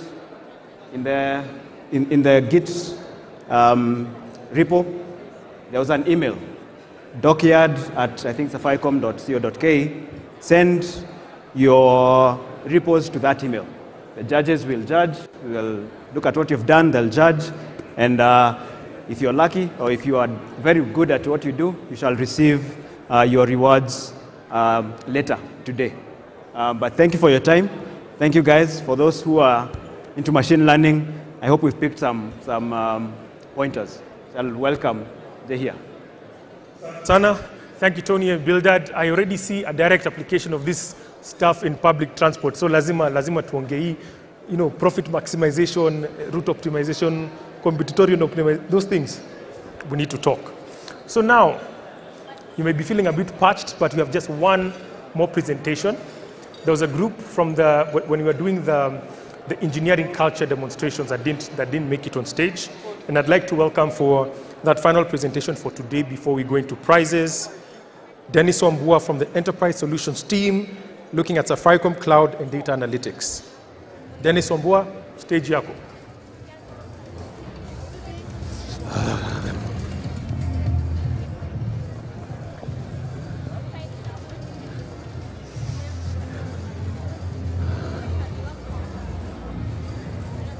Um, hello. Hi, everyone. Uh, like you've heard, I'm Dennis Ombua. Don't worry, we are the last presentation, so we're going to make it uh, short and sweet. Uh, my name is Dennis Ombua, uh, Product Manager, Cloud Computing, and uh, Digital Capabilities. Um, so I felt it important to just mention uh, the journey that uh, Safaricom has had as far as cloud computing is concerned, and also uh, mention our strategy moving forward. Um,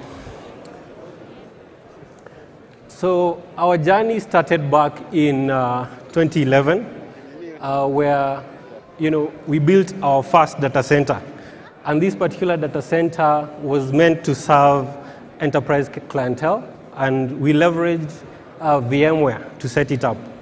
And, and so it was just one active site, one availability zone.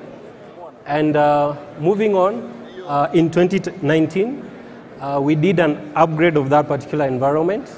And uh, we are also introducing one more availability zone in, uh, at a place called Kiboswa in, in Kisumu.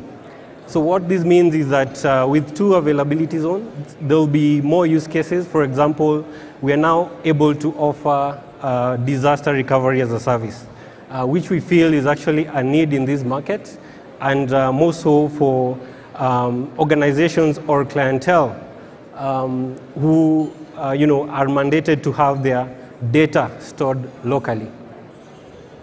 Uh, still in 2019, we um, also rolled out another environment. Uh, someone had mentioned we have an environment on OpenStack.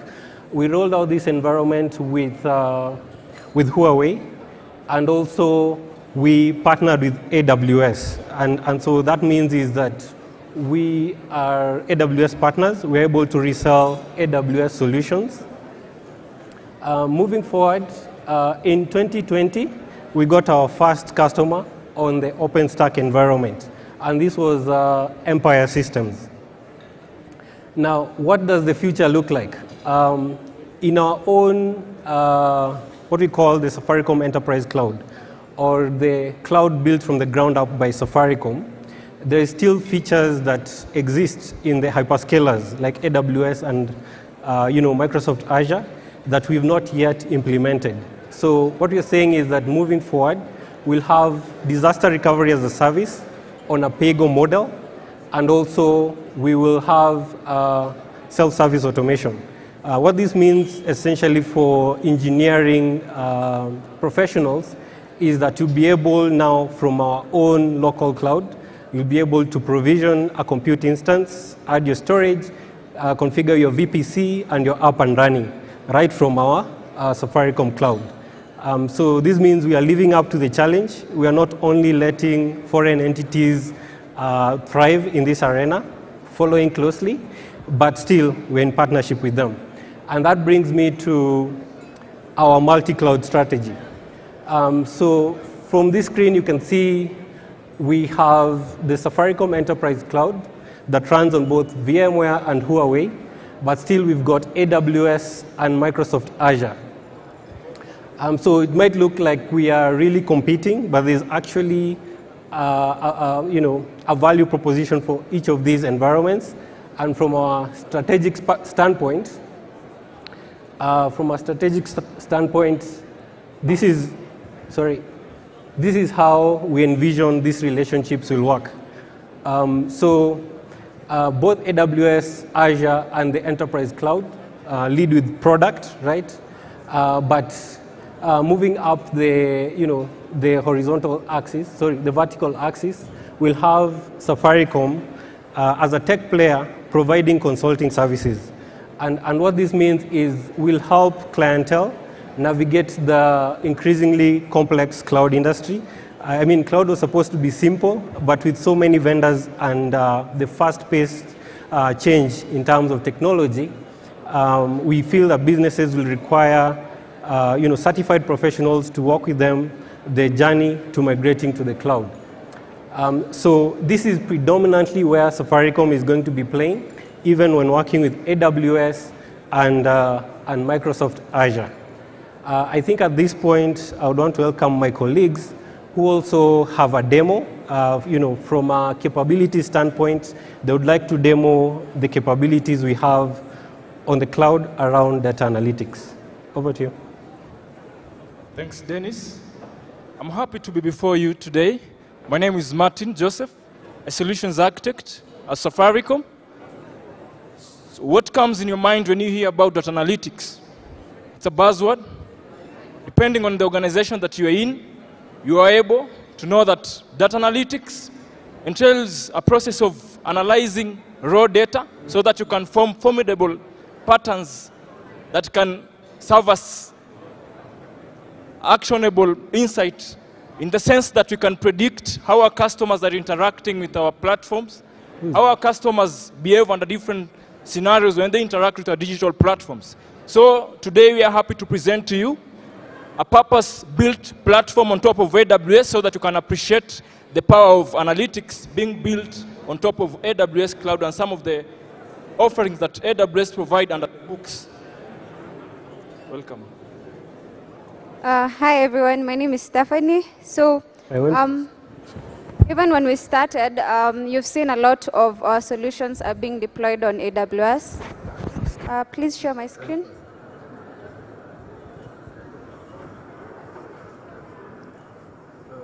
Maybe just break Oh. So yeah, um, from the morning we've seen a lot of uh, the resources and services that um, most of Safaricom staff are using are being deployed on AWS. We saw George in the morning launch an instance. We saw the DevSecOps team um, launching something as well.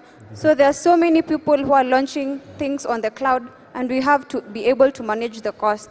So I'm going to take you through a demo on cost, cost optimization, uh, where we've used AWS um, QuickSight to be able to um, build a dashboard that gives insights to the different teams on the usage of AWS and the different services. Um, I'm going to start with the billing summary.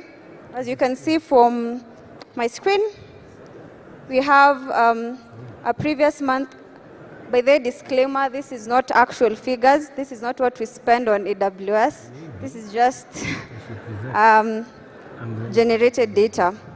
So we can see the previous month what we used, the invoice spent, and we can see the decrease from May to June.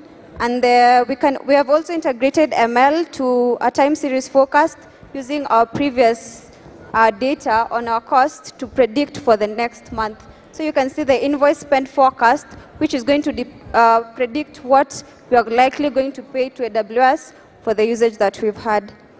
Um, down here, I'm going to show you as well.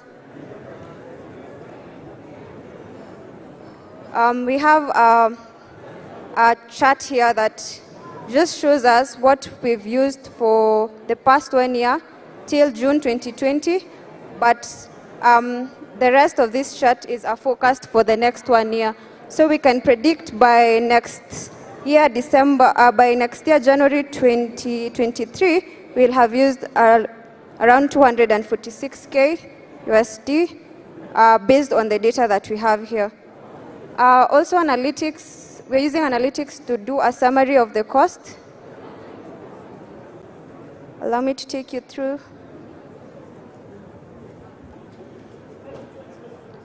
So you can see the top usage spend, the top spending account, the top service that is being used, uh, you can see is AWS Shield, the most popular region. Um, these services are being deployed in various regions, so you can be able to see which region is the most popular one, where resources are being deployed. You have the number of regions, the number of services, um, the decrease, average daily run rate decreased by 1.16 in June 22, means that um, the number of services that were deployed the previous month have decreased. We have the top cost movers, um, which is Elasticsearch, RDS, and Kinesis. We also have um, drill down of the top services, as we saw was AWS Shield, the top spending accounts. So we are using analytics to just be able to get insights on uh, the usage spent on the different AWS accounts. Um, to the last one, So I'm going to show you the last dashboard. And I'm going to focus on cost optimization because a lot of us um, uh, provision services that we actually do not use. And we have to be able to detect these services that are not being used, that are idle or underutilized. So we have also a dashboard for that, taking some time to load. binary background. As you see that Mozilla have containers,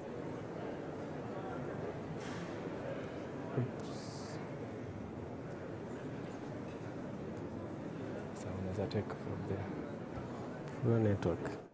Shika tu endelee from there. Washa mic uendelee. I save you.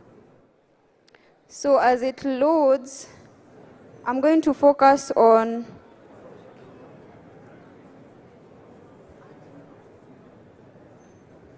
Okay, let me just load it again.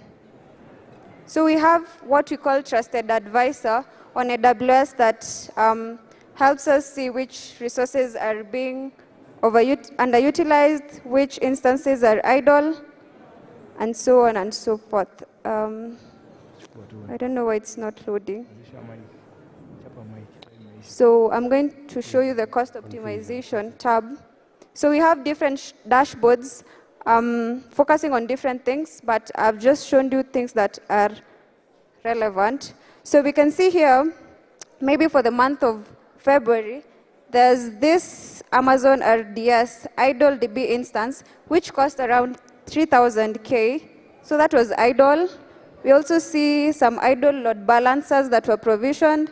We also see low utilization in the EC2 instances, uh, some EBS volumes that were underutilized and underutilized Redshift clusters. So when you come and look at a dashboard like this, you're able to have an overview of how the different um, services are being utilized. So things that are underutilized, you can talk to the different um, project owners and be able to cut down on costs. Thank you.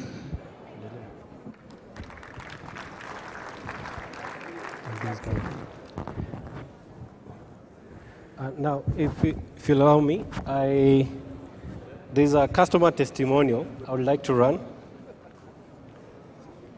Um, you know, because of time, we had to skip it, but I think it's important that uh, we get to see it. You know, the, this is for Alan, eh? Alan, uh, Oh, okay. Um, so this is a success story where we did a migration for AAR to AWS, and, and it speaks to our capabilities around consulting.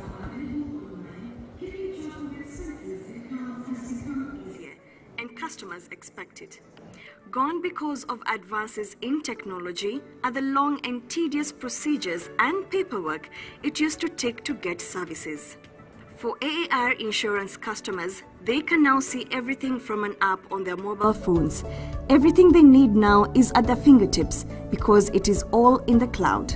now to have all the functions, all the services of the company accessed using the mobile.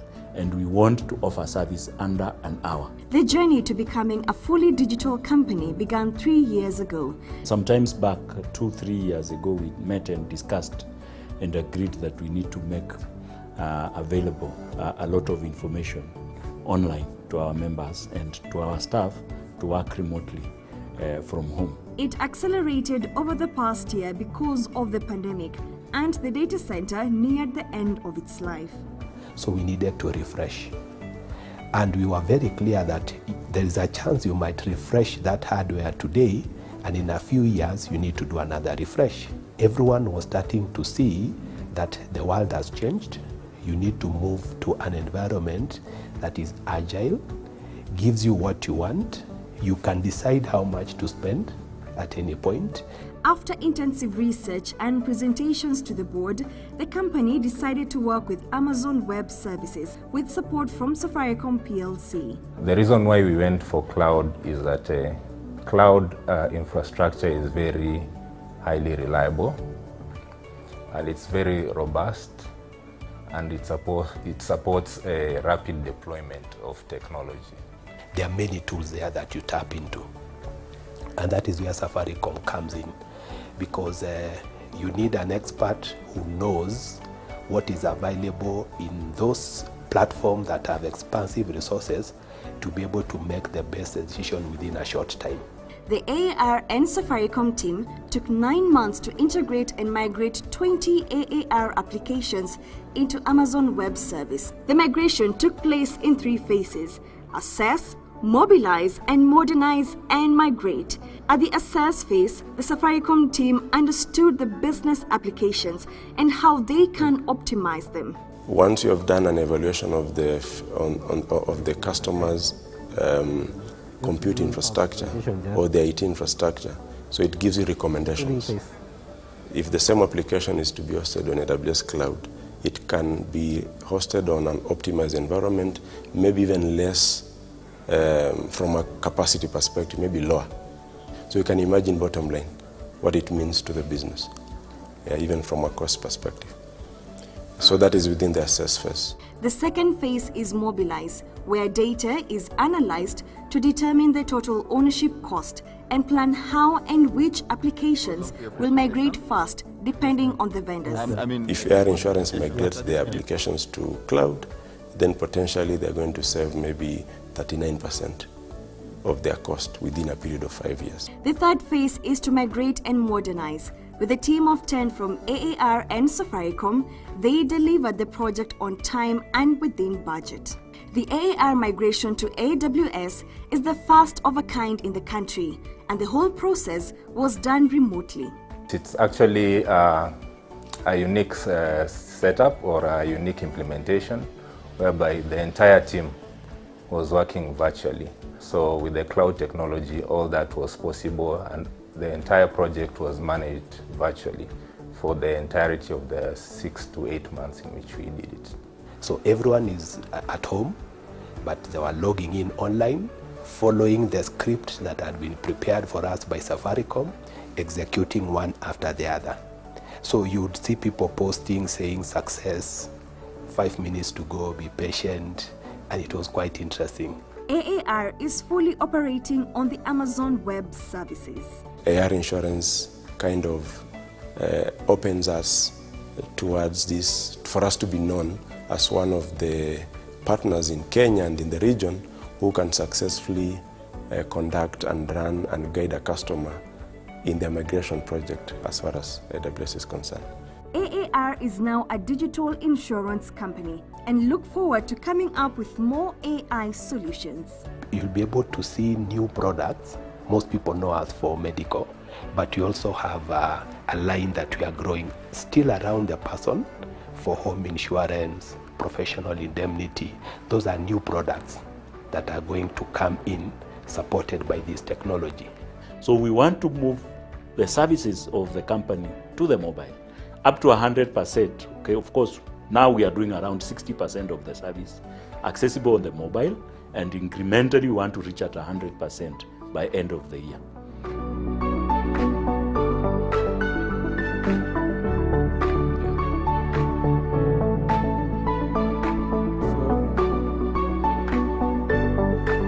Thank you. Thank you very much for your audience. Uh, you know, we know you've had a long day.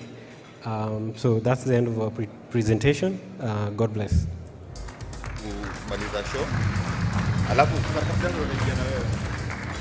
Fantastic, fantastic. I think that cost op- optimization insight would, is, is, would work for anyone, right? It's a skill that you need to have. I have struggled with the same problem. Unajua shida, shida, shida zetu saa zingine si kubwa kama hizo. You've seen some of those figures. You see, you, you've seen the monthly, that one can't even go on a, on a, on a personal credit card. If you are a founder, ama ume, umeenda AWS or you're on the free tiers, unaumia kidogo ikigonga $100 you've seen. Uh, where if you can manage the sense, then at scale it becomes very, uh, it, it becomes very impactful to the bottom line. Sasa, tumemaliza presentations. No one else is coming to give you a demo, and I think that was fantastic. It was one of the best for last. So congrats to that team again. I just have a question. I have, I have a lonely thousand shilling airtime voucher here. Sasa this team, there was, there was something they did in 2029. At 2029, I'm from the future. Ni kuchoka. In 2019, they introduced a new instance somewhere in Kenya in a new region. I need, I need the specific, very specific. Staki ati useme it's two words. Where was that new region? And I need someone to help me pick. I don't want to look. I don't know. Who will help me pick? Those hands came up many, and the light is bright. Someone help me pick. Ah, excellent. What was, what was the region? Say that again. Fantastic, correct. People are paying attention. Here's your airtime. And now it is time for us to award the winners. Sante. It's time for us to award the winners, and I'd like to call Mark Oyer, the HOD IT Infrastructure and Shared Applications, to announce the winners for the Mozilla Hackathon and the AWS IoT Hackathon. Mark, join me on stage, please.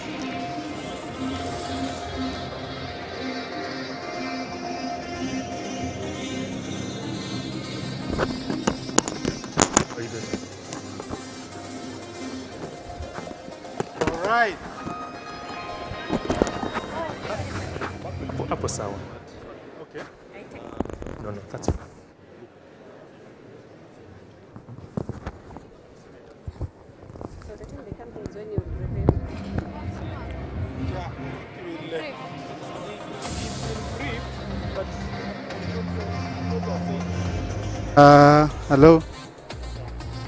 Can you hear me? Ah, Yes. good. You're good. All right, I have a. Let- Let me hold this for you. Maybe I could get someone to.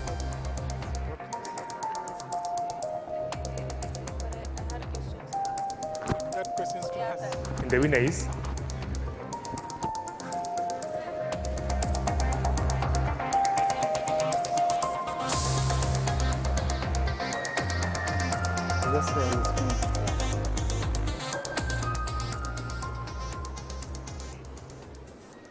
Okay. So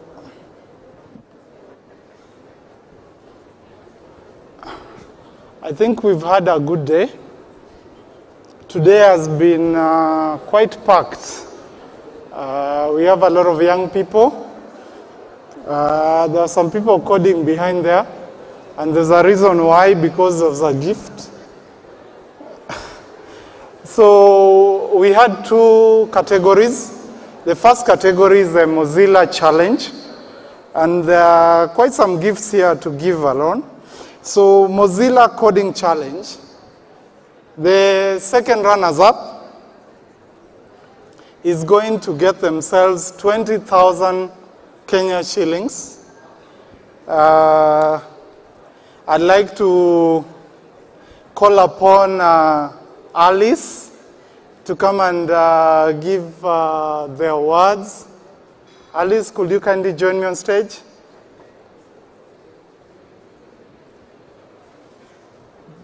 Where's Alice? Yeah.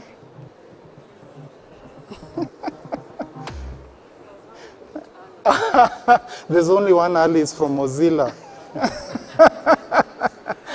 All right. So uh, now that we have Alice here, uh, moving on to the award winners.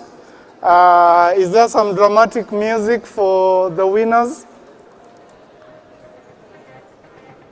The, fir- the second runners up.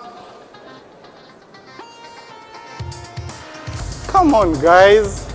We need some music.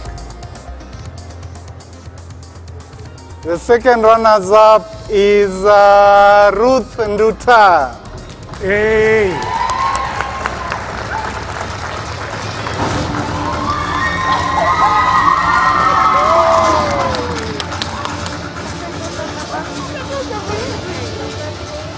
This is, it says one figure, so. This is the winner. Yes. All right. Thank you, Ruth. Congratulations. Uh, we are going to the first runners-up. The first runners-up is uh, Team Decode MJ Cherono. Team Decode MJ Cherono. And I didn't say what the, the first runners-up gets as a prize. The first runners-up gets 30,000 Kenya shillings.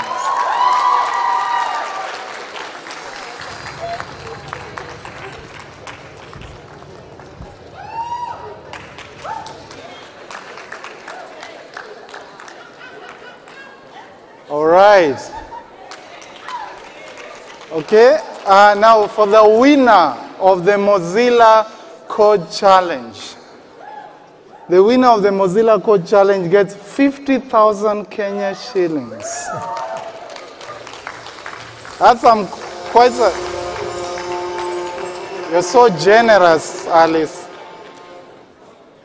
So, the winner is I have a funny name, eh? Team Panda.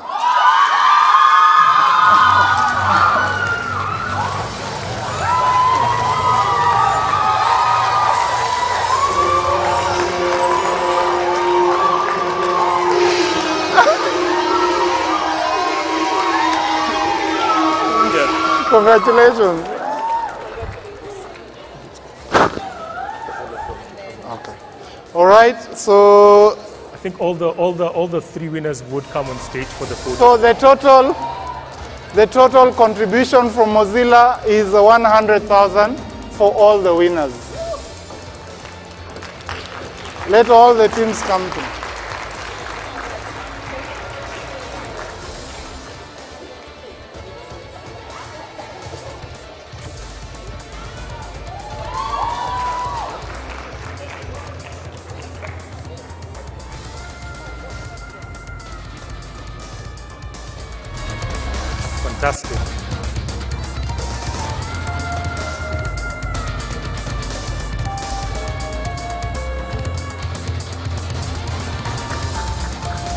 Remember, Mozilla has other, other challenges ongoing.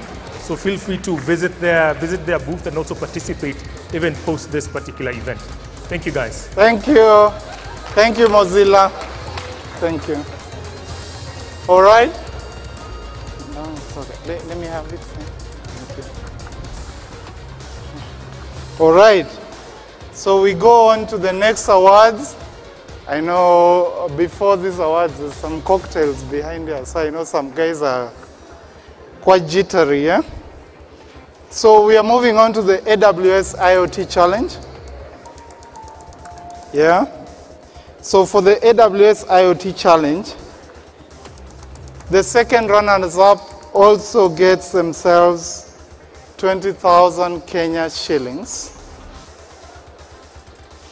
Now the second runners-up for the AWS IoT Challenge is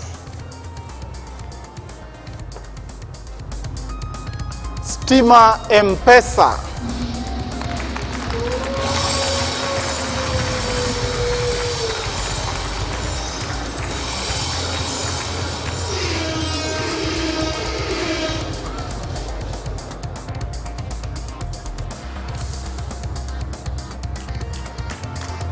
They're right behind you.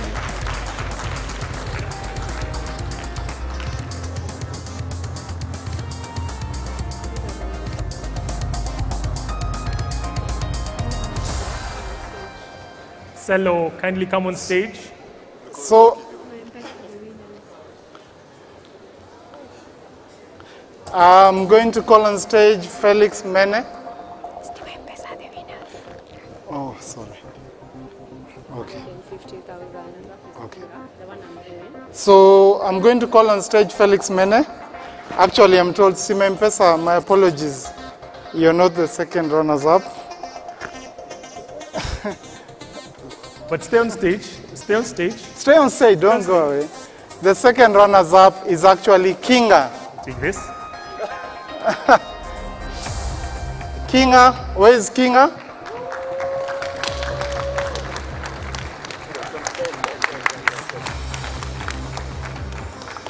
And I'm joined on stage by AWS representatives, so Kinga. Kinga. Aye.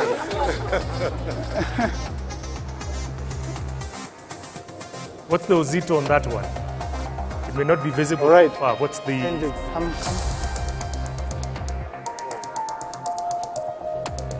It's Kenya shillings 100,000 only. So the price has actually been upgraded. It's 100,000 Kenya shillings.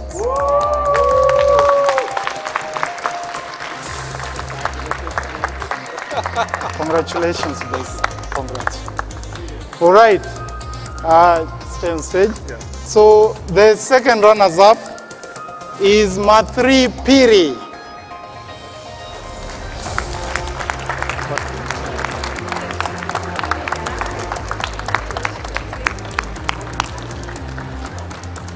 The only two guys. Where are the ladies? You're in this team? Good stuff. So the ladies will hold the check. Okay. The ladies will hold the check. 150,000 only from AWS. Congratulations. 150k. Not bad. for Congratulations, Mathri Piri.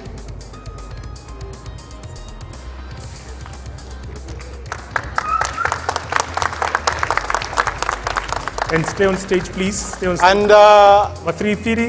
Is it Piri? Oh, guys, come. Just stay on stage, please. I'd like to invite uh, Duncan Kabira on stage.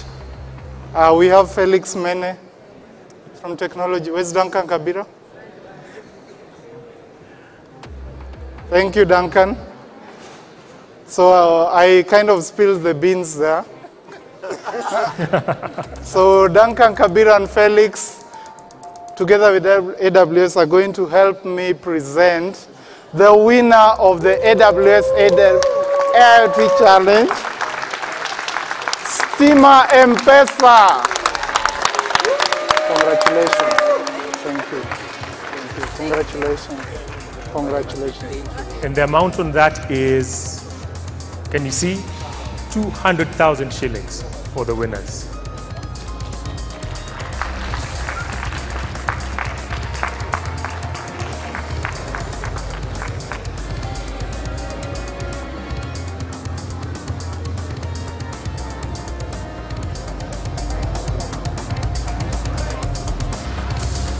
So this team wins themselves 200,000 Kenya shillings.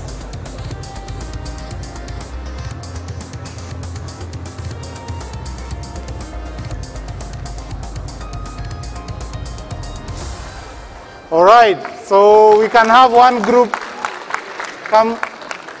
We can have one group One AWS winners the- of the challenge winners. photo. Congratulations to the three teams. What, what's the total? What's the total on stage now? That's 200k plus two 150s.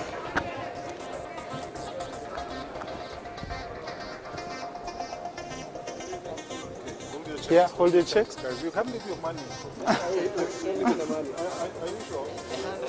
Yeah, so I can hear Selo telling them it's not coming by M-Pesa, it's by check.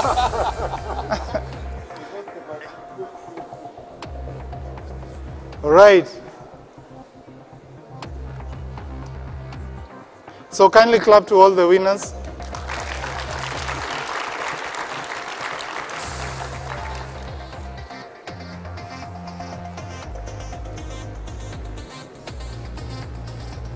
Thank you, thank you, thank you so much. Thank you, Mark, for helping us with that session. Right, back to you, India. At least you've seen.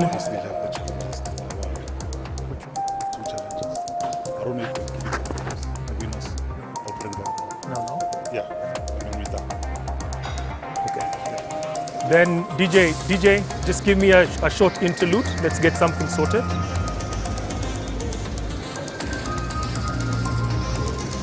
Short music interlude. I need to consult.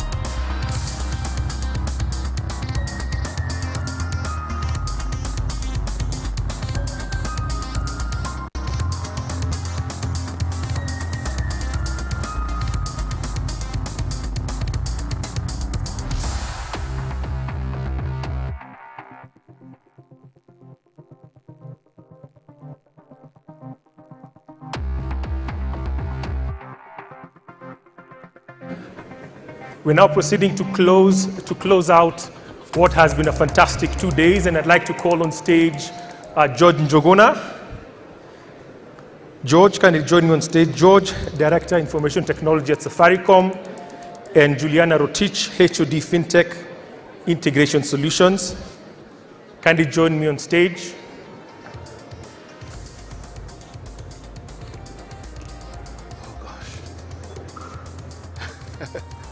Think I, am I'm not director. I, I lead the IT community. That's what I said. Ah, the leader of the IT community. Fantastic. IT Okay. community.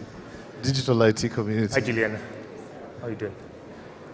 Juliana, thank you for flying back just for this. Oh, my pleasure. I couldn't miss it. We always start things together I know. and we finish together. Yes, we do. So I was here in spirit, and it was amazing um, just following online. And Yeah.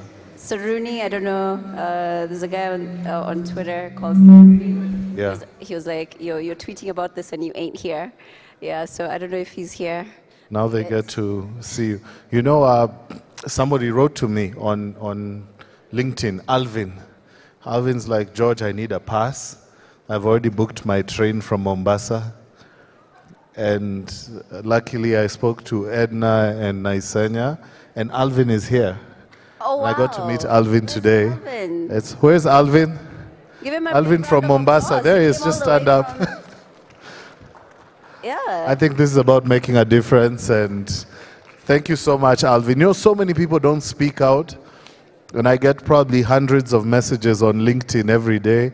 Most of them are people looking for business, but when I hear a story like that, I think that's what we talk about making dreams possible. So thank you so much. Have a seat. Let's clap for him. So, Juliana, you had an announcement to make. Yes. And you're one of our sponsors with Sitoyo. So Yes. I think before I do that, I'll let you do your big announcement. So, um, as you saw earlier today, um, um, one of our um, uh, product owners, Eric Nyaga for Daraja, uh, did a really great uh, overview of the APIs, and um, he did a, a really great job of sharing what it is we've been working with. So, what I wanted to share with you today is that we continue to center uh, developers in how we are looking at growing our business. Um, so the feedback that you gave us during the FinTech Innovation Summit, how many of you here were work, tuned in for FinTech Innovation Week? Okay, I think there are lots of conversations happening for the people in the room. Could, could we please have your attention for just a few minutes as we close together? Hello? Okay? All right. How many of you were there for FinTech Innovation Week? Please put up your hand. Amazing. Um, so uh, it was a very important week for us. I think uh, we got a lot of feedback from the industry, and we also got a lot of feedback uh, from the developers about developer experience. So we are continuing to center developers as part of our business and to improve um, your developer experience. So some of the things may not be apparent right now, However, if, use, if you have used the USSD um, API, um, previously it used to take about four days, where you used to have a lot of ping pong emails between yourself and uh, someone from API support.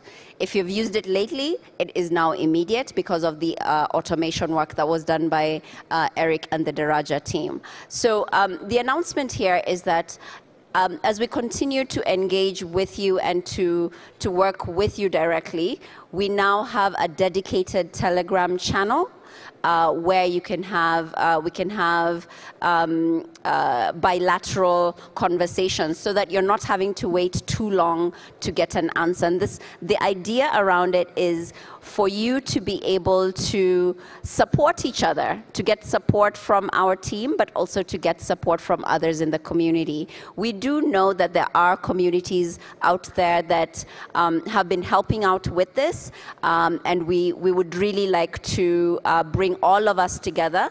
Uh, in one place where we can fully support uh, the developer community. So you can use um, that uh, QR code join in and uh, let's build together. Thank you very much, and over to you, George. Good. I, I, I don't know. Um, I'm looking for nice Naisenya. Do we still have some prizes or we've run out of everything? I want to give out some. We have. I have two questions, and uh, if, if I, the first answer I get correct, I'll, I'll make sure I give a prize and I'll probably up it myself now that I have Team M-Pesa with me. Yeah. And uh, push a few billions a day. So I have a quick question. How many M-Pesa transactions do you think we do per day? Jeez, I'm seeing so many hands up. What do I do? The first hand I saw up was somewhere on the left, not from someone at Safaricom. If you're in Safaricom, don't. Okay.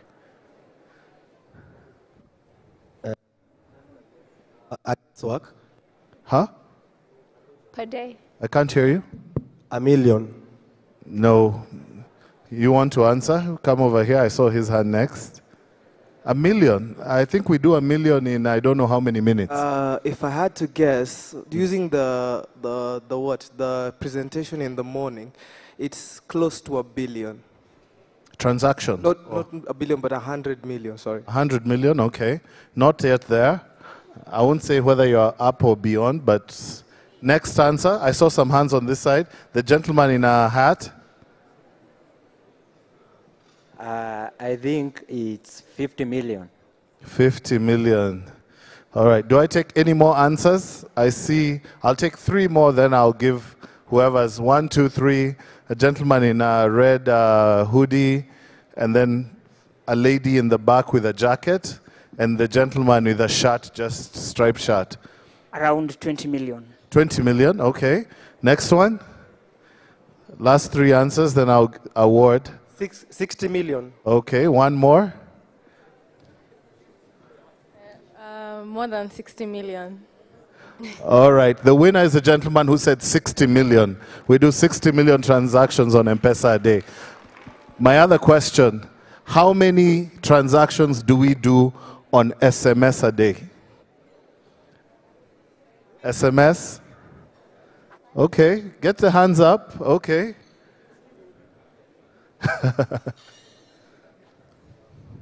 Sixty million. 60. Mark you for every M-Pesa transaction we do. It. Okay, let me not talk. I'm going to give away the answer. It's not 60. Okay, I'll take four more answers. I see the left of the room. Uh, we'll take here.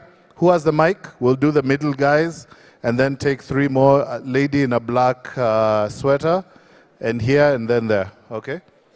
120 million. 120.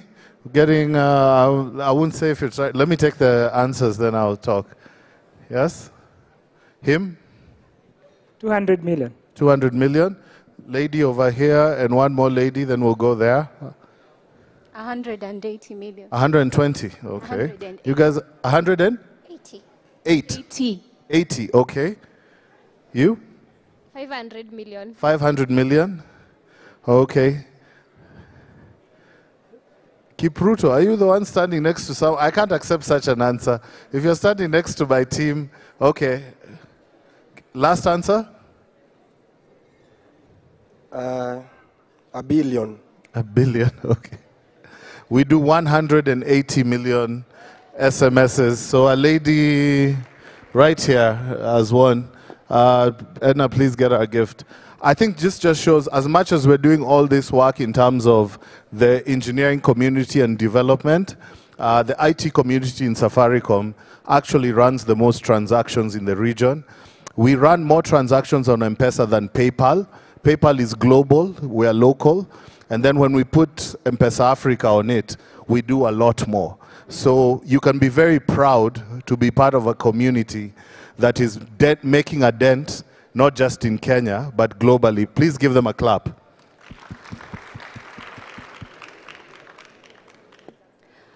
As we're s- sorting, okay, go ahead. Go ahead, Juliana. So um, just a thought. Um, as you all know, um, the motivation and the intent around Safaricom is about transforming lives. and um, one of the ways that I'm sure some of you saw Florence Mugure and Mweni uh, presenting about mini apps. Um, it's a very big opportunity for you as developers to join us as part of the developer uh, the, the development of these mini apps. There are lots of companies out there that are looking for developers who can create mini apps for them, and we've put all of the information on uh, Daraja. So if you go to developer um, at safari, .safaricom.co.ke, you not only find information about Daraja APIs, but you'd also find information about mini app development.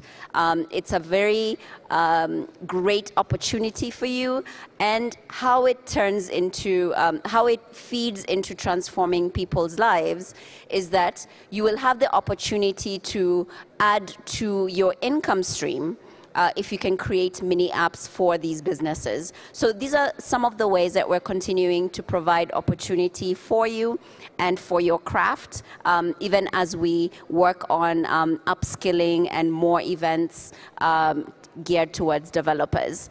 Um, and I'll just illustrate a very quick point around why do we do mini apps?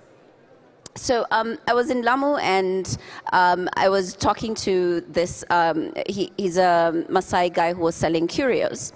And so I asked him, you know, how does he transact? And he showed me that he was uh, transacting using STK. So I asked him which apps does he have, and he showed me the apps that he had, but he didn't have the M-Pesa app or the Safaricom app. So I showed him how to download both of them, and then I showed him what the mini apps were. And then when I showed him the Book Flight mini app, he said, Juliana, thank you for showing me because the last time I was at the airport and I asked for the flight schedules, the lady there was very derogatory and sort of sent him off and didn't give him any information about the flight options.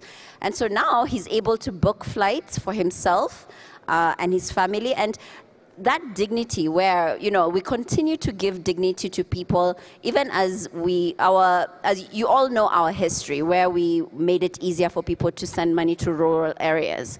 So even for the people who have smartphones now we continue to find ways to transform their lives and give them capacity to do more. And the way we do that is through mini apps and the additional functionality also that's being added to um, my Safaricom app. So I hope you'll join us um, to, to look at ways that you can create capacity for all of our customers. I think we're almost up to 5 million now um, and growing, and we'd like to grow that to over 6 million. So quickly, I don't know if we have a prize for, um, is, uh, if, uh, to check if anyone, ha- everybody has the M-Pesa and the My Safaricom app. One more, more prize? Is there anyone here who does not have the M-Pesa app?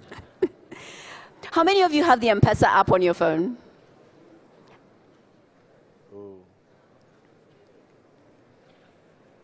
The gentlemen in the front don't have the M-Pesa app?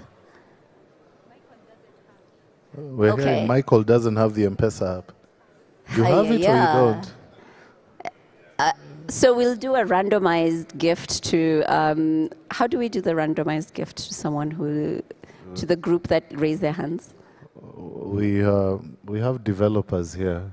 Yes. So somebody can just do some random code thing. Uh, Kamochu. Help us pick someone randomly. From from the people who. Uh, Do they all have, um, they registered with what, an email? Okay. So Kamochu and Naisenya will do it. Yeah. We'll, get, we'll give a gift. all right, we'll give a gift to The at least. the Juliana it'll Rotich be- gift. It, it'll be a surprise to all of you who have the M-Pesa app. So if you do not have the M-Pesa app, please download it. Um, yeah. So let's finish. So I'm told we still have a gift to give, and because Sitoyo and Peter are not here, Juliana, we are giving the AWS winning teams who have won 100,000, and Naisenya will mention, is it teams or names? Names, wow. Uh, and the winner is taking home 50K. I wouldn't mind having 50K in my pocket right now. So Naisenya, go ahead and mention the names. Can we have Wilson Karuma, Karumania Murungi? Wilson?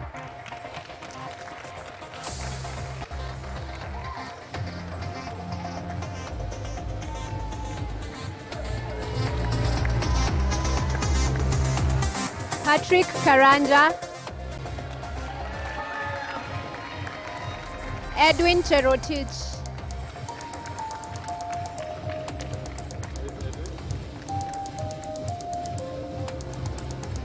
Edwin Cherotich.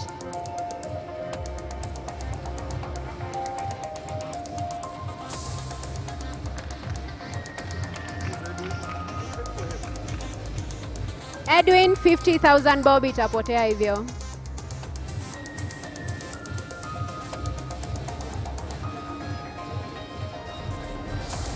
Good. I will request the ladies, Naisenya and Juliana, to give them their prize. It's not golf. We'll look for Edwin. Kama ni golf ingeenda. So let's, Juliana and Naisenya. Cameraman.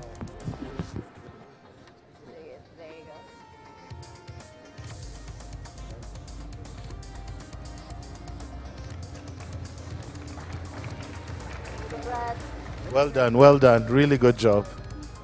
Congratulations. Yeah. So we'll, uh, you have their details? Good, good. Uh, good job, congratulations. So I think as we close this, um, my reflections, and I'll probably have Juliana reflect as well. I think the most memorable uh, engagements that we've had, and uh, Naisenya, I'll still need you to come help me recognize the team and the sponsors. I'd probably just get a mic from the back. Uh, but it's really been the interactions with the developers. I've had a lot of people come in today and say, George, this is wow. But I think what has really touched them has been the developers. And I think we had Alvin and the Safaricom communities here.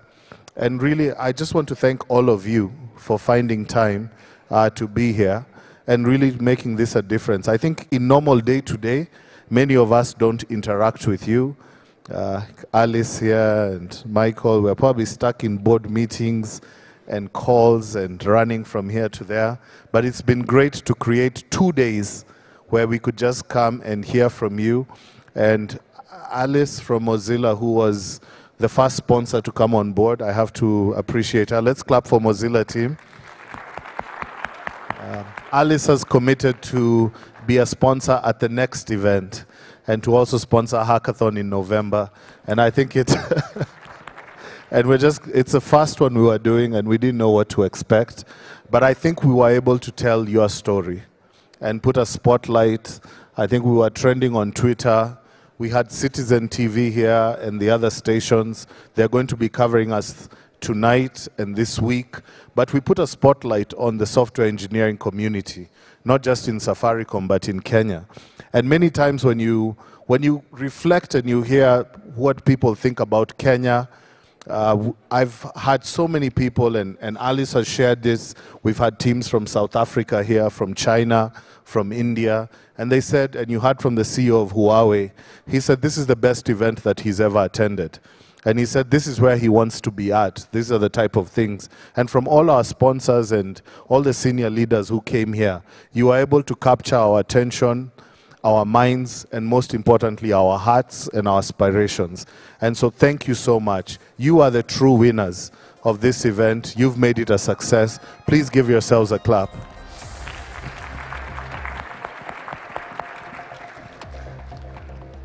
So I know there's a lot of questions as to when we will have the next one, and I will not answer it yet.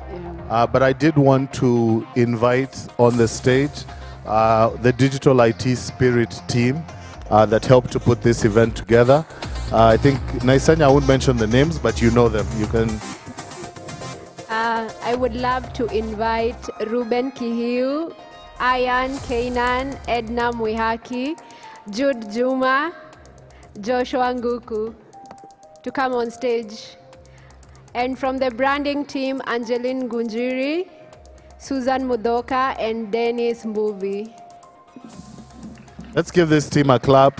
Ruben and Ayan introduced me to so many new communities. I was a fan of Ruben before he joined Safaricom. And when I saw he joined, I told Naisenya, we need this guy on this. Didn't I tell you? Yeah, you did. I'm the one who pointed you out. So just know I'm, i have an eye for talent. And you guys have been fantastic. Liz, please join your, your family Liz. here. Uh, Liz is our digital engineering uh, community lead. Liz, welcome. Where's Jude? Jude and Joshua. Probably they're both working uh, somewhere here. And then I, I do have most of the members of the uh, IT leadership team. Please come on stage. I see you are intermingling together. Stop looking at me. If you if you know that you you sit on that table, please come on stage. Uh, it's good for the team to know the people who run the country. Janet Wafubwa. I can promise you we won't be at home during elections. We'll be making sure that everything is working well. You can communicate, watch. Uh, so welcome. Lillian, I also see you here from our service management team, part of the technology leadership. Lillian, welcome on stage. Spread out. So I think this team has worked tirelessly to build communities, uh, to make this work. Mitch, I hear guys are saying, where's Mitch? She needs to be here. So this is the team from Safaricom that has worked tirelessly. They came up with Decode. They came up with the sponsors. Please give them a clap. They were tweeting. Excellent. Um, there's one person who is appreciating everyone, but I'd like for us to now appreciate George, my BFF. Thank you so much for your leadership, Thank you, thank you. for um, being always such a uh, an ambassador for not only Safaricom but the possibilities around technology. One of the things that um, actually uh, th- this is a private conversation, but I don't mind sharing it. Is a, a few months ago, he was like, Juliana, you need to be a lot more, you know, you need to be talking a lot more because I used to do a lot of public speaking but wasn't doing it as much anymore. And I said, ah, you know, I'm keeping it low. And he's like, no, no, no, no, no. There's a lot of work to be done. So thank you so much for your leadership and inspiration. And could you please give him a big round of applause? Oh, Juliana, you you. No, that conversation came from Juliana. Shared a picture of her and French President Macron, and I said, Juliana, congratulations, but we need you in Kenya, and and true enough, since that conversation in was it in November or December, Naisenya? In November 2021, we've had a lot of Juliana in Kenya. And I can tell you we need more of that. So thank you so much for being with. Let's give a clap to Juliana as well. Now, I think we've had a lot of people who've also put together the, the, the, the sound, the, the effects, and all that. Maybe I'll just have you, Naisenya, mention the names of the companies uh, that have worked with Angeline on, on putting this together. Where's Angeline? Oh, Ange- Angeline can mention them, yeah. All right, special appreciation um, to Stage Pass team, Igabantu, Sarakasi dancers, uh, True Black, um, our events agency, um, our catering from Tamarind, our security team. Anyone else I've forgotten, thank you. We really appreciate the support in putting this together. And Ujala, of course, from South Africa. Thank you. I forgot to appreciate our MC, Mbugua. Please come on stage. I feel like we're. One day I'll tell the story of how I wanted to be a lawyer, then Mbugua's relative helped me to enter IT, uh, also called Mbugua. Uh, but uh, fantastic. Hasn't he been great? I've had the online audience. Kuna MC unaweza leta hapa hata ajui code ni nini, but Mbugua is one of us and uh, thank you so much. And Uh, there's, there's, there's Mariam as well. She's been handling the online. Yes, yes. Where is she? Online community. So Mariam Mariam. was the one interviewing people, and she she did introduce me, and I, I to you know I got to meet her, and she come here, the lady who made things fantastic online. Come on stage.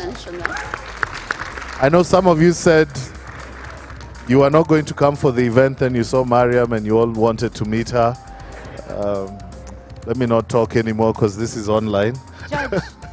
Yeah, but yeah. I think we've forgotten the most important person, Who? Njoki, who made sure that we had the money for this event. Oh, Njoki. Njoki from our Safaricom. from our partnership team. Thank you for getting us our sponsors. Don't wave from there. You've been called on stage. And Njoki, you know we also go way back. like Mbugua, so. but if I didn't mention you, allow me to say uh, that we do appreciate the devs who are here, the devs who are online, and all the speakers who joined us. You've done an amazing job. And I won't keep this team on stage anymore, but it just goes to underpin what Dr. Ndemo says. I could have decided to probably try and do this myself. I promise you it wouldn't have been a success. But I think when you put a team together and you allow people to operate in their gifting, in their calling, in their passion, they do amazing things.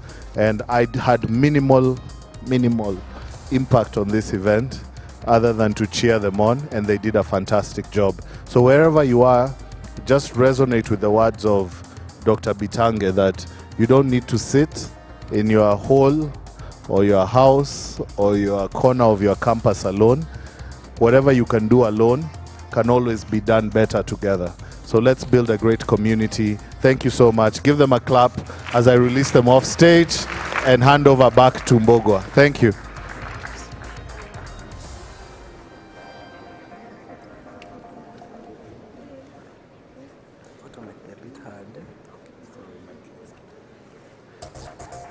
After that short speech, I don't think there's anything more to add.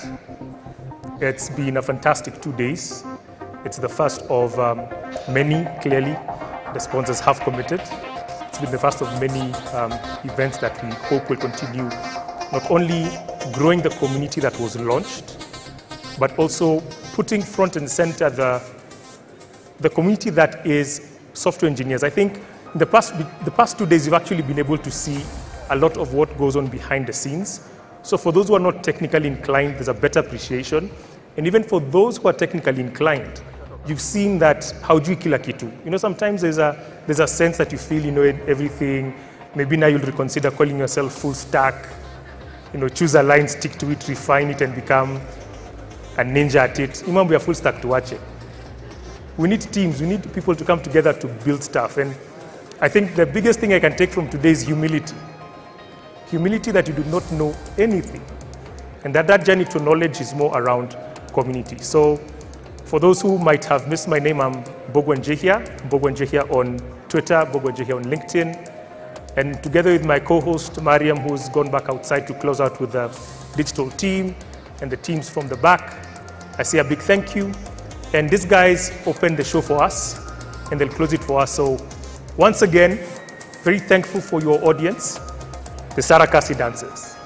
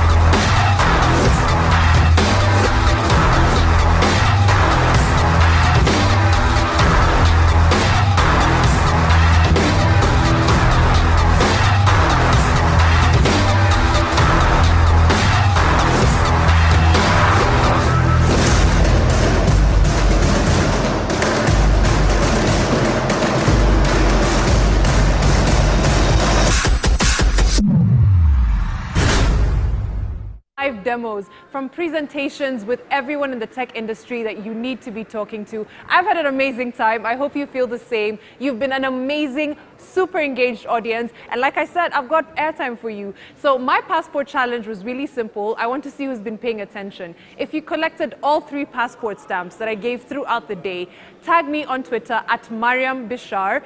M A R I A M B I S H A R and tag the Safaricom PLC page. Tell me the three passport stamps that I gave to you, and I will have 500 bob worth of airtime before I close the show. Just before we go, though, I have Brian, who is the country director for TDG in Kenya, for the last fireside chat. We're going to end on a high note, right, Brian? Yes, you're a maverick, so we have to end on a high note. I will begin with an icebreaker because I don't like to dive in. You know, cold starts are hard. so I will ask you a few questions um, about yourself just to get me to, so I can get to know you a little bit better. If you had to create a slogan for your life, Brian's life, what would be your slogan? My slogan is nothing is impossible. Do you truly believe that? Or is that like uh, something you put on a fridge magnet? Mm-hmm. And why I say nothing is impossible is because the creator created. Yes. Made me.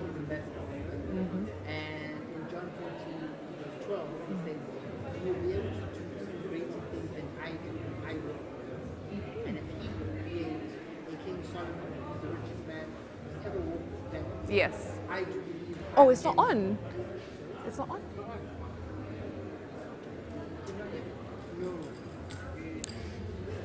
We'll just change his battery real quick. I'm really sorry, but we'll change your battery really quick. But in the meantime, just another reminder, guys. Passport stamp, I've got airtime for you. So just let me know the three stamps that I gave out through the day. If you've been paying attention, easy peasy, no problem. If you lost your way, it's okay. There'll still be other opportunities at other forums for you to win some airtime, maybe a goodie bag. So remember to tag Safaricom PLC, only the verified page, Tafadali, and my Twitter page as well, which is Mariam Bishar. Again, M A R I A M.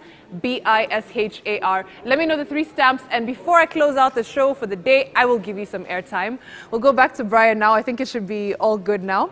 Am yes. I, am I audible? You're like? Am I audible? Yes, I think you're audible now. He's good? All right. Yes, you're audible now. Where were we? um, we were talking about how everything is possible. Yes, so my mission statement, Yeah. if I were to have a motto or, yeah, mission statement, Mhm. Is the Bible verse, John 14, verse 12, where it says, You will be able to do even greater things than I did when I was on the earth. Yes. Ask anything in my name and I shall do it. And that is what I live by. Okay. I like it. Simple. What is your last thing you binge watched? Binge, I binge watched Suits. Suits, okay. Yes. Yes. Recently or a while ago? No, recently. Okay. I must admit, I've, I, I, I watched it for the fourth time. Yes. And I binged it. okay. I have shows that I do that with as well. because I see myself in some of the characters. okay. Especially the, the Harvey Harvey Specter? Specter. Okay. Yes. Okay. Uh, and Mike Ross. Yeah.